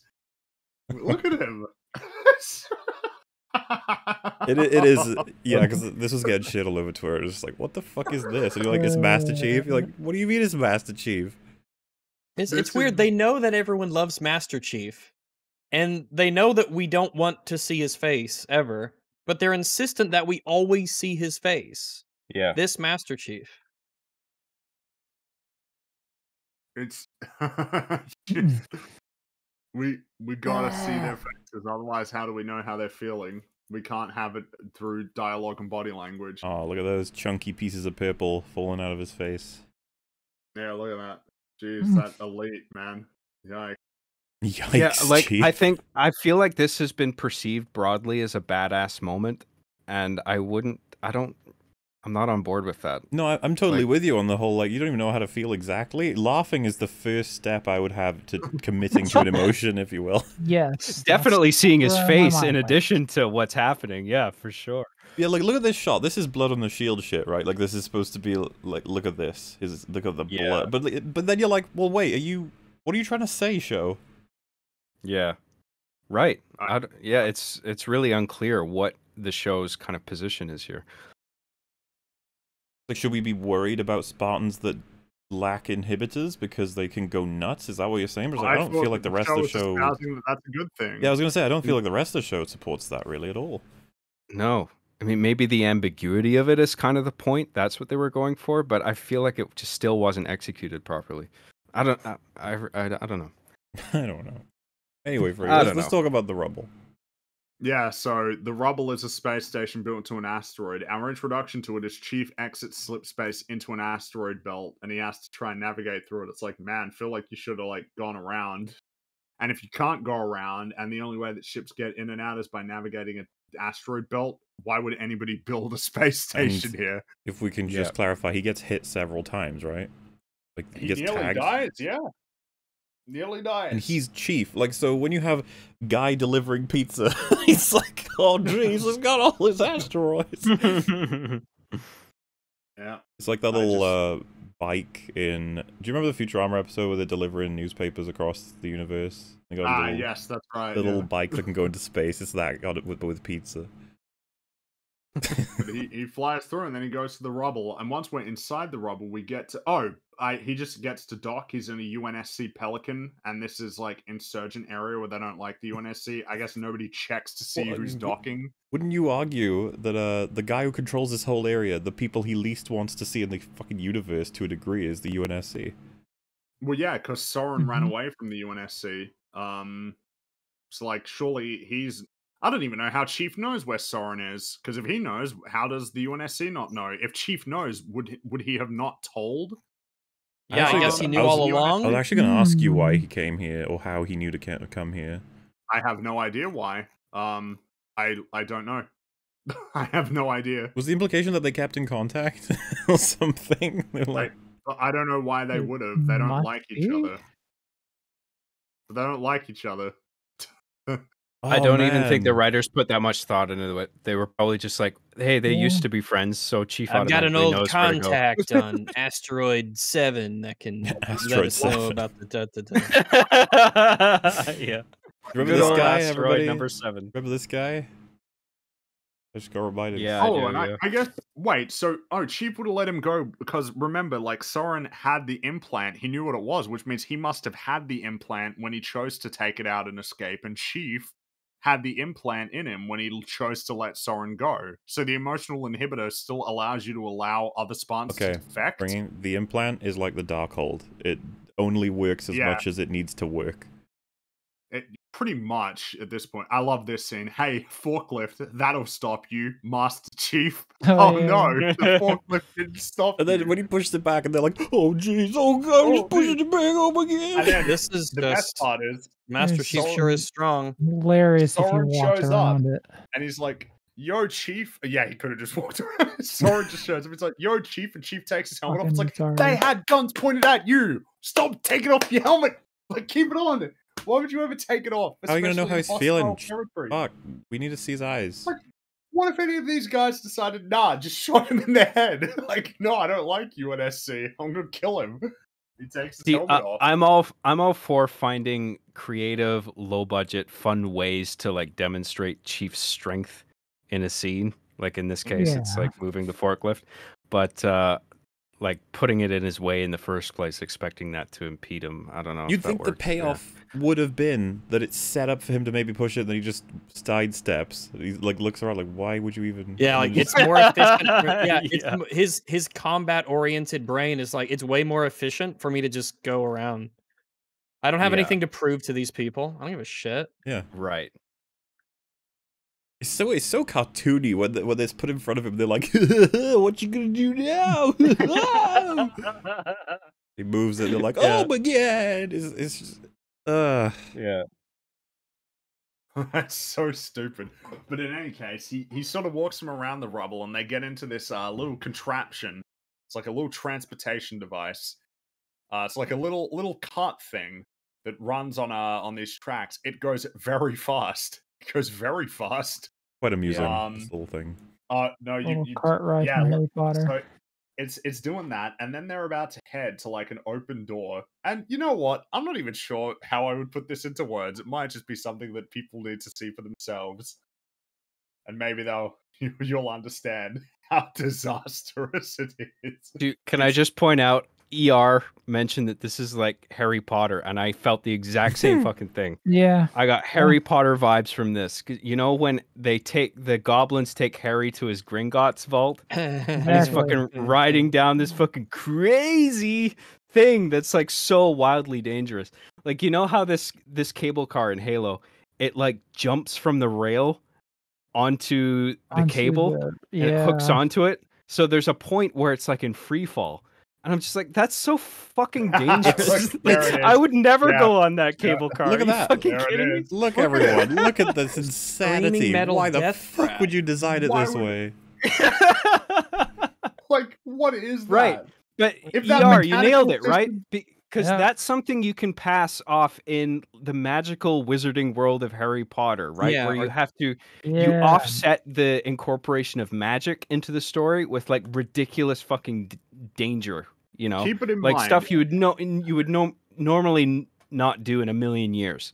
But because mm, magic is part of the story where anything is possible, they kind of that- balance each other out, right? Wait, are you talking about Halo or Harry Potter? I'm talking about Harry Potter in this Harry sense. Potter but makes okay. sense. in, in this Halo. context, it feels like Harry Potter, but it makes no fucking sense because this, this- is supposed to be a grounded, like sci-fi show, not Well, think fucking about this. Magic. if this mechanism fails once, you're dead. You Yeah, just you're fall- fucked. like You just fall to your death, yeah. It's Well, like it's not even the, it's it's multiple points of the, you have these multiple there has got to be a better way to travel I- around the city. I'll go There's further just- than This that. It's is not madness. It's not even better. It's just it's a matter of safety. The reality of this scene, if they weren't so obsessed with like making sure that we're entertained at every point, you, you would slow. It would be a slow trip anyway, and you'd slow down at the exit, and it'd be like you just hear all these noises like beep beep, organizing stage one, please stay clear, and then like an arm would come up and connect to the thing. And it would be like stra- integrity of clamp 100%. Please press for approval. You do, and then he has to call someone. He's like, "Can you please just would- set that we're okay to travel across the thing?" And it's like, "Yep, yep, we can do that." And it's like puts It'd the be phone like a cable car where it would Yeah. be slow and Yeah. boring, and this is the moment that you use to have characters talk to each other or something. It's like we're traveling to a place we need to go for the plot, but we've got a moment to breathe and we can explain things. And this crazy Harry Potter Doctor Who contraption where millions probably die every single day. Millions die Um, every day. it's just it's insane it's absolutely insane and it's not necessarily bad because it isn't this way but one of the things about halo's universe that is so great is how believable it all is the Yeah. technology of humans the buildings the, the- all the stuff at that they that use the ships it's all so immer- it's so easy to believe that the This real easy for me, future could be like this If Halo doesn't but this exist is just nonsense as a source, I would just be like, "Yeah, so this is just he's an idiot. They're all idiots." Like, Yeah. this What? is all I think they about. want this. to die. Canon- canonically, they want Yeah. to die. Like, why that's in this era can they not design a cable car system that seamlessly transitions from a rail Exactly. to like a cable without having to hop from one to the other in free fall? That's so fucking dangerous. I'd be like, is there another method of transportation I can take? Like, I wouldn't. why? I would never get on that. No Well, way. You kind of assume as well that they are there's an atmosphere that they've developed, a false one, but they end up like just traveling in this little cart out into space at one point. You're just like, man, Yeah. This By this the cart way- does not feel like it's space ready, but I guess it is. All right. this Yeah. cart, there are no straps and seats that you like Nope. put your down you put yourself down into. It's not like a roller coaster ride where you have to put the clamps down, lock it in place. There's no safety belt. You're just standing inside of this metal box as it accelerates and decelerates and flies through space. Yeah. and everyone's Right. just standing around inside of it. Like this is Got normal. And what if it malf what if it malfunctions and misses the cable? You know that movie uh Life with like Ryan Gosling and uh Yeah, yeah. think Ryan it's like Reynolds Ryan and Gyllenhaal. Yeah, Ryan Yeah, Gosling's no, no, you're you, yes, you're right. Ryan Reynolds. The the end of that movie, like uh there's sorry, I don't mean to spoil it, but there's like a person like go, that goes out into space in a capsule and they're just like screaming because they're just going out into endless space. That was that would that's what it would be like if you're in that cable car and it missed. Yeah, You just yeah. like drift out into space endlessly. You'd be if like, anything "Ah!" malfunctions, you're just like, yeah, on the oh, window. there I go. I'm done. Like, That's yeah. the end of me. It's like I guess I'm dead now. Cool. yeah, that's one of those very lame ways to go. I suppose you get to look around for a while. Hopefully, not everything is just They darkness. probably, you know, they probably have a whole battalion of people devoted to finding them and bringing them back because of the failure rate on these things. They have entire flotillas of ships dedicated to just bringing the pods back because they miss so often, assuming they don't slam into an asteroid and kill everyone inside. Mm -hmm. Yeah. Oh, disaster. yeah. This is so dumb. There is nothing. This is one of those moments that makes you go, "Wait, this is a Halo show, right?" Mm-hmm. Right. Mm, yeah. No, it's a, it's this, their own Allegedly. crazy, wacky world. This is very silly. So what else Uh, we got? what happens next?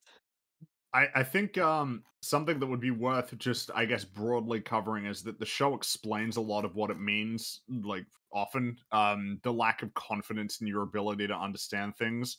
One of the examples of this would be one of the few moments in this show where- I think when we watched it, was like, huh, hmm, was when Halsey used a clone to escape.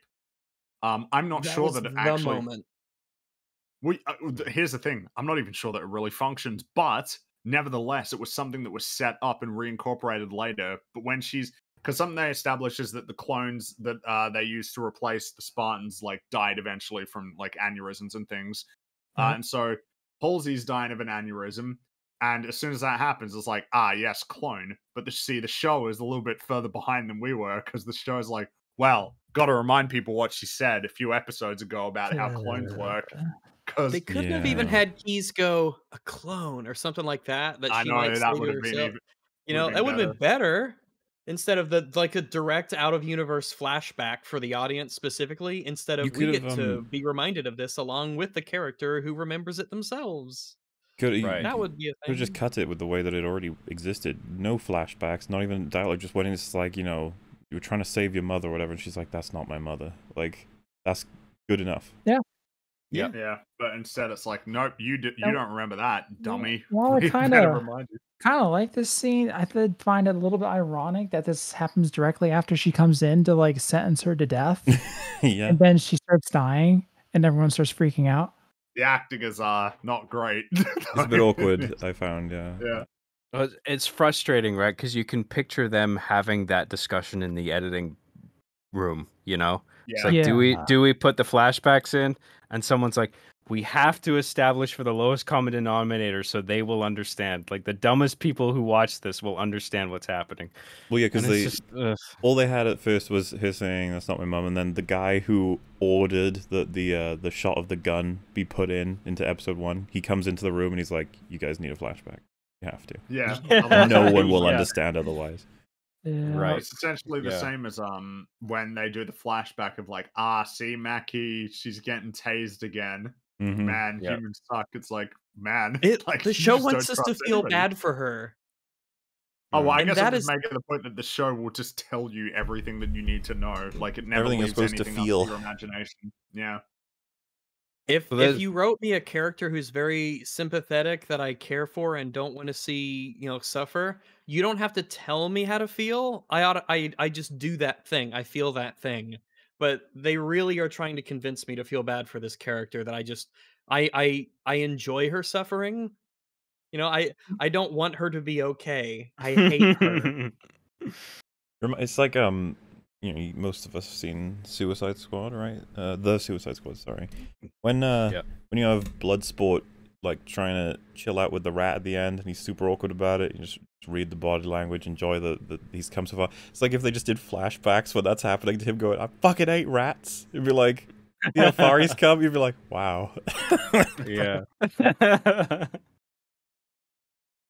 This show has a big characterization problem for sure. Like I, I don't believe that the Spartans have a bond.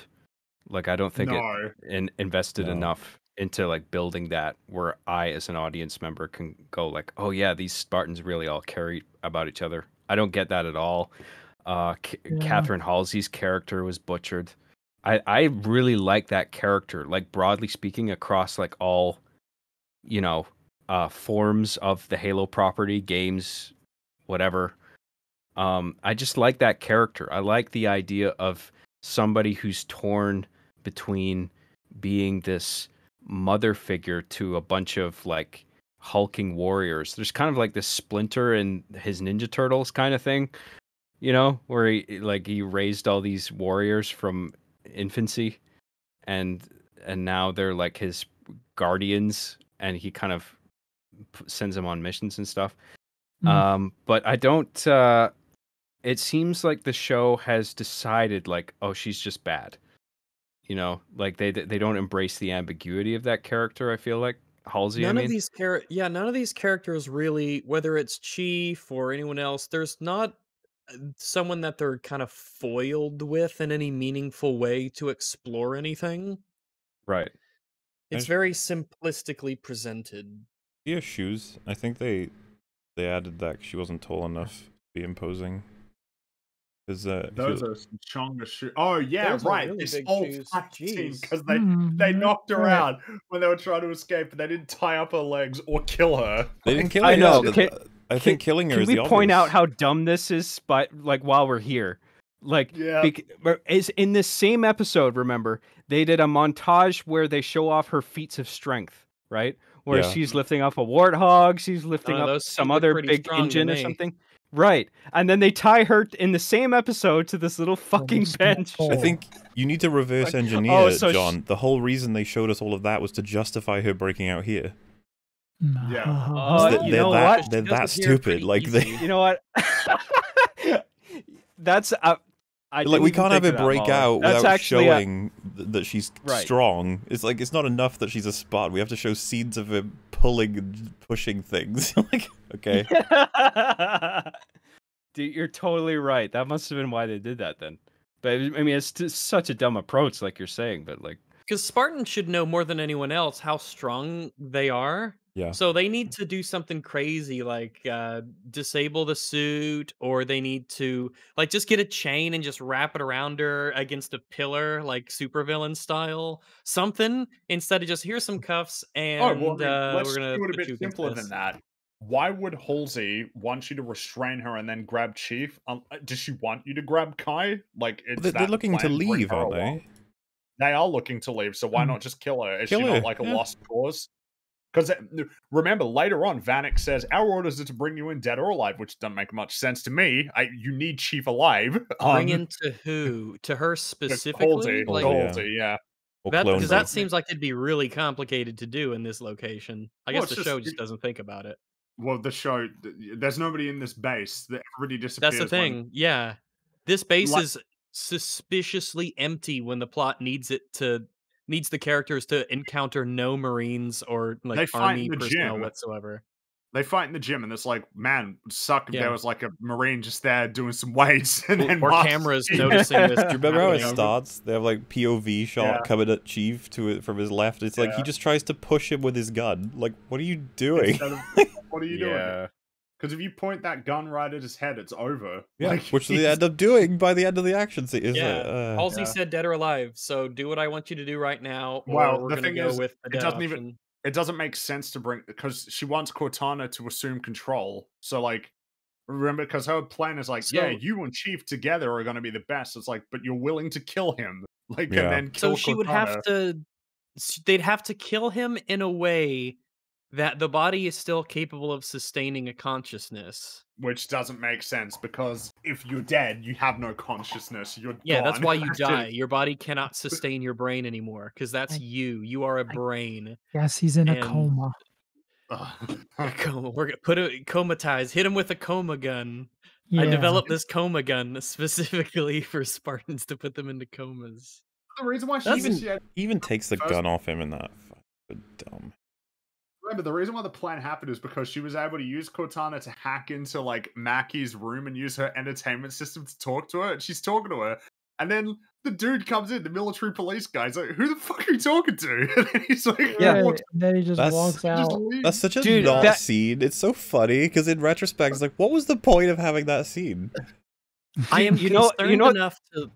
I Go the guard is concerned enough to leave his post to come inside, ask her specifically, "Who are you talking to?" He looks around for six and a half seconds, and then without another word, he leaves and goes back outside, And then the Skyrim conversation guard style. I guess it was just the wind. the conversation You're- resumes and he never comes Yeah, back. yeah. It what is- I thought of He's was the, the a guard time. from Metal Gear Solid, where they come in. It's like, what was that noise? And then they run. they they do a little, little uh, like alert patrol, and then they go back to their default routine It routine, really where it's just like is. nothing It ever really happened. is a Yeah. video game It's- adaptation. Very video gamey. Oh, yeah. And then it's and it's just so funny because Halsey's like, "Hey, Makee, convince Chief, who hates me right now, to get to get the uh, the keystone and bring it to me. You can convince him." And then she says, "No." It's like, dude, even if she said yes, why do you think the Chief would do this for you? He hates you. He tried to melt you. He Yeah. tried to turn you into a puddle of goo. Why do you think? This and this is all assuming that you can just maneuver through the base. Like, what does it mean to take the keystone? Isn't it under guard? Aren't there like marines everywhere? Your plan is absurd. Wrong, Fringy. Yeah. She steals it easily. She does steal it easily. She just grabs it and walks out and tells. uh, She shoots a marine, a g- marine who's there, and then the other guy tells her where to go instead of not saying anything and dying nobly. like he decides to help her, and then she kills him anyway. And I'm meant to feel bad for her. Like I don't care about her. She's yeah. a What do you bad mean, man? person. Makee is such a like. They've packed so much time into this person. and She's dead now, and it's just like, And what was her story?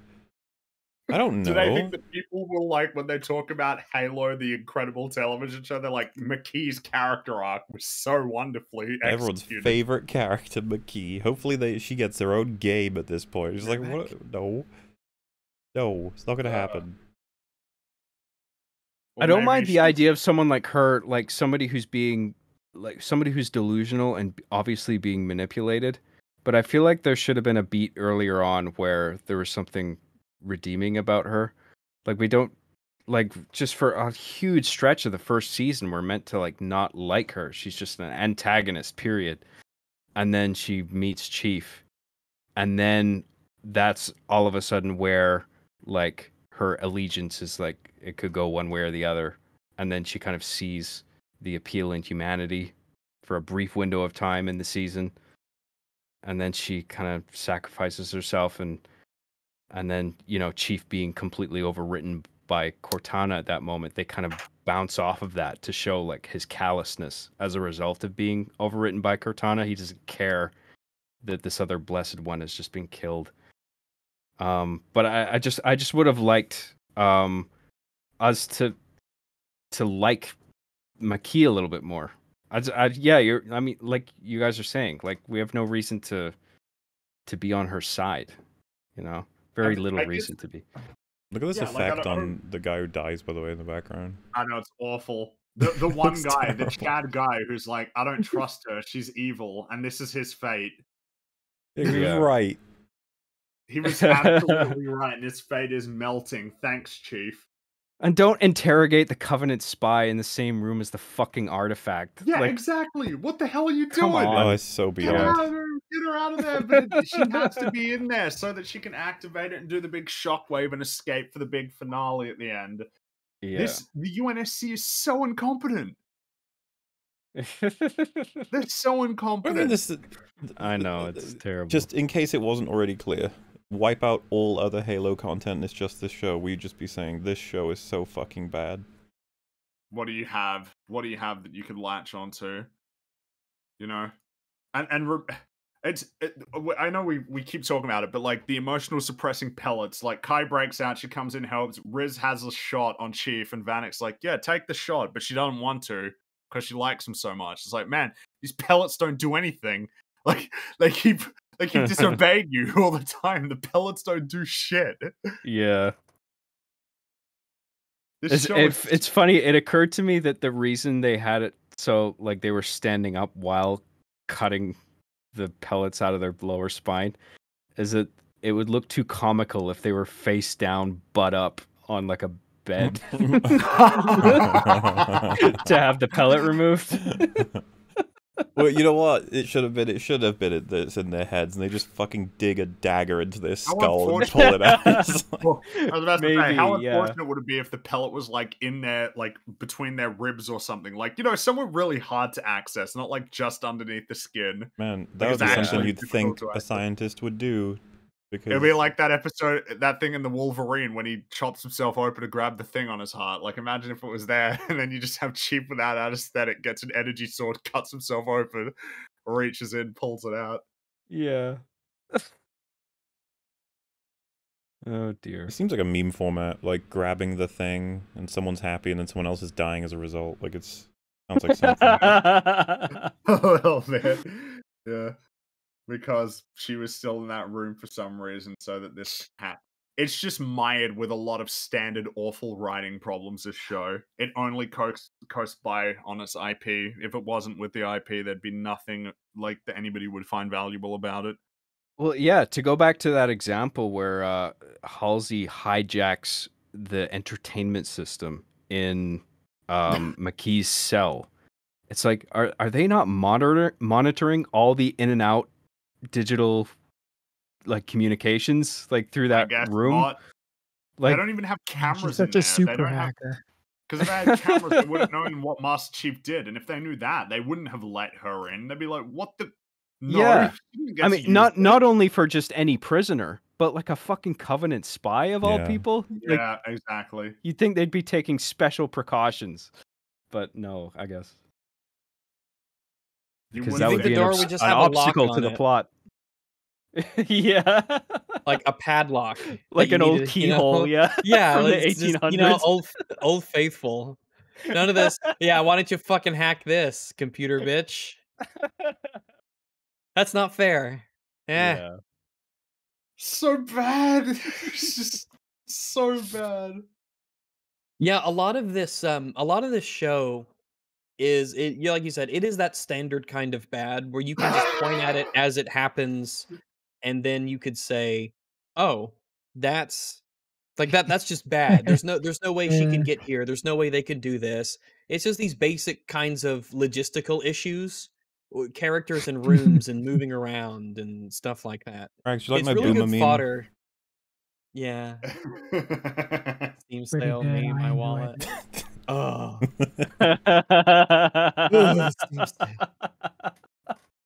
Look at him. He's, his He's wallet suffering. Is gone in hell. Nice. Damn you, Gaben. Yeah. the one guy who was right about her all along, the show punishes the hardest. It Interesting. you the hardest, yeah. He's got, like, Interesting. most painful death. And I'm meant to feel bad for her when she like gets shot and dies like that. Man, sucks for you. You know, Yeah. like I'm, I feel so bad for you. You know, if only you felt that bad about all the people you killed, many of whom died horribly, like them getting crushed by the uh the the the. I can't believe. uh, Why is their name gone? The the worms, the uh monsters. I don't know what they're called. Yeah, the the worm things, the hunter the, worms. the hunter worms, I guess we'll call them. Like, damn, that guy seemed like he was having a really bad time. A lot of them died by getting crushed by hunter worms. That's a pretty terrible way to go. Like Yeah. getting killed by boa constrictors. Well, Man, yeah, sucks but, for but them, someone you didn't tased her when she was younger, Fringy. I, I like that. Someone tased her so she can do whatever that she justifies everything. Yeah. Oh, oh, sorry, we forgot. So something that's worth noting about this scene Forgot as well. What? Miranda, Miranda is uh, trying to. They've got a message from the Gladius that includes Makee on the call, speaking in the Covenant language. and She's trying to decipher it, and she's like, "Hey, listen, uh, uh, uh keyes. Um, hey, ta- take a listen to this. See, like this is so weird. When I put it through the filter, she's speaking so high, like it's a high pitched voice. It's so weird, and it's like a weird accent. It's like, hmm, Miranda. Now I know we have extra information because we're watching the show, but a weird accent, a really high pitched voice for an elite, and you have a covenant spy at your base who lived with the a young for woman. Fluent yeah. in Sangheili and is a woman. really- But they Hmm, don't have this Hmm. language translated fullest Stroke by this point moment. anyway. I'd recognize Yeah. that Irish accent anywhere. That's But coming. then- it reminds me of. Do you guys remember that episode of Breaking Bad? Would you like Bad? to be going to the great journey? Remember the episode of Breaking Bad where Walter is trying to explain to Jesse what can, uh, like what what element is able to uh, conduct electricity? He's holding wire. He's expecting him to say copper, and he just goes, "Yeah, wire." yeah. Like that's what you would be like with her when you explain all of those facts. You'd be like, "So who is it?" And she'd be like, "A girl elite." You're like, Yeah. "Uh, no." A lady Well, elite. so so here's the thing. right before she's about to do the uh the test, she figures it out. She figures it out, and then she wants to do communications. Alas, Halsey is jamming all communications to the uh, base while she executes her plan. Unfortunate. Miranda's got to run up to the room and tell them what's happening.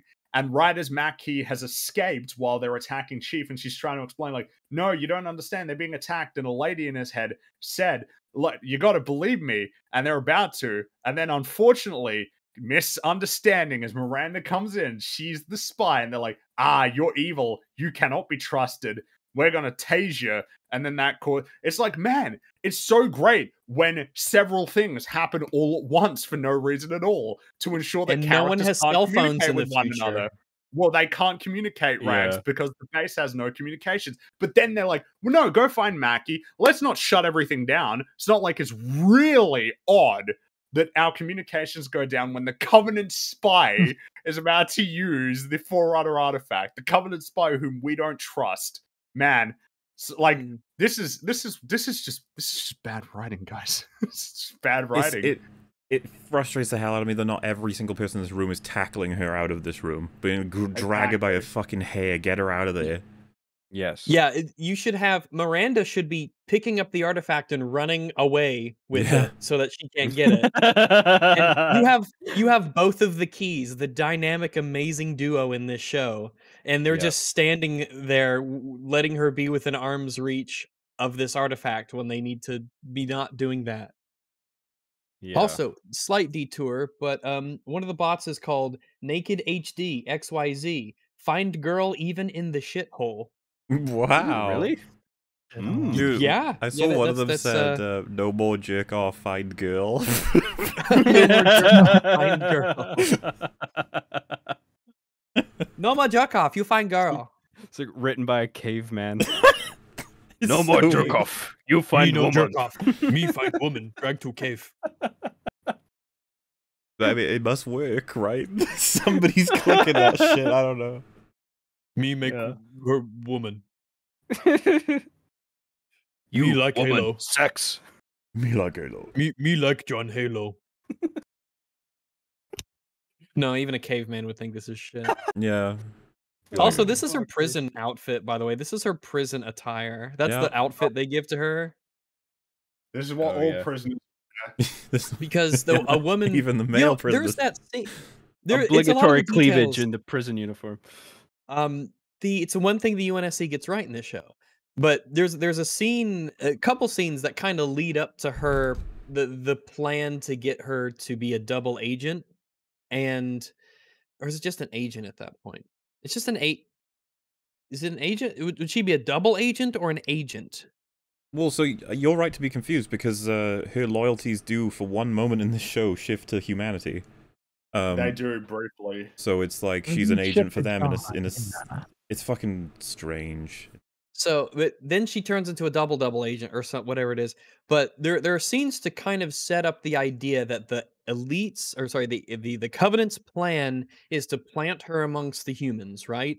And I assumed this would be done in a different way. When I first heard this plan, stupid as it is, I thought the plan would be that they capture some kind of a human vessel and she just sort of inserts herself subtly into human society and enacts some kind of a plan and she just blends in with humanity. I didn't think that they would do it this way where she is very very conspicuously sent down from an alien ship on an alien drop pod Yeah. Yeah. and you know that's not how i imagine that plan working out because that's so bafflingly stupid they also they have a scene where she she tells elites i I guess the implication is before she gets jettisoned to the humans they imply that she wants the elites to beat her up so that it looks like she's yeah. actually been a tortured prisoner Mm. but they never do.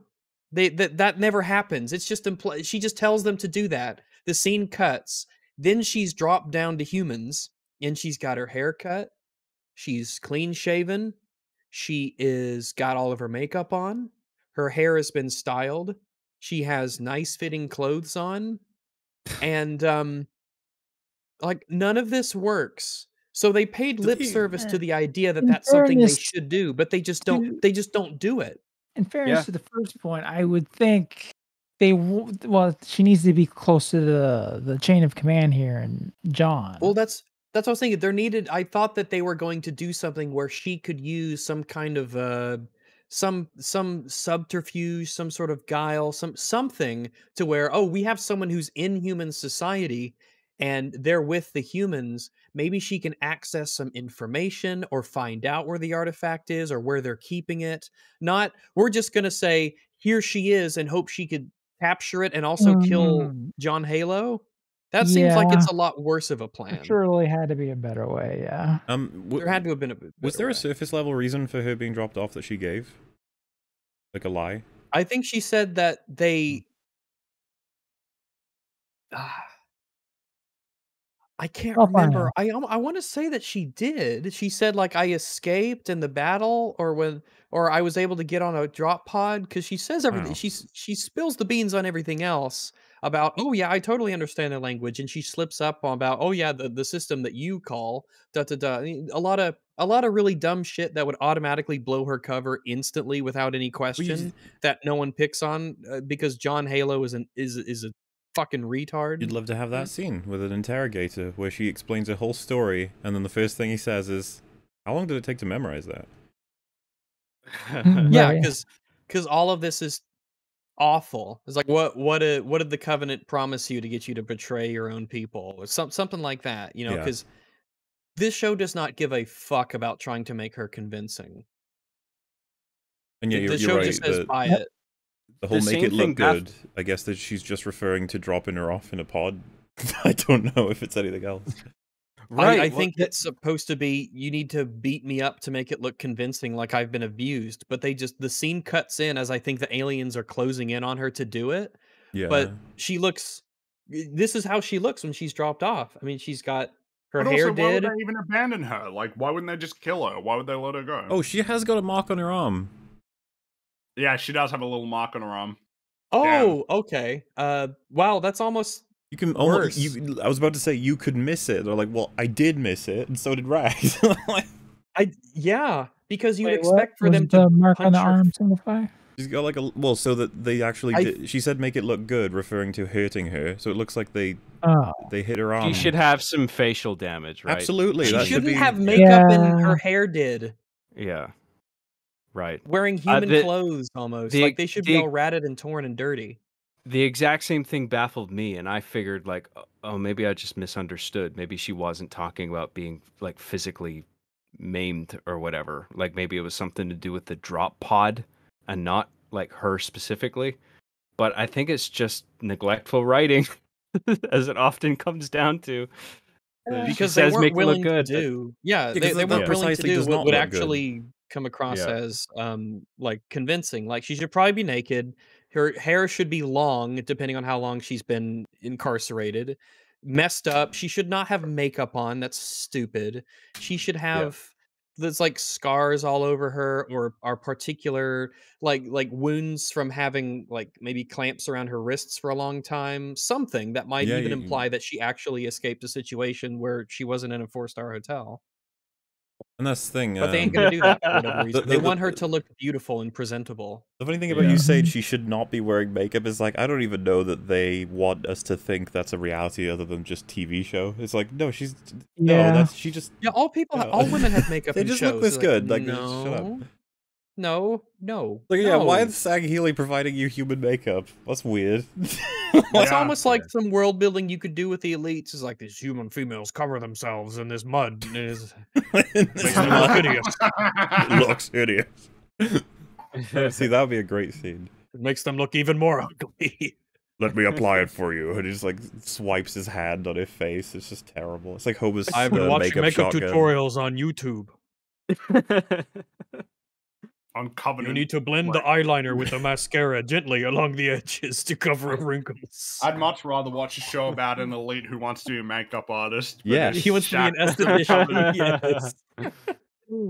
It's like, Elites you have no hair, but I son. would hair for humans. I don't want to fight. I want to. I, I won't. I won't put makeup on ladies. It's like that's not the Sangheili way. Look, there's anything, anything else would be preferable. All right, Yeah. I'm desperate at this point. Please. Did she pass out for real there, or she's got to No, be she- fake? well, she's got to well, be so faking it, that's- right? Yeah. She's faking it in the 26th century. Like, and then later on on the ship, on the medical ship, she's going like, uh, duh, duh, duh," while like she's meant to be sleeping, like she's sleep talking. It's like, do you not have medical equipment that would reveal she is very much awake and alert and faking it? Dude, you just want Chief to walk over and kick her in the arm. She goes, ah. He's just like, why are you fucking with me? when I was in search and rescue, who headed it up was an EMT. Um, and he said one of the things that they do regularly as EMTs is when someone passes out, they they always check to see if it's for realsies or if they're just passing out to get like free attention or something like that because that's a thing Yeah. people do. And one of the things that the way that they check to see if someone is actually passed out is they will hold their arm up above their head. Yeah, they'll hold their hand up above their head and they'll drop it. And if the hand actually just lands on their face, then it's probably it's more likely to be real because if it's fake, then people will let their hand drift away from their face so that their hand doesn't smack them in the face. It's one of the tests. Oh, wow. Yeah, that's clever. Smart. Well, it's also just tickling him. like, Yeah. like, hey, stop, stop it. Oh, yeah. hey, stop that. Yeah, like they're they're trying to they're still acting like they're passed out, but they're like smiling. It's like It's like, I can see you smiling, it. and they're like, no, you can't. Trying so hard not to smile. Yeah. people are untickleable though. Yeah, I guess it's not uh, foolproof. We're just having Oh, I'm just joking around. what of those who are tickle proof? tickleable ones who cannot be tickled. One in five hundred million cannot be tickled. you are the blessed one. You're immune to the tickling. Like chi- Yeah. now, chief, Tickle. chief, chief. Like someone tries to tickle him and it doesn't work. He's like, "What am I?" What Like, am I forgot we didn't talk about that. That's in episode two when he doesn't have the emotional pellet removed, but I guess he touched the keystone, so he goes crazy. He's talking to that guy, and he's like, "What am I?" And then he grabs him and slams him into the wall and screams in his face, "What am I?" You gotta, you love to see it. Master Chief screaming, "What am I?" Yeah. It's the same energy as Walker saying, "Do you know It I is. am?" It's, it's it's exactly that energy. It's like, how do we make our characters interesting and complicated? I know they scream at people. Yeah. what am I interesting. screaming? Oh, yeah, there it is. I'm not sure what the it, fe- I I don't know what else I would be highlighting except for just the smaller portions of stupidity in this show. That Oh, scene with he is. Reth made me laugh because they were obviously doing to me like a Silence of the Lambs type thing, where they walk past all the c- cells of But crazy had some people. churros. It doesn't really work out. Yeah. And so, if you're gonna do that Silence of the Lambs bit, either the person at the end of the aisle is going to be like, like Silence of the Lambs, where he's eerily kind of calm and uh, idle in comparison to the other cellmates, or he's going to be just like this ridiculous scampering person, which is what en- ends up being the Reth character. Which I just can't believe. Like, I've like if you were Reth, like how fucking exhausting would it be if you were just scampering around like a feral Sorry, animal all the time? in You know? chat have said that uh, apparently Reth was a jackal. That's why he knew everything that he did. He was um, a like in jackal? Oh, the- really? Yeah, like in the offensive, in the game. but uh, why? oh, I thought you I- meant this guy was a jackal, and I was like, how the? No, no, no, no, no, no. That that in the uh in the in the expanded lore for the games, he's a jackal. Um, like in the books, and that's why he knows so much Right. because he's part of the covenant. Is But Reth here in the books? Apparently, he is, and he's a jackal. Yeah. Oh wow, Oh wow. So- that's interesting. But- I had no idea can't- of that. Jackal's aspect not relatable. Okay, they're not relatable. They're No. not humans. You can't relate to a jackal. By the way, the jackal great in this show. Every oh, dude, all of the stuff that's like what they're meant to look like with the aliens is looks like, cool. It's just a shame. Look great. The the jackals look particularly great. It's just th- these are they barely show up, and it's the only thing you could praise about this show is like, yeah, some of the aesthetics are impressive. But that's like that's the nature of this show, though, Right. is that like every everything it is surface level in terms of anything that it's trying to meaningfully pull from the source material. It's just things look like those you know they look like in the games and they kind of sound like the stuff in the games but that's that's it. Otherwise it is it's we didn't know that, that they're three round burst. We knew to have DMRs. We didn't know that they're semi automatic. It's that kind of thing. Like, you just well we it's knew to have lack of well i think the the clearest like, example of that is re- remember in uh, episode 9 how like they use the sniper it's like it's not suppressed it's like that's just a sniper rifle it's not suppressed why is it suppressed and then of course just like i don't know man using plasma pistols to get headshots at long range that doesn't feel like what the plasma pistol is does it not make more sense to give him like carbine or something or um or like some sort of rifle you know but it's just I don't know. It's just like you can pull stuff from from the source material, but like it's not They didn't- meaningfully implemented, and a lot of it is contradictory anyway in terms of like what is shown in the show in terms of how things work. It just keeps changing. Um, it's really huh. Really is, huh? It Yeah. really is. Um, It is quite. yeah, it's just. Oh uh, yeah, in episode one, you've because when the when the elites attack and they're using their AK forty sevens, five hundred year old weapons to fight them, their bullets don't take down their shields, but for some reason the Spartans, their guns do. Oh, they I think just the, take down their shield. the the classic uh, thing is the same gun being used by a human does nothing, but if a Spartan's using it, it does everything. It's like that doesn't It's what? yeah, exactly. It's That's just how it's, mafia works.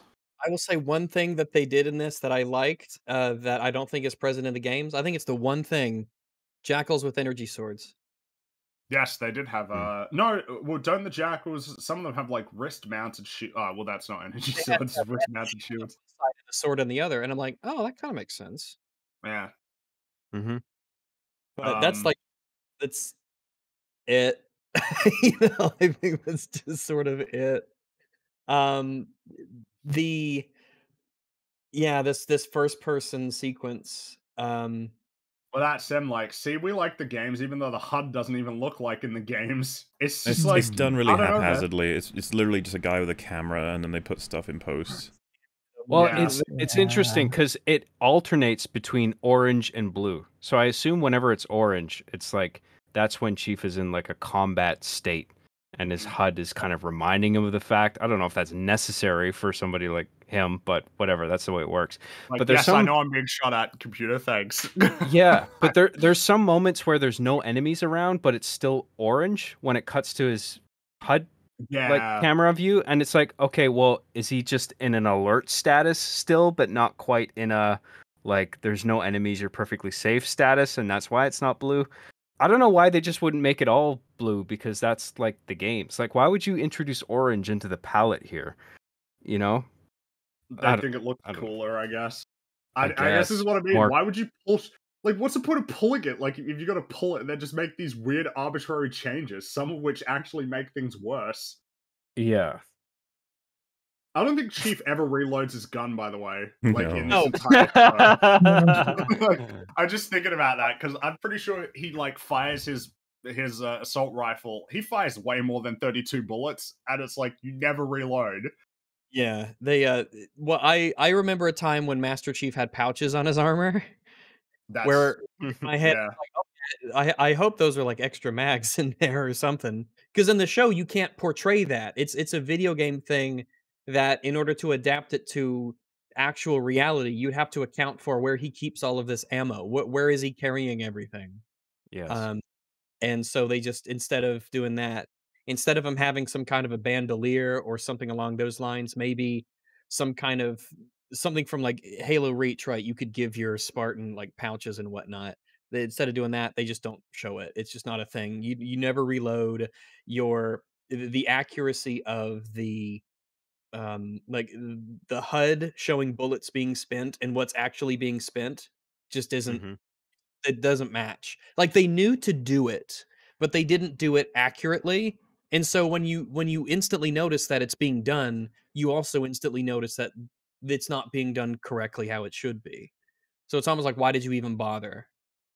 You knew to do it to do it correctly. It's like the shield noise. You knew to put the shield noise in, but you didn't care about having shields actually like work as they do in the game. Yeah, it's weird. Yeah. Oh. Everything does what it needs to for the sake of the plot. That's kind of that's, that's the it. and th- there are big parts of this that we didn't get into a lot of it relating to Kwan as a character um because again we just to stress this point she goes into the desert and finds witches who give her a spirit journey where she sees a monitor and it's like that this is a whole part of the plot is just her doing family stuff with the resistance fighting against it's all just it's all shit and boring and just what Completely irrelevant. yeah it doesn't lead to Has anything no bearing on the main story at all. You get to watch Master maybe Chief in Killer a couple two. times though. That was Yep. nice. I did appreciate that. those are the moments where master chief was my self-insert and i could just kill her multiple times so we never got to see her again but even that sequence like what was the point of that sequence master chief kills her a couple times in this vision and then she She says doesn't even actually beat him, right? And then it just stops. No, he just stops. She's like, "What do you want? Like, what is this?" And then he's just like, "Ah, no, I'm I'm not gonna hurt you anymore." It's like I don't understand what this is What meant was to that? represent. in her Yeah. because they I say What you does this mean? but then I- you don't fight him that's how you win is you don't fight him you have to tell him that Uh, i don't know It doesn't make a lot of sense though when like later on she has to fight all these people to win. You know, like Yeah. I get it. She has I to think- fight the bad guys and blow them up to win. I think the ultimate reason for this scene was to have the sensationalist trailer shots. You know, Probably. where you have a sneak peek of the episode. It's like, what? Kwan is fighting Master Chief. Whoa! I gotta tune into this thing. Well, Um, they had to do a is lot of selling for this episode, especially. right, yeah. The- I, f- I feel like there is something here about like, because at the start of the episode, Kwan is like, "Rage is all I have left," and then they're trying to, I guess, teach her a lesson about how you can't just use rage to win a fight, like, you, or I don't guess. engage in a fight that you can't, in a way that you know that you can't win, right? Because like she keeps going up against Chief and she just keeps losing because she can't compete But- with that sheer amount of force they I tell feel like that. to fight him in the ahead. vision and when she tells them that rage is all she has left that's what changes their mind into accepting her because originally they're like no go away. Uh, you can't control yourself. And then she said but rage is all i have left. And then they train her or whatever they let her in that's what gets them to because it does none of this makes sense it doesn't have a purpose or a point there's nothing to it it's just like look at all these people Right. standing around all these women witches in the desert in this halo show watching master chief in a spirit vision beat up kwan so that she could go to a well where she sees the monitor and then the, her ancestors talk to her in this vision and tell her that she's a protector with a capital P. And and like I don't know what any of this is supposed to what are you trying to tell me? Well, based off of that, the rage is all I have left line. I thought the lesson of the fight sequence was going to be that you can't just use rage to win the fights you engage in, but it didn't like do anything with that. It just like eventually, like she just dies a bunch of times, and then eventually Chief holds out his hand, and then she takes it, and then it just transitions to a new scene, and it's like, what did that? What was the point of that? so I suspect the point of it was to just use it for like promotional material. It's like Chief and Kwan fighting each other. Whoa, you know. Probably right. Made for a riveting I- episode. Oh god, this was one. Of, this was like the most boringest episode in the history of always. Because all it just, uh, uh, I re- remember the whole sandstorm thing It was and funny. her ambition to guy. It was it was incompetence that oh, was hey, so. when s- she broke out of scary. her Oh yeah, at the bike with a rock. That was fun. Yeah, that was fun. Uh, she smashes the hand, or no, a piece of the bike breaks off. That's right. Yeah. Yeah. Yeah, it breaks off when even though the rocks disintegrate as she uses them to try and break it. yeah. They disintegrate till that comes off and then she can escape. And then tase what's his name in the back of the head and that knocks him out. But when they use the taser on um what's Makee, it doesn't do anything. It just makes it painful. Yeah.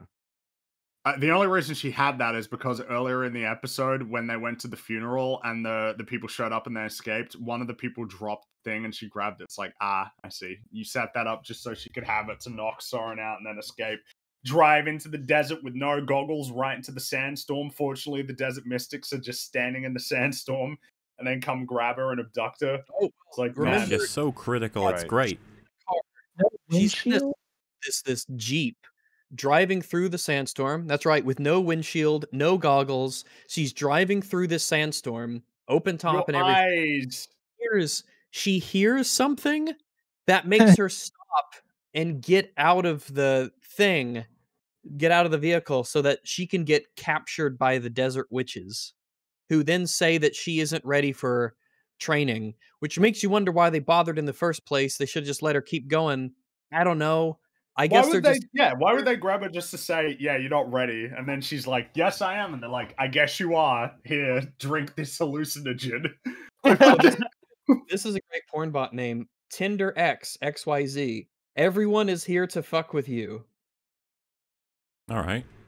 It's always fucking with me. I wonder if that was the same drug they had on Rubble. You know, it's like where Kwan is like, "What is that?" Oh. They say clarity. I'm like- I'd be like, mm, "I don't know. I'll take a pass. I'm not sure."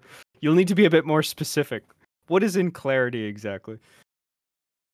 I remember that that woman because that's his wife. She says that her planet was glassed. It's like if there are people who are around and their planets have been glassed, how is it that nobody believes that the Covenant are real? Like in these outer colonies? Propaganda, bruh. Like yes, your propaganda. It's like where is your home? Oh, it's this planet. You can go take a look if you want. You won't find anything though. It's just glass everywhere.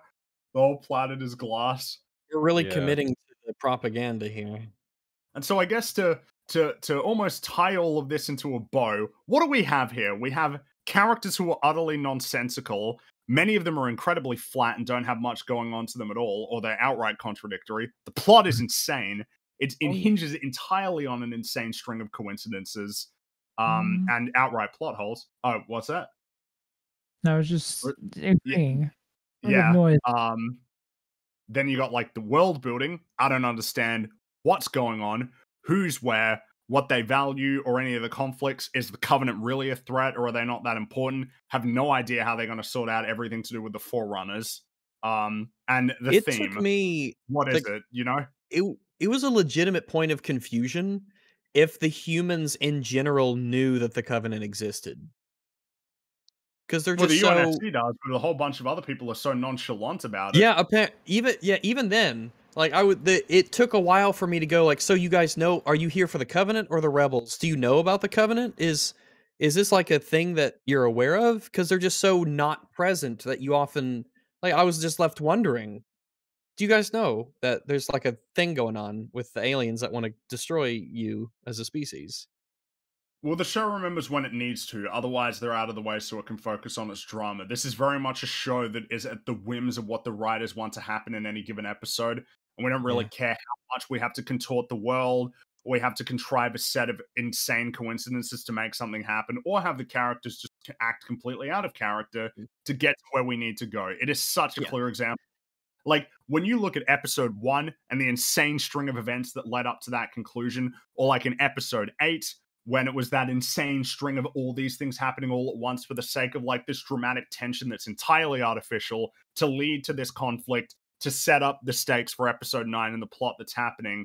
It's just everything in this show just bends and buckles in favor of whatever they need to do, which for the most for the most part is expediency of getting to exactly where they want, regardless of whether it makes any sense. So you're kind of left with a show that has like kind of very, very few redeeming qualities when it comes to the writing. I don't even know what I would highlight, honestly. I don't know what I would say. I don't know who I'd point to and say, that was a good character. Because even Soren, it's like, I like him. I don't know if I'd say it's good. Um, Yeah.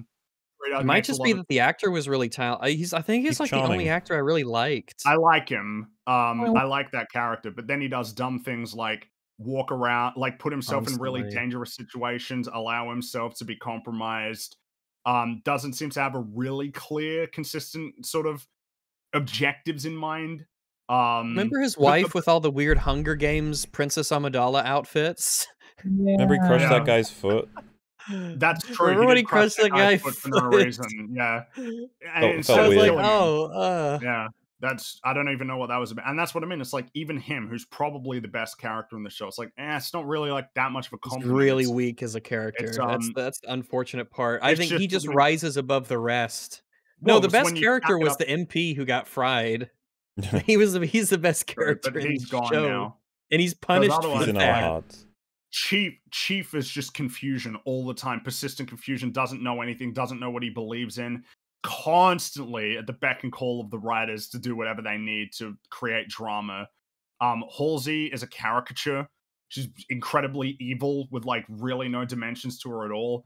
Um Keyes, both of them are really flat. They don't really have a whole lot going on. Ke- Like Keyes is remorseful about uh his involvement in the Spartan program, and that's about it. And he, times, he yeah, and they only bring it up a couple and- times. Yeah. And Miranda doesn't like Halsey. That's like the big defining trait of, of her. And then she's a scientist lady. But I don't really know what she believes in other than vague principles of goodness. Because that's about as deep as it goes. Nine episodes, 50 minutes apiece. And that's like the most that we get for these characters. Awesome. Cortana, I don't know anything about what she wants or what she believes in. Um, Makee, is Like a I said, it's- mess. for those of you who don't, it's probably legit. I don't think it's copyrighted or anything, uh, or content ID'd at least. You could probably put the um that the Arbiter opening sequence from Halo Two into just show people. If you guys aren't familiar about the games, this in X minutes does more to establish different characters, factions, and world building than the entirety eight hours or so of the Halo show. This one Yes. cutscene does. It's Yep. full of more artistry and passion and talent in terms of writing and, and just sheer information in, in time as a ratio than the entirety of the Halo show. And that's It's that's stark def- contrast. That's the case for sure, but the show could have not been that and still could have been That's competent. true. But it's just mired with you, you have so many examples of like the world and the plot refusing to acknowledge the situations that the rules that they've set up. The Spartans are automatons who do exactly as they told. Chief is disobeying like protocol. Hmm. Kai's putting like gun grease in her hair to dye her hair red. Hmm, that's a little bit odd. Chief's sort of just walking around like in the city. Huh, strange. How come the world isn't responding to things that they ought to be responding to, considering how important he is, how established it is that he doesn't breach protocol or like not follow orders ever? The world doesn't respond. We've got a story that we want to tell right now, so we don't care about that. Like when we have the entire scene in episode one where we have like the whole Kwan thing set up so that Chief defects, comes back. Well, no, we're done with that. That plot point's over. We're finished with that. We're, we're done. Like, we're, we're not going to acknowledge that anymore. We don't need to talk anymore about what Chief did and how this decision's going to have ramifications on him, or like him trying to kill Halsey a couple of times. Well, no, we got the scene. We got our big dramatic scene that we can put up on Twitter about how cool this show is. Um, we don't need to deal with that anymore. Like throughout the show, it's, it's just it's co- constantly like buckling and bending in favor of like stupid payoffs that are not that impressive. It's it's so incompetent. Yeah, that's it's a five and a half minute cutscene, and it's not. j- It's it's everything between introducing Arbiter to him starting his mission. Yeah. So the shipmaster's in there. It's the first time we meet him. Uh, prophets are introduced. And I, I can't help but be impressed by how quickly it establishes Arbiter as a really likable character uh, in that game, despite the like the initial circumstance he's in. Like, like you you see him like the first scene is him getting chewed out in front of all his alien peers, right? And you get a few things established. He's a very competent warrior. He's deluded. He does what the prophets tell him to, but he's very good at what he does. He's acknowledged that he's made a mistake and that he's going to do his best to rectify that and fight onward for the sake of the covenant, but the covenant will not give him any leeway. Like they all just want to fucking throw rocks at him basically. And you feel sorry for him really quickly. Where like he's like they strip him of his armor, they burn him and he's saying like you know, if you came here to watch me beg, you won't be disappointed. Like lines like that, you know. Like it, it does such a good job of establishing him as a very likable character in one scene. Like, f- like this, sh- Yeah, the five Halo and a half You've show. now reminded you've now reminded me of something I remember. This show has a lot of lines that it thinks are really impressive and cool that they're clearly proud Yeah. of that aren't that good at all. What's the the show in in general saving is humanity really if we're going to give up our own? It's like, wow, you were really proud of that one. Do you re- do you ever ask? Do you ever wonder why you never wonder why? I bet they're like, haha, see, that's fucking clever. And it's like, fuck, man. Like these are really not that impressive lines. There aren't really any impressive lines in this show at all. There's no like iconic No. line that I can think of where it's like, man, that really encapsulates that point. Or wow, that was like a really strong wordplay. Or hmm, that tells me a lot about this person, what they believe. There's nothing. And it's kind of funny when you compare it to the games that have tons of like really memorable lines, lots of memorable lines. Partly because Right. the characters kind of only say what's necessary a lot of the time. Yeah. It's kind of crazy that like a professional show that was written by professional writers has much less memorable dialogue. And it's not Yeah. about the quantity because there's tons of lines throughout all of the games, and there's just so many that you would highlight. The Gravemind has tons of awesome lines. The Arbiter has tons of cool lines. Chief has a lot of cool lines. Cortana has lots of fun lines. I don't know what happened. were Yeah. it so easy? I cannot stand this idea that there was no cinematic storytelling merit to the games where the showrunners were just like, we're gonna do our own thing. It's just like, Our own shitty thing. dude, how dare you? Like, I don't mean to sound overly dramatic about it, but really, like, there's so much good material here, and it's like you're insisting to do your own thing that's inferior. Like, I, I don't expect the show to be exactly like the games. What I do expect is to be equally, at least equally, or more compelled by the storytelling of the show as I was by the storytelling of the games. That's it. The, the games did a better job. Sorry, you failed. I don't think anybody thinks the show did a better job. yeah.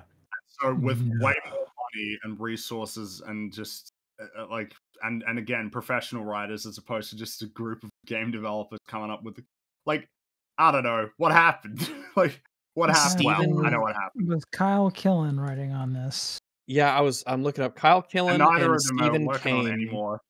They both left. Uh, one of them left partway through filming. The other one left after season one completed. A good omen, I'm sure you would all agree.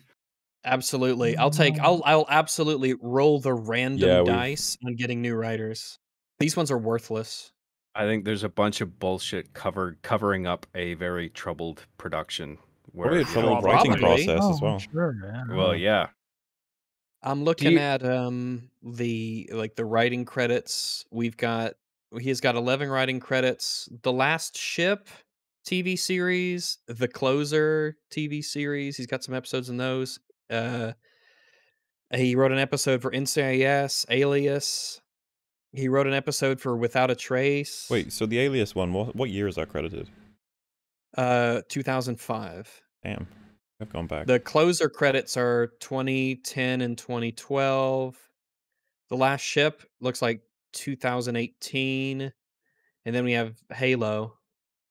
That's the Uh, thing, bu- man. You bu- bu- never even know if it's their writing anymore with the way everything works. You don't even know if they did write this or if they're just named as the ones who wrote it. Yeah. Yes. I know has, what's pieced so the together, other yeah. writer is Kyle Killen. He has 10 credits for writing. Velvet, uh, TV series, which is announced. Oh, okay, that's old. Uh, The Awakening, some episodes for that, 2021. Mind Games, uh, TV series, 2014. Awake, TV series, uh, 2012. Hey, Fringy, you know that one. I know that Doesn't show. have What happened, man? down. He What did the happened final indeed? revisions for the Death Note 2017 movie. My favorite movie. Oh, nice. Oh man. And, and also and Um, Lone Star 2010, uh, some episodes. And yeah, I I guess I don't know how it Yeah. works. How one person gets to go to a new project and that per- it's maybe it's who you know or I don't I, I don't know how you it works wonder out. because but- I know it's the same. A lot of people have been thinking about that with Daredevil. It's like, so you didn't bring back the original writers. Who did you bring back? You look up their credits. It's like you did three shows, all of which were canceled after one season that nobody's ever heard of, and then you get Daredevil. Like, how does that happen? yeah. What did you Mhm. do? How many cocks did you suck? Seventy. just because you made shows that got canceled. Like they could be great shows. I guess it's just how does that happen?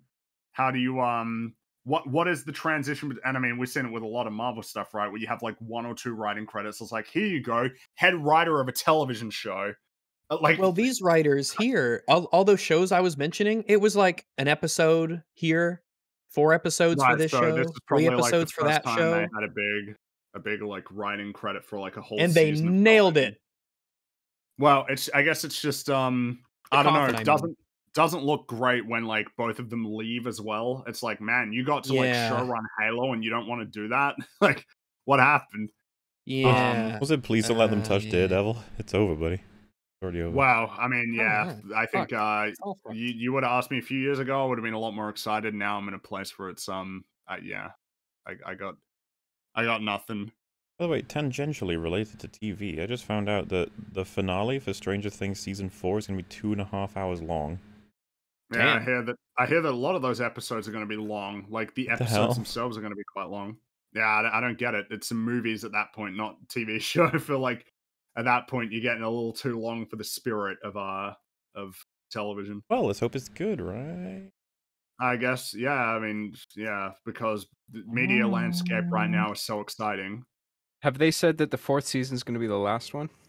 Or I think the fifth one's the last one. oh, okay. Yeah. A two and a half hour finale. Did I hear that right? Yep.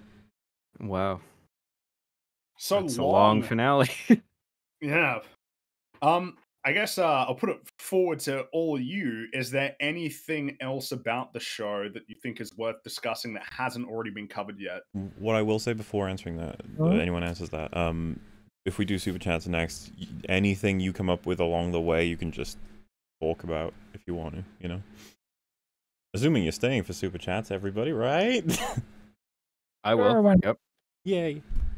Well, again, uh, what is there anything that anybody feels like is really pressing that they haven't that hasn't been touched on Did, yet? did we really Like- go over the fact that um um um Cortana just took over his goddamn corpse? as, as I was saying when we talked about it, I'm not even sure mechanically what they want us to think is happening. I'm not sure. My I re- understanding it is that just blew my mind. my understanding is that Chief. Well, somebody's got I to just, I go. just wait. I just wait. Is there's if there's any more? He had the pause before. All right. Nope. Um, but I my understanding was that Chief allowed himself to die in what is presented as a noble sacrifice, Right. so that Cortana could then take over his corpse to save the day. Um, Right. I, I I think that's what they want me to believe. It, it is what I do believe. So uh, I, as dumb as that is, I I think that's what they're going with. And then they want the season to end with us wondering what is Chief's fate. Who knows? Find out next time. just unbelievably bizarre to me. Well, Yeah, I I think gotta- the show is genuinely one of the worst things that I've watched. It's pretty bad, but uh, we watched Yeah. Multiverse of Madness recently, and well, Is it that bad? pretty bad. Even with Sam Raimi? Yeah, Sam seen. Raimi couldn't save it. Well, what a Oh, piece wow. of shit that movie was. this this might be worthwhile. What would everybody's number score be for Halo season one? Halo Infinite out of ten. Oh, Oh no. no! Oof. Oh, That's really boy. harsh, John. Hey, just are you implying the only thing good about this show is the? You know, I don't even know where I was going with that. Um, Well, I kind of get where you were going with I'm that. going yeah. down to one. I was just. I think I've sustained actual psychic damage from actually Psychic being able to damage. finish the I'm gonna go with two. This made me feel like I touched an alien artifact out of ten. Yes. I'm gonna go with two because I I do feel like it could have been even worse, even more terrible writing. Probably could have infected this, but it's pretty dire. Um, so yeah, I don't know. I'll I'll- I'll settle on a two. All right. I'm gonna give this a three, and I'm normally pretty forgiving with stuff, and uh. I just was not impressed with this. Yeah. Rags. I'm I'm in the two to three category. I'm trying to weigh it up versus like our other twos and threes just to see where it slots in more accurately. What's a so Batwoman is a two, right? Yes. Okay. And a three would be We used to say that TLJ was a three, but I'm not DOJ really used to be convinced a three, anymore. but Could be a two. What- do we have a do we have a go to three at the moment? Uh maybe a uh, We've got a chat. Help like us out. one What if we the- said is a three? yeah chat what's a th- what's a good three uh one of the there's got to be a marvel movie or a a dc movie that's a three right oh is, yeah. uh, is, is Iron Man three a three? Ugh. Or i don't remember two? enough about iron man 3 to really rate it um Justice Oh. League. give- Justice League is a two, my dude. like that Mas- is- uh, did- oh so- did someone we give uh, mando, season Mando, one did we give that a three I could believe us giving that a three. That's possible. okay. I Um, think i will give it a three then Mando season one was a three. It was pretty Yeah, damn bad, shit. man. Yeah. It was really, really bad when you start to dig into it. Uh, yeah, I remember being not great. I don't know about three. Damn. yeah wow. you don't worry Don't You worry will. about it. Um, they all will Maybe they all maybe, will see Maybe I haven't they'll looked at all it closely. see I haven't looked at it closely. You might. Um, you that's be right no one has No one wants to. It's a two. Um, this show is broken in too many ways for me to consider it to be a three. Like it's a two. There's so much about it that's broken in terms of plot and mechanics. Um, Ooh. yeah, it. I mean, it's it's a disaster. There's kind of there's, there's I- no getting around it. I don't know what I would highlight as being like, you know what, that was some really impressive writing. I got nothing. Like I actually have nothing in nine hours. hey the clone reveal that's something No. Yeah, but like I don't even know if that makes full complete sense because like I don't when think it does either, but it's- swapped out? it's I don't know if that would ever be worth a point, though, is it? That's not what the point in itself. One little but it's plot it's thing like that was a kind thing of okay. kind of You reincorporated something. Good job. Welcome to writing. You know, yeah like good on them that's like gonna- good you know about that that's a Mando thing you season two? Um, Mando season two even worse? i don't know which Then one- season think, did we think it was worse. worse? Chat, remind us. I- i think season two was more obviously worse but i don't know if it's actually worse when you act when you look into it I only watched the first episode, also, which wait, to, ended to clarify, retardedly, so I didn't continue. everything Fringy just said was about the Halo show, not about Mando Season 1, by the way. no, I wasn't talking about Mando. Yeah, the, the Halo. Halo is a two. It's the plot is Oh, utterly okay. broken and hinges on a set of con- insane contrivances. Like yeah, Fringy doesn't hate contrivances that are Mando so this much. insane- Wait, what? I don't hate. No, I don't. Because no, I think I, thought you were talking i don't about. hate mando i hate halo Yeah, I think I think I yeah, I, just thought you were like talking about Mando. greatly. Yeah, Mando's think- just kind of funny at this point. Um, yeah it's uh, yeah when i watch mando i'm like oh you you you're you're terrible look at you over there being awful Yeah, uh ruining luke again no no that was boba fett show damn it no, that was Uh, Mando they, as well. They pulled the two. episodes from a, a Mando season to do that. Yeah, it's um. I yeah, I don't know if I'm gonna give Halo a two or three. I've it's it's really just a matter of what what it is in relationship to all the other things that are two and three, and I I- could I put it in either. there is that as a categorization, but the way that I would justify it is if I were to lay out like every single time that the world bends in in crazy ways to basically save the characters or to push the story forward in ways that benefits it, it's like that list is enormous. Like the fact in it in and of itself that Master Chief is the one of like the only two people in in all of humanity who can interact with Forerunner artifacts, and on two separate occasions came into contact with those Forerunner artifacts that were Mm, complementary to one another. Like that alone is an insane coincidence. And then you stack on top, like, how did he get there? And then everything that happens at the end of like episode one. How like in Kwan in that final battle, it's like how many times the world comes to save them, and just overall, it's like you've got all of those plot problems. Are the characters coming along to like really save things? Nah, no, Mm. like no, they're they're they're pretty dire as well. Um, I don't know what I would highlight as being good, and once I'm at that point, you know, I don't know how I could say it's like a three. I feel like Well, in a that- three, I can point to things that are, are like, yeah, that was actually pretty good, or I like that, or there was some potential there. Yeah, my it's when you get into the difference between a three and a six is massive, right? The difference between Yeah. a two and a three, it's that that g- weird gray goop area of almost it's it's almost you it's, could it's settle for really tough to 2.5. say. It's You can go with 2.5 if you really want to do. I could I think I'll do that a 2.5 because I want it I want we need to have an we need like it maybe it could be an offline thing or we could do it on a Wednesday or something. Maybe it could be an EFAP day where we take a whole list of stuff and we give them numbers and make like a like a, Scale. a, a scale, you know? Yeah, yeah. And that could be maybe it could be oh that would be great. Well, remember, Rags, we recently too. filled the slot of 0.5. That's right, we sure did. Doctor Strange, Multiverse of Madness in theaters today yeah. and forever, and you can never escape it until next week when people forget uh, about it and then realize it's awful. ER, it's one of the most interesting films for discontinuity. It like it destroys itself every fucking second of existence. The writing in it is so horrendously bad. It's it's kind of hilarious, I will say. You know, I ain't a fan of Marvel movies, but now I'm slightly interested. Well, I and, It is and you know interestingly what? bad. If you want to It is avoid watching it, but know how it's shit, we did. Was it ten hours in total? Talking about just Ooh, the there was a problems in the film. Two-parter. Yeah, Yeah. ten Yeah, hours Thunder made for a- a two-hour movie. Thunder had a good suggestion. The the rating thing would be a good idea for EFAP 200, maybe. Yeah, we could That do. could be that'd be fun. We'd have plenty of time then to rank all problem the is that, movies that uh, have ever been made. Yay! It's been getting really lame lately because it feels like so often with a lot of new stuff, it's in the that territory of like two, three, and even one. It's it's getting really annoying. I'd like to get back to more just like average. I want more what? I- fives. I, I I, want I more will. fives. I will push back on that a little bit. We got Batman and No Way Home. Uh, true, true, true, true. Yeah, and also Everything Women, Everywhere All at Once. Everywhere, yeah, that's a great movie. So that's nice. Yeah. Um, Think of all the people who you- didn't see that because they saw Doctor Strange instead. Uh, that's a lot of people, right?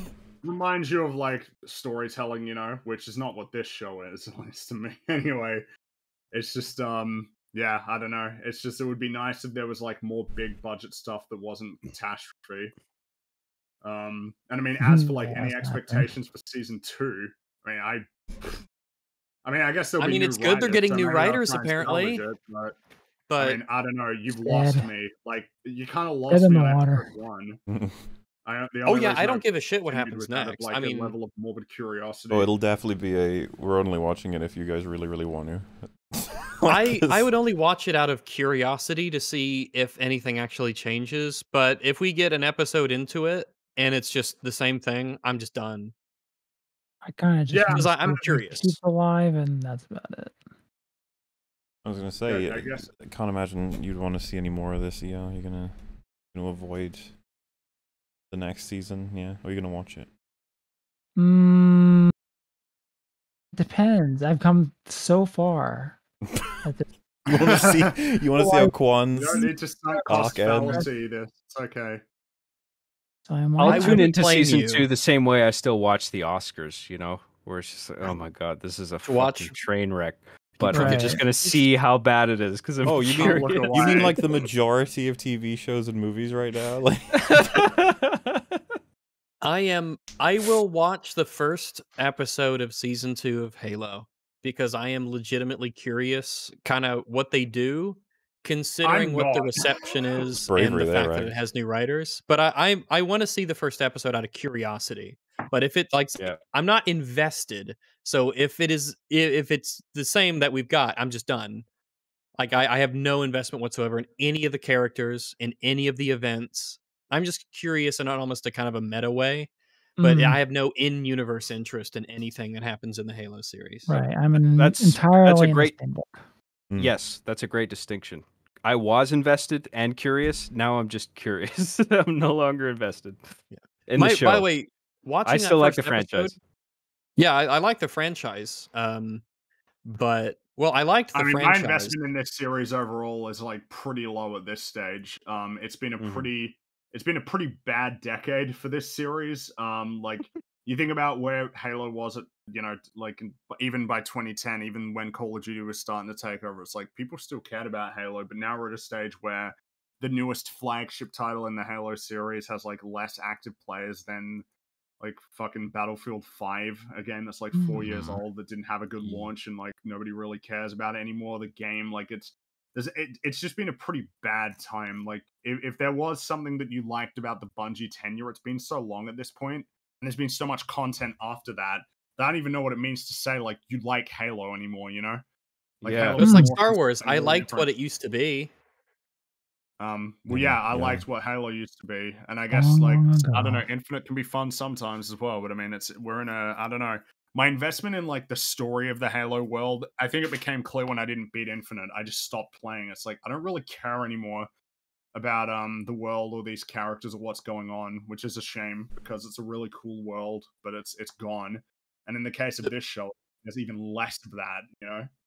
The best Halo content that we've gotten, the last good thing we got was um it was it was those uh the remastered cutscenes that Blur did. Yeah. Seems that Oh, That what, way. shit about the Halo cookbook that Microsoft? Oh, this show has a cookbook. Yes, let me look that up. This show, this show, if you love Halo the series and you want to invite that into your kitchen, then boy, are you in luck, my friend? Are you in luck? if you Let love me- Halo- recipes from across the galaxy, you're gonna love the Halo cookbook. Wow. Halo the Hmm. official cookbook, hardcover, as it deserves to be. Um, let me get you a picture of it. We could finally have Moa burgers in the comfort of my own home. Uh, let me Moa see. burgers, yeah. It's hilarious Uh, because the Halo Twitter account had tweeted this out right before season two of Halo Infinite Yeah. content was released. So this was during a point where everyone was waiting for new Halo content and they were getting frustrated. Like, come on, give us something new. And then they announced the Halo cookbook. And it's like, like, are dude, what are you kidding me? doing? See, me, man. look at look at this here, right? They've got the pictures of this. Some of this is weird looking. Um, you have the plasma grenade next to the like meatloaf and bacon, and you're like, "What are you? what are you doing with the plasma grenade next to your bacon meatloaf?" The green Yeah. beans look good. Uh, uh, is that purple ice cream? Like, it's Halo, guys. Well, what color would Halo ice cream be, Rags? It would be purple. I guess so. It looks Um, like a human face in the back of the first picture. A human, fa- like that's a helmet, like it's a marine helmet. Kind like a little girl doll face.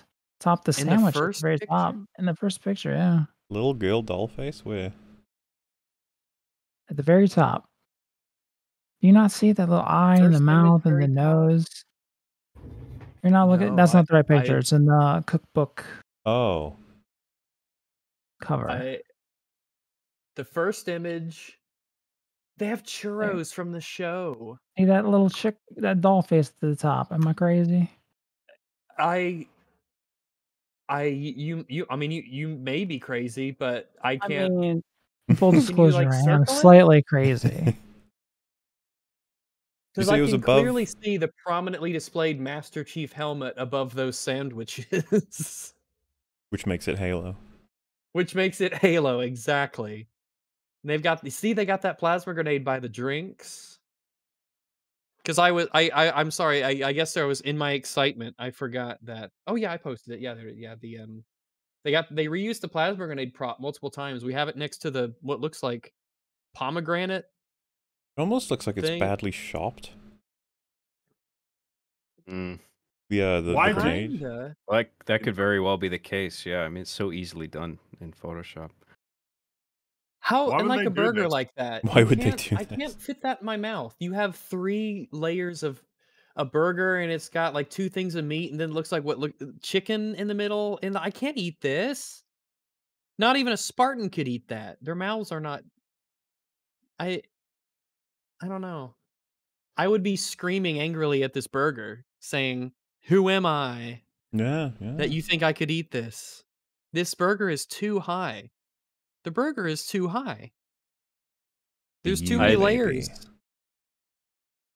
I tweeted about this when it was announced, and I said, uh, "Hey, well, all the Halo fans starving for content can stop complaining now." There you go, Halo cookbook, everybody. You can have some Tom Yum and his wife Yumbelina. Well, Sure. Look, we have they're they're called full moon churros. Difficulty medium. Oh, is there a legendary di- yes! I thought okay, uh yeah, here, let me show you this. Because when I, I saw the difficulty rating, this, the full stack ground pounder, legendary difficulty. Did they actually say legendary difficulty? It's in the picture I just posted. Yeah, legendary Oh difficulty. I would God. never, I would never lie to you about have Samoa full stack ground pounders. Here's the flavor text, time. so to speak. Oh man, here it is. The full stack ground pounder, a marvel of culinary engineering and a near impossible task for one person. I've attempted it and failed miserably a few times in the past, but nowadays I mostly make this when I'm having friends over to show off. You're probably better just ordering one from the Have Samoa, but I can't stop you from attempting to make one for yourself. What is the context of this flavor? Is this like an in universe person communicating to you? Like every what is the uh UNSC High Fleet Dining? For all the big budgets in the UNSC gets for their military spaceships, it always saddens me how they skimp out on food for their crew.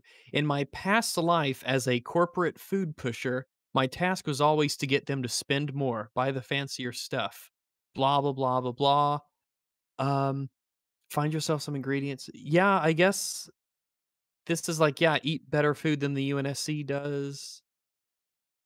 I I don't know, like this is a chef in the Halo world talking to you or something.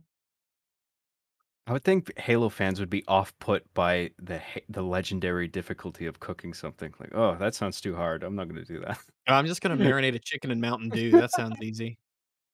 If a game fuel, yeah, yeah, you have to marinate it in game fuel. Halo Three game fuel. It's only for true gamers. Only for true gamers. so I think that about does it for our Halo discussion. Not that you can't Yeah. continue talking about it in time to come, but I will say this is uh, the part where we switch over to doing super chats, and of course, anyone must abandon, they may. But I think you guys mentioned you're happy to stay on already, so I guess. No, Yes. Go yeah, for it. And um, um, may may I touch on a few things before we go on uh, super chats? yes. I will Just- allow it. Sure. Okay. So the the first thing I think is really interesting is the um the interview with Variety magazine and one of Yeah. the showrunners of the Halo show. Um cuz this went viral on Twitter where Variety had interviewed Steven Kane. And uh this was this was where the quote came up where he said uh we didn't look at the games, right? And that pissed off a shitload of people. And uh, I have the the quote here actually. Hang on. Right. That was one of the writers, Steven We- Kane, right? yeah, One I, he's one of the key showrunners. I think there's two, maybe three of them. He said, "We didn't look at the games. Um, we started with the games. Oh no, no, wait. We, we uh, the the in the first instance they were interviewed, the Variety said that Steven Kane had said we didn't look at the games, and then that was published in the article. And then Steven Kane on Twitter, of his own accord, responded to the Variety article, and he said, "Headlines are fun, but this is what I really said," implying that Variety had misquoted him. And I suspect that that's not the case. I feel like they didn't want to admit that they neglected the games more than they should have, and they did a bit of damage control. You know what I mean? And then they he said, uh, uh, "What I what I really said was," so he wasn't implying that he um, misspoke, or he was directly implying that uh, Variety had misrepresented him, and I don't think they would do that. Like if they like Variety used a direct quote, I don't think they would get that wrong. But anyway, Steven Kane said, uh, "We." St- what I really said was we started with the games and then we went to 343 and they shared all the lore with us so we could give you the full Halo experience. And I'm like, well, what is the full Halo experience? What do you mean by that? Is the full Halo experience like does that mean catering to the fans of the games or just what uh like is that only apply to the story that you want only you want to tell and that has no nothing to do with what's been established in the game so far. Like there's something really fishy about that whole variety thing. Especially looking back and seeing how like people hate this show. Yeah. Right. Like who are you catering to? Did you actually talk to anyone who played the games? Like what do you what you just wanted to do your own thing. You clearly just wanted to do your own thing. And you Yeah. wanted to take Halo and parade around its its just its imagery to sell to sell your show. It's just something that you could use for its utility and nothing more. You seem to have utter contempt for the concept of a story in a video game. Like you're above video games.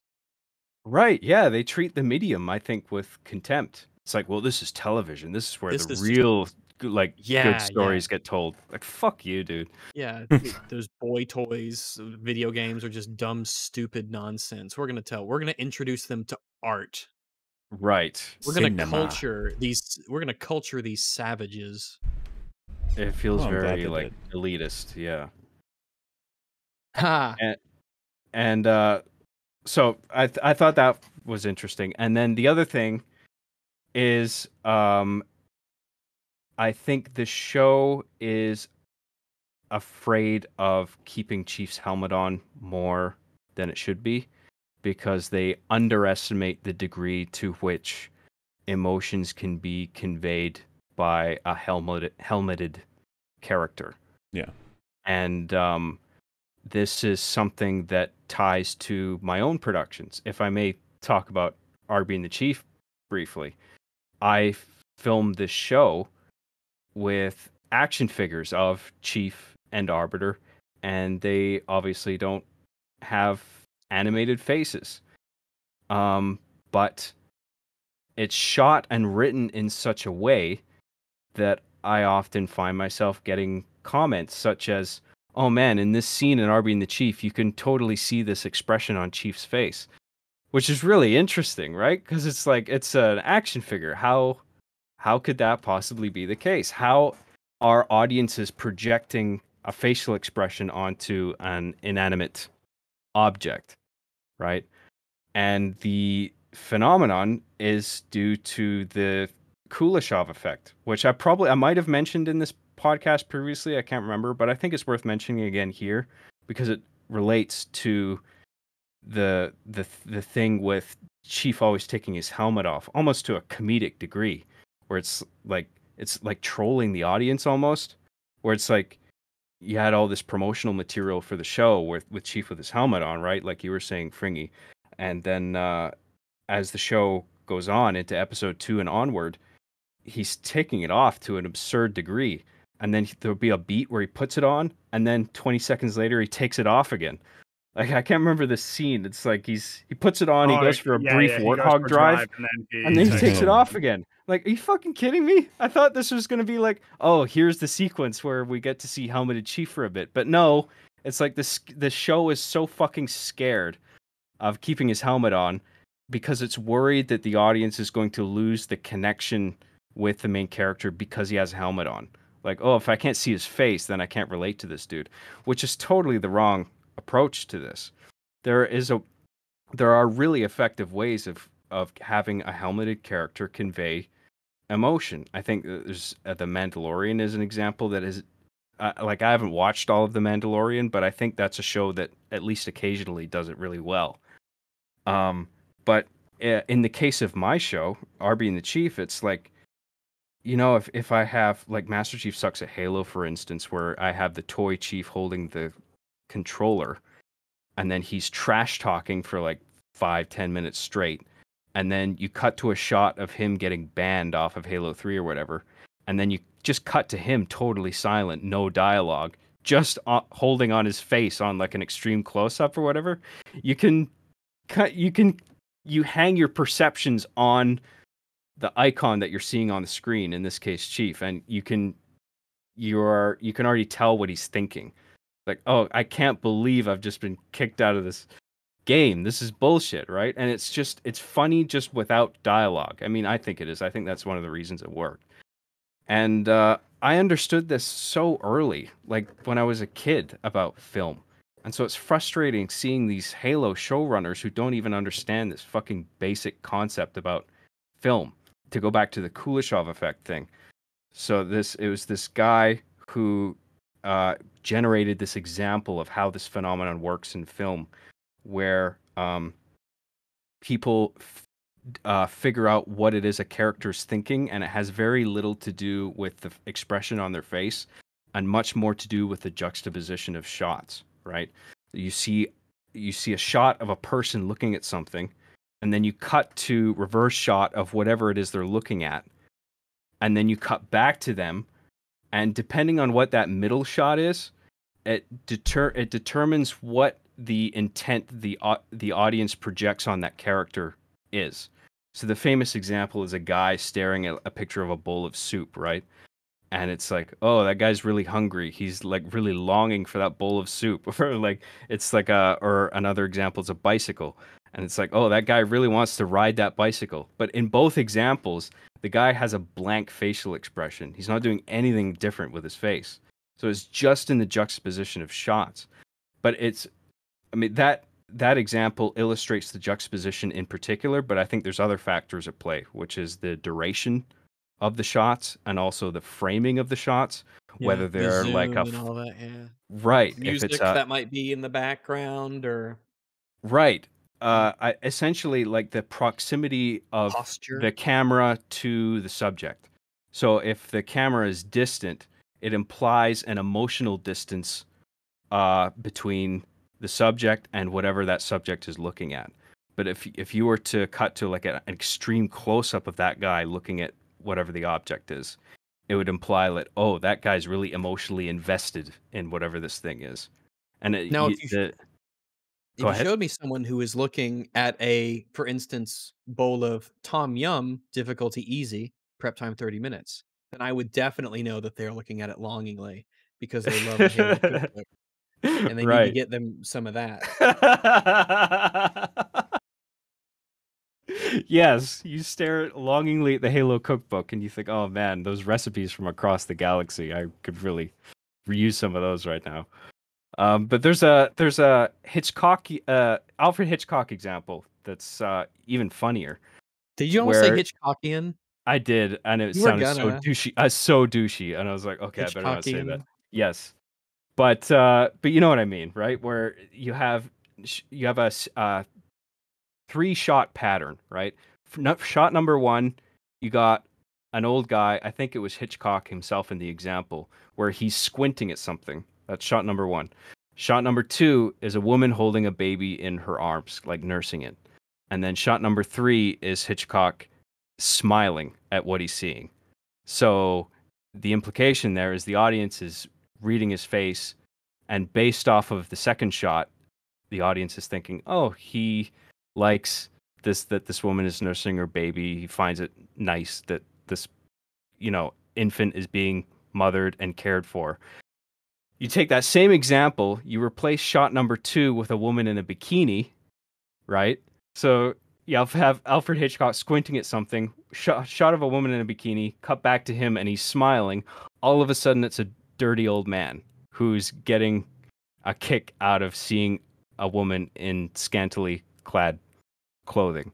And so the intent of the character that the audience is perceiving has completely changed based on the shot alone, and it has nothing to do with um, a change in the actor's face. It's the same facial expression, right?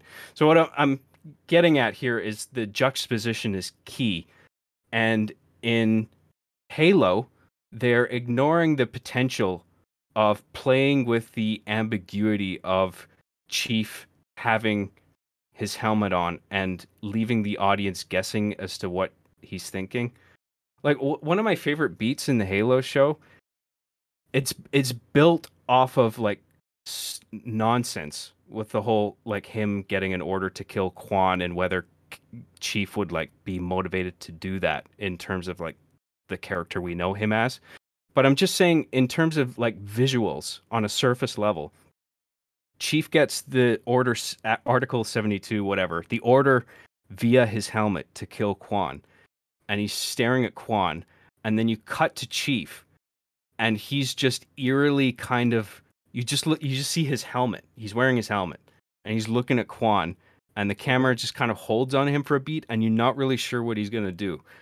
I actually really like that even though it was built on a bunch of nonsense. I like that visual beat and I wish they actually extended it a bit more.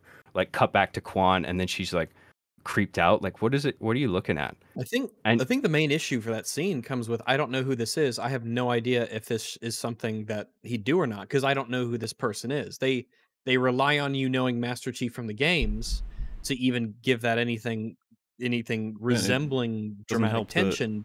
The UNSC seemed to think that he would carry it out immediately. Yeah, So like that, So, it puts us in an awkward position to figuring out who. This is part of why the inhibitors are treated the way they are by us. It's like they, the UNSC seem to think that they are automatons, but then all we have to go off visually is that he touched the artifact, and that has fucked with his brain to the point where he's no longer simply going to execute a person that's chilling out. Because they should know that already. They should know, like, oh, Chief's the kind of guy who probably wouldn't kill us. We can't just ask him to do that. But no, they seem to be fully confident that he would do it. And so him not doing it to us is like, okay, what does that mean? What are you telling us?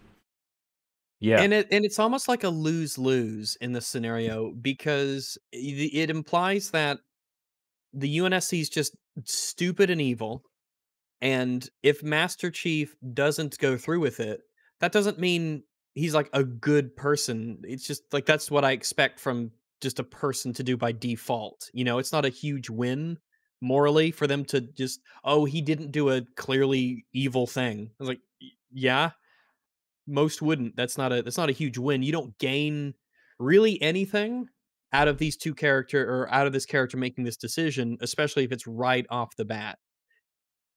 Yes. Right. So uh, I think that there's a lot of potential here for like telling a story about a helmeted person where like I there's a chief being fully suited and helmeted serves as a metaphor I think for somebody who is so um augmented and battle hardened that you you can't recognize the humanity in him anymore. And so whenever you look at his helmeted face, you're wondering what's going on in there? Is there a person in there? Like that I feel like that's kind of the point of that character. But at Like, the same the- time, you have those moments where even helmeted up and completely covered as he is, his humanity does appear in the way that he emotes, the the few words that he does say, some of this the gestures that he makes. You can't just you can cover a man in a suit, but it's still a person beneath, and that will come out here and there. Right. You're absolutely right. Like w- one of the what I like about Chief is he's almost Doom guy, but but not quite. Where he's like he serves that function of being a hollow suit of armor for the player to occupy, much like Doom guy.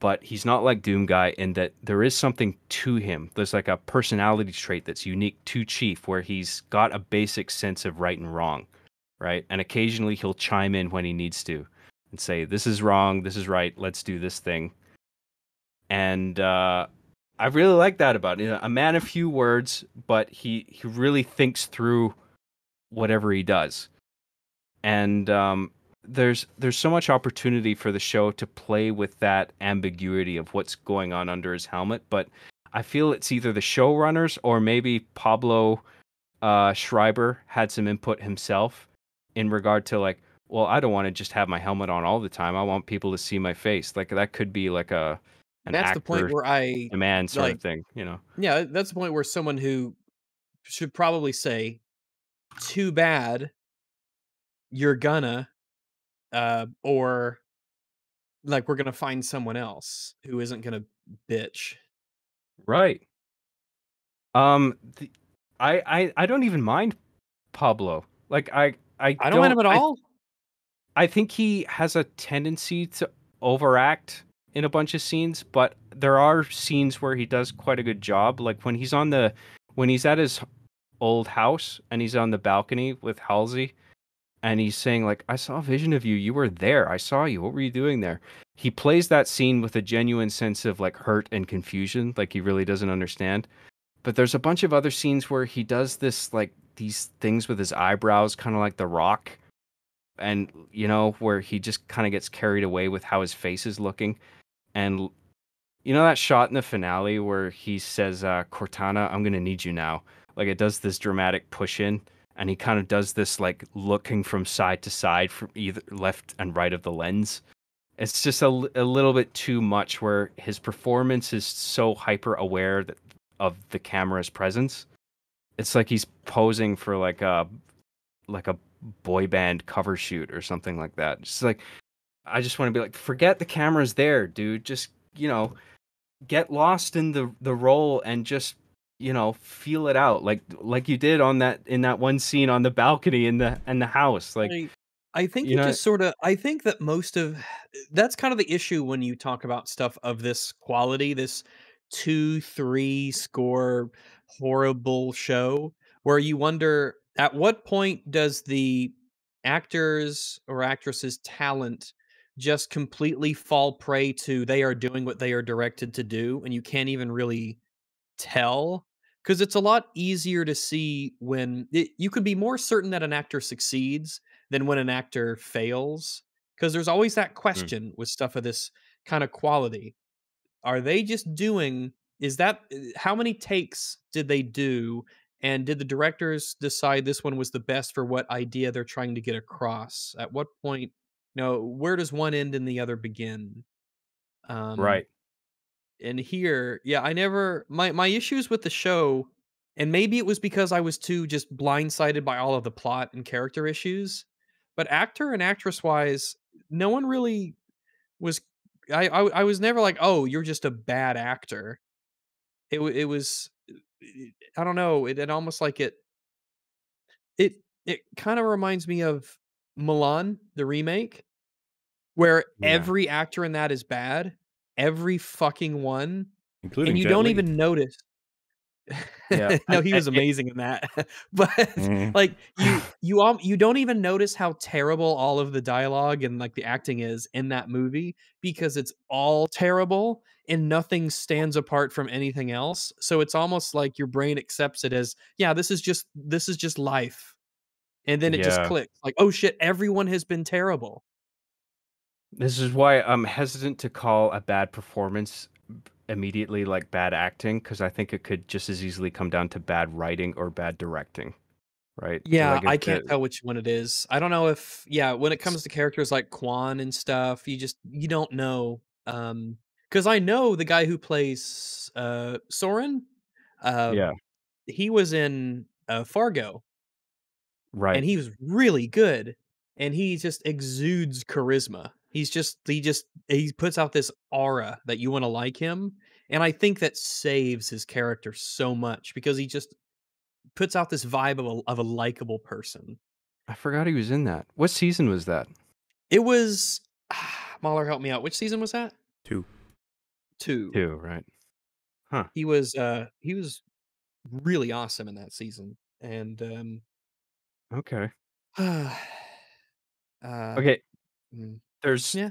one more example I want to go over. I know I'm I'm talking too long here. I'm No, sorry. it's fine. but there's there's this one awesome fucking scene in Halo 2 that I wanted to cite as an example for how you can have a really compar- compelling character in a helmeted character like Chief. There's a cut scene in Halo 2. I mean, it, this is even like it, it would still be cool even without the blur remastering, but those blur remastered cutscenes are fucking so well done. Phenomenal. Right. And there's my favorite cutscene in Halo 2 is uh, when Chief lands. I think it's like after it's Chief lands on High Charity, some platform on High Charity, and he sees Mercy, the Prophet of Mercy, um, being uh, uh, attacked by this flood parasitic form, and Chief walks up to him. He says, "Your pal, where's he going?" So right right there, you got this dry wit that's kind of acknowledging the stakes of everything that's happening, but he's just kind of uh callous and humorous in the face of it. And it's just so the delivery is so dry. Like Yeah. Steve Downes, man. He's so he's so fucking He has no love for this is so gr- character. yeah, this this Right. character that he's talking to, he's like, "Fuck this guy." I, I I'm you know I, I have no sympathy for him whatsoever. I'm not here to you know sympathize with him. I got shit Yeah. to do. it's like appropriately callous. Unlike, you know, when he stomps that fucking elite's head flat in the show, where I'm just kind of dismayed. I'm like, mm, I don't know if I like this. Um, but in the case of that cutscene, it's like, yeah, I get that he doesn't have any sympathy for this dude. Like he brought this on himself, these prophets, and they don't have any honor amongst themselves. Like they'll all fucking sell each other out or kill each other to save their own skin. Like they they the these elites, the prof or the the covenant prophets, they talk of all this like camaraderie in in the pursuit of the great journey or whatever, but they don't care about each other. They just want that ascendance for themselves, I guess, because they see that utopian world in af- following the ascendance when it's really just everyone getting consumed by this terrible parasite. And that's exactly what's happening to him in that cutscene. He's literally getting strangled by this flood form. The tentacles are wrapped around his neck, and he's looking at Chief, and he's still convinced wholeheartedly by his ideology. Like he's willing to give himself to the great journey, and he's unwilling to look the horror of his ideology in the face, which is this flood form that has his tentacles around his neck, is choking the life out of him actively, and he's like still willfully ignorant. And that kind of in itself, that little beat is like poetic because it embodies this whole idea of the dangers of giving yourself wholeheartedly to an ideology right where you you make no room for new information or the truth in your closed system of thought and then so that beat is followed by chief showing the prophet of mercy mercy by pulling off the the flood form off of him and saving his life i think. I think it's ambiguous whether he's he's dead or not. I'm not quite sure. But he pulls it off of him in an attempt presumably to save him. And then he goes to Cortana and he has this the scene moves along quite unnaturally quickly but it's a video game so I, ex- He I accept yeah. that to happen but he has this emotional exchange with Cortana where Cortana reveals her plan to detonate the engine of a ship that's there in the event that the prophet of truth decides to activate the halo array from the ark which is where he's going. And the requirement of that is that she or Cortana needs to leave herself behind on High Charity, and and Chief is now faced for the first time with the possibility of leaving her behind, and he might not ever see her again. And it cuts to a close shot of him, and Cortana's reflection is filling his visor completely, and there's a there's a UNSC ship with flood forms on it that crashes behind him, or he can hear it coming. And yeah, you it's a pelican his- right behind him. Yeah, it lands on the platform. Right, but if you pay close attention to Chief's body language there, he turns his body to like see like oh, because he knows the ship is like hurtling towards High Charity behind him, but his gaze is dead fixed on Cortana because you know that's what he cares about in this instance. He doesn't want to let her go. He doesn't want to leave her behind. And there's there's so much emotion in that scene, and it's you don't even need to see his face. It's all just in the shot composition and the the order of shots and the the length of shots, right? Because if you hang on a certain shot for an, a normally long length of time, it's kind of telling the audience something like, "Oh, I there's like an extra little thing here I should be paying attention to," right? In this case, it's Chief's affection for Cortana, which he would never express through words. But he there's says like when he gets in the arc is like I'm I'm when you know when I'm done with all this, I'm you know, Right. implying that I'm going to come back and get you, but he never gets to say it because Cortana says, you know, don't make a girl a promise you can't keep. Right, exactly. The, and th- lines like that don't make a promise you can't keep. I mean, there's all these like just these epic kind of I don't want to say one-liners because that makes it sound like bad, like cheap writing or something. But like, it's just the, all the dialogue works so well, and then the the the UNSC ship crashes and the flood comes out, and then it th- throws you right into gameplay where you're shooting the flood, and it's all charged by this emotional idea of like Chief leaving behind the one grounding element that he's always had up until this point, and it feels so epic, right? And that's I just wanted to be compelled as compelled by the narrative of the sh- of the show as I was by the games. And that's a shining example of how the games really got me gripped narratively. Like, fuck, this is awesome. If I had gotten that feeling from the show, even just once, I would have a, a much better opinion of it, you know? But it's just so obviously inferior. And the games did a much better job telling a story.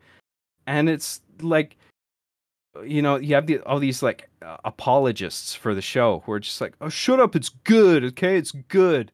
Like it doesn't have to be exactly like the games. And I'm just I don't expect it to be exactly like the games. I'm just saying it should be equally just at least equally if not more compelling.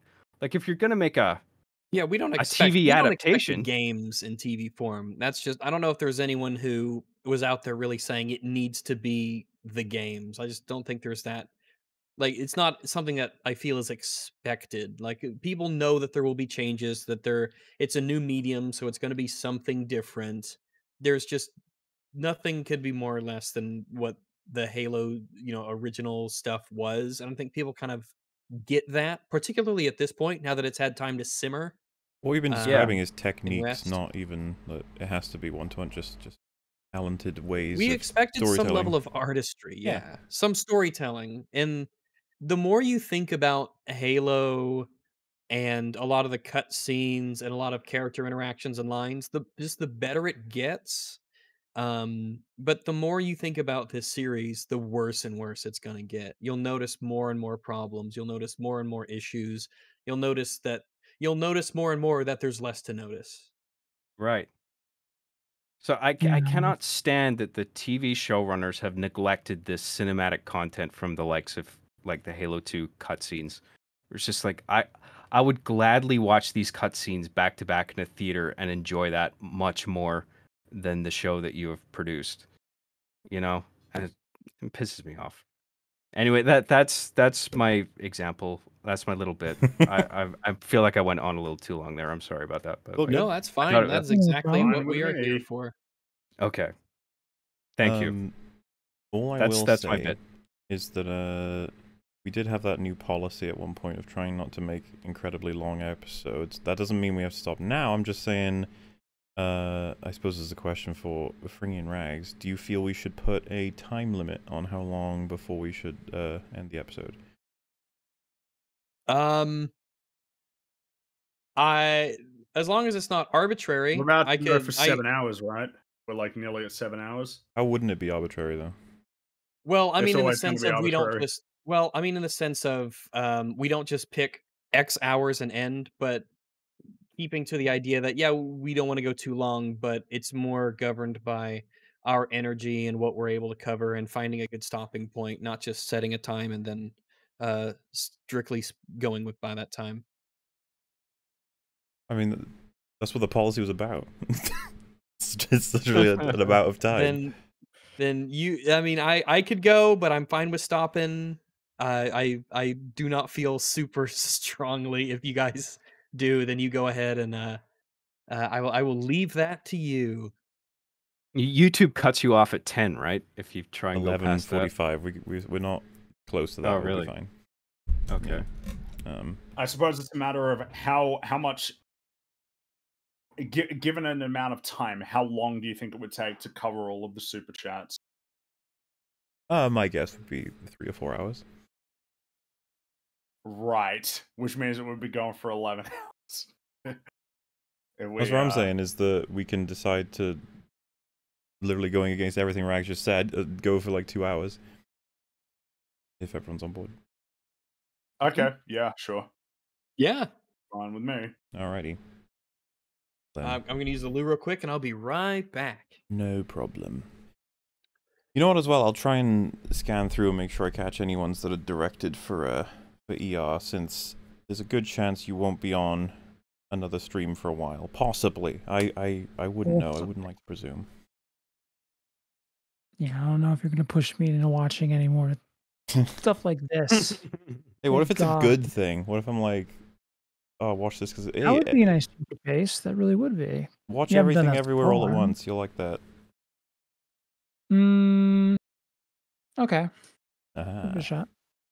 Out of curiosity, yeah, like if you do end up watching that, let me know what you think. No. Alright. Um. Alrighty. First one. Oh hey, ER is here. I can't wait for his insight. Well, well, thank you. My insight is that the show sucked. Yeah. It's the same as everyone else's insight. it's the same as everyone else's. There's no limits on that. It's like everyone all over the internet as well. At least, because there are people who are defending the show, but like anyone who's um I know who's like critical of uh, storytelling, I haven't seen them praising the show. I don't Mm. know what you'd be praising. I, I don't know Yeah. what you'd be identifying as really valuable Mm-hmm. about it. I can Um, handle stupid, but I hate boring. If it's boring, like fuck off. But like if there's a bunch of yeah, okay. well, I I think that's somewhere we differ. Like I'll gladly take stupid schlocky action because I think it's funny, and I, I'll extract like entertainment out of that. I don't right? know. I would say it's contextual for me, right? Because I love Naked Gun and Monty Python and stuff, but like this show thinks it's smart. So like whether the intent matches up with like yeah, it's hard for me to what's being executed, right? Even though well because to a degree there are certain scenes i did enjoy watching in the halo show if they did like really stupid things like him yelling while he's Ironically, punching though. is funny to me you know Yeah. Hmm, Yeah. Enjoying it in ways that they probably aren't happy with. yeah they'd be annoyed looking at me they'd be like why are you laughing like can you take it Like, seriously I don't please? know, you failed. Right. like, You failed. yeah. um uh, er is cute i want to be his little sister Oh, thank you. Oh, that's very kind. Yeah. Uh, is Halo the worst video game adaptation ever made? Ooh. Hmm. There's got to be some really terrible ones out there, though, right? I don't I don't think it's the worst one. Have you got anything I'm that comes to to, think of what mind? the worst- Like, like Resident Evil, maybe? Or Uh, that's up Hmm. there. I'd have to think more What's about funny it. is though, like you'd 'cause be like, which adaptation? there's so many bad adaptations. Yeah. Yeah, yeah, exactly. I mean, it's not like I've watched a bunch just because video game adaptations, you know? I mean, I just saw Uncharted. Holy Mm. shit, that movie sucked balls. Ooh. Uncharted Like- is pretty bad. Um, it's really Yeah, good. may I don't know look what. like the, the correct casting on that one. Hmm. Well, it's, I mean, it's it's a hyper generic action adventure movie with bad plotting and, and no Aw. character work. So I I don't know what to, you know. It's Sad. like I yeah. Kind of got nothing to offer. I don't know. Halo's Well, up. it's funny because Halo is the least hard out of all of them to screw up. I think. Well, maybe Uncharted is. I think alongside Halo, is there's- actually is is like less hard to screw up because it's so simple. There's really not. yeah, it has to a lot of story content, but like something like Super Mario Brothers, the old Super Mario movie with uh, Bob Hoskins. It's like there wasn't really much story material to mine from the NES game, you know. Yeah. That upcoming Illumination one, god damn it! Like I'm sure I'm not gonna like that. Oh, yeah. Chris Pratt is Mario. Doo dee doo. Doo-doo-doo. Sing the Halo theme. Oh. There you go. That's fine. Oh, Such a pity. What I come back to? Oh, What was that? Perfect timing because I was actually trying to read these out of order to save us because you're the Actman's gone now. So this says which is better, Quantum TV or the Halo show? A tough question, isn't it, Rags? Quantum TV. Oh, better. How would I quantify better?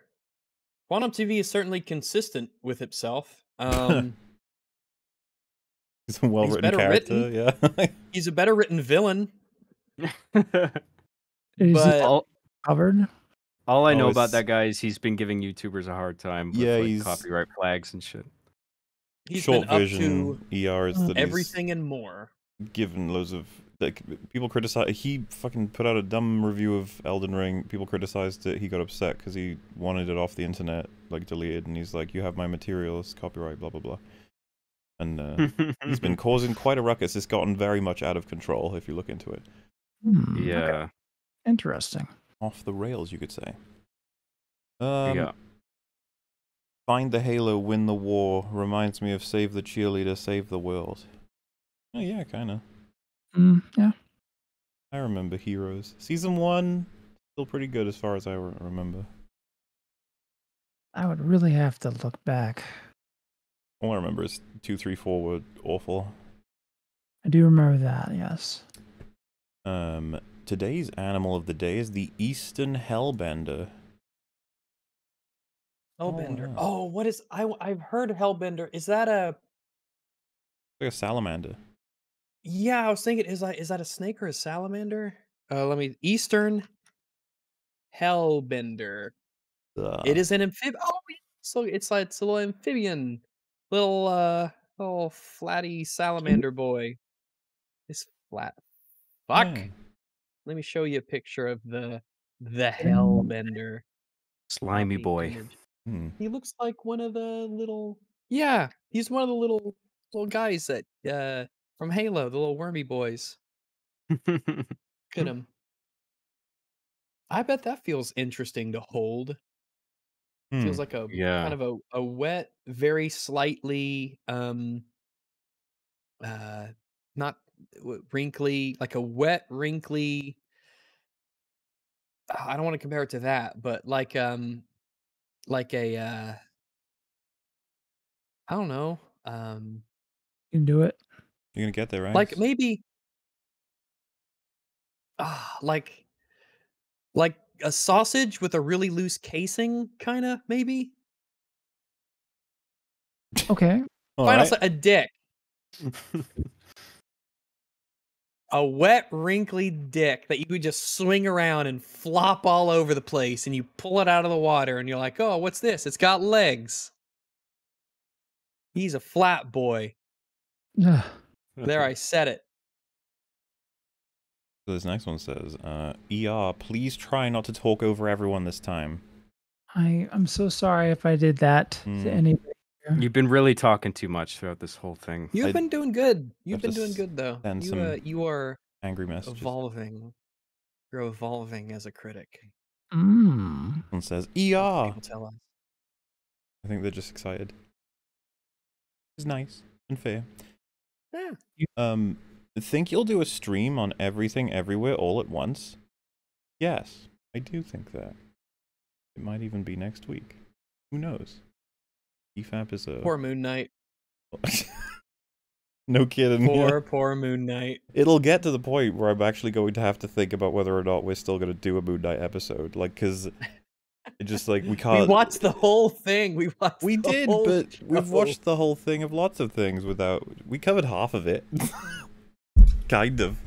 But no, I'm not saying it's an impossibility that we still do Moon Knight. I'm just saying if it keeps getting pushed back, it'll just be forgotten at some point.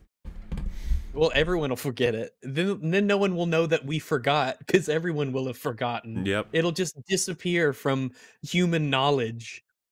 It'll be like the one of those Mandela effect things.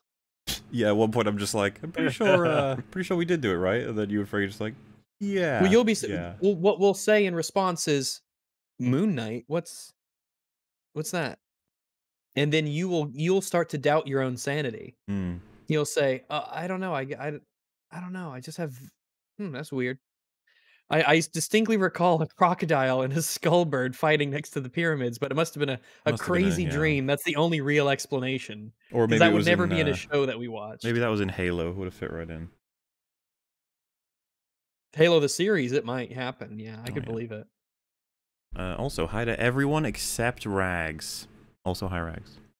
Oh, hi. Hello.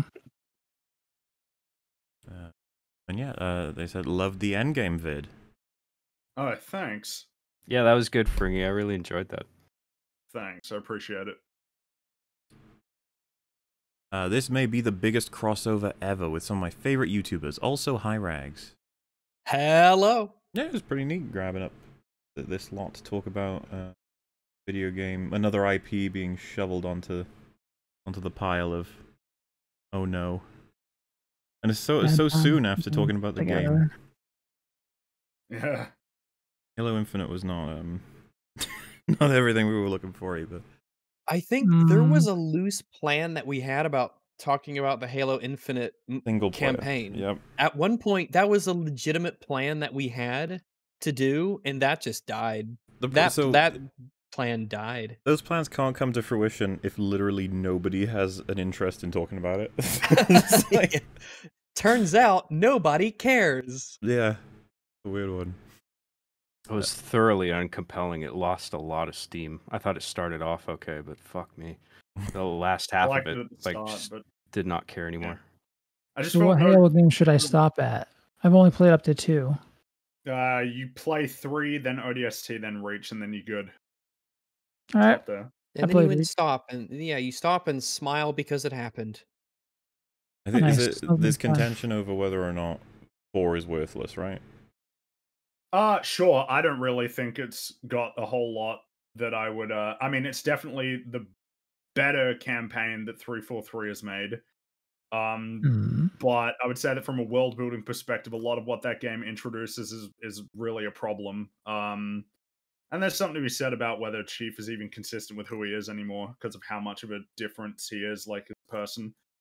I would Uh, just Yeah. stop where- at reach. Mm, Just stop you at play reach. you play one through reach and you've got like a really tight overall thing that comes full circle with reach it's uh it's a nice it's a nice like almost closed loop in a sense um yeah Well, like Halo Halo 4 is where they introduced Okay. like the Covenant alternative and the Prometheans and then the Composer and the Didact and all that. I just found all that boring. it like, goes as- absolutely off the rails from that Yeah. world building perspective because they introduced the whole yeah over generations we ensured that you master chief would be here at this moment like it, it just changes so much um It it starts to do like like promised like like prophecy slash chosen pretty one much. stuff and it's just like uh don't just don't just one two three ODST and reach and then and then that's great and that's great it's like a story Alright. like stories used to have a beginning and an end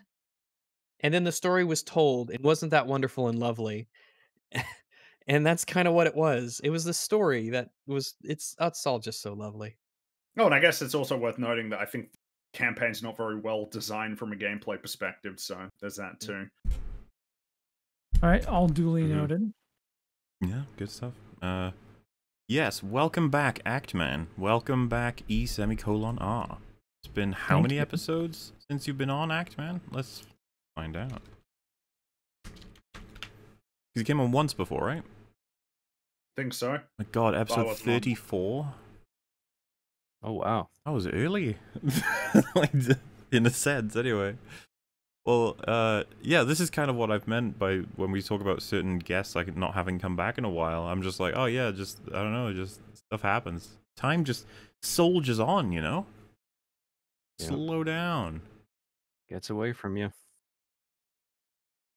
Uh, the Wolf days. That's how long. Jeez. Yeah, that was uh, Wolf was hosting with us. Hmm. This show is the story 343 always wanted to tell. I fucking hope not. I don't think so. I don't even think God they would us. do this. I think it is funny that they the the sex scene was where they kind of said like they drew the line, Well, like as if everything up to then was hunky dory. if everything was hunky dory uh, except that, that would be very bad news. I'd think. It's like That it, yeah, it is. But, but I don't have much faith in their ability to tell stories or recognize good stories anyway. But Yeah. at least we know where their line is. yeah. Um, any characters you expect to be introduced slash butchered in Halo second season? After what Jon said, I'm assuming they'll do Johnson and Arbiter probably. Johnson Arbiter, yeah, probably Johnson and Arbiter. Um, I can see them getting Keith David for the Arbiter voiceover because they'll probably do him CG, right? Yeah. Being an elite. I, well, I they ain't gonna do a puppet. No, they're definitely not going to May- puppet. Oh, I hope it's one of those shitty like Sesame Street puppets where you always see the arbiter. You always see the arbiter behind like a wall or a boulder or something like that, just enough to cut him off at the bottom so you can have the guy down there with the sticks. Dude, it would be so expressive. His head like wibbly wobbling, and yeah, I'd love it. Do that. It'll entertain me. They have a one one stick for each little mandible. It's like- Gotta- But- hey guys, but I'm the it's arbiter. actually- Blah, blah, blah, blah, blah. But I'm Keith David is down there. It's him. Keith David's moving all the It's sticks. Keith David, and he's he's talking to do the, the the little puppet above him, so you can hear his voice coming out from behind the rock or the That the was, wall or um, the box, whatever he's sitting on. That was in Keith Yeah. David's contract. I will only voice him if you allow me to control the puppet. They're like, "What are you talking about?" and he's like, "Damn it, I will That's not." how you do it, right? Yeah, th- that's how that's how it's gonna be like Yoda, right? that's how it's gonna be. that was the last movie he saw in the cinema was uh, Empire. he's just like, "I'm pretty sure that's how you guys do it." I don't know. Um, yeah, someone's been a, a member for 22 months. I made a 36 month as well. Damn, full thumbs up. Thank you so much. Impressive. Look at you. um, Cosmic Chicken Worshippers. Oh, and this has got ER deeply appreciate you with some hearts. Oh well, thank you. Anyone remember the Halo 4 Forward Until Dawn movie? I like the ending of that film. How does that compare to the Halo TV show? I don't know. I never Haven't saw that. I've never seen it. Uh, Rags, I assume you haven't seen it? The I'm, I'm sorry. The what? Uh, Halo 4 Forward Until Dawn movie? No, I've not seen Forward Until Dawn. No. You know, Is that an anime or a CG thing? you know, if Fringy seen it? Uh, you Uh. wait. So you talking about Forward Unto Dawn? The uh, yeah, I I think I remember seeing that. Um, but I don't. I couldn't tell you anything about it really. Okay. Um, I don't remember By much the about it. It's probably better though. I um interesting. Someone showed me this. It's actually I guess the weird hyperlink thingy is working, but let me show you. So I, I linked that article, the one about how uh, the Halo TV show is the gold standard of video game adaptations. So the the person who wrote that was Alyssa Mercante. Uh, she has a master's degree in modern and contemporary literature at Newcastle University. Mm. Uh, University, and she had tweeted. I looked at her tweets earlier to see if she had replied to how people hate that article in the show. um, and so on Twitter, she's very upset that people don't like her garbage fucking tier article. Uh, she had said this da, da, da, to get you into the mindset of people who think that this is gold standard material. This show, um, because I clicked on it and it looks Oh, like no. uh, the account owner limits who can view their tweets. Uh, stunning and brave. One of hundreds of people, men. Yeah, so uh, I got it on screen. Dragging gender into it needlessly. It's needlessly. so annoying when they do. so yeah, yeah. If you're one of the hundreds of people, men, commenting on my story saying hashtag Halo the series doesn't respect Halo, you're a main game fanboy and that's it. This show is full of book and lore references. So unfortunately, most people have only played the games, and they were written. as unfortunate for her. I, dude, I ain't denying Um, the fact that it's got references to the books and the lore and whatever, probably. The- but Yeah. that- it- well, wh- yeah, why sure, would but that, like... mean a whole lot to me. The I sequel mean, what does it trilogy matter got- references the OT pretty hardcore too. What does that mean? But mean? yeah, what does it mean to have references if like the core is totally different? Like, what does that mean? Uh, but I also, think most that people the haven't last read tweet, the books, though. Uh, the last tweet in particular, uh, she's just uh, coping and seething. But the last thing is good video game adaptations adapt. They tell new stories in existing worlds. The MCC collection, that's like saying the SVD Dragunov. Uh, but the MCC collection is free on Game Pass. Just go play the games if you want wall to wall battles and a monosyllabic totem to masculinity.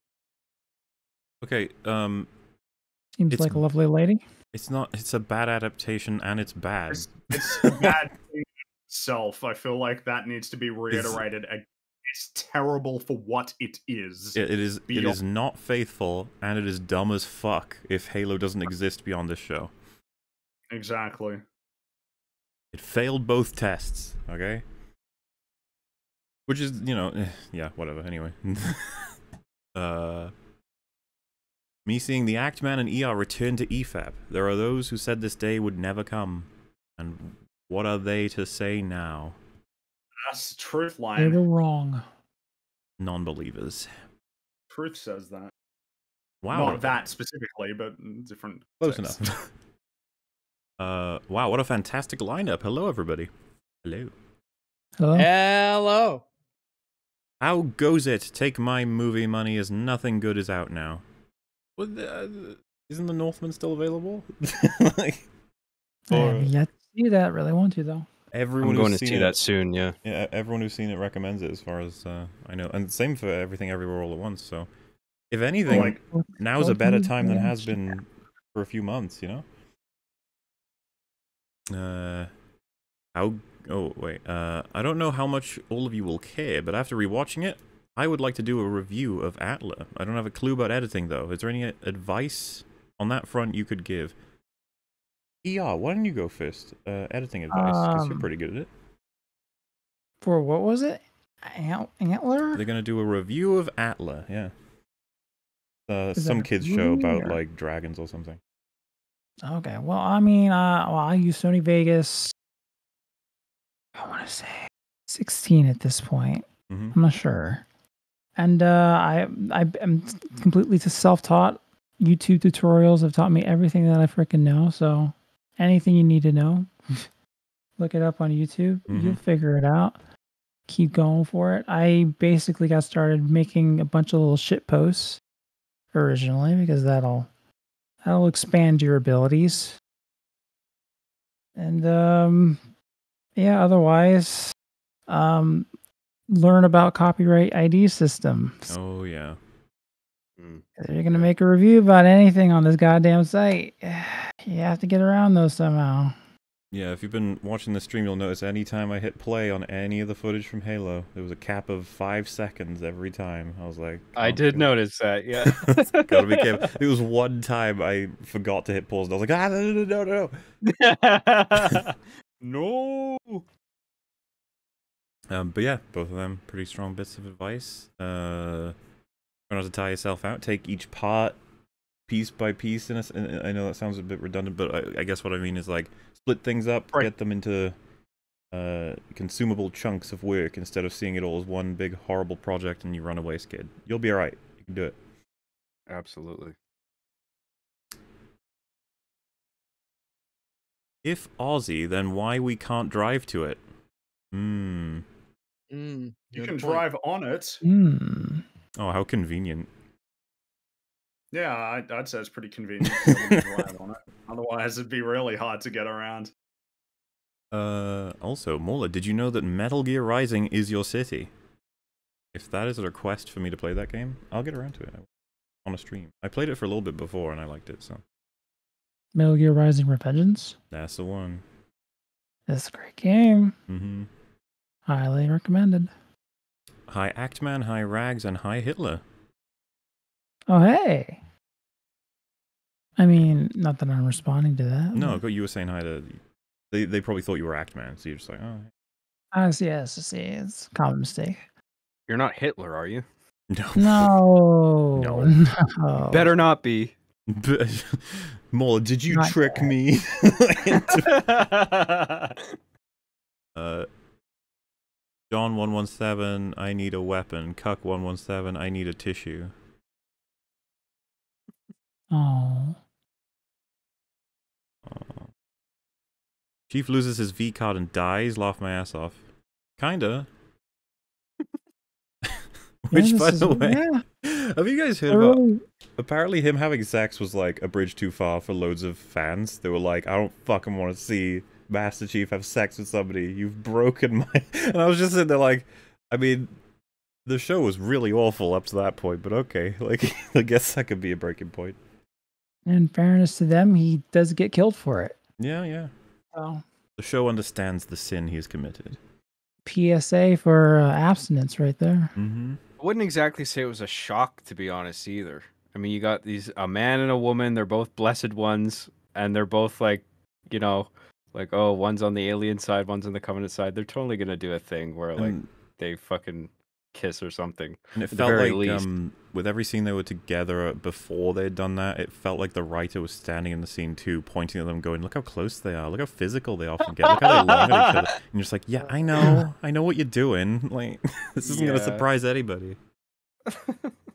If you're looking for a decent show to watch, I recommend checking out Severance on Apple TV. I've heard Severance, that. I've Uh, heard of it. Heard that was good, yeah. a couple people have recommended that. Uh, Wings Too quote. busy What was that? Sorry. Oh, sorry. Go for it. Oh, mine. Is, I was just gonna read the next super chat. So, what were you saying? I said I, I've been only watching a Better Call Saul, which is uh, Oh, yeah. fantastic, by the way. Great Better- show, yeah. Better Call Saul is like um, it almost sometimes feels like all of media currently, or most of it, is like this crazy clown world VR system I'm in, and then I take the go- goggles off and I'm like, let's watch Better Call Saul. It's remember when TV wasn't shit and like weird? Yeah, it's like it's yeah, Yeah. it's like being teleported to another time, another age. Yeah, because love it. it's I guess it's Vince Gilligan is the uh, the key to that. Like he's the show itself feels like it's almost out of time at this point, and uh, Yeah. Yeah. Let's watch something that's actually properly storyboarded story. and Yeah. written carefully. Yeah. Wild.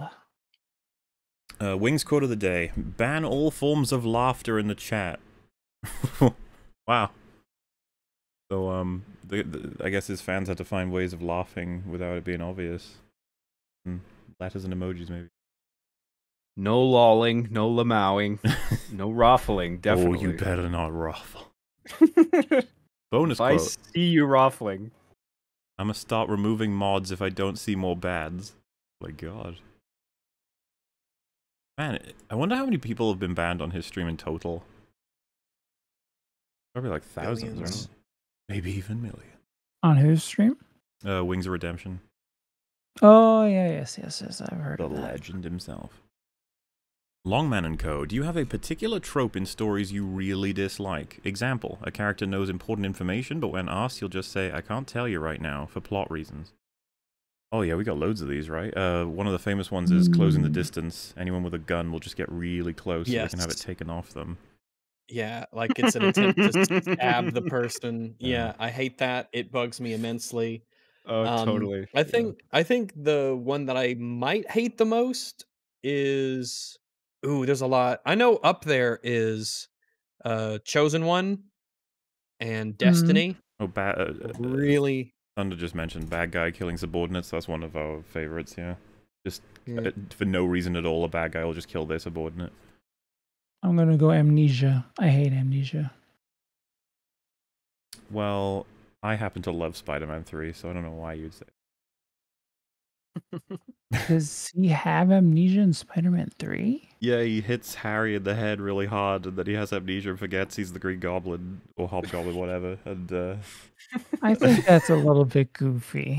it's hilarious. Let's be real.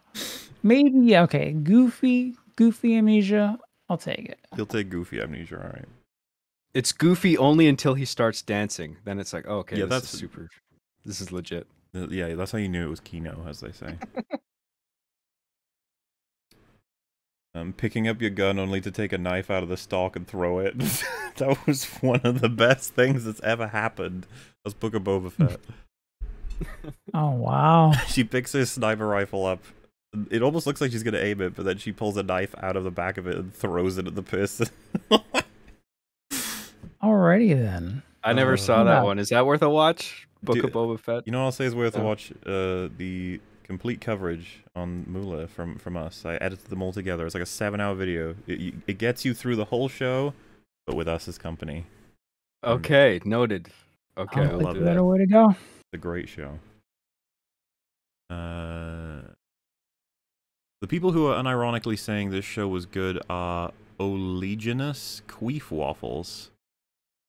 Oh, that's Oh, some I love out of this- commentary. Out, out of all that, I'm just like, what is that word? You seen that before? Oleaginous? Oleaginous? Let's see. No idea. That is a new one Yeah, to me. I don't know. Yeah. Oh, yeah. Rich in or covered with or producing oil. All right. All right. Yeah. I mean, yeah. Yeah. I'm impressed. Way to go, commenter. I guess it's like they're very slippery with their arguments. I guess is their Mm. what's they're suggesting. Uh, being pro-life and a Halo fan, I am adamantly against this show. Oh, do you mean because it like can kill people just from watching it? Oh, Die of boredom. uh, my neat animal is the chipmunk, mostly because I want you to look at pictures of chipmunks. chipmunks are pretty great. I'll we got allow it. chipmunks around here, and they're they're great. They're good stuff. Chipmunks are very cute. I was gonna say, does anybody not like chipmunks? I'm pretty sure they're, they're, they're chill, right? People who are wrong Yeah. don't like them. Hmm. Yeah. Um. Let me let me grab a a little picture. of Satisfy the super Shanks. They adorable. Chipmunks are great. Aw. Aw. Oh, people say no because the show's an abortion. It's like that's another way you can take that joke. Oh, there's more than one way, guys. Jeez. Odd. Um. They changed Cortana from a chip to a brain implant so she could talk to Cheeks without a helmet. They literally changed Cortana's dynamics to compensate for them not having Cheeks wear his helmet. The thing is, though, that implies like this is the only thing that I, I take issue with with that theory because I actually do think it's 100% on the mark. But the funny thing is, they care so little for things making sense that I don't even Mhm. know why they wouldn't have just thought, "Fuck it." Uh, it doesn't like he he doesn't need to be. Im- If someone said on set or when they were writing this, like she has to be implanted in him because otherwise we can't take the helmet off as much, wouldn't they just say like she just projects out of the suit, whatever? yeah. Like I don't think that would stop these writers, if you know what I mean. Like you know, John was just saying uh, in his uh, final thoughts about the the scene where he has to leave Cortana behind on High Charity. That wouldn't be possible in the show Right. because she's like in his brain. But her being in a chip that he has to put into things means that she those two might not be together, and he might have to go get her or leave her behind potentially and that that changes what can happen in a plot and it, and it can create a separation between the two especially when you're so used to having her and she's not there anymore that can have an odd feeling uh when, when you suddenly realize that oh she, she's not here she's she's somewhere else we got to go get her That's a great Um, point because Halo Infinite did that exactly in its opening, where the chip gets knocked out of him and he's like it like slides across the floor and he's like trying to reach for it, and then Atriox grabs him and slams slams him against the warthog. It's like so it it gives you that opportunity for visual tension where Chief it gets separated from the chip and he's trying to get it back, right? Like that's now impossible because he's funny. it's a brain thing. because of how shit the writing is in the show, season two, for all we know, they'll not only bring Chief back, but he'll get hit by a fucking blast of lightning and it'll separate her and him into the tech in his suit. And then she'll Yeah. get converted back into a chip or something like that. Just but they could do that because they don't give a fuck about committing to I any of this. Hmm. I'm sure it'll make the Halo fans happy. The technology in that show broadly is all over the place. Like Yeah. you have that fucking bio reader on the ship where they stick their arm in and they have to identify themselves. Like this is like it's me, John one one seven. It's like you're probably connecting to the UNSC network. It probably knows who you are. You have to fucking say your name.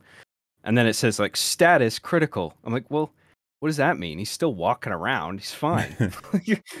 and then like that weird thing where, you know, um Keyes and the Admiral, they're in that kind of projection room where they sit in chairs and they put those things on their foreheads and then they Oh, turn into yeah, yeah. avatars who can eavesdrop on conversations in other rooms as like a digital avatar that Yeah, real that people can't see.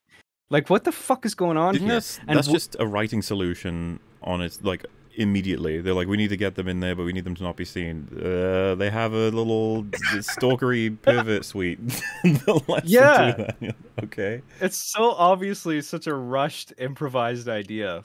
You know, Ugh, whatever. Uh, Lord Longbong of Mubslington Abbey, have you given any more thought to a Kong fap of Peter Jackson's Long Kong? When there's less going on, there'd be a movie fap for the ages. Yes, a well wagsies, scritches for the good boy. oh thank you Yeah, I'd say we're, uh, that would we're be uh, interested in doing that sometime. ages yeah. yeah. on board with that. A little bit of Long Kong, put it in there. See how Mhm. it goes. Hmm. Only one day.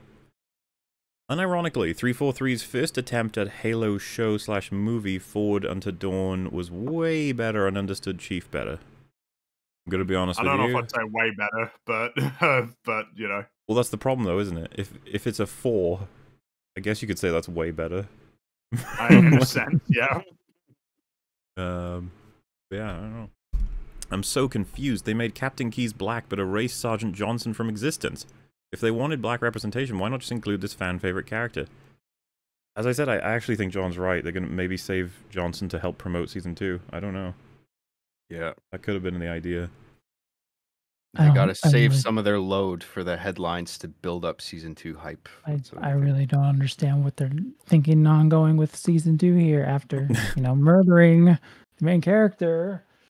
He'll Well, be they're- back. Putting him in a coma. they know- know. Listen, they Eon, no knew one's ever really considerably- gone, okay? That's they knew true. considerably ahead of time that they were greenlit for season two. You know, Right. so it's Mm. like It It they, they're planning with out. that in mind, right? They know they have the second season in the in the can, or like they're going to. All right, just such a bizarre way to end it. If so, you know, Yeah, bizarre. I I way. wanted to end with like a shot of Halo. You know, like oh, there it is, Halo, like Halo the show. It's like the title. think. You know, as we still don't. The season season one is finished now, and we don't really re- know that much about If you Halo as it the game- exists It in the shows. It does If feel like it's game, then you know relying on. Uh, it, yeah. yeah, it does feel like it relies on game knowledge. To be honest with you, It Yeah, definitely does. Yeah. even I relies like, on the games, yet t- takes a big shit on it at the same time. I know. It's know. infuriating. because even I like some people were like, oh yeah, what's MauLer's perspective going to be? Because he's not as invested in Halo. It's like yeah, but I know enough about Halo to fill in a lot of blanks where I'm not even aware of I'm f- that I'm filling in the blanks. If you know what I mean? Like when they reference certain things, and I'm just like, Yeah. oh yeah, I know what that is, and then I'm like, oh wait, no, I shouldn't know what that is if this is just the show. But uh, yeah, they Hmm. do that a lot. Yeah. Um, please read the Pokedex entries for Malamar. Malamar, I assume he's evil, but uh Malamar Pokemon. And they don't have a Malamar. specific Pokedex entry, just in general, I guess. Let's take a look here. Uh ba ba ba ba ba. Hmm. Let me take a look. Pokédex. Uh, gazing at its luminescent spots will quickly induce a hypnotic state, putting the observer under Malamar's control. It's in the villains wiki, huh? Uh, let me do Malamar. Uh, Malamar Pokédex. Someone trying to hypnotize you, bro. Um, let's see. Malamar is a dark psychic. Blah blah blah blah. Malamar wields some of the strongest hypnotic powers of any Pokemon and can make its opponents bend to its will. Uh, oh, we have the different Pokédex entries on. Okay, PokemonDB.net is where to go. Um, it has the Pokédex entries in different versions. It said that Malamar's hypnotic powers played a role in certain history-changing events. Uh, when it comes to Mhm. strong hypnosis, there's an endless number of people who utilize Malamar for their nefarious deeds. Whoa, this is the one they might be referring to. It lures its prey close with hypnotic motions, then wraps its tentacles around it before finishing it off with digestive fluids. Oh no. Ugh. Gross. Well then, Damn, Pokemon. Gonna mind control you into. Ew. Hmm. Um, the main character should be called Jimmy Rings 711. Yeah, that's suitable. Go with that. How does it feel to have lived long enough to see all your favorite franchises go down in flames? It's a beautiful quote, isn't it? And it just Feels great. feels great. Feels great. Uh, they did the hunters dirty in the show. Feels like they contractually had to show the aliens but didn't want to, so they showed the hunter's leg and checked the box. Same with the Halo ring, weapons, etc. Yeah. Maybe It a little bit. like- They had a Spartan laser on a uh, hologram, and it's like, why can't we? Why why don't we get to see you use it?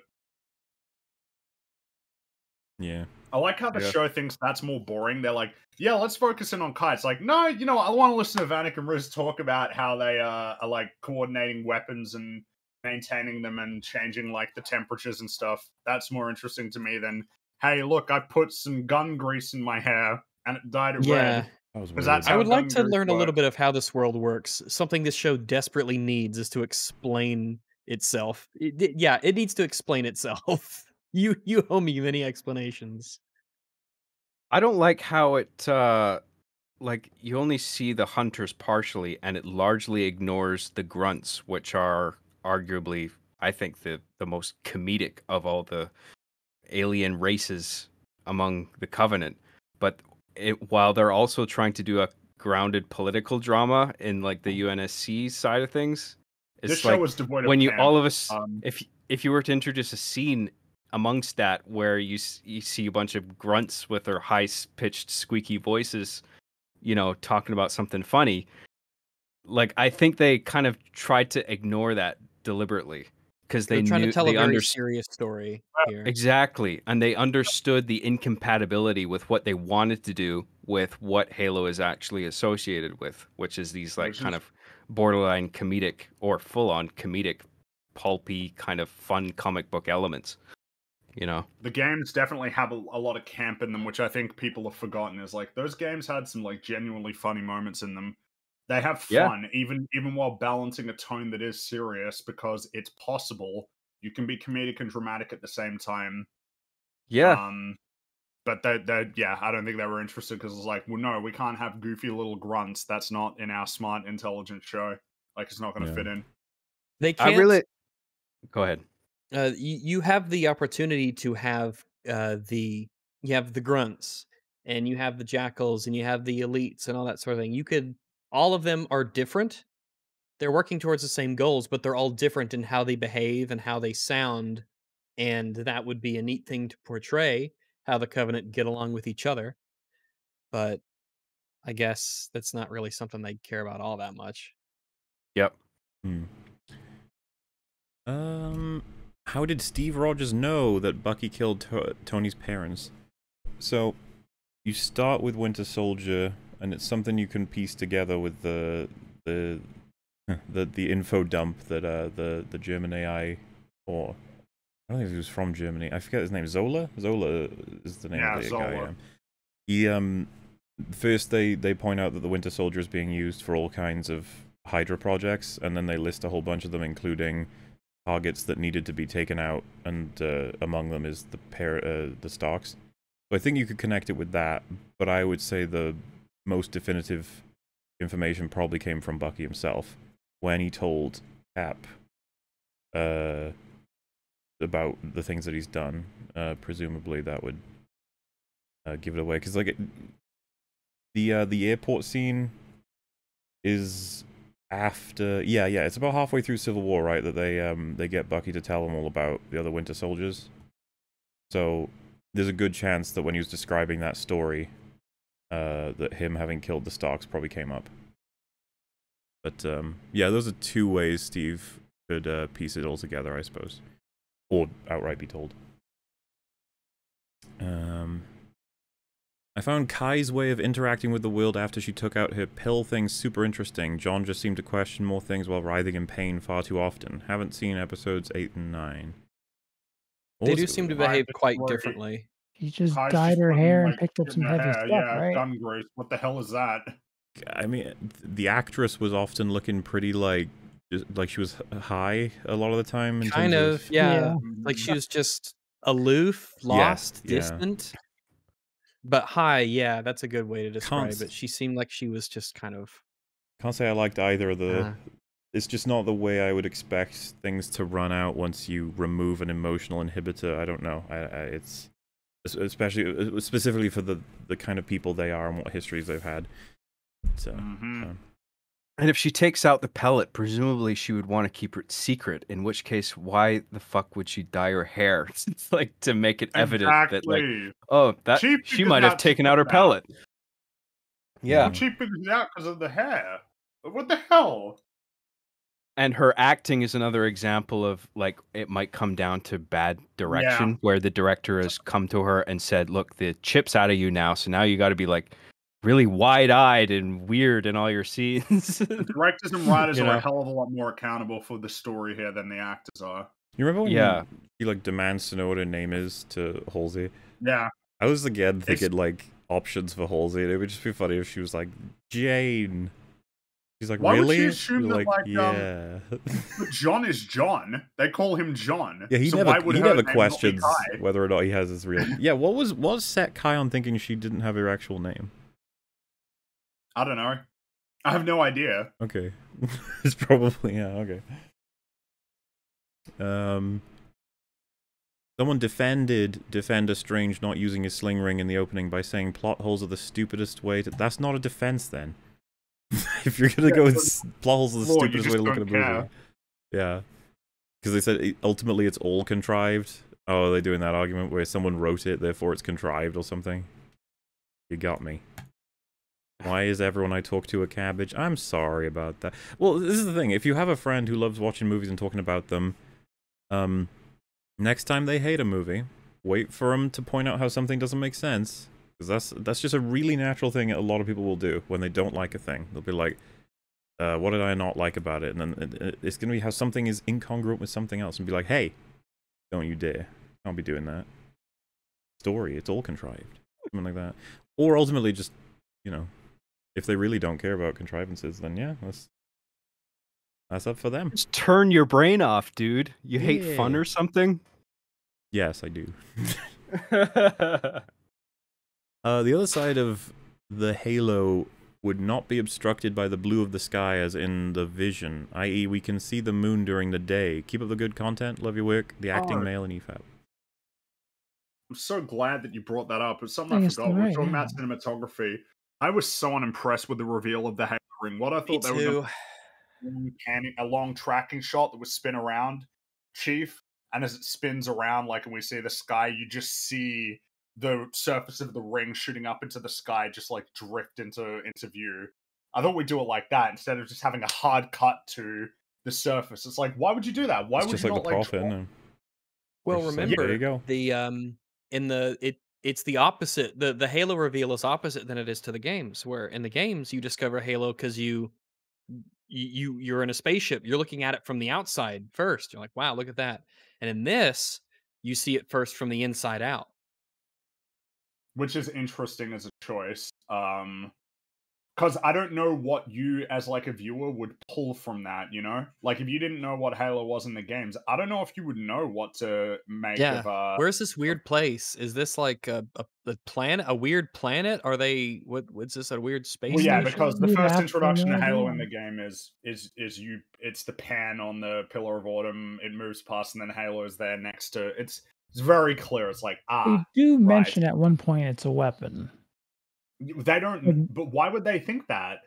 They that's actually was- kind of an issue that I have. probably Not a good reason for it. Yeah. They don't. have no they reason just to believe it's a weapon. They just yeah. assume it is. Everyone assumes it's a weapon that can do what they want it to do. They don't think that some, especially when you when you see it, you're like, oh, it's not. It looks like a big hoop in space. That's Mm, a weapon. What does it have? Like a gun on it, or you know, it doesn't look like what you you you would associate a weapon with, right? It's a reveal that Halo is a weapon, and then it's a reveal that Halo's a weapon that fucking kills everybody. mm. Um, but yeah, the the namesake of the whole IP is sort of.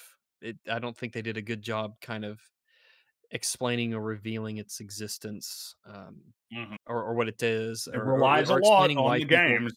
Absolutely, you yeah. Like I know it's a weapon because I'm familiar with Halo, but why do the characters in the show think that? What do they have to? What do they possibly have to?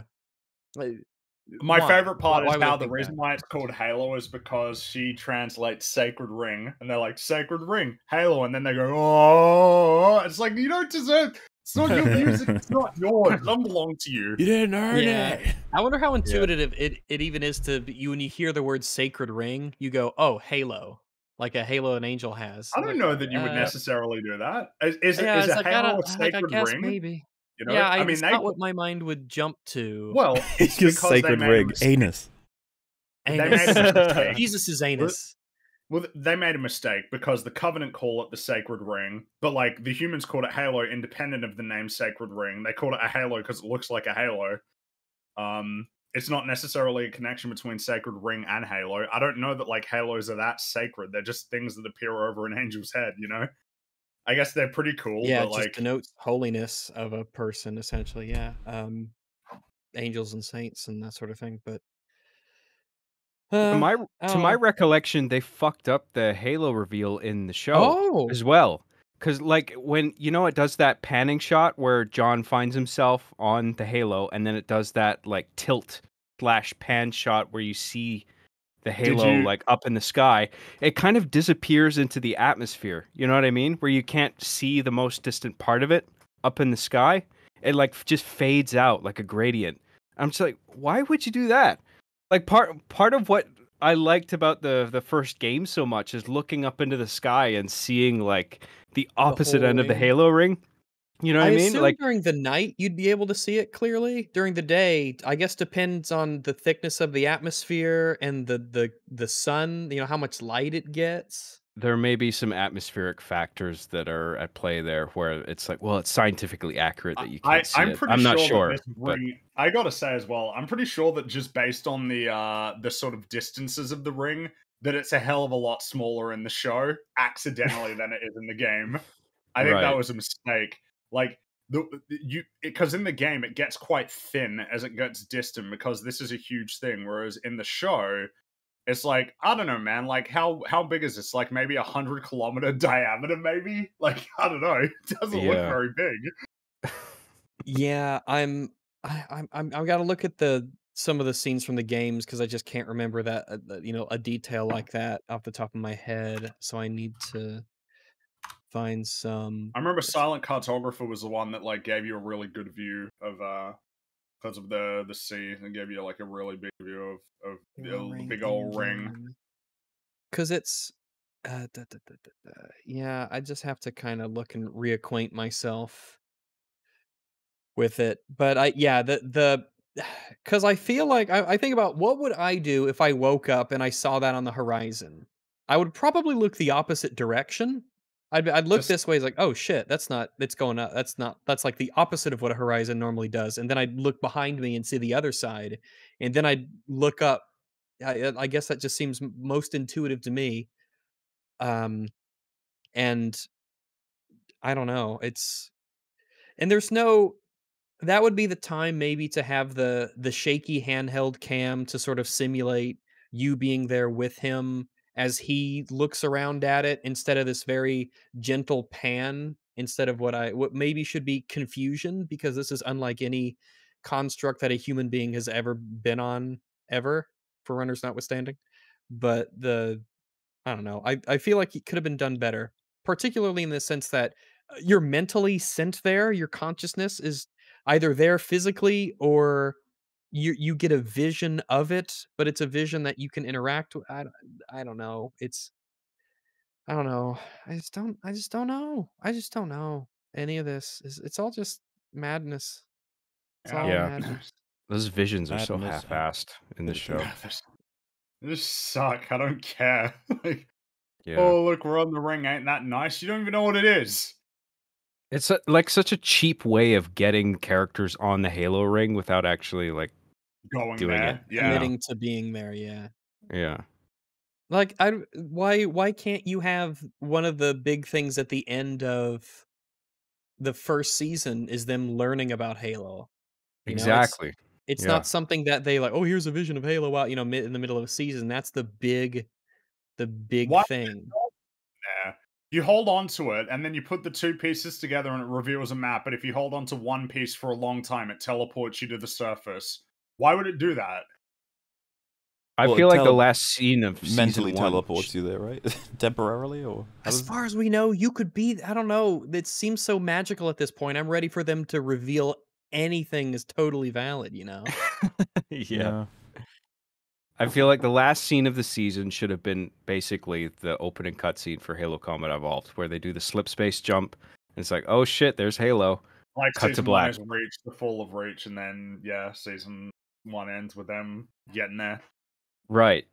Because I think like the Reach getting glassed happens before they discover that first Halo ring, right? Or installation Yeah, four. yeah. Re- well, Reach. So that's the Pillar of Autumn is fleeing. They're Reach, escaping Halo. yeah, um, they're they're that's- that's escaping what Reach.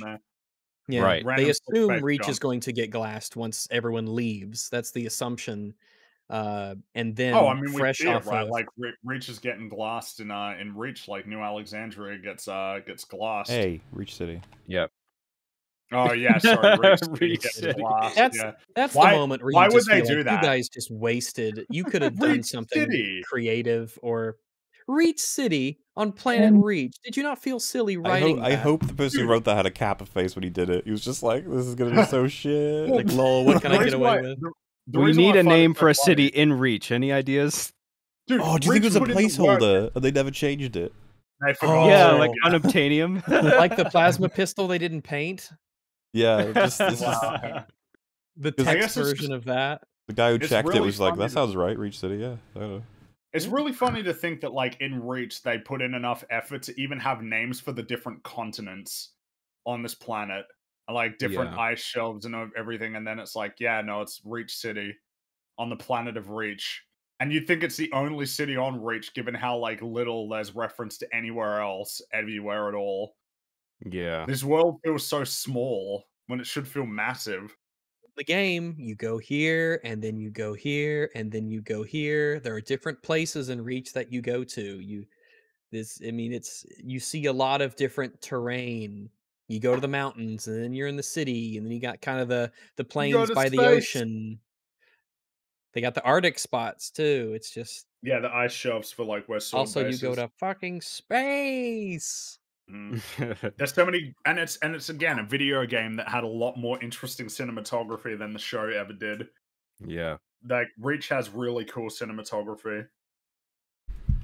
Uh, There's a there's a thing in development for film and television where you have a production bible before you go on to the screenplay phase. And the Mhm. production bible contains all the information on characters, locations, objects, uh, oh, any kind of prop or person that's going to play a role in the thing, and just elaborate explanations as to what everything is and the relationships between one another. I don't think they did that at all with this. I think 343 had their own and they said, "Hey, here's our Bible if you want to have a look at it." And they're like, "Yeah, we're not going to do that. We're just, We we're just going to go that." straight to the scripts, not even look at Mhm. our fucking your Bible or create our own. You know, no thought into the world building. It's just like one screenplay to the next for them. Mhm. edgy comment time. This show Nice. is like injecting kerosene and laxatives into the veins of oh my unborn infant via basketball pump through the mother's thoracolumbar fascia muscle complete and utter pain yeah that sounds like pain Or Yeah, that sounds like it could hurt Mhm. a fair amount. Yeah. Won't disagree with you there.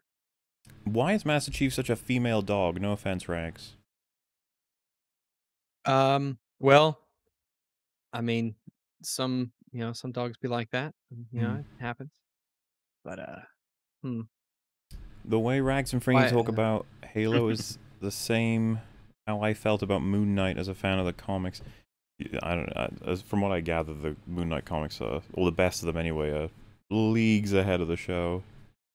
You guys should just run back to him. Point, okay? Safe haven, you know what they say. it. Uh, anyway, first time super chat, so I wanted to thank you all for making great content. Thank you very much. Like I said, read more, read more of the of your favorites from Moon Knight. You don't need to watch the show. Stay away. Mhm. My smile just grew as big as ER's seeing him back. Aw. Oh, pretty Thanks. white smile there, buddy. Can I Halo- just say I love I love whenever one of you guys puts out a new video. Like uh, that's something I'm working on. Like uh, like I've been on YouTube for a long time, but I've kind of been so Mhm. focused on my own stuff. But now I'm I'm just, I'm making dedicating time to like appreciating the work other people do. I mean, it sounds so fucking stupid because it's so obvious that there would be other people like me like creating content and stuff Mhm. but I'm I'm just like focusing on that now and like um Rags you put out that video on the orcs, Mauler you put out that Black Widow video, Fringy you put out that Endgame video. I ER I watched your video on Halo, your recent upload and the you you talked about like how fucking stupid the dialogue was of Mhm. like uh uh what's her name? Main character lady. Kwan? Kwan, yeah, yeah, yeah. How fucking dumb it was, and that's such a critical moment for us to like get on board with the character, you know. Yeah, And th- her dialogue is so stupid that it's just makes us not connect with her at all. And then we're supposed to be invested in her by the time the action scene comes along, and it's terrible. Like, uh, and I I throw your guys' stuff on whenever I'm working on stuff. Like if I'm shooting like an Arby 'n' the Chief thing in my room, like that takes fucking hours and hours and hours and hours to do. And it's like Mhm. I'll throw something like your content on and have it playing in the background, and it's in the raw audio of the camcorder, but like I'll overwrite that with like uniquely recorded ambience and sound effects and all that. But like I'll have that playing in the background, and it keeps me occupied and entertained. And I'm, you guys are I find fucking. it amusing that you the make raw great shit. file for uh for Oh, and the that's Chief cool. footage that you're using in the video has like me or more in the background. Oh yeah, That's all my funny. raw audio, like the camcorder audio, it's just like full of stuff playing in the background just to keep me dying of boredom. Using. Yeah. I guess that makes sense because it probably does take hours, like Mm. just to shoot all that footage. Yeah, it's like the whole day in my room basically. It's sad. But I, I have you not guys to sad, You keep make me it a show that's really cool. Yeah. yeah, I was gonna say as it was really nice for, you for for saying what you said, but then at the same time, it's just like you already know, right? uh, Me and Fringy have watched this stuff for a long time. I still Um, remember what house I was in when I first found Arby the Chief, and it's I like remember three watching houses Army ago. and the Chief on um at the library at school. I remember that. Sticking it in the library, making sure you had your headphones on. Dude, me and my friends like when uh, awesome. I remember it was like an emotional high for a TV show when the the kid ended up going uh, to social services and stuff. That that was how they Adam. defeated yeah one of the Yeah. main sort of villains. We were just like, damn. I, I, I actually got a funny story on this. I remember I was uh I was I was um watching it on a computer in, in class because I just it was like a spare uh, period where I could do whatever I wanted. Essentially, I was meant to be doing work, but I wanted to watch it. I didn't have my Yeah. headphones though, and I was watching the Cheetahs episode, and I thought I had the audio quiet enough that nobody would hear. But then it got up to the part where like the Bungie employee with the ban hammer looks at Chief and he's like, "What do you have to say for yourself, huh?" Like, it was so loud, and then I just was frantically pressing to put the volume down while it's screaming like, "How long do you think your little cheating spree was gonna last?" Remember to bring headphones if you want to listen to like Arby 'n' the Chief. You never know when it's gonna get very loud. That's so awesome. Thank you for sharing that. I really appreciate that. That's so cool. that was stupid. I should have put like I don't know what I was thinking. I don't know why I thought nobody would hear that. And you are are you you're uh you working on like hard justice maybe, right? Isn't that something that you might be doing or yeah, I've, I'm developing it, and uh, I haven't confirmed it yet because I don't want to do that until I've got a script finished. And I Ah, wish that well- I wish that was a thing that was you know that would occur in the actual in Hollywood. You know what I mean? Where they Well, they where wait until they've developed until- something. Well, no, that's Yeah. not the that's not the Marvel Studios way. You create the project first, and then you find the writers to make it, and then you give them a couple of months it, and then you're you're already shooting. You're good to go. Yeah. A part of, part of the reason I'm developing it is because I think Hard Justice, my first seasons are so terrible. And I'm, but there's something about like the characters in that situation where I looked back on it in retrospect and I'm like, you know, I could, if I tr- did, I could do better with this, you know? Like, uh, if I I could actually write something cool and do something with this and redeem the shittiness of the previous seasons. And what what do you think that's, sucks about the previous seasons? What is it? uh, that it very just unwell, un not well thought out, and making it up as I went along. ah and, right. You know, part of that was pressure from Machinima. Part of that was a lack of discipline on my part because I was still learning to write at that point. You know, so If you're having to write it every like week or two to try and figure it out while you're like having to do that, yeah, every week without a plan, I imagine it would be really difficult to create something that's like super duper cohesive. yeah, Um, I remember enjoying them a lot, but I guess it might be that the plot is uh like I'm not sure how well the plot would hang together. I guess if you have to try and write it as you go along.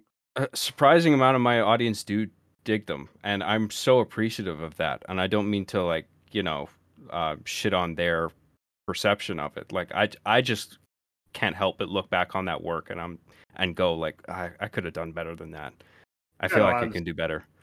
And uh, I'm I'm trying to write something and I'll confirm it once I've finalized like a series of scripts. I feel like I have a season's worth of episodes that are pretty pretty cool. I like I like the story. Yeah. So I didn't mean to derail it off of Halo. no, I, just, was all, it was, it was I good. just- I Oh, was, that's uh, fine with me. was- I like when- your when you- guys' content. I want you to know that. we like yours, and I I'm glad that you're interested in maybe seeing other people means that uh we'll be able to hang out with you more. Who knows? 'Cause, um, it's kind of funny. I I have Rian Johnson to thank for being able to meet like people like you and um, it's a it's a Yeah. weird situation to be in. You know? Man. It's like it's like well, was it worth the destruction of Star Wars? And I'm like maybe, Yeah, maybe. friends along the way. it's all worth it. Uh, Halo ODST greater than Halo Show. yes. I don't think anyone's going to disagree with ODST is that. good. Yeah, I was, I Halo was gonna ODST is better than a lot of things. um, You know, I, I don't have a great recollection of it, but I gotta play it again. I think I don't think I'm giving it a fair shake. I know I need to. I'm probably gonna. I know before I eventually get around to a Halo video because I hate the show a lot and I want to talk about it. Uh, I'll I'll end up playing through the games again. One because I just should, uh, but it'll be good to revisit a lot of the things I have fond memories of. And every time I go back to play a level or two with a friend or whatnot, it's always like ah, good memories and just fun time. It it holds up really well. Yeah, ODST is uh it's it's another one that feels like it slots into the Halo 1 camp of being a, a story beginning, middle, end. Nice and cohesive, fun characters and banter, kind of an interesting mystery.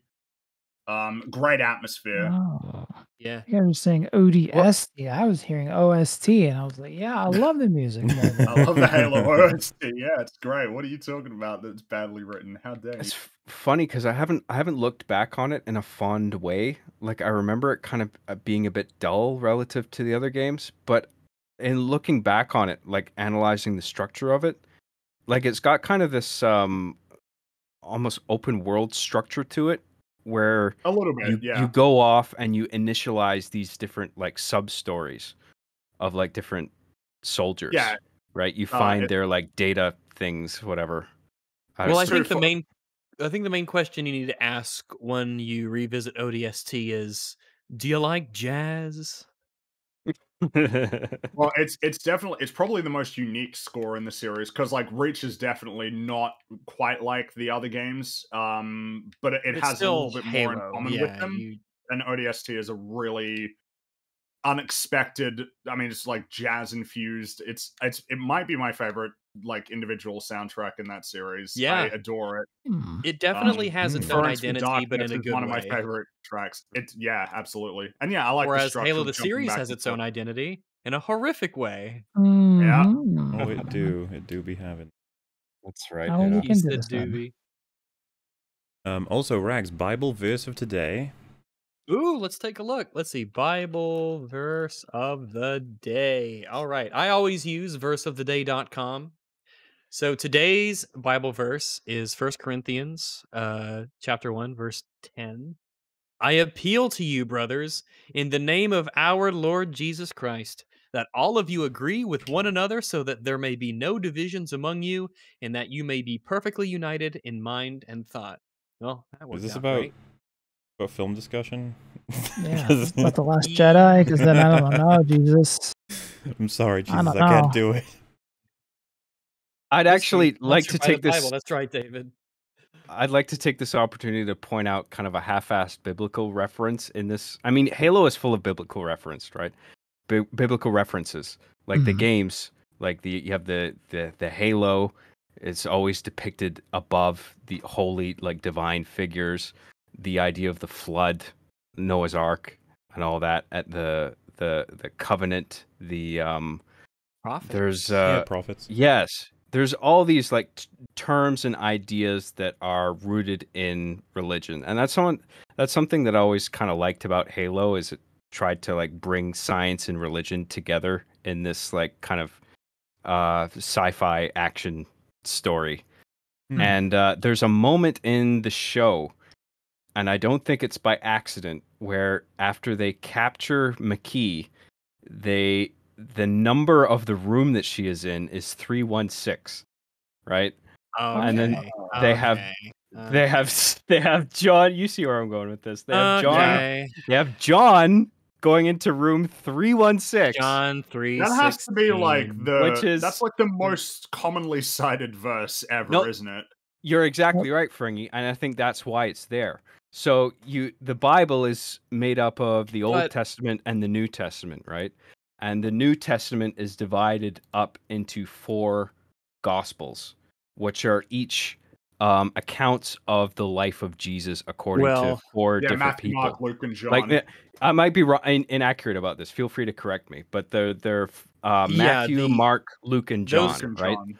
Yeah, Those those, are the, the New four Testament. Yeah, th- those are the four gospels, but the New Testament is the gospels to the end. Yeah, because there's also Okay. other stuff like um, it's it's uh, well, actually I can't remember, but yeah, Well, uh, so, sorry, what do you mean rags by to the end? To There's the end of the Bible. Luke, and John. There's other Okay. books as well. It's not just Oh, but okay. those four that everybody knows about. Right. Yeah, so that'll be like all the Paul, the letters of Paul to the Romans, Galatians, uh, uh, Galatians. Sorry, Corinth. That was our Bible verse of the day. We have Corinthians, First Corinthians, and Second Corinthians, all the way to the end of Revelation. If that's in the Bible or not depends on which version. I know, like the Douay-Rheims has different versions than the King James and all sorts of stuff like that. But uh, yeah, it's half and half ish. Uh, Old Testament, New Testament, but the Gospels are their own four thing. The And room was Matthew, Mark, Luke, and John and, they had John Gospels. go into it. Sorry, I'm still stuck on that. like That that is an think that interest- was clever. I guess like it's clever only in the sense of, huh? Not I, I don't because I'm trying to think of what it means other than it just being like a huh sort of thing. Like Uh, that cute. Yeah, Yeah. that yeah, it has that. I mean, Like- someone thought about something on that slash. I guess. It would- Yeah, what would be really could've funny been- is if it was um if it was the one that Homer referenced, and you remember Matthew twenty one sixty three, like, and then he went to like uh the town and he lodged there. It's like, yeah, think about it. That'd be Yeah, funny. Think That about it. cool reference. I- out of um pure curiosity, because you said John went into three one six. I looked up John one one seven. Um, it is uh, at least in the New International Version. For the law was given through Moses, grace and truth came through Jesus Christ. So it's totally irrelevant, but yeah, I was just curious. well, I think that one one seven might also be referring to the corresponding verse, like you know when Bungie conceived the number and the character and all that. of what book? There's a lot of meaning to the numbers in the in the games because it's like all of the uh, monitors are seven, and then it's seven squared, then uh, cubed, then quadrupled. So, Right. like, well, three, four, how do you interpret it's the seven. numbers 117, right? Is it chapter 1 verse 17 or chapter 11 verse 7? You know, it could be oh yeah, let me different take a look because you could you Admittedly, could I've take never thought about that. you could take 117 and then be like, oh, like, so the law was given through Moses, but grace and truth came to Jesus Christ. Oh, so that's like an old thing that was like believed to be, tr- it, you could twist that into anything. Uh, but John 11 7 said, oh, yeah, then after this, he said to the disciples, let us go to Judea again. You, Mm. you can That's make not very- something out of both of them. You you probably could. Yeah, there's a verse for everything. You this is what I mean, like with fiddle Halo, that's kind of absent now. Listen to these names for the monitors. Um, like, goddamn, these names are interesting. Zero zero zero tragic solitude. This is a crea- the caretaker of installation zero zero, which is the Ark, which is Yep. like not even in the galaxy. Um, zero zero one shamed instrument. Uh, zero zero seven court uh Courtright witness, and then zero three one exuberant witness. Uh, I think that's that's um three four three, so I'll give him that one, I guess. And then there's three four three guilty spark, two four zero one Penitent Tangent. It's like, damn, there's a lot of cool names. How are they That's given these names in universe? by the I, Forerunners, I, uh, I assume. think the Forerunners gave them their names. Okay. Um, Despondent Pyre. It's like these are cool names. And then look at this, the Warden. Oh yeah, awesome three four three. Good job. I was gonna guys. say, really Out of all the ones you just name. mentioned, the warden sounds the lamest. Um, Yeah.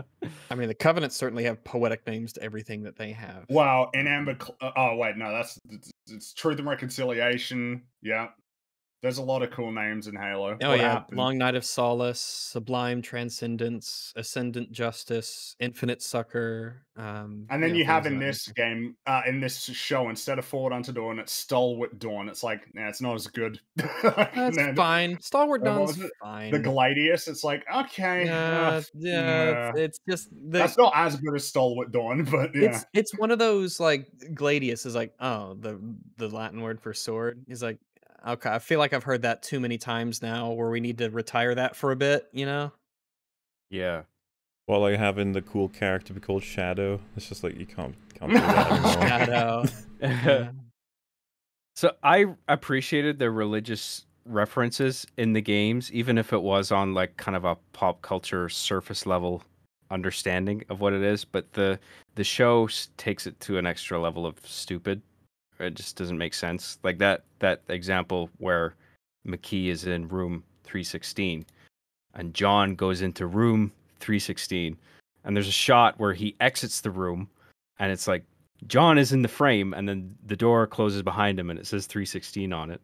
So you're meant to, I think, think John 316. That's what the writers intended, and it is like you were saying, Fringy, one of the most popular verses by far, because it's well known for um, encapsulating the the Bible fully. Because it, yeah it's of- what people hold up on the signs at sporting events That's and they everything always yeah, Yeah. it's the most common. yeah it's it's the it's the motto if you could say Yes. it's, it's uh Jesus is modern. and out of out of the four gospels um john was the one that gave an accounting of jesus where it deified him the most and it was vague about how he existed as a human being.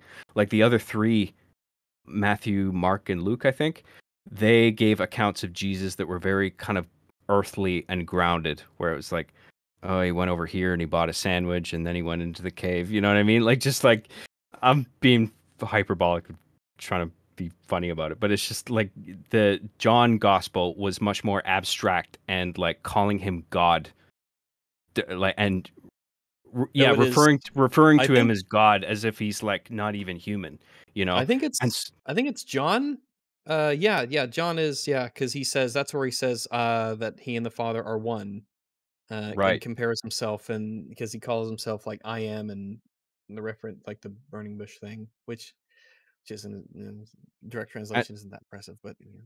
Yeah, you you guys might might know more about it than me. I I did a little bit of research into it because I was curious, but I I found this out that that like the Gospel of John gives the most abstract deified account of the story of Jesus, and it's because of that abstraction and vagueness that it gets applied to characters in pop culture, such as Master Chief in this case, right? But the the mapping onto it doesn't really work because, like, well, what are you saying that John is Jesus? But in the Bible, John isn't Jesus. John is just a guy that gave an account of the life of Jesus. He was an observer.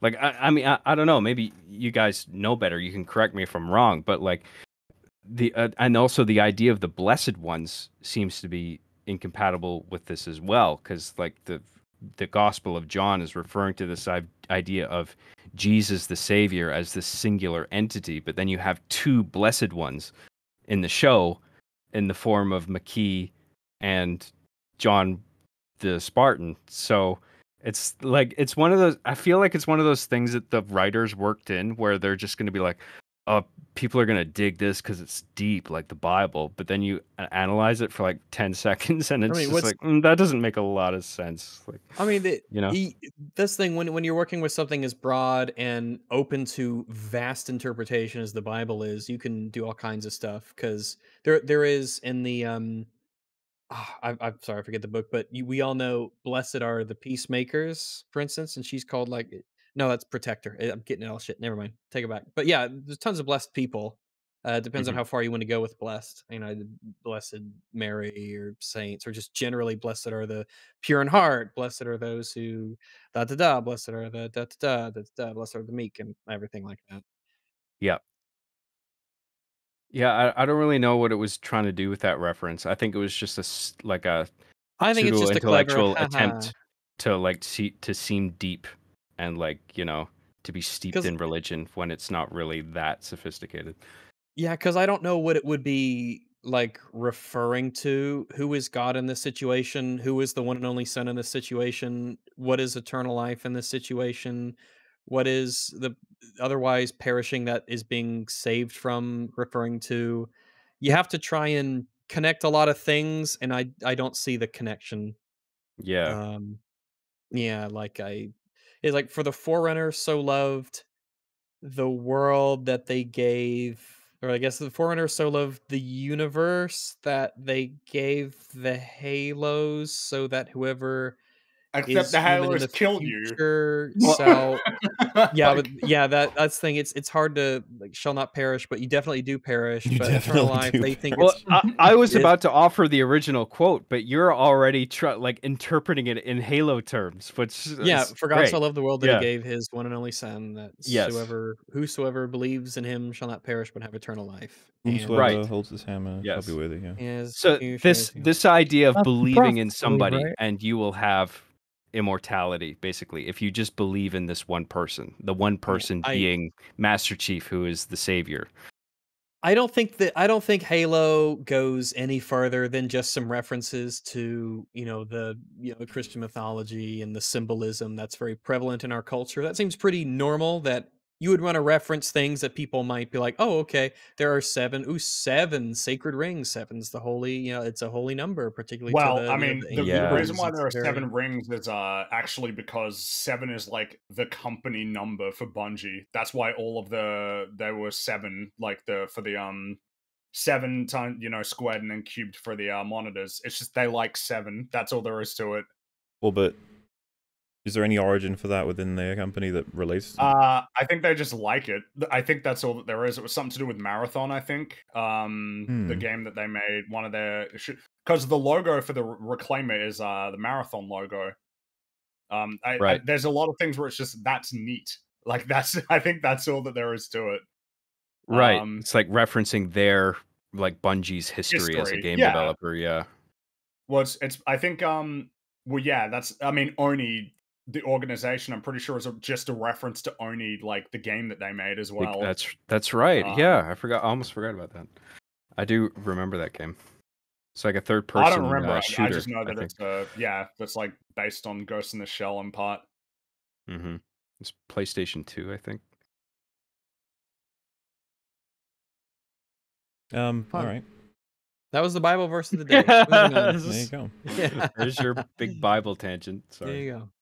Dude, the Halo 3 trailer Landfall with the ODSTs trying to track Chief was awesome. We should have something like that. Yeah, that was Neil Blomkamp who made that. Oh, that was back when Peter Jackson wanted to make a Halo movie, or, or at least to produce it. Um, and then that fell through, and then it was a show, and Steven Spielberg. I we keep forgetting You Steven got to Spielberg. make Mortal Engines. You got to produce that. Yeah, so they both got what they want. Steven Spielberg produced the I don't know show. if he got what he wanted in the end, but he got his producer job. well you guys know neil blomkamp right Yeah, I mean, not personally.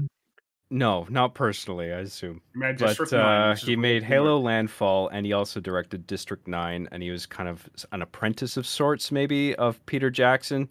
I don't know. I don't want to say like apprentice as in like he was so lacking in skill that he was like, you know. No, it's kind of know, under going wing, to someone like Peter um, Jackson to like figure out how to make films. I think he knew how to make films. Like District Nine, I think is a pretty good movie.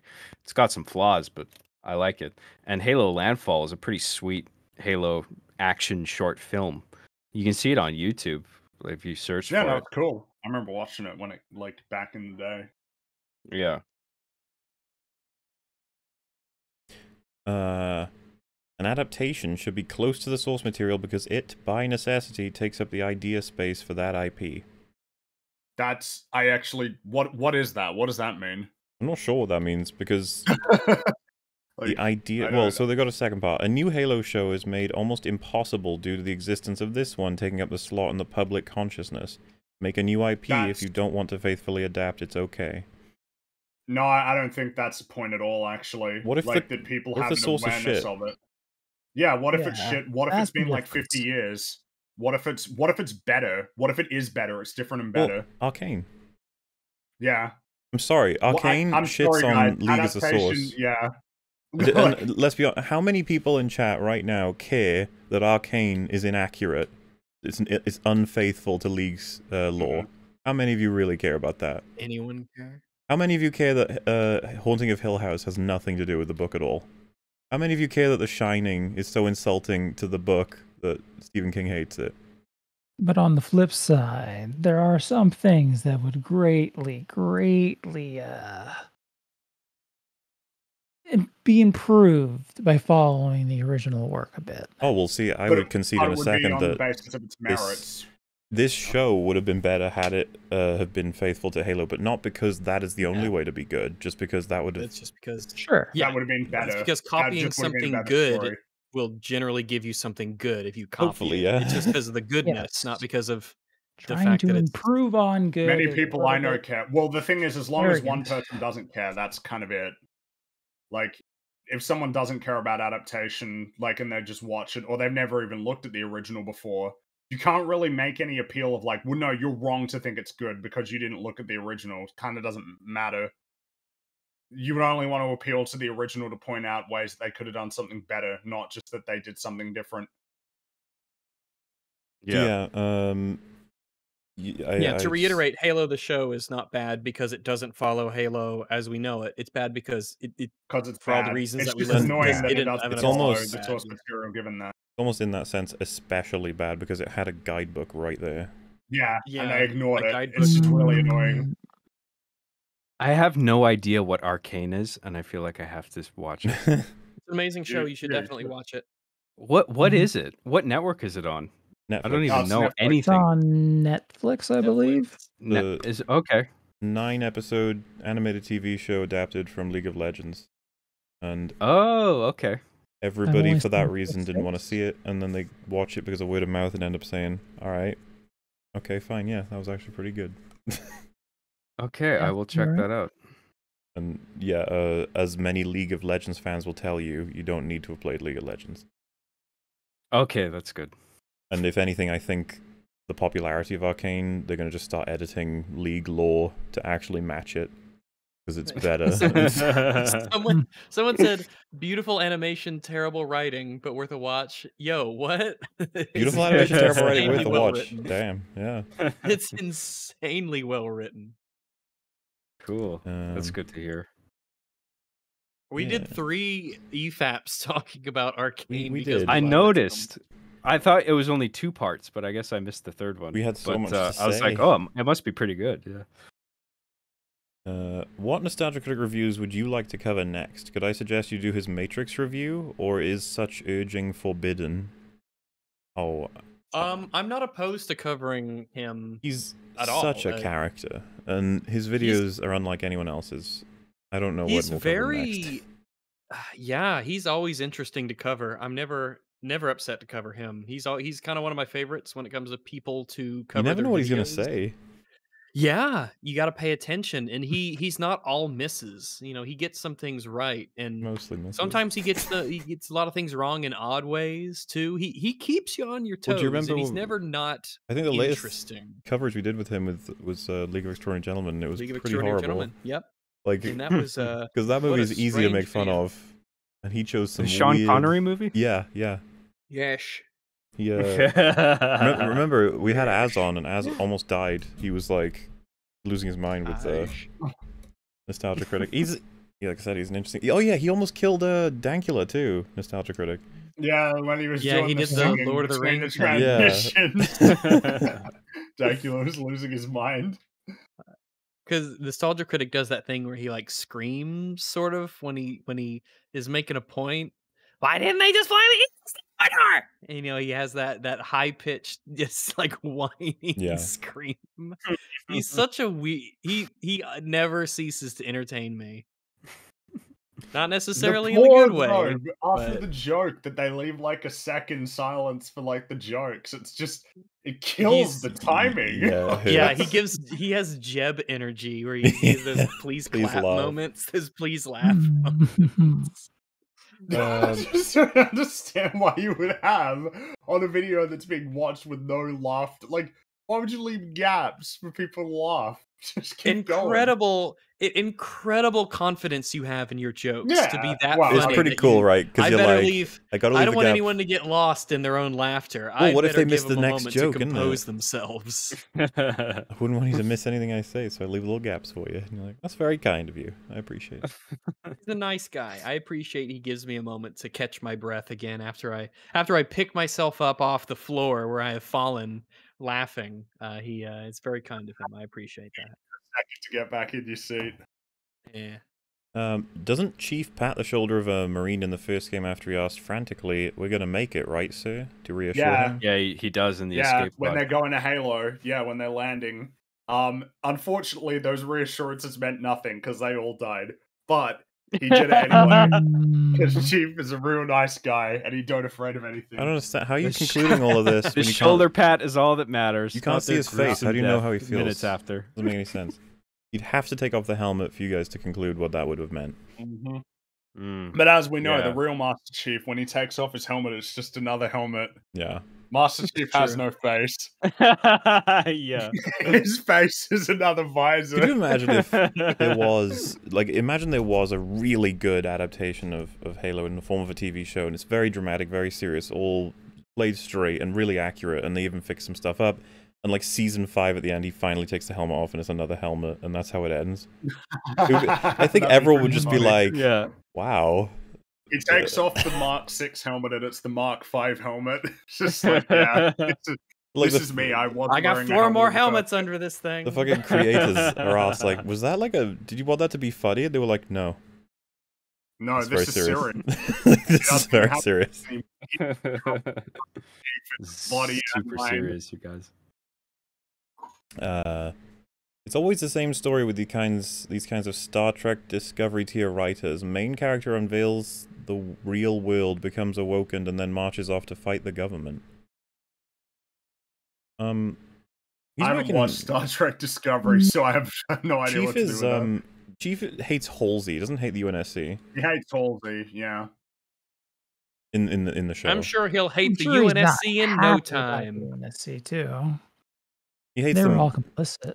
Y- Well, yeah, because you have um, Keyes being like, Some- "We'll have a conversation at some point." He says that to Keyes, doesn't he? Yeah, he says it'll be a Mhm, yeah. reckoning for everybody, but not today. Okay, yeah, maybe you could make the argument he hates the UNSC. Who knows? Uh, I'm not 100 percent clear on that yet, but he's still invested in humans, I guess. Yeah. so that's something. Chief likes humans. Something indeed. I'm glad that Chief likes humans. Yay, we did it. Yeah. Uh, ER John, welcome back. Oh, that's nice. Well, thank you. I'm happy to be here. It's awesome. Master Cheeks is not John Halo. John Halo is a cool guy who doesn't afraid of anything. Wow, I beat you True. to the punch, It's true. except you that hours ago, but I beat you. I was gonna say, yeah. Uh, Master Cheeks is a good, a good name. I like it. I just I like, John Master Halo too. Yeah, Which is John Halo feels apt. John You Halo know? does feel. I do like the yeah, feel of it, just yeah. say, yeah. He's not Master Chief. He's John Halo. Dude, how fucking hilarious was that in the show? When it's like I, I don't know, like I assume you guys thought the same thing. Where it's like episode one took his helmet off, episode two took his armor off, so you saw him in his under armor. Yeah. And I was thinking, oh, I'll make a joke on Twitter about him being naked in episode three, and then they did it, They butt ass naked. and then a couple they episodes wish they later, could he's have him fucking. naked in the first episode, but they wanted to let you down gently. yeah. Oh dear. Master They didn't want to blow their load too early. Yeah. The fact that oh, I forgot to mention that he can just disassemble his armor while like out. He needs a giant robot to put it on at base, but he can just like disassemble it, put it in the corner. And imagine if Soren like stole it. He had someone waiting there to steal his armor. He's like, "Well, better go grab my armor," and it's just gone. And then he gets dies. Just shoots. If him you want your like, armor back, Master Chief, then you're gonna have to do a little job. You You're have gonna have to collect work, five yeah. gold ingots. yeah. I need you to smush a man's foot. Oh no. Put on Just give it a good old step. Just crunch down on it. Give it a squeeze. Yeah. Yeah, just give his toes a squeeze. and take pictures if you want. You don't have to, but if That's you, the optional if you thing. wanted him. It's for it's for my uh my, my wife, yes. like smushed feet. Don't ask me why. Master Chief, mind telling me why you're consorting with the Covenant spy? Sir, getting my rocks off. Sir. Yeah, maybe. Or you would say Yeah. it's a No. passionate love. Okay. I'm only Master Chief. No human would want to have sex with me. Depends if you can get the armor off or not. Actually, they, they wanted to keep it on, wouldn't they? No, he yeah, the armor stays on during. Uh, the Fall of Reach book characterized the Master Chief perfectly without compromising his game character. I haven't read it. I'm gonna be rereading it soonish. I'm gonna be using the loo. Alright. I can't stand that Halsey's big brain plan for keeping John in line is to give an AI complete control over uh, Master Chief and the rest of the Spartans. Also, Hi Rags. It wouldn't have been over the rest of the spawns. I think It's it was kind of retarded. Yeah, Yeah. well, the idea seems to be like the the symbiosis of it, right? Where it's like the Hmm. person and the AI in combination. But then it, her end game seems to be just that the AI Sure, completely overwrites That's the kind of- person. Kind of hilarious, So- isn't it? Because it's like, I Mhm. made this to completely control you. It went rogue. Fuck. yeah, whoops. yeah. Ah, fooey. Gosh darn it. Uh, the army brainwashed us to a degree to avoid PTSD. Read On Killing by Dave Grossman. The UNSC would absolutely know and use this when they raise their elite child soldiers so that they are combat ready. Uh, no, yeah, they need emotional regulated chip in their spine. That's the thing about That's it. That's what When, makes them Spartans, according to Cortana. when Kai has her, like, oh god, war is pain moment, it's kind of just Yeah. like, uh, it feels so arbitrarily thrown in. It's like, you could have told me that that's how she feels or not, and I wouldn't know that, to expect anything different because I don't know how any of this works. War is pain, but then it disappeared later. War wasn't pain when she went in episode nine. She's fine. I mean, it always just feels like they do whatever they want. They did it so that Chief would have to abandon the mission and they lose the thing. Yeah. That's why they did it. The Spartan program was made to crush the insurrectionists, but also Halsey had ambitions to take the research further to try and evolve humanity. Yeah, but but that's the, the the most important part is they weren't created to combat the Covenant. That was just a, a coincidence, essentially.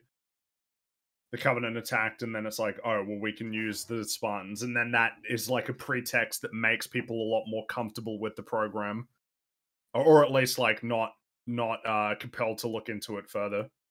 Mm-hmm. Um, hello, favorite Halo moment, but you can only pick one. Hmm. Hmm. Hmm. Hmm. Favorite Halo moment.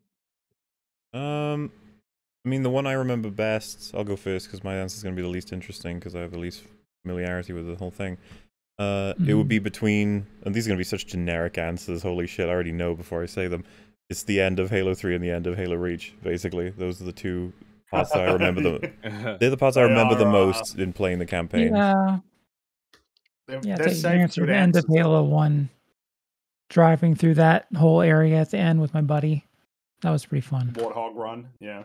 Yep. Uh, I'll I'll add to that specifically the the moment where Foehammer's about to pick you up and she gets shot down, and it's like musically scored perfectly, like where like you, it, it's like this supposed to be this uplifting moment where it's just like oh here's my ride out of here, and then it gets shot down and the music scores along with it like the tragedy of it, and then there's this moment of silence where you're you're left as a player going oh shit, what the fuck am I supposed to do now? And there's like a beat of silence where it's like awkward. But then Cortana chimes in and it's like, Chief, I've detected there's a there's a pelican in the whatever bay. Go over there. And then it's like, oh shit, I can still get out of here. Like it felt like a movie moment, you know? And it was like accomplished so well in the context of a video game. It was cool. That's one of my favorite Mhm. moments. I think there's so many good ones, but one that always stands out is hmm, it's I think it's the flood reveal Yeah, that was 1. so good. That is pretty cool too. Yeah. It's paced really well. Yes. But we're gonna put you in this spooky swamp. All right, this is different. Swamp level. Okay. You need to go look for these Marines. They're missing. Okay. Marines missing in the swamp. Looks like they went down into this uh, structure here under the swamp. Okay. Wow, it's quiet. And then you you you you you build up to that reveal, and then they're they're everywhere, and you got to shoot them all, and they're not like the Covenant at all. It's something completely different. You got to fight your way out and pick up what you can. And I, I really, really like it a whole bunch. It's got that just it nails the tone of that kind of moment, and it's such a flip for the game where you've been fighting nonstop Covenant, and it adds this whole a uh, whole entirely different thing into the mix. Mm. Yes, it was, it was a great point in the game to inject some new enemy variety, in addition to like the story value of it, where it worked as like a a, a narrative beat of mystery and horror. So good. Um, I might be boring as well. I'm I'm kind of it's a toss up for me between the ending of Halo 3 and the ending of Reach. I think the Reach is super impressive in terms of taking a gameplay element and sort of pairing it with a narrative element in a way that's really potent that only video games can achieve. Um Mhm. I I uh I think I also um I also really like the moment in Reach when yeah you, the super carrier gets blown up as like Noble Six is falling to the ground and then the Covenant Armada shows up, and then you have it e- like it's partly because of the score as well, and then it's like uh him on his own in the mountains with like the super carrier destruction in the background. It's like a great shot. Um, and then I guess there, there, mm, it uh, also might be the ending of Halo One in of itself, like destroying the ring, and then Chief, you know, as, as just as they're escaping and the ring gets destroyed, it's a really cool moment. Um, I, uh, uh, the, um, I'm, I'm wondering because it's like Silent Yeah. Cartographer opening is like probably the most memorable like gameplay section in a Halo game. I think it might be. It just feels like such a clear example of like what's so cool about those games in terms of their design. This beach assault and driving around in that level. hmm Hmm. Yeah, man.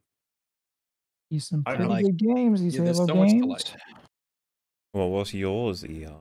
Mm-hmm. I already stole yours. The end of um one. Oh. Well, fair enough. the end of Halo ones. Yep. Cool. Also, I, it's funny because there are parts in two that I really like. They're just they're not ones I would point out as being like, oh, that's like the quintessence. I really like the scene when Arbiter finds out, like when he goes to the to the um to, uh the control room with the index and he's talking to Tartarus and you got uh like 343 explaining it. It might just be because that's one of my favorite parts of the soundtrack in all of the games, Sacred Icon. Uh, or is it Sacred? It's, I think it's High Charity Suite. I kind of adore it. Um, there's the same thing in uh in Halo 3. I think it's called um Black Tower when it's uh it's when um after Miranda gets killed and they activate the rings and then like Chief and Arbiter are coming up in the music. It's like oh, it's really good music. Um, really, Dude, the I really think- score for Halo One and Two, or I mean Halo Two in particular, the music was Mm, fantastic. phenomenal. Yes. great uh There is tracks an exist throughout the There is uh in Halo 2 when you're on High Charity and the flood come crashing in and you're fighting the flood, there there's always a, a big unique vibe to that where it's just it's as alien as you can get.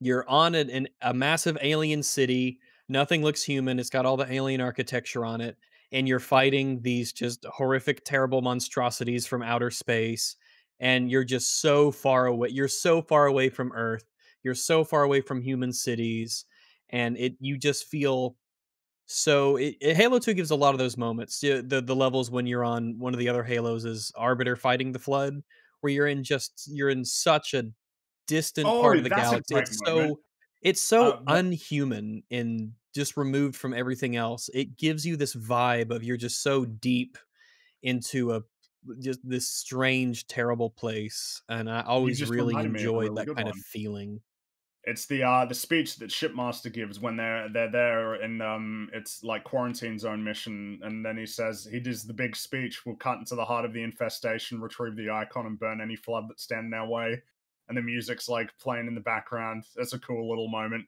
I really Yeah. like the shipmaster. He's cool as fuck. He's got an awesome You learn, voice. yeah.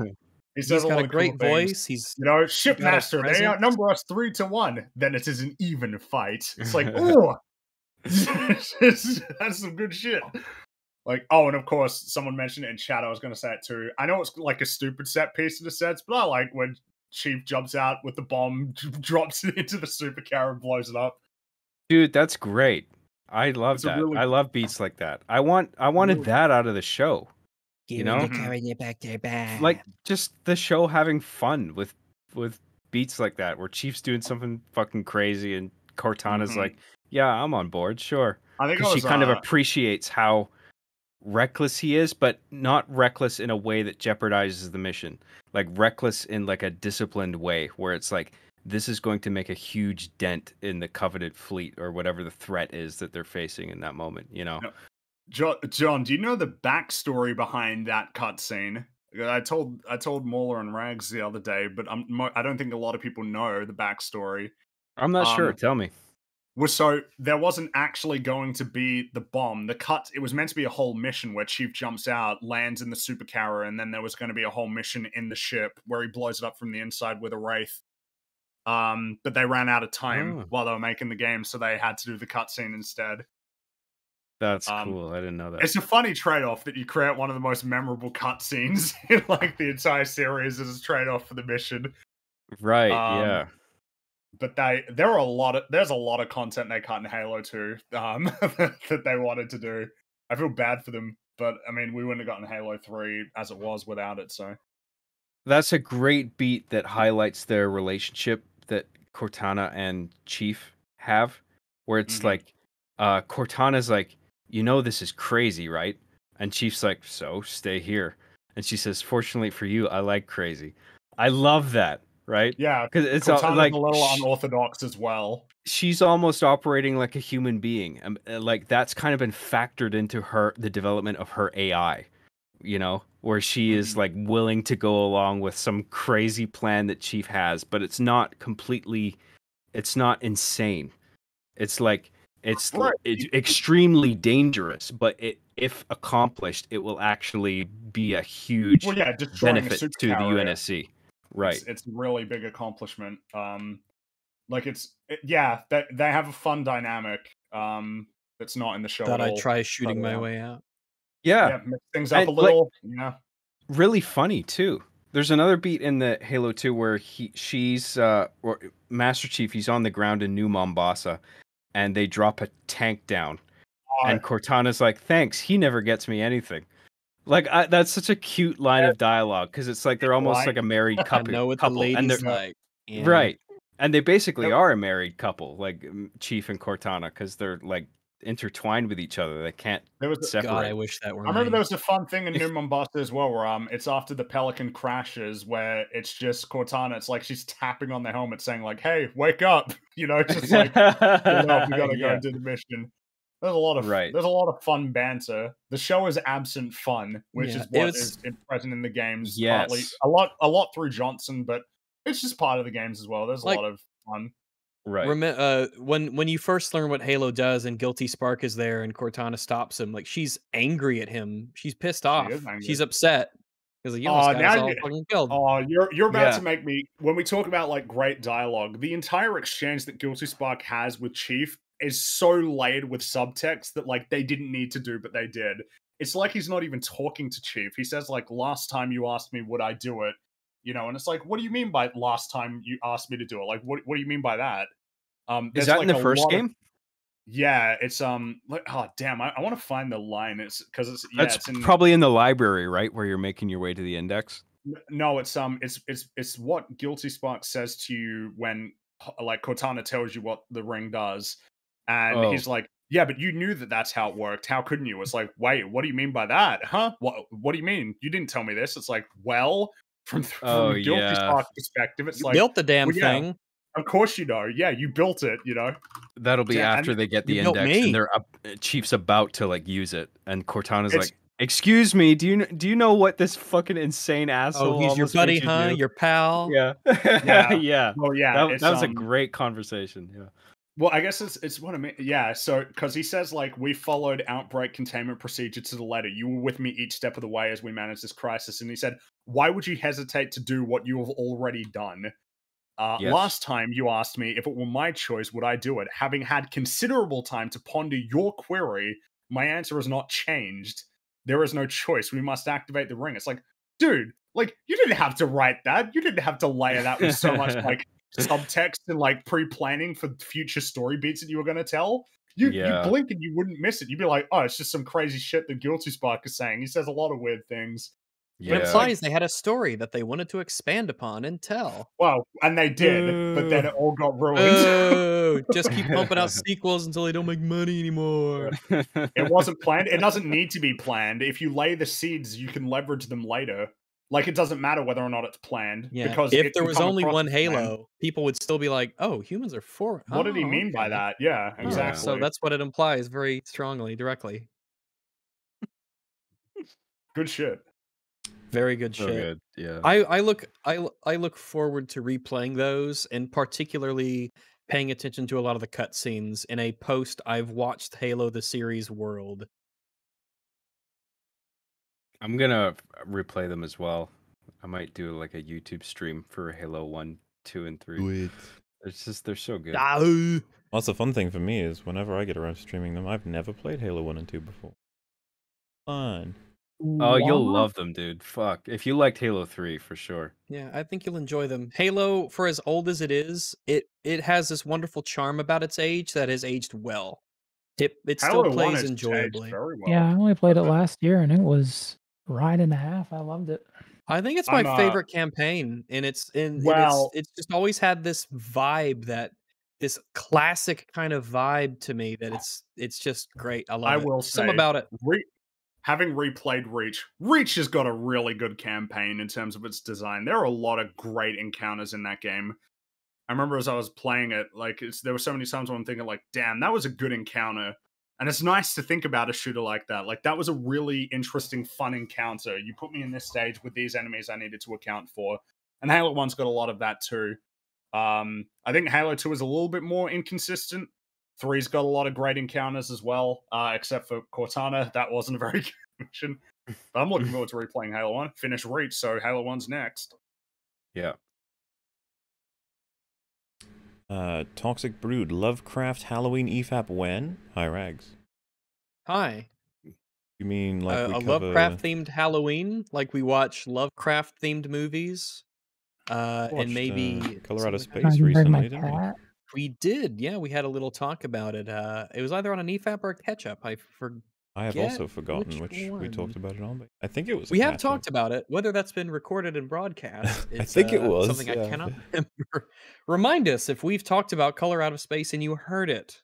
Could be the. Um, Oh no, I was about to suggest we could like we could watch that Lovecraft Country show that everyone hates, and I was like, actually, no, we don't have to. No. Yeah, we don't. We really don't have to. I'm sure there's other Lovecraft inspired movies we could look for if you want to do like so, like so bad they could be good kind of stuff. I'm sure there's plenty of those that we could do E EFAP movies for. Yeah, yeah. Do a little best of the worst on Lovecraft. What if we had E movies. EFAP books where someone narrated it and then we pause them every time? It's like, wait, no, I want to talk about that line of dialogue, that prose. EFAP books. EFAB, every frame of book. Ain't that fabulous? Why don't you just do every frame of page? Oh, yeah, sure. But every frame of where book, you're you know, every single frame, there's a new book. So by the end of it, there'll be a library's worth of books. In fact, many Can't more judge a than library's podcast by its books. cover. Yeah, Every frame a frame. My God. exactly. Find the cringe. Finish the fight. Uh-huh. We did. Yeah. I like how in that fight scene there was no reference to any like specific battle or iconography from games or trailers or anything. Yeah, it was like it's just its own space. It's just like this dusty temple, I guess, on a mountain. Because a lot of people were saying it's like Sandtrap. I even said it looked like Sandtrap, but it ain't Sandtrap really. It's just like a temple. it's it- it just kinda a dusty Sangilio, temple. Like it's Well, got a I leaf. th- I think you're right in terms of the color palette. You know, it does resemble that area, but the architecture I think is yeah, it's different. Like uh it is different. in the It's- show, it looks like does some- Sanghelios. It's this weird singular kind of church with these two naked elites on the front of it. like Well, sorry, in Halo 5, you go to Sanghelios, and Sanghelios kind of looks like that, but this isn't Sanghelios. This is like a holy planet, I guess. okay. Uh, have you read Worm? Yes. Shout out to Nico. Oh, I've read parts of Worm. what is it? It's uh it's a um I guess you would call a rationalist uh web fiction about superheroes and it's about this chick who's got uh she can control insects Oh, and she tries to use that power in clever and neat ways get her jobs done. I haven't read beyond many maybe like 10 15 chapters so I don't this was a long time ago but something I might go Uh, back to. yeah, fair enough.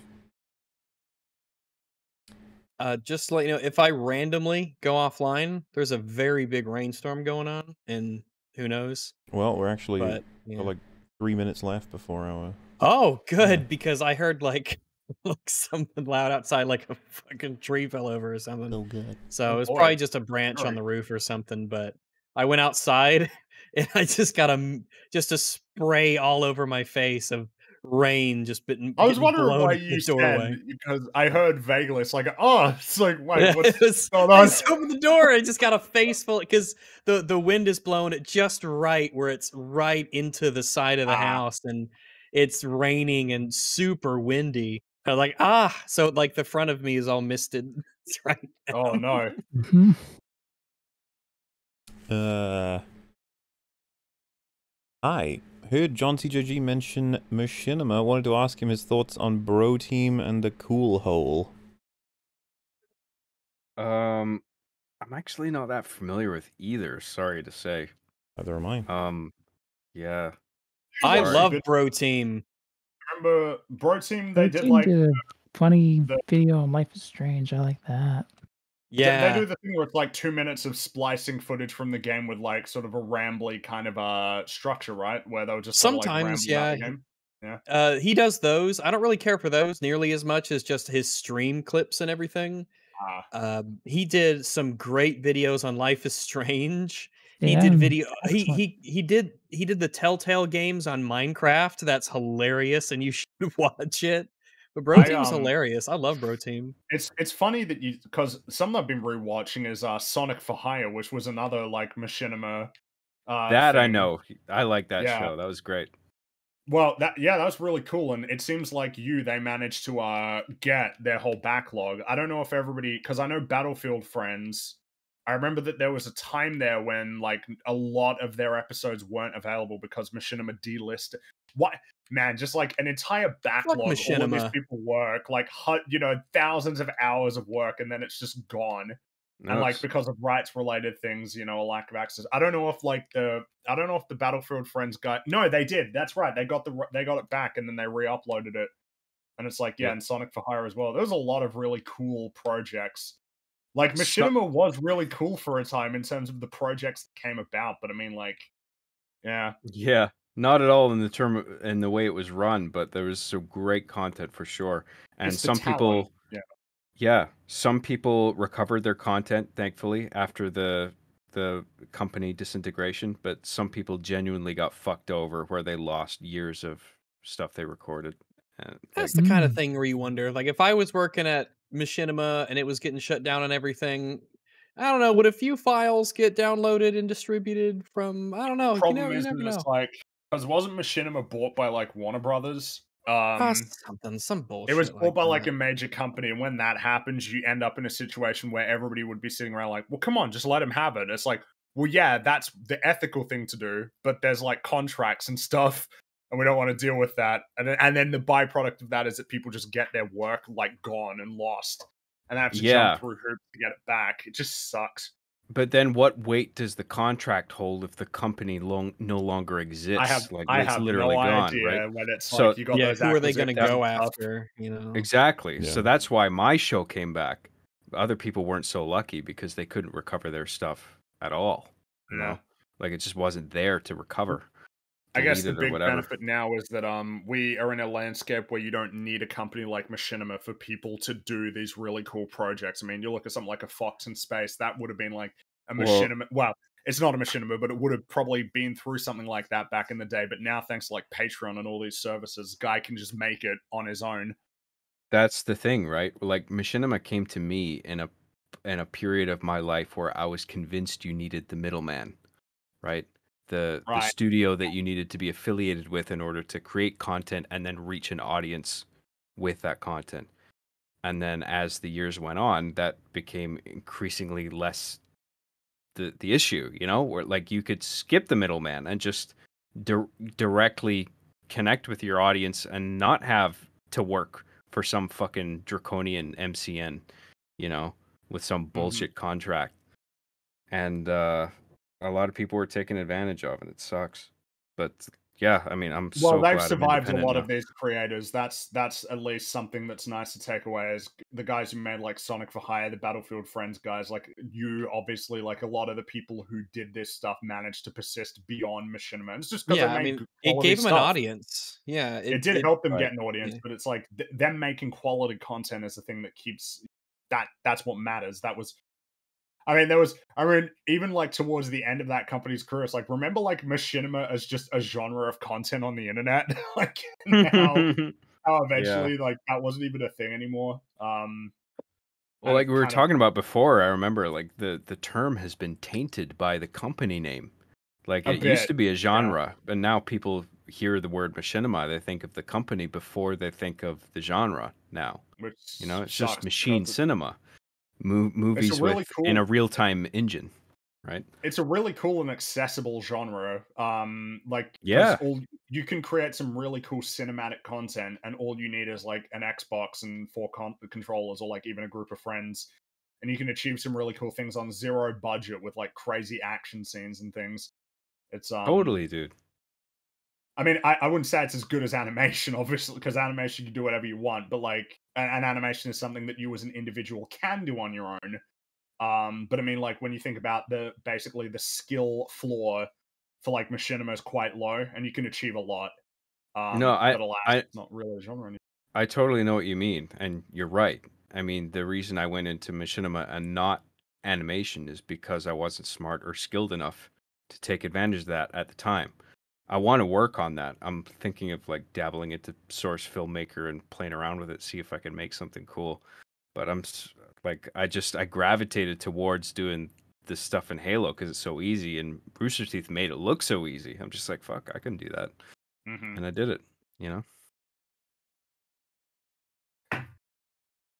Uh, Actman legendary stream. Yeah, I think so. It's been a good one. Been a good one. Stream of Legends. Just supporting my Hopefully, favorite. one day this show will pass into legend. Just supporting my favorite stream of the week. I watch E EFAP to do end since the first episode where guys covered the Twitch reaction people. All right. I think they're Mhm. saying they watch each episode to the end. I think. I think that's Oh yeah, that's good. I definitely want you to do that. I am pro you doing that thing. Which, you know, in a way, feels like a um an, a, a good one to end on. Yeah. Oh yeah. So, because yeah, eight and a half hours. I feel that is that is quite a, a hearty amount of uh, streaming time. Of course, we made it through um, a decent chunk of these super chats. What we'll do, of course, return to you on the airwaves, the radio waves, the YouTube waves uh, on Wednesday to grab the rest, and hopefully, uh, I'm, I'm not going to say it's a guarantee, but hopefully in that stream we'll tell you we've caught up fully. Yes, maybe. No promises, okay.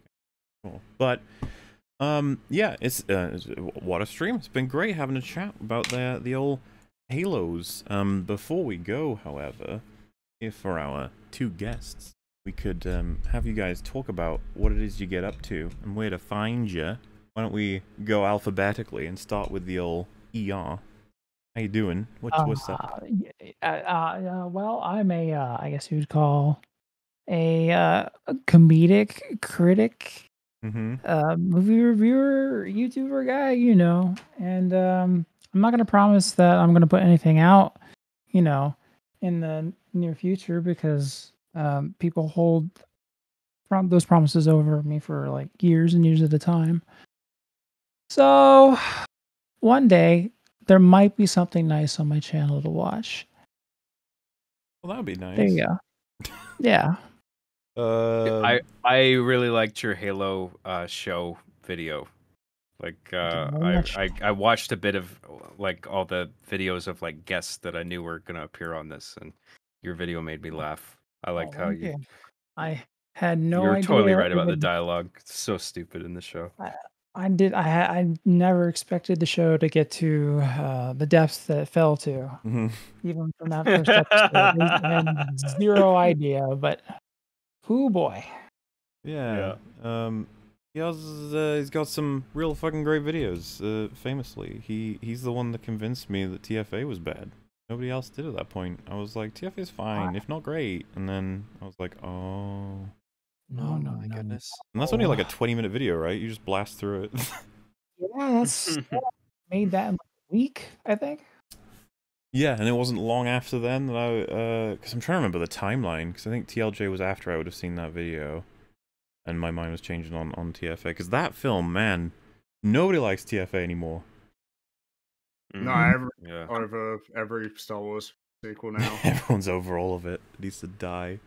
Uh, Played it too safe. But yeah, um, cycle through his, his, his backlog. It'll, ER will entertain you, and he might even change your mind on some stuff. Like, I know loads of people are huge fans of Mad Max Fury Road. Why don't you, why don't you check out ER's video on it? See what you think. See if it makes some gears turn. I don't know, maybe. What is your hottest take, do you think, on your channel? That probably today is still the hottest take. Yeah, I would have guessed that might be. People love that movie, and it does have its it does have its aspects that make it pretty great. I won't lie, but story was not one of them, and I I still stand by that. Well, yeah, there's another movie where I was just like, but it's so awesome. And then I was like, oh man, I didn't even think about the writing really. like, I was because it's so distracting with the action. Um, yeah, that's how they get you. Yeah, link in description. And uh, thank you so much for joining us, especially for the eight and a half Mhm. hours. Been nice to chat with you again. It's been a Yes. um, Mm. and Mr. Jon CJG, where where are you at? What are you doing? What are you up to? I am JCJ Graham on Twitter, John Graham on YouTube. I do Arby 'n' the Chief. As I said, I'm still doing it. I'm almost 34 years old, and I'm still filming myself playing with toys. Yay. And uh, I'm I've done eight seasons of the show, and I'm working on the finale right now. I'm also working on Master Chief Sucks at Halo Infinite. I'm working on a two-parter. I'm getting two both parts done uh finalized and then I'm to release them like premiere them on YouTube back to back publicly and make kind of an event out of it. So I'm excited about that. I just got to kick my ass into gear and get it done, you know. But uh it probably sounds cringe to some of you, but uh, I encourage you to give it a shot. I shoot like it's action figures, but I shoot it like a movie. I treat the screenplays seriously, like I take the writing phase really seriously and uh, I try and make it as funny as I can. And uh, I'm not really like a media critic sort of person. I like writing stories specifically. That's kind of my thing. But I'm Mhm. trying. I'm. I might be getting into review format kind of stuff. the more and more we 'Cause drag I- you I on feel like- here. uh, I exactly. Yeah, I feel like I got shit to say. Like I could I could make videos like like like you make you guys make videos that I really enjoyed. I'm like I could I can contribute to that same thing as well, right? So I'm thinking of getting that into that as well, but I'm trying to f- finish off Arby 'n' the Chief first and be disciplined about it. So yeah, so John Graham on YouTube if you want to tune in and uh I really appreciate you guys having me on. Thank you for that. Really. uh, Like, to talk about on. Halo, it's it's awesome. oh yeah, we had to have you on, of course, for that. But I was gonna say, do you have a recommended start for someone who's looking to maybe get into Arby 'n' the Chief? Where do you think they should go? Episode one, or maybe something a little more modern? That's uh I would just say episode 1. Yeah, and just go with the flow of it. Where like halfway through it's going to really change drastically because it goes from being self-contained to really serialized Yeah. and the the themes of it are quite the subject and the subject matter are relatively much heavier compared to the first half because that's just the shit I was going through in my 20s and that kind of bled into the series and my position is just take it or leave it, you know? Like I mean I made the show that I wanted to make and was cathartic for me at the time. I never once believed that I was making like dumbing down the show or making it worse. Like I, I just followed my intuition in regard to like what was an evolution of the show and it is what it is. It's quite a it's a weird show. It changes quite a bit from season to season, but uh you know, I I if you give it a chance you might like it and uh I well, hope, hope it's you do. worth noting, I and Mubes wholeheartedly recommend that show. Yeah, Thank you, man. Thank Hmm. you so much. Really. Uh, some of the, the bigger payoffs and some of them longer, like you said, serialized uh, seasons. They were um, they, were- they were they were uh, Yeah. better than what was on TV at the time. So it's like, hey, um, Yeah. yeah, and and everything we've been talking about today about like expressions and writing and stuff, you'll find a lot of it is is in his uh, writing and approach to filmmaking. Like the, I, I almost don't want to spoil in the sense of like, if you aren't familiar with what he's made, the main characters are not conventional. Put it that way. it's very explicit uh, language, and uh, it's not for everybody. But you know, give it a shot. See what you think. And hey, Master Chief doesn't take his helmet off, so there's that. He doesn't take his helmet There off. is that. occasionally comes off, but he grabs it straight away because he knows that he's incomplete without it. Um, but yeah, thank you so much for hanging out with us once again, man. no We always love problem. it. Thank you. yeah, No thank problem. you. Thanks for having us on. Um, Rags, Fringy, you got anything you guys want to say before we run Not, off? not yet, I don't. I'm Oh, just not working on the next particularly. Same for myself. work. In fact, yeah, you know, just guys, get excited. EFAP chat, Kenobi is coming. Getting real close Fuck, now. that's this week. Oh. God damn. yeah. Yeah. Um, though, as was uh, alluded to, uh, next Saturday, same time as usual, we're planning on giving y'all a little breakdown of everything, everywhere, all at once, instead of something poopy. So, it's actually something we actually liked. so get excited. Not sure who exactly the guest will be yet, but uh, we'll figure it out. Alrighty. On that note, I think we should say uh, good night, everyone. Thank you so much for watching. Thank you for the donations. Yeah, you bet. We shall see you Wednesday. Yeah, Bye, Goodbye. everyone. Bye, See Chad. everybody on Wednesday. Oh, yeah. Toodaloo. Bye Thank- bye. Ciao. Thanks, everyone. Bye bye. See you later. I wish I had a appropriate Halo quote to say right. No, send us out with a bang. Why? Uh, oh, finish oh the yeah, fight. well, finish the fight. Like and subscribe. Or something.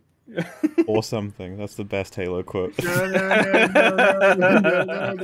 Blow me away, no understand you. da, da, da, da. What did you even start singing? Was that part of the song? Did you just start making noises? Was I I supposed to end it yet or no?